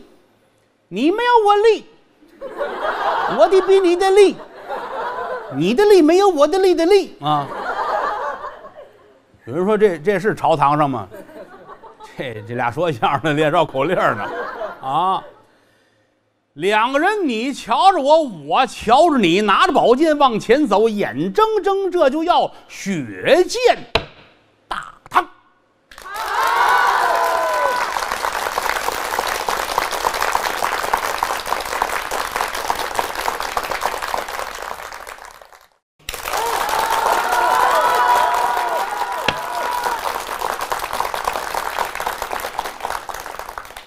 一去二三里，烟村四五家，亭台六七所，一枝红杏出来啦！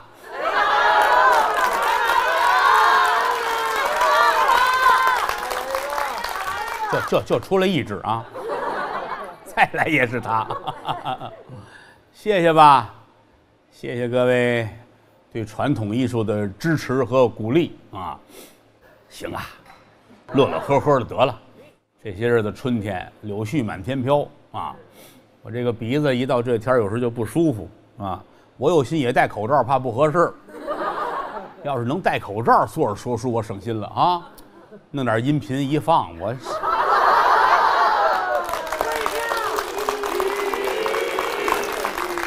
人这有明白人，马上人家说出退票，你买票了吗你？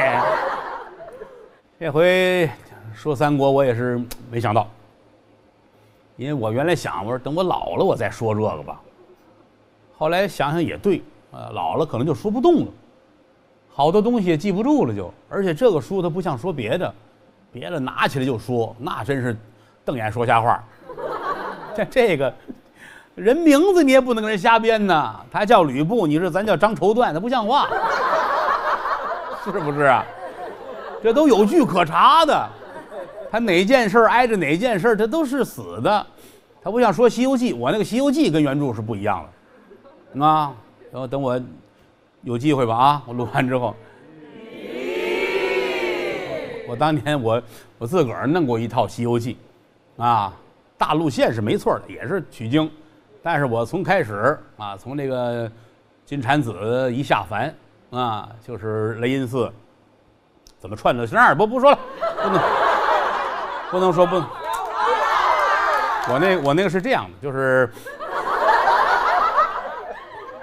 他就是如来佛的弟子啊，金蝉子晚上在雷音寺里边呃，巡夜来一个金鼻子的小白老鼠，偷喝佛前的灯油，啊，巨大无比的大蜡烛，他爬上去喝蜡油去，但是呢太烫，张不开嘴。金蝉子过去呢，就把这个蜡烛那花儿弹灭了。这一弹灭之后呢，这手上还留了一个记号，一小疤，让这老鼠跟那儿喝油。如来就说了：“你看，你这个动了凡心了，不是我弟子，所以你要下凡，哎，作为取经人再回来见我。什么时候你再能以取经人的身份出现在雷音寺大殿上，能看见我，我才承认你是我的徒弟。”就这样呢，金蝉子就下凡了。啊，去要做取经人，小老鼠呢也下凡了，在半道上等着他。天下妖精等唐僧都是为了吃他的肉，唯独小老鼠是为了跟他结婚，是为了报恩。啊，然后呢，这个金蝉子到了凡间了啊，他一共是要投胎转世十次，啊，这前九回呢不一样，这一世呢可能他是个。呃，坏人下一世是个好人，这世是个女人，那世是个妖怪，种种的吧。反正每一世的最终结果都是我要去取经，但是都是阴差阳错就走到流沙河了，呃，被沙和尚给吃掉了。吃完之后呢，脑袋扔到河里边呢，它不沉啊，飘上来了。开始呢，搁手里盘着玩，后来越来越多，就拿绳子串在脖子上挂着。这就是他呢，为什么沙和尚挂着九个骷髅？九个骷髅齐了之后，第十个来的才是后来那个唐僧。我是从这儿开书，先是开这个九世唐僧这这九世的过程，这之后，然后才取经。取经每一山每一洞每一个妖精都是我自己后来从编的，不一样。所以之前您听有一次我在北展台上我说了一点儿啊，好像好像大伙还挺爱听的啊。哎，对，那就是我与众不同的西游啊。那等有机会咱们咱们再再玩那个，好不好？嗯。先说三国吧。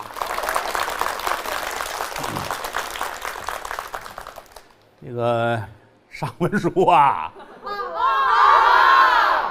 我想着呢，我不能再让你们把我往沟里带了啊！你们这沟越走越宽了啊！就在这个酒席宴前，袁绍跟董卓两个人要开始比粗了。什么叫比粗呢？这也是戏曲舞台上的一个技术用语。就是俩人，你也不服我，我也不服你，咱们看看今天到底要如何？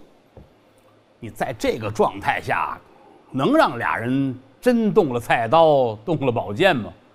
就得有人拦，尤其是董卓这边。董卓为什么脾气这么大呢？这不是有吕布吗？对吧？他横啊！你看我们那儿这个原来有小孩儿，我就印象很深，嗯。他一出去啊，就好打架，净出去跟人动手了。后来我们也分析，怎么出去老打架呢？就分析这几次，后来发现不怨他，啊，他有的时候出去就不打架。我一问那几个人，那几个人说是，说他出去招欠，东北话叫撩闲，他老得勾搭别人打架，哎，翻脸，来上上上。所以说，小孩的心态就是这样，有撑腰的呀。啊，他不在乎这个啊，自个儿出去那规规矩矩，见谁都鞠躬啊。天下单有这么一类人。今天也是，我有一子干儿吕布吕奉先，我还在乎谁？真打起来了，我还能让他把我囊死吗？他是这么个心态。但是李儒在这儿，李儒得拦着呀，那是他的智囊啊，那不能真动手。咱得说干事的目的是什么？目的不是把那皇上拿下来吗？咱就说干这个事儿，目的不是为了在这儿酒席宴前真动了刀啊，出人命，血流遍地，那个没有意义。所以董卓呢，哎，这一喊一闹，旁边李儒过来就拦着，说两句片汤话劝一劝。但是袁绍也不是吃素的呀，啊，此地我不可再留。扭头就走了，在东门以外挂节弃官。这是三国原文上写的挂节。这个节呢，现在也见不着了。嗯，换一个说法，苏武牧羊见过吧？京剧舞台上，苏武老拿这么一玩意儿，啊，竹子棍儿上面挂着动物的尾巴、毛啊什么的，这个是代表着天子给你的东西。你拿这出去到藩邦外国，跟各国一说，这是代表着皇上让我来的，有个节，啊，有不一样，反正有大的，有小的，有长的，有短的吧，哎，上面也挂着什么毛，有几几节几节的，我就大概说这么个东西吧，就是跟挂印的道理是一样的，就是我不干了，就这么简单。他把这个挂到东门上，他走了，奔冀州而去。他走了，他也带着兵呢，他有自己的部队。他走了，回过头来，连李儒在跟前，好多人呢，就劝董卓说：“您别生气。”而且，这谁袁绍这个人呢，他的性格呀，导致他以后也不会成其大事。说咱们跟他闹翻了也没有意义。董卓倒是听劝，那好吧。后来呢，还派人找这个袁绍，啊，得了，你这个别生气了啊。封他一个渤海太守，这是袁绍今天走了之后的事情。我们再提那是以后了，先设计不到。那么今天酒席宴前，最后还是不欢而散。可是除了袁绍站出来说这个话，其他的文武官员没有人再提了。时隔不久，到了九月初这一天。皇上登殿，就是这位少帝刘辩，这儿登了殿了，文武群臣都到了，这底下是董相国，董卓加封自己相国。为什么后来都说董太师？这都是他自个儿给自个儿加的封号啊，在底下同着文武群臣。董卓打怀里边掏出来一纸诏书，都写完了，也不是他写的呀，李儒写的。同着文武群臣，同着小皇上，正式的宣读，没有别的，啊，当今天子软弱无德，今废为弘农王，立陈留王为帝。通知书。就是今天就开始了，啊，这个小皇上，我觉得他不行，你们也别问为什么不行，我就跟你们说一声啊，我都给他定好了，他们接下来他就是红龙王了，啊，来，请下来，更衣，列位，损透了，刚才摆的架。宫娥才女，太监们伺候着，官袍带履坐在这儿。皇上这会儿一拨了脖子，嘿，这儿，嘿，把这事脱了，摘帽子，脱龙袍，从上到下嘁哩咔嚓给你扒了，也不疼，也没人打你，侮辱性极强，真的。你看这些日子网上不有这么句话吗？是吧？伤害不大，侮辱性极强，这不就是吗？我那天看见这句话，我就想，我这就搁在这儿是最合适的，太侮辱人了，当时就哭了。怎么呢？四月份刚当的皇上，现在是九月，不到半年呢，还没热乎够呢，当时就完了。啊，而且马上让人到后宫通知何皇后。他那个妈呀，灵帝那个媳妇儿，何进的妹子，啊，杀猪那家来的大美女。说清楚，您各位明白是谁啊？通知一下啊，这个之前的身份改换了啊，你心里有个数，归置归置东西吧。哎呀！小皇上在金殿之上哇哇的痛哭啊，害怕呀。这边就把陈留王请过来了，请陛下更衣。这个也傻了，这才九岁，对不对呀？穿吧，打那套扒下来给他换上了，换完之后往上一扶，坐好了。董卓带大伙呼啦超跪下，吾皇万岁万岁万万岁。这个戏剧冲突有点太大了。那没办法，一朝天子一朝臣啊，这朝不用那朝人呐。金銮殿上改的就这么快，啊，这儿有人就把弘农王送回去。这会儿已经有了他自己的妃子了，唐氏，啊，加上自个儿那亲娘何皇后，娘儿仨也没什么事咱们哭吧，抱头痛哭。这哭完了之后。有人拿着锁链子来了，叫这娘儿仨住的这宫殿上锁了，严禁探望。你们仨也别打算出去了，反正管饭。啊，说我再像原来一样，不可能了。接下来的事儿净剩哭了。哎呦，就这点事儿，朝野震动，都糊涂着，连这个原来的陈留王也糊涂着呢。角色转变都没人通知我，怎么突然间我就是皇上了呢？啊，说我不当不干。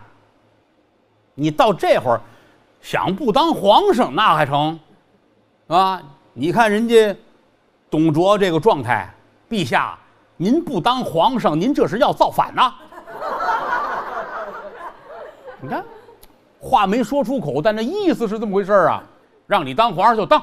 别那些废话。那么他是哪一任帝王呢？您记住了，这就是汉朝的汉献帝。啊，您看京剧《逍遥津》，高派名剧，那个汉献帝那一大段唱，啊，领着俩孩子，哭得可惨了，让曹操他们欺负呢，就是这位汉献帝。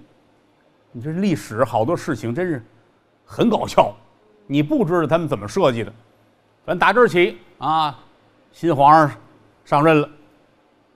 那位呢，在后院天天的哭，跟着妈，跟着自个儿的媳妇儿这么哭。董卓呢，还天天的派人盯着，啊，咱听听都说什么了吧？啊，呃，没说什么。哎呀，娘儿仨哭了。哦，哭的怎么样啊？说挺好听的啊，但是没有昨天的声音大。哦，那是累了啊，累了。嗯，天天听，但是他坚持不了多长时间呢。董卓不能养你一辈子呀。终于有一天，打发李儒去吧。李儒是多聪明的人呢，带着十几个校尉，带着酒，带着杯子就来了。咱们有句话，“酒无好酒啊”，就说的是这个酒，这是毒酒。沾唇则亡。带着酒来了，来到这儿见驾，啊，参见王驾千岁。前些日子还万岁，现在你看当晚少活好几千岁。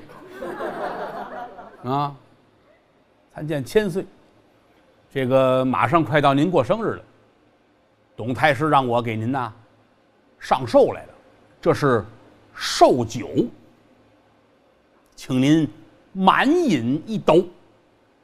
倒完了，第一个寿酒，小皇上眼泪都下来了，寿酒啊，受不了，准知道。这酒里有问题。李儒呢也没有这么客气，就是表面的啊。天不早了，您喝吧。既是寿酒，你先喝一杯。你看，刘辩说的对呀，哈，贺寿你来一杯。李儒瞧瞧他，李儒心说：那我哪消化得了啊？啊，也没废话，请您。满饮此杯。董太师还等回信呢。这话说到这份上了，就明白了，就是让你死，啊！眼泪就下来了。旁边他那妃子唐氏一撩衣裳跪倒了，痛哭哀嚎，说：“这杯酒我来饮，能不能放他母子一条生路？”就饶了我的丈夫，饶了我的婆婆。啊，这旁边何太后啊，哭的都不行了，顿足捶胸啊，骂谁呀？骂自个儿的哥哥何进。何进无谋，江山受累，现如今连累了我一家，保条命都难。心说哥哥你是真混呐，啊！挺好的一把牌，打个稀烂。哎呦，何太后跟这儿跺着脚骂街。李儒也不爱看这，一努嘴儿，旁边校尉过来，一拉何太后，走走走走走，打楼上愣给拽下去了，连踢带打就把人拽走了。就这屋里边，就剩下君妃二人。李儒很不耐烦呐，天不早了。董太师等我回报呢，快点吧！哎呀，你容我君妃一别，就是你再等会儿，我们俩要告别。两口子抱在一块儿，放声痛哭啊！哭罢多时，你老哭也不是事儿啊。李如心说：“这要等他自个儿喝，没日子了啊！”吩咐两边人，灌。跟手有人过来呀，摁住了，掐着嘴。拿着杯，往嘴里愣灌，片刻之间，君妃二人死在了哀臣。这看死了，踏实了，转身回报董卓。董卓很高兴，很踏实。紧跟着呢，何太后也让他们弄死了，这一支去的是干干净净。朝里就算是所谓的暂时太平下来了。董卓可了不得了，您想一想，想干嘛就干嘛。我想让谁当皇上，谁就当皇上。这个天下是我的呀。您看看这个《三国演义》上说说这会儿董卓啊，干了一件什么事情呢？夜宿皇宫。这皇宫啊，哪间好推开就进，也不用回家，就跟住旅馆似的。而且无论是什么叫宫女，哪个叫妃子啊？哎，这个好啊，来睡觉来吧，就叫过来睡觉，祸乱宫闱。这个文臣武将啊，恨的都不行了。有一个人实在看不下去了，朝里边有一位岳骑将军，啊，武将军，武福武德瑜。武将军看不下去了，怎么呢？岁数也大，对大汉江山的情感也重，心说要照这样下去。江山不就完了吗？我喝出去，我一身，我把董卓弄死得了。这个很简单，话虽如此，那是那么容易的事儿吗？这董卓出了进去，身边啊，一百多人。他出来之后，他有一个大轿子，因为汉朝的时候，他那个这个交通不像现在似的，也没有像后世那种，比如八抬大轿什么还没有。他就是跟个大簸箕似的，他坐在那里边，而且是这么仰着坐，哎，然后前后的有杆儿，底下有底儿，几个人抬着他，就是大致的很像您到四川爬山滑杆儿哎，就是类似那么个东西，在那会儿来说就算不错的了。只不过他做的呢，可能更豪华一些，啊，有些个花儿啊，材料上更讲究一点这就算不错了。一百来人跟着他，而且还有吕布、吕奉先。啊，前两天在金殿上把这个皇上换了位之后，其实文臣武将那个态度，董卓心里有数，心说此时此刻必须要杀一儆百，所以出来进去带的人也多，他也怕自个儿出事儿，啊，那么今天。上朝，坐着他这大轿子，到在了朝房门口，要下来还没下来呢，又打旁边武将军就过来了，啊，这一抱拳，老太师。说句老太师，他坐着坐着呢，要起来还没起来，因为他得得下来嘛啊，哎，武将军。刚说句“武将军”，武将军一伸手，由打怀里边噌一下子，把短刀掏出来了。一般的刀它得这么长啊，但你说那么长的刀搁在怀里边哈，这露一尖儿，搁在哪儿这后这都不好看，他非得是短刀。老将军提前呢都准备好了，啊，磨的倍儿快，藏在怀里边哎，借着。抱拳拱手的机会，就往前来，紧跟着就把这刀出来了，往前来，我去你的！这就要扎他。董卓啊，最大的特点，力大无穷，啊，到跟前儿了，而且反应挺快。他终归他是武将啊，啊，这就往起来一抬脚，啪，踢在手腕子上。这刀就飞出去了，紧跟着这轿子一落地，董卓站起来了。吾儿奉先何在？吾儿奉先何在？吕布在那后头呢。你这会儿那是露脸的机会来了呀！啊，两步就到跟前儿了。武将军岁数也大，上朝来又没有兵刃，他不像吕奉先，吕奉先的画戟随身能拿着，他不拿着，有兵卒给他拿着。你一上朝来，你说你带着方天画戟、狼牙棒也不像话呀！藏了这么一个短刀，还让人一脚踢出去了。武将军往上扑，他那意思，我掐死你也是好的，你就到不了跟前儿了。这儿一百多兵丁护卫，何况还有吕布，上前来两下就把武将军摁住了，就在朝房门口当众处死。哎呦，血流遍地呀！文臣武将可都瞧见，上朝嘛，官们得上班来呀，可就都看见了。哼，就瞧见董卓拿脚踩着武将军这死尸，仰天长啸。当天，金殿上没有人说话。所有的臣僚们，顶多你看看我，我看看你，没人说话。所有的国家大事儿，一些个公文都办完之后，屡屡行行往外走。其中有一位大臣说话了：“列位年兄、年弟，大伙儿一回头，司徒王允。啊，王大人，好。”各位大人，明日乃是在下健将之期。健将，啊，贵贱的贱，啊，降落的降。明天是健将我的生日。过去人说话他雅致啊，对自己呢都说的很低，对别人都捧得很高。您都是什么贵姓贵姓？哎，我们这如何说健将？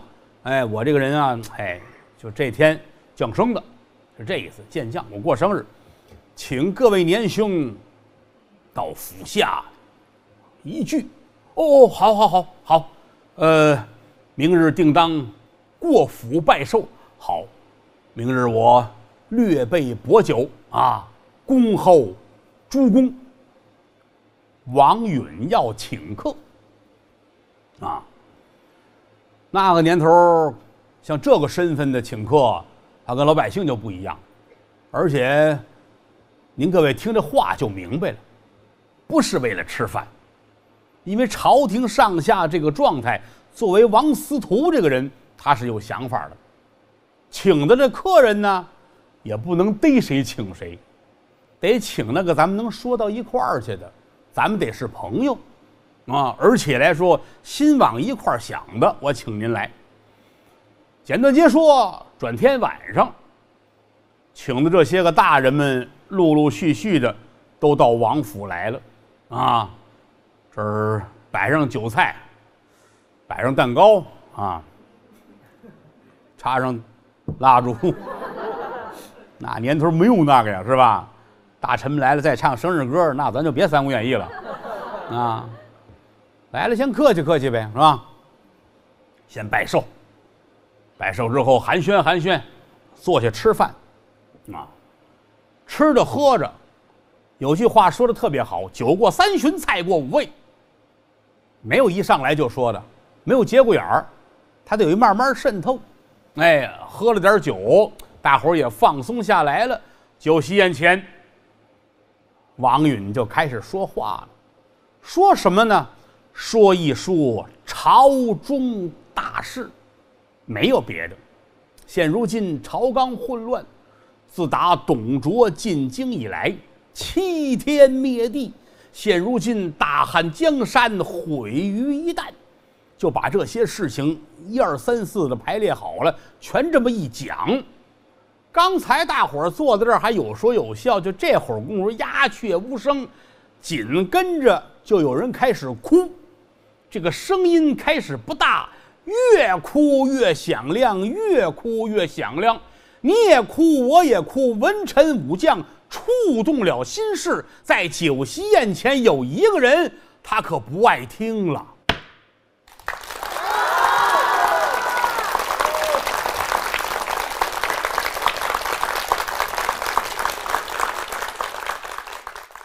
人心不知愁。夕阳西下，水长流。将军战马今何在？野草鲜花遍地愁。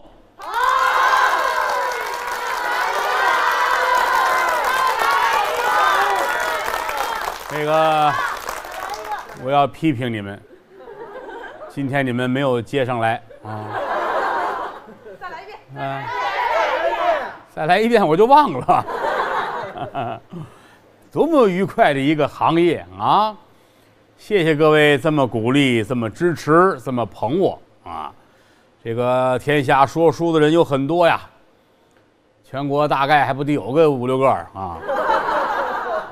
这行业算完了，一个行业全国才这么几个人，你是怎么干的啊？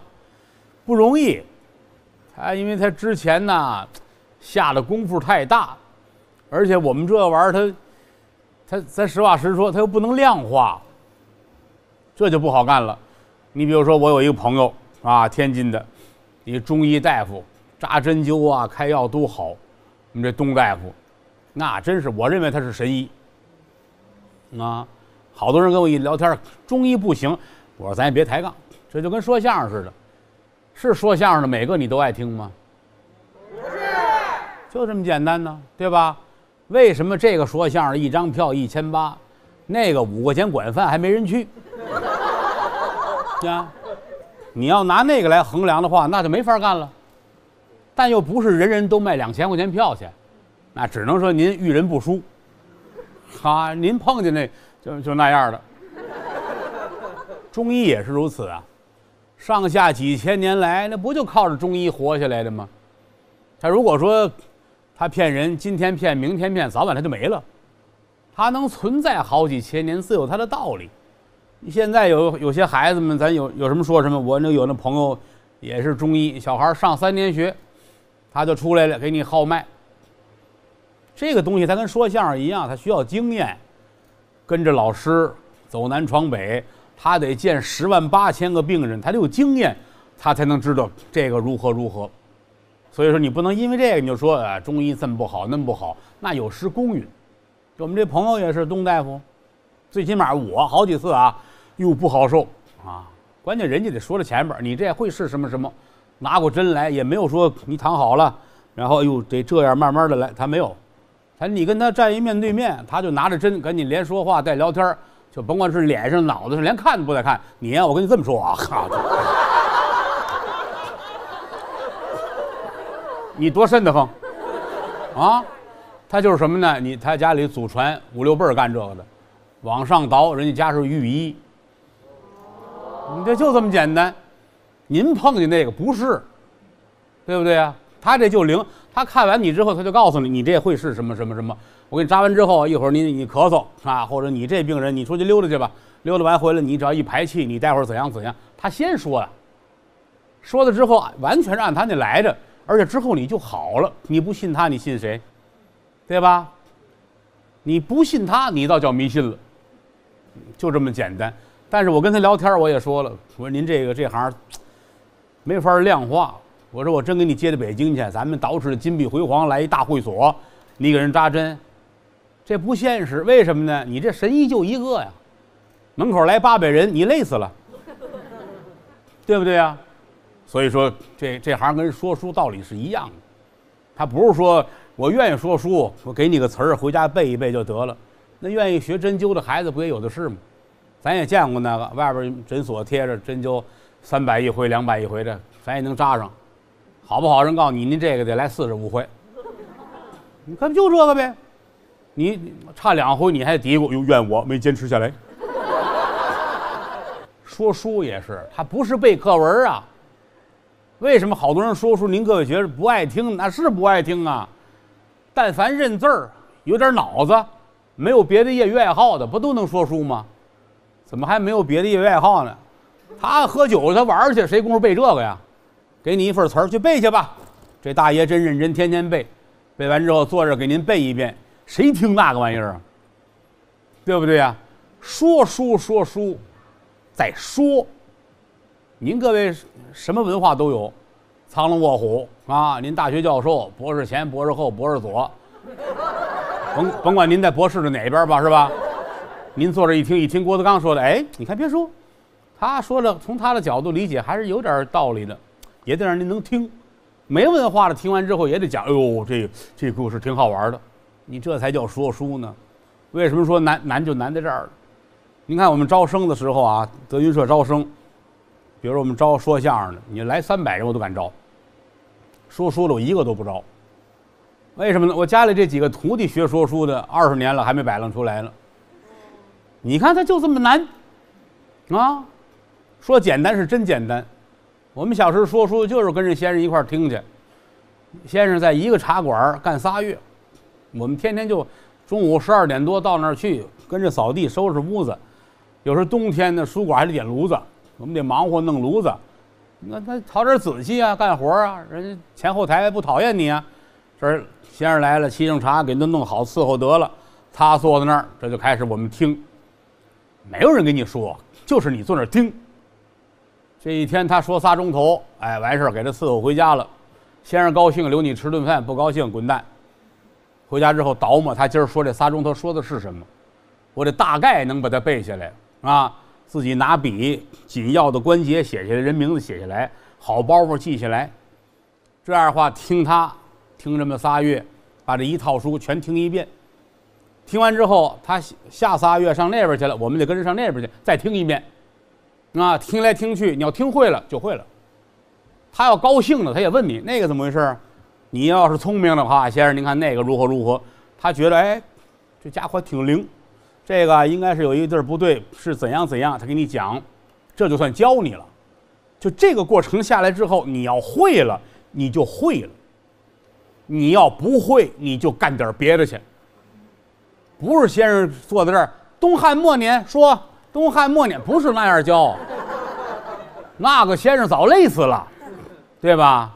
为什么难？难就难在这儿，就我们这说书这行业必须是天才，百分之九十九靠自己，剩下的再能用功，在我先生指点，自个儿再多看书，你才能成功。但是唯独在艺术方面，家长也愿意听。你看，奇怪在这儿，人的孩子们他都愿意，都认为自个儿我一定是那个艺术家。他爸他妈也相信。你上网看看，京剧、评剧、梆子、大鼓、评书、相声，所有艺术种类，你看大伙儿一点评，五花八门，骂了个街都寒碜着呢。没有一个人不比演员强，为什么呢？这行太难了，但是人人都把它想的太简单了，就这么简单。但是我们自个儿得知道啊，那是那么容易的吗？往这一坐，跟人说。要在茶馆里边，您甭管十块二十块，你花了钱坐在那儿，他老得琢磨我花钱了。为什么说想当初说相声我自己给自己定一规矩，必须要卖票，必须卖票，绝不能送票。你天天送票，有一天卖三毛钱，观众都觉得坑得很。啊，你看，包括很早很早以前我们做演出。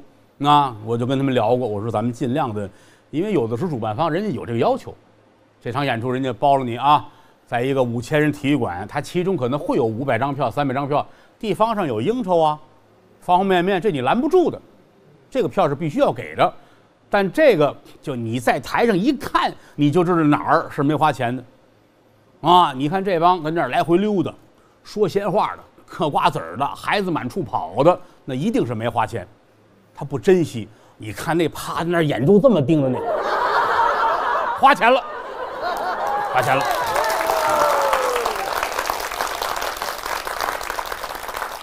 所以我说，我说咱不送票没有意义。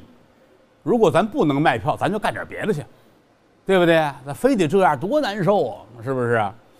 所以说这说回来了啊，我还是很希望能多出些个说书的先生，因为我知道这行太好了。啊，你这么些年来，我我还有最起码好几十套书，我没有机会跟大伙儿念叨呢，啊，真的，咱们就打三国开始，好不好？好。哎，趁着我还年轻啊，我也不，我还我还十八呢，我，难道说我就没有身份证吗？你骗我，我就信了吗？这这个，这哎，那好，谢谢各位啊，您各位也是真疼人啊。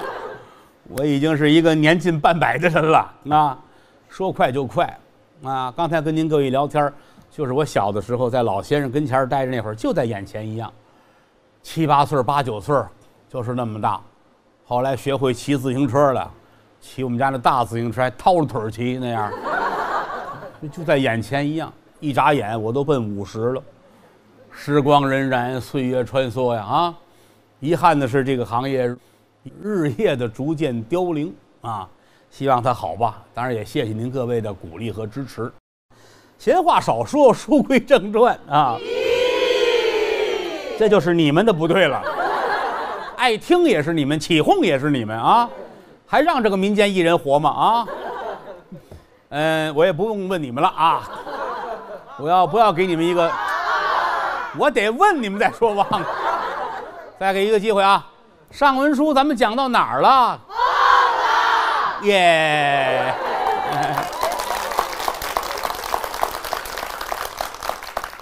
王司徒宴群臣，酒席宴前痛诉董卓的种种不堪，祸国殃民，篡位谋朝，五人臣之礼，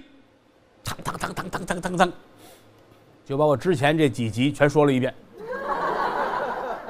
当然，王允没我说的好，他不是干这个的，他不是这里头事儿嘛啊，还顶多算个票友啊。但是你别看，哎，别看人家是外行，人家说完之后，就整个这屋里边喝酒吃饭的情绪受到了波动，逐渐的就听见有人在气，不是生气，气就是哭。但哭跟气还有点区别，有声有泪，这叫哭；流着眼泪啊，跟这哭，有声有泪，这叫哭，啊，有泪无声，这叫气；流着眼泪心里边难过还忍着，偶尔的，这叫气；哎，没有眼泪光有声音，这叫嚎，哎。说书容易吗？光一个哭就得给您讲明白了，它代表不同的情绪。这个嚎啊，就是您要到了咱们到农村呐，老太太们吊孝的时候，这个最多，捂着脸嗷嗷哭着就进来了，也没眼泪儿啊，那叫叫嚎。你包括这个咱们说《水浒》潘金莲哭武大郎，那个就叫嚎，是给别人看的。但今天这各位气，怎么呢？都是有身份的大臣呐，咱现在说一品的、二品的，再低也没有低二品的。二品往上，朝廷大员坐了一屋，跟这拍着，跟傻小子似的，不像话。王司徒的话触动了大家的心事，为国为民有感而发，哎呦，眼泪下来了，抽泣。这个玩意儿它是能感染的。您上火葬场看看去，啊，这一帮人这儿一哭，有的人也没跟这死者多大交情，但到这儿之后，就这个环境带动着你，不由自主的跟着就哭。又何况这帮人都是朝里边的忠良啊，一个难过的叫都难过，慢慢的，这个声音就起来了，啊，哭声也是越来越大。王允也是很激动，啊，激昂慷慨，就说这些个事情。就在这会儿功夫，就在这个角都是文武群臣呢，坐在这儿，有这么一位仰天长啸，这个就不合时宜了。大伙儿这儿为国家难过，他那儿哈哈哈哈，这就不像话了。啊，为什么呢？你不合群呢？德云社剧场，大伙儿都跟着乐，就你坐那嚎啕痛哭，必有原因呢，对不对？我们也得过去问您怎么了？你是埋伏在这儿的说相声的，是吧？啊？别，凡事反常必为妖啊！你准得有原因呢，对吧？就这一下大伙儿都回头看，最生气的王云。你想他这个情绪在这儿了，我给您各位都请来，吃着喝着听我讲国家大事，咱们怎么办法剪除国贼？我这儿说着，大伙儿都很好，都在哭，唯独你嘎嘎嘎乐。我这里边有包袱是怎么着？这是人情戏理嘛，你搁谁谁也是，我跟大伙儿这说着话，希望你们一块儿啊，咱们团结，怎样怎样。他那咯咯咯乐，你说能不恨他吗？是吧？王司徒怒从心头起呀，就这么回头一看，一瞧这主啊，现在说身高得有一米八左右，这个脸呢还挺白净，单眉细眼。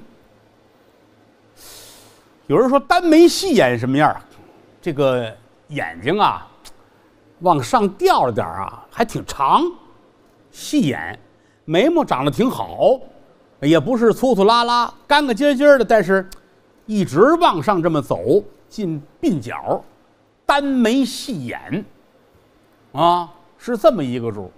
书中代言啊，仰天长啸，这位是谁呀？曹操，曹孟德。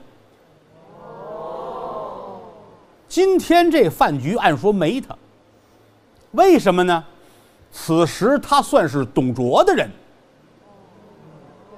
董卓爱他，聪明机智，一直很希望把他就拉拢过来，成为自己的亲支近派，像李儒、像吕奉先这样的人，所以对他很好。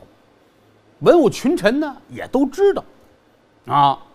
按原意来说，王允是没打算让他来着，他是听见信儿了。哦，王司徒过生日，我得去。他来了，来了也不能让你走啊！啊，既然来就坐那儿吧，是这么一回事儿。那么此时此刻，他跟这儿嘎嘎嘎这么一乐，王司徒不干了。孟德，他叫孟德吗？啊，孟德，因何？发笑，你乐什么呀？曹孟德站起来了，哈哈哈哈哈哈！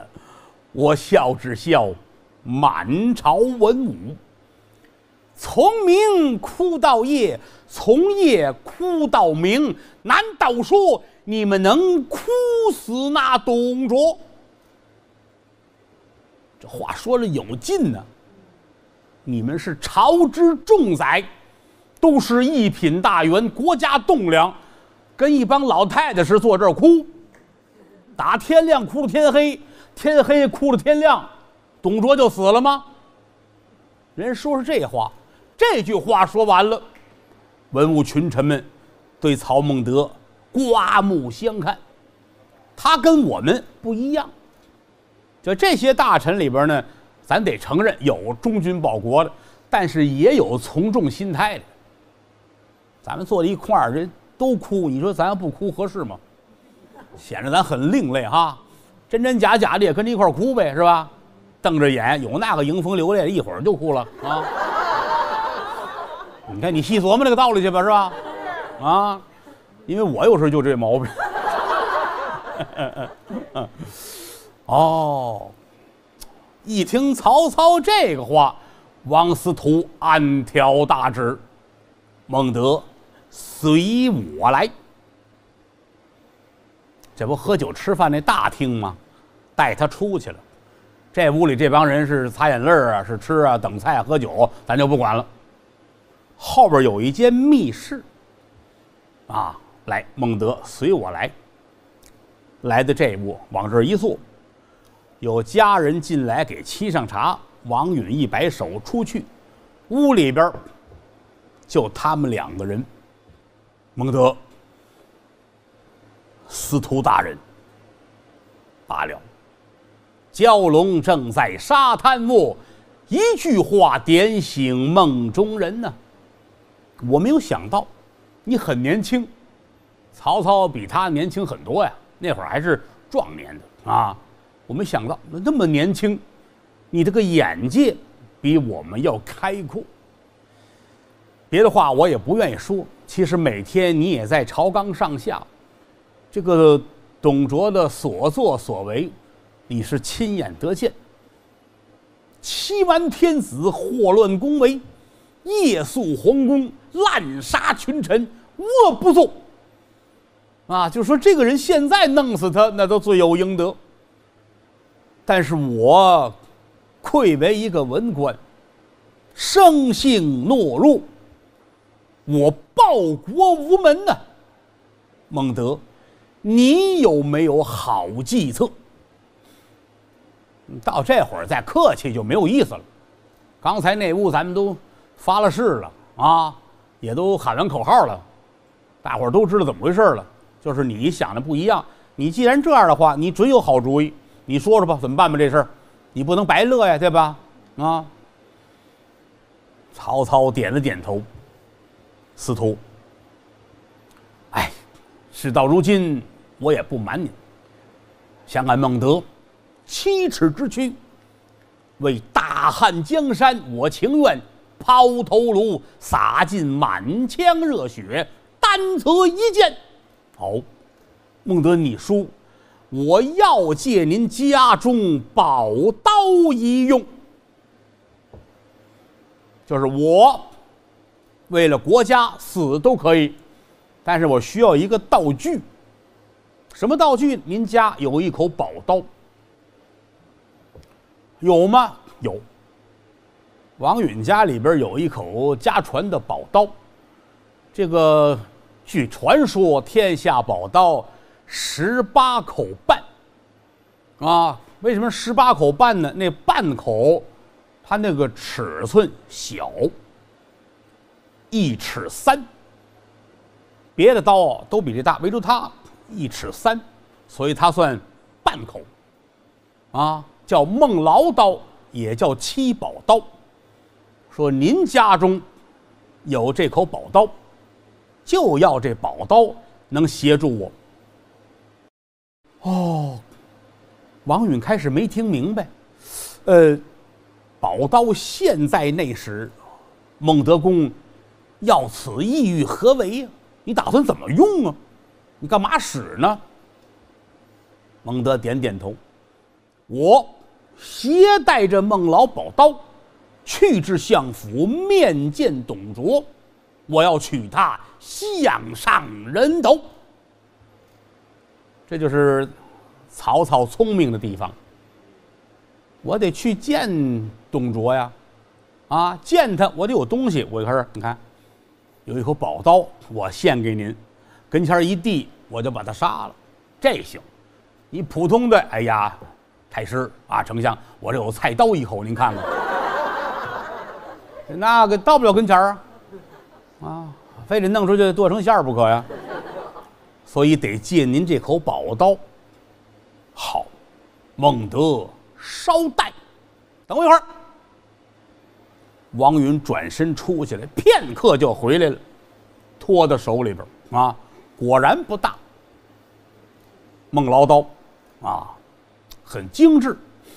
这个有关各种宝刀的，咱们找机会再细说，因为这个一说那个就演绎的成分太大了。各种宝刀，哪口刀是干什么用的？谁拿的？有什么典故？那个我那得说个十级八级的啊，不合适，怕平台不乐意啊。回来我搁在那个《七侠五义》里边给你们再念叨得了啊！今天把刀取来了啊，往这儿一递，曹孟德伸双手相接，把刀抱在怀里边了。王司徒，但放宽心，俺曹孟德七尺男儿，今日里我要为国出奸。王允一撩衣裳。就跪在那儿了。哎呀，王司徒，您这是您您不能拜我，我不是拜你，我不是拜你，我拜的是你为国为民一颗忠心。今天刀交给你了，我老王家上上下下几百口人也交给你了，因为这事儿是明摆着的嘛，去了就两种结果啊，一个就是成功了，啊，把董卓杀了。咱们皆大欢喜，哎，咱们接着喝酒庆祝开 party，对吧？还有一个就是你没成功呗，你没成功，那就连累我们大伙了。人得倒这根儿啊，这刀哪来的？谁让你来的？怎样怎样？那拿着我，那不是一个人事儿，全家的事儿。这事儿托付你是我全家性命，都托付给你了，啊！所以撩衣跪倒，孟德也赶紧跪倒，两位都流眼泪了。哎呀，这互相搀扶着站起来。也没什么可说的了，拱一拱手，转身就走了。说这王允再回去跟大伙儿喝不喝酒、聊不聊天儿那就不重要了。咱们回过头来单说曹操。回了自己住这地儿，他在这儿啊，他在洛阳这儿没有亲眷。他父亲也好，家里亲戚都没在这儿，这儿就他一个人住哪儿呢？他住在旅店里边，啊，常年的包下旅店某几个房间，他住这儿啊。就包括咱们现在，比如说有的官员到外省任职了，也是家未必跟过去，当地给你安排一个住宿的地方，就是你在这儿，哎，他也是如此。回到自己住的这个地儿，把刀放好了，坐在这儿，翻来覆去的想这件事情，紧张吗？紧张。这不是小事儿啊，各位啊，天大的事情啊！不管成功不成功，自己都是要上热搜的呀。你想去吧，把董卓弄死了，那事儿还了得，对吧？董卓把他弄死了，那不也得热闹热闹吗？就注定这就是来回俩热搜，啊！自个儿坐着想这事儿，啊，家国情仇，为了江山，为了百姓，董卓这样昏庸，像我们这个在朝居官的，我们就算老老实实的做官，早晚有一天也得让他祸害死。既然如此的话，不如我们先下手为强。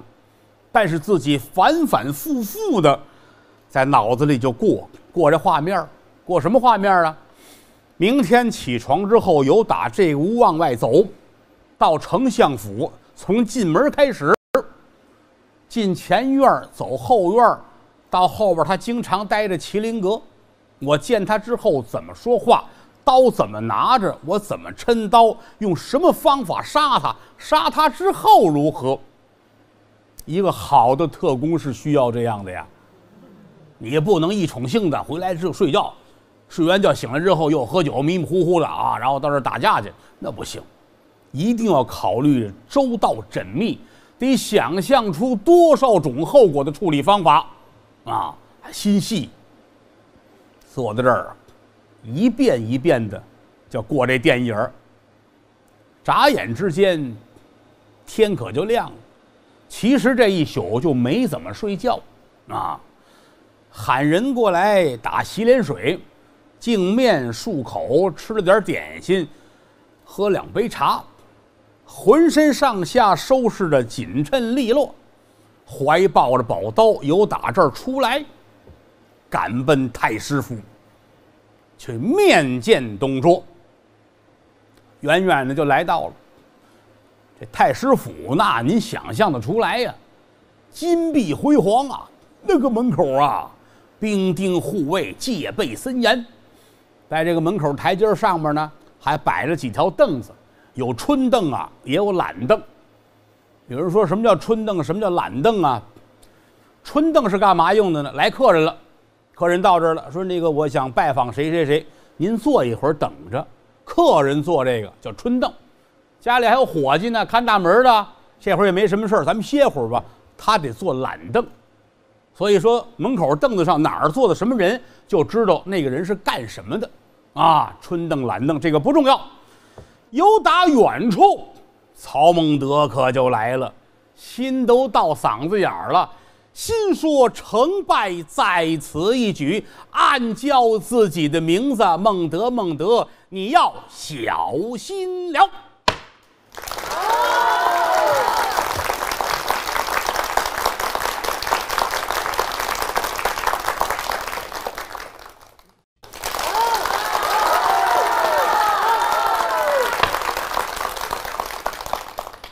野草闲花遍地愁，龙争虎斗几时休？抬头吴越楚，再看梁唐晋汉周。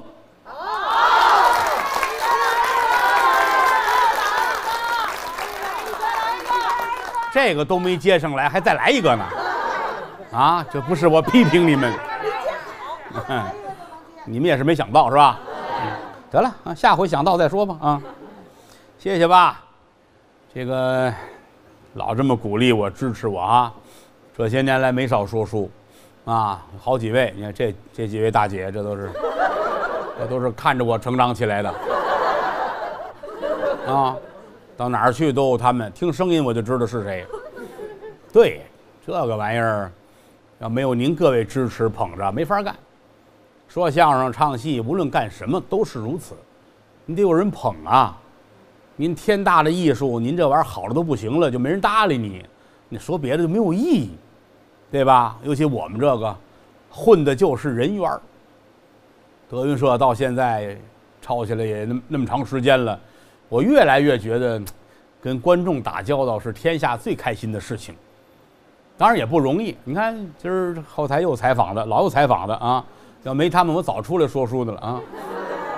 他跟我聊天儿，那个，你看你们这儿有好多小孩儿漂漂亮亮的小鲜肉，你们这样是不是就违背了说相声的宗旨了？我说说相声什么宗旨啊？啊，你的意思都得剃一大光头啊，穿一大褂站在那儿一说，说点民国时候的相声，你就觉得，当然说成那样你也不听，你要这劲儿啊，但是不行啊，我说我们得吃饭。好在就是我们这演员，就各种口味的都有，对吧？你要听老先生，我们有你高峰高老师那样，对吧？你看那状态，那一定是六十五往上了都。对吧？你听，你这儿有，嗯，你想听那个口风紧的、包袱脆的，我们也有，各取所需嘛。谁规定这饭店就许一样菜？对，对不对呀？我们做的是生意，这玩意儿就我就这样，我都堵不住你们的嘴。你们有点太欺负人了。我说我没有把我们这个行业看得有多么的神秘。传统艺术好多团体其实卖不出票去，都是因为。过分的鼓励自己，啊，大可不必。我老说这个，说相声、唱戏、说书、剃头、修脚、种菜，这没有什么区别，它不就是工作吗？待着也得吃饭，你不得干点什么吗？哎，很好，你看我们这个工作跟我们的爱好又是一回事儿这就是祖师爷赏饭，老天爷恩典，各位衣食父母支持就行了，啊，就唱戏来说，我也跟麒麟剧社的说过，第一啊。我们不要把自己看得很神秘，神秘为什么说的那么神秘？那就是实在蒙不住人了，还得往高处说，是吧？你不能再问了，你要再问，你不合适了啊，对吧？你不能把它看得太神秘，但是我们要尊重它，不是说不看的神秘，这破玩意儿不值钱，下九流那也不行。你想这么一门艺术，它养活多少人吃饭呢？功德无量嘛。咱们就就事儿论事儿，它就是一门艺术。啊，您看一乐，因为观众就是两种心态，第一是找乐，第二是找茬对吧？你可不就这个呗？啊，攥着票坐那儿，老看你有问题啊。但是呢，观众其实也可爱。你包括比如网上，你看好多位点评京剧的，说的很苛刻，他其实台下他要认识你了就没事儿。你看人有见面之情，你就这么简单。那会儿我跟陶阳，我跟他们我就说。我说你们别学我，我这个岁数我犯不上惯着他们，啊！我说你跟他交朋友，哎，他私信骂你，你就捧他，你捧他两句，他就是你的人了。你看这个玩意儿，哎，一拍肩膀，他就是你的人了。后来陶阳说：“爸爸，您说这太灵了啊！人心可不就这点玩意儿吧？啊，我们打小干这行，干这行就是琢磨人呐。这一套书成千上万个人，我得给他摆好了。”这个为什么坏？我得替他都设计好了。那个为什么这么好？哪件事情他做的对，都得我们给他安排。这为什么说做艺难就难在这儿了呢？是不是？是不是好开心啊？是。哎，好，替替你们开心啊！书接前文，接着给您讲这个《三国演义》，到了一个重要的回目了啊！曹孟德献刀。其实说到这儿，我都觉得怪对不起你们的，为什么呢？说到这儿，我算了算，这要想说的白帝城，得三千多回。玩笑说玩笑啊，那说书说什么不是说，啊，只不过可能这个稍微的累一点那说别的轻省轻省。但是大伙儿要爱，我还是很愿意的啊。曹孟德怀抱着孟老宝刀，也叫七宝刀。来在了董卓的府上，您就说董卓有多爱他，你要是别的官员到此需要通传，啊，你哪儿的？啊，这是门官老爷啊，我是德云社三队队长啊，啊，回天桥等着去啊，这得进去给你通报啊，说那叫你才来啊，但是曹操不用，来到这儿直接往里边就走，这是个身份，这也说明一个问题，就是董卓很爱他，拿他当自己人了。这也是为什么他敢跟王允说：“我献刀刺董。”你要说没有这个身份，没有这种董卓对你的厚爱，你这个主意都不用想。你以后就剩拿刀围着人府门口，磨家的里有抢菜刀啊，你进不去呀，对不对？你能干什么？给人剁劈柴呗，我就干这个了呗。哎，怀抱着宝刀，由打大门这儿就进来了。那眼观鼻，鼻观口，口问心，沉心服气，这个大气，这个很重要啊！啊，你拿着刀进来，你到不了二道门，人家得问你偷东西了吧？哎，大气，往常什么样，现在什么样，这个这城府这个东西很重要啊。胸中有波涛，面带春色，高高兴兴的往里边来。他得到后院，相府这几层院子，他到后边。后边哪儿啊？有一个麒麟阁。阁就是个小楼。平时没事呢，董卓愿意在这儿休息着。二层的小楼，在这儿，有时候跟吕布聊聊天，跟李儒谈谈心里话。跟这些个亲近的人员们谈谈一些个江山大事儿，在这儿能到这儿来的就不是外人了。你要说前面厅堂上啊如何如何，那都得官带齐整啊。咱在这儿就不一样了，一直来到后边，到了麒麟阁这儿啊，这儿迈步进来，一直到董卓休息的这个房间这儿，这屋里这儿啊，靠窗子有一个榻。榻，各位都知道，喜欢那个古家具的都知道哈。过去还有什么美人榻了，这个榻那个榻了，就是不是正式休息的时候这么一种家具，就可以倚在那上边啊，靠着点啊，是这么个东西啊。也有背儿，背儿不高，哎，能倚着腰，是这么个东西啊。董卓呢，就在这儿上面正歇着呢，旁边站着吕布、吕奉先。往屋里一走，曹操这心里咯噔一下子，怎么呢？够呛。吕布在了。列位，有句话呀，“人中吕布，马中赤兔”，那都是厉害的牲口。那这这多棒呢，都是吧？他愣啊，你知道吗？他在这儿了。曹操心说：“今天下手够巧的。”啊，保不齐就对不起王司徒了，我就真献宝刀了。他们家藏好几辈儿，没藏好，让我给借出来送人了。但是呢，见机而作，啊，董卓正在这榻这儿倚着呢，三百斤一大胖子，啊，坐这儿呗，就歪在这儿啊，这儿进来了，啊，赶紧施礼。孟德参见老太师。哦，孟德呀，跟他说话很客气，而且这个语气就是拿来当自己人。啊，孟德呀，何故来迟啊？他每天都上这儿来，哎，聊天啊，说说国家大事什么的，出一些个主意。董卓爱听他说话，他聪明啊。为什么说曹操奸就在这儿了呢？天下就是刘备把曹操骗了，大部分人没玩过他，啊，看着你就知道你想听什么，他多灵啊！所以说董卓爱他。今儿来晚了，何故来迟啊？你怎么今儿来晚了呢？啊，还挺想你，是这个意思。是，回太师，啊，呃，马匹有病。说我骑那马呀不灵，这马有有病。哦，嗨，这个不叫什么。吾儿奉先，喊吕布。吕布赶紧过来了。啊，嗯，去给孟德挑一匹好马。是。吕布转身出去了，曹孟德都快乐出声来了。哎呀，天助我也！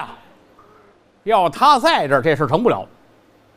我往前一进步，人家咣一脚能给我踹出去，啊，拎着脖子打楼上能扔下去。他出去了，那行了，天下是我的了，高兴。而且就这会儿，可能他来之前呢，这董卓跟这儿坐着，这榻上这儿倚着呀，有点累，啊，又往下顺了顺这身子，就把身子侧过去了。这个后背冲着曹操，自己脸儿冲着窗外。哎呦！曹孟德差点跪下说谢谢。董太师太疼人了，啊，给了我一个杀他的好机会。你看这个状态摆的啊，啊，抻着个脖子跟这儿，我只要拿出来往跟前走，咔吧啦嚓切下来，那个青史名标，啊，我就我就成功了。那还等什么呀？再等黄花菜就凉了啊！这不在怀里抱着吗？哎。往下一顺，找这刀把儿，这儿托着刀鞘，往外抻这刀，这儿举起来，这不是拿着刀了吗？他就往上举，举起来之后，这一抻出来，鞘在这边，刀不在这儿了吗？就能动手了。就这会儿功夫，刚抻出来，董卓看见了，倚在这榻上。后边是曹操，脸冲着这边，这是窗外。咱们前文书讲过，他这个榻上有花板儿，这个花板上镶着这圆片儿，封魔铜的。那会儿没有镜子，这个就相当于是镜子了，啊，他这么倚着，这不就有了吗？通过这儿整看见后头，啊。刚才那么坐着累，哎，这转过身来歇着，好，身后大哥来这么一手，这才回头，孟德，啊，孟德，意欲何为？你要干嘛？曹操这个演技还是很好的啊，顺势把刀就拔出来，往这一跪，太师，孟德来献宝刀。这东西要是再再差几秒都有问题，啊！你往前来这样，你你要说献刀，这就说不过去了。就是要出鞘没完全出来，哎，这儿才出来，来献宝刀。哦，董卓坐起来了，拿手一接，曹孟德往前走两步，递过去。董卓接在手里瞧瞧，真是个好刀。这个刀把上镶着各种的宝石，这个刀刃上刻着“孟劳刀”，翻过来这面写着“七宝刀”。哎呀，果然是宝兵刃呐！心里挺高兴，心说我要是再上朝的时候，我带着它，再有那个行刺之人到跟前儿，我这掏出来就能防身自卫，很高兴。就这会儿的功夫，吕布进来了，几乎是同时，吕布进来了啊，这进来了，呃，孟德，好，将军，马给你看了一匹，西凉的宝马，它叫甘草黄，哦，是是是是，多谢将军，多谢将军。董卓把这刀放下。走，咱们一块儿看看去吧。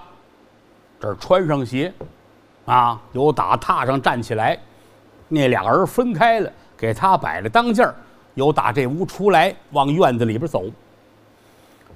有兵卒就把马牵过来了，甘草黄，您听这名儿就是黄颜色的马。哼，一瞧这马这状态，不是一般的东西。哎呀，好马，好马，好马啊！董卓看了看，孟德爱不爱呀？哎呦，太师，这个真是宝马良驹呀，太棒了！承其一声，啊，你试一试。哎呀，太师在此，我焉敢撒野？哎，这叫什么话？送给你的啊，骑上试试。是，遵命。班安认凳，飞身上马，坐上去了。哎，院子很大呀，啊，慢慢的转了这么一圈回来甩蹬离鞍，又到这儿，有人给他牵着马，有兵丁，这儿过来，太师，太棒，真是宝马，哦，哈哈哈哈哈，喜欢就好，就把它赏给你了。哦呦，这怎么敢？哎，长者赐，不可辞啊！行了，去吧，改天有事再宣召于你。是。说了声是，倒退着往后走。董卓在那儿站着，他这儿抱着拳，倒退着往后走，啊，一直走到这花园后头，这是规矩。是，扭头走，把屁股给董卓了。这就是有罪。包括咱们金殿上，呃，不管是哪儿，大臣跟皇上说完话，偏殿在哪儿一说话，说完之后，皇上说你去吧，你都得退着走，你不能一转身走，这不行，没有礼法，啊，这退着出来，有人把马也给他牵走了。董卓、董仲颖带着吕布转过身来，往麒麟阁那小楼那儿走。董卓就琢磨刚才这个事儿，天下的事儿就怕后着吧，啊，就想，想着想着又回刚才那屋了，又在榻那儿坐下，伸手又把这刀抄起来看了看，嗯，吕布就问他，义父。您怎么了？我想刚才这事儿有点不对。刚才孟德来了，他说是与我献刀，但是我前思后想，恐其有诈。哦，吕布那个有勇无谋，况且他不在跟前儿，他也说不出什么来。就这会儿功夫，有打外边一推门又进来一位。李儒，就是董卓的谋士啊。李儒进来，智多星。这一进来一瞧，这爷俩脸有事儿。太师怎么了？嘿，你来的正好。是方才孟德前来献刀，是怎么这么回事怎么这么回事把刚才这过程形容了一遍。他走了之后，我反复思量，这里有问题，啊，你说他到底是真来献刀，还是有意行刺呢？嗯，李儒说这个简单呢，啊，打发人把曹孟德叫回来，他要回来就没事儿，他要不回来就有事儿，就这么简单。好，好，好。奉先，快去，叫人唤孟德前来。嗨，吕布出去了。那么曹操呢？曹操由打这儿出来往外走，出大门之前，稳稳当当的，啊，他这点他是明白的，啊，急急忙忙往外跑，谁多句嘴，自个儿就走不了了，啊，这儿出来之后。接过这匹马来，稳稳当当上了马，啪，一打这马，没回住所，出东门而去。跑了，那还不跑啊？不跑等雷呀！哎呀，哒哒哒哒哒，快呀！骑着马出东门了。一会儿的功夫，有差人到他住那地儿找去了，没了。再一问，说骑着个大黄马出东门走了。赶紧回来，跟董卓一说，董卓气坏了。我说什么来着？我就觉着不对劲嘛，也真后怕呀。你说，但凡啊，自个儿要是糊涂了，反应慢一点儿，这刀就挨上了。这曹孟德不应该呀，老夫待他不错，你怎么能行刺于我呢？我是奉先，带人速速出东门，把他拿来见我。是。吕布这儿出来，带着兵赶紧去追他，追不上。是一马的事吗？不是，脑子的事儿。曹操多坏啊！跑的时候就想到了，你一定会来追我，而且你一定是哪几个路线追我，我不能按着你脑子里那道跑，我得按照我这道跑。以吕布的那个智力，追不上，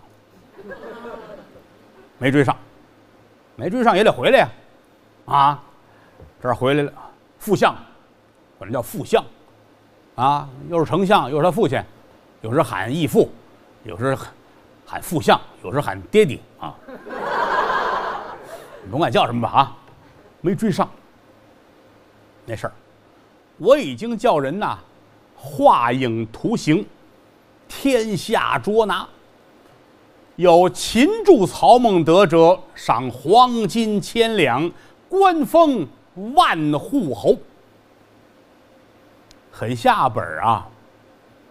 有人说，就是东汉末年，黄金千两是多少呢？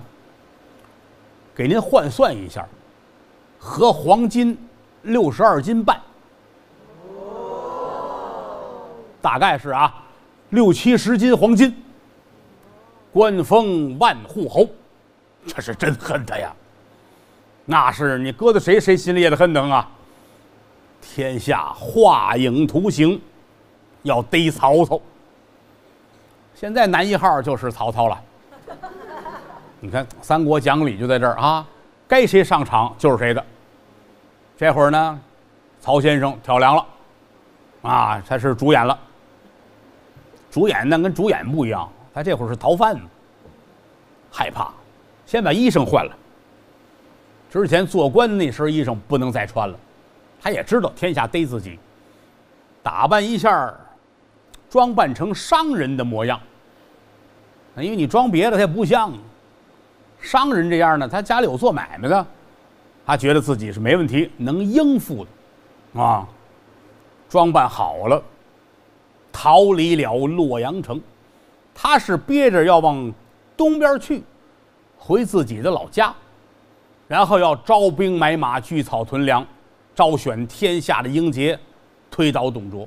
他是这么想的，这是他的目的。但是前提是要躲开人家的追杀，突破层层关卡，还得回到家里去。这是他当前要做的事情。难也就难在这儿了。东藏西躲呀，这您要说出去旅游去，这是一回事儿；你要是躲避追杀，那另是一回事儿。啊，这儿藏那儿躲。这一天来在一个地方，叫什么呢？这个县叫中牟县。常听相声的朋友都知道，这是一个主要的环节。啊，到中牟县了。中牟县也是一个重要的关口啊，他必须得从这儿走，不走不行。但是很难，为什么？城门那儿贴着自己的美照呢？那那年头没有照相，没有二维码，没有别的，但是呢，哎，有画像，姓什么叫什么，大概长什么样，如何如何。犯了什么什么罪过？最重要一点啊，逮着之后给黄金六十二斤半，这个诱惑力就很大了，啊！你要说逮着之后给小红花三朵，啊，这个不管用，不会有人往心里去的。重赏之下必有勇夫啊，对吧？自己远远的就瞧见了城门口那一帮兵丁，而且感觉得出来很严。我就在这瞧着，那是城门，这过城的人打这儿过，每一个都叫住了，站住，看看这脸，看看这画儿差不多，这才让走呢，并不是说没人往心里去，随便吧，不是。我如果再往回走的话，离这洛阳又近了，追捕我的人是从洛阳出来的，我不能往回送啊，我只能往外走，就这个方向，大伙儿是听明白了。所以说，他必须要走中牟县。到最后，咬牙关，硬着头皮往城门这儿走，啊，来到这儿，很多的把守城门的兵丁呢，啊，有几个坐那儿坐着的啊，但是也有俩跟这儿认真查队的啊，嗯，站着看看。啊，啊，不是，这过去吧，下一个，这离着孟德还有三四个呢。曹孟德就跟这儿准备啊，问我，我说我叫什么？我呀，我说我父姓黄埔，我叫黄埔松，啊，问我做什么的？我是个商人，对，自己倒嘛，准备一整套对答如流的话啊，看前面这儿。过来，姓什么叫什么？啊，这姓高叫高峰啊，多大岁数啊？这三十五，怎么长这么老性啊？说相声说的啊。好，过去吧。哎，下一个叫什么名字？叫石爱东。干什么的？唱快板的。唱快板是干嘛的？他是他的，令他令令他。走吧。一个一个的走，问的非常的细致，眼瞅着就到曹操了。曹操努力的让自己这脸上啊，别这么僵。为什么呢？你这一抖了啊，人就看出来了。极力的放松，骑着马过来了啊，下来下来下来下来下来下来，是是是，几位军爷，从马上下来啊，几位军爷。辛苦了，辛苦了，啊！不客气，不客气，不客气。这个城门不能随便出入，知道不知道？啊，是是是，知道。现在画影图形逮人呢，啊，叫什么名字啊？跟您回啊，我父姓黄埔，我叫黄埔松。哦，你是干什么的呀？呃，我是这个商人。啊，那行了，行了啊，好，过去吧。好，谢谢几位军爷啊。往这儿一走，这俩兵丁。喊坐地上那几个，嗨，起来，起来，起来，干嘛呀？干嘛呀？起来，把他捆上。他是曹操。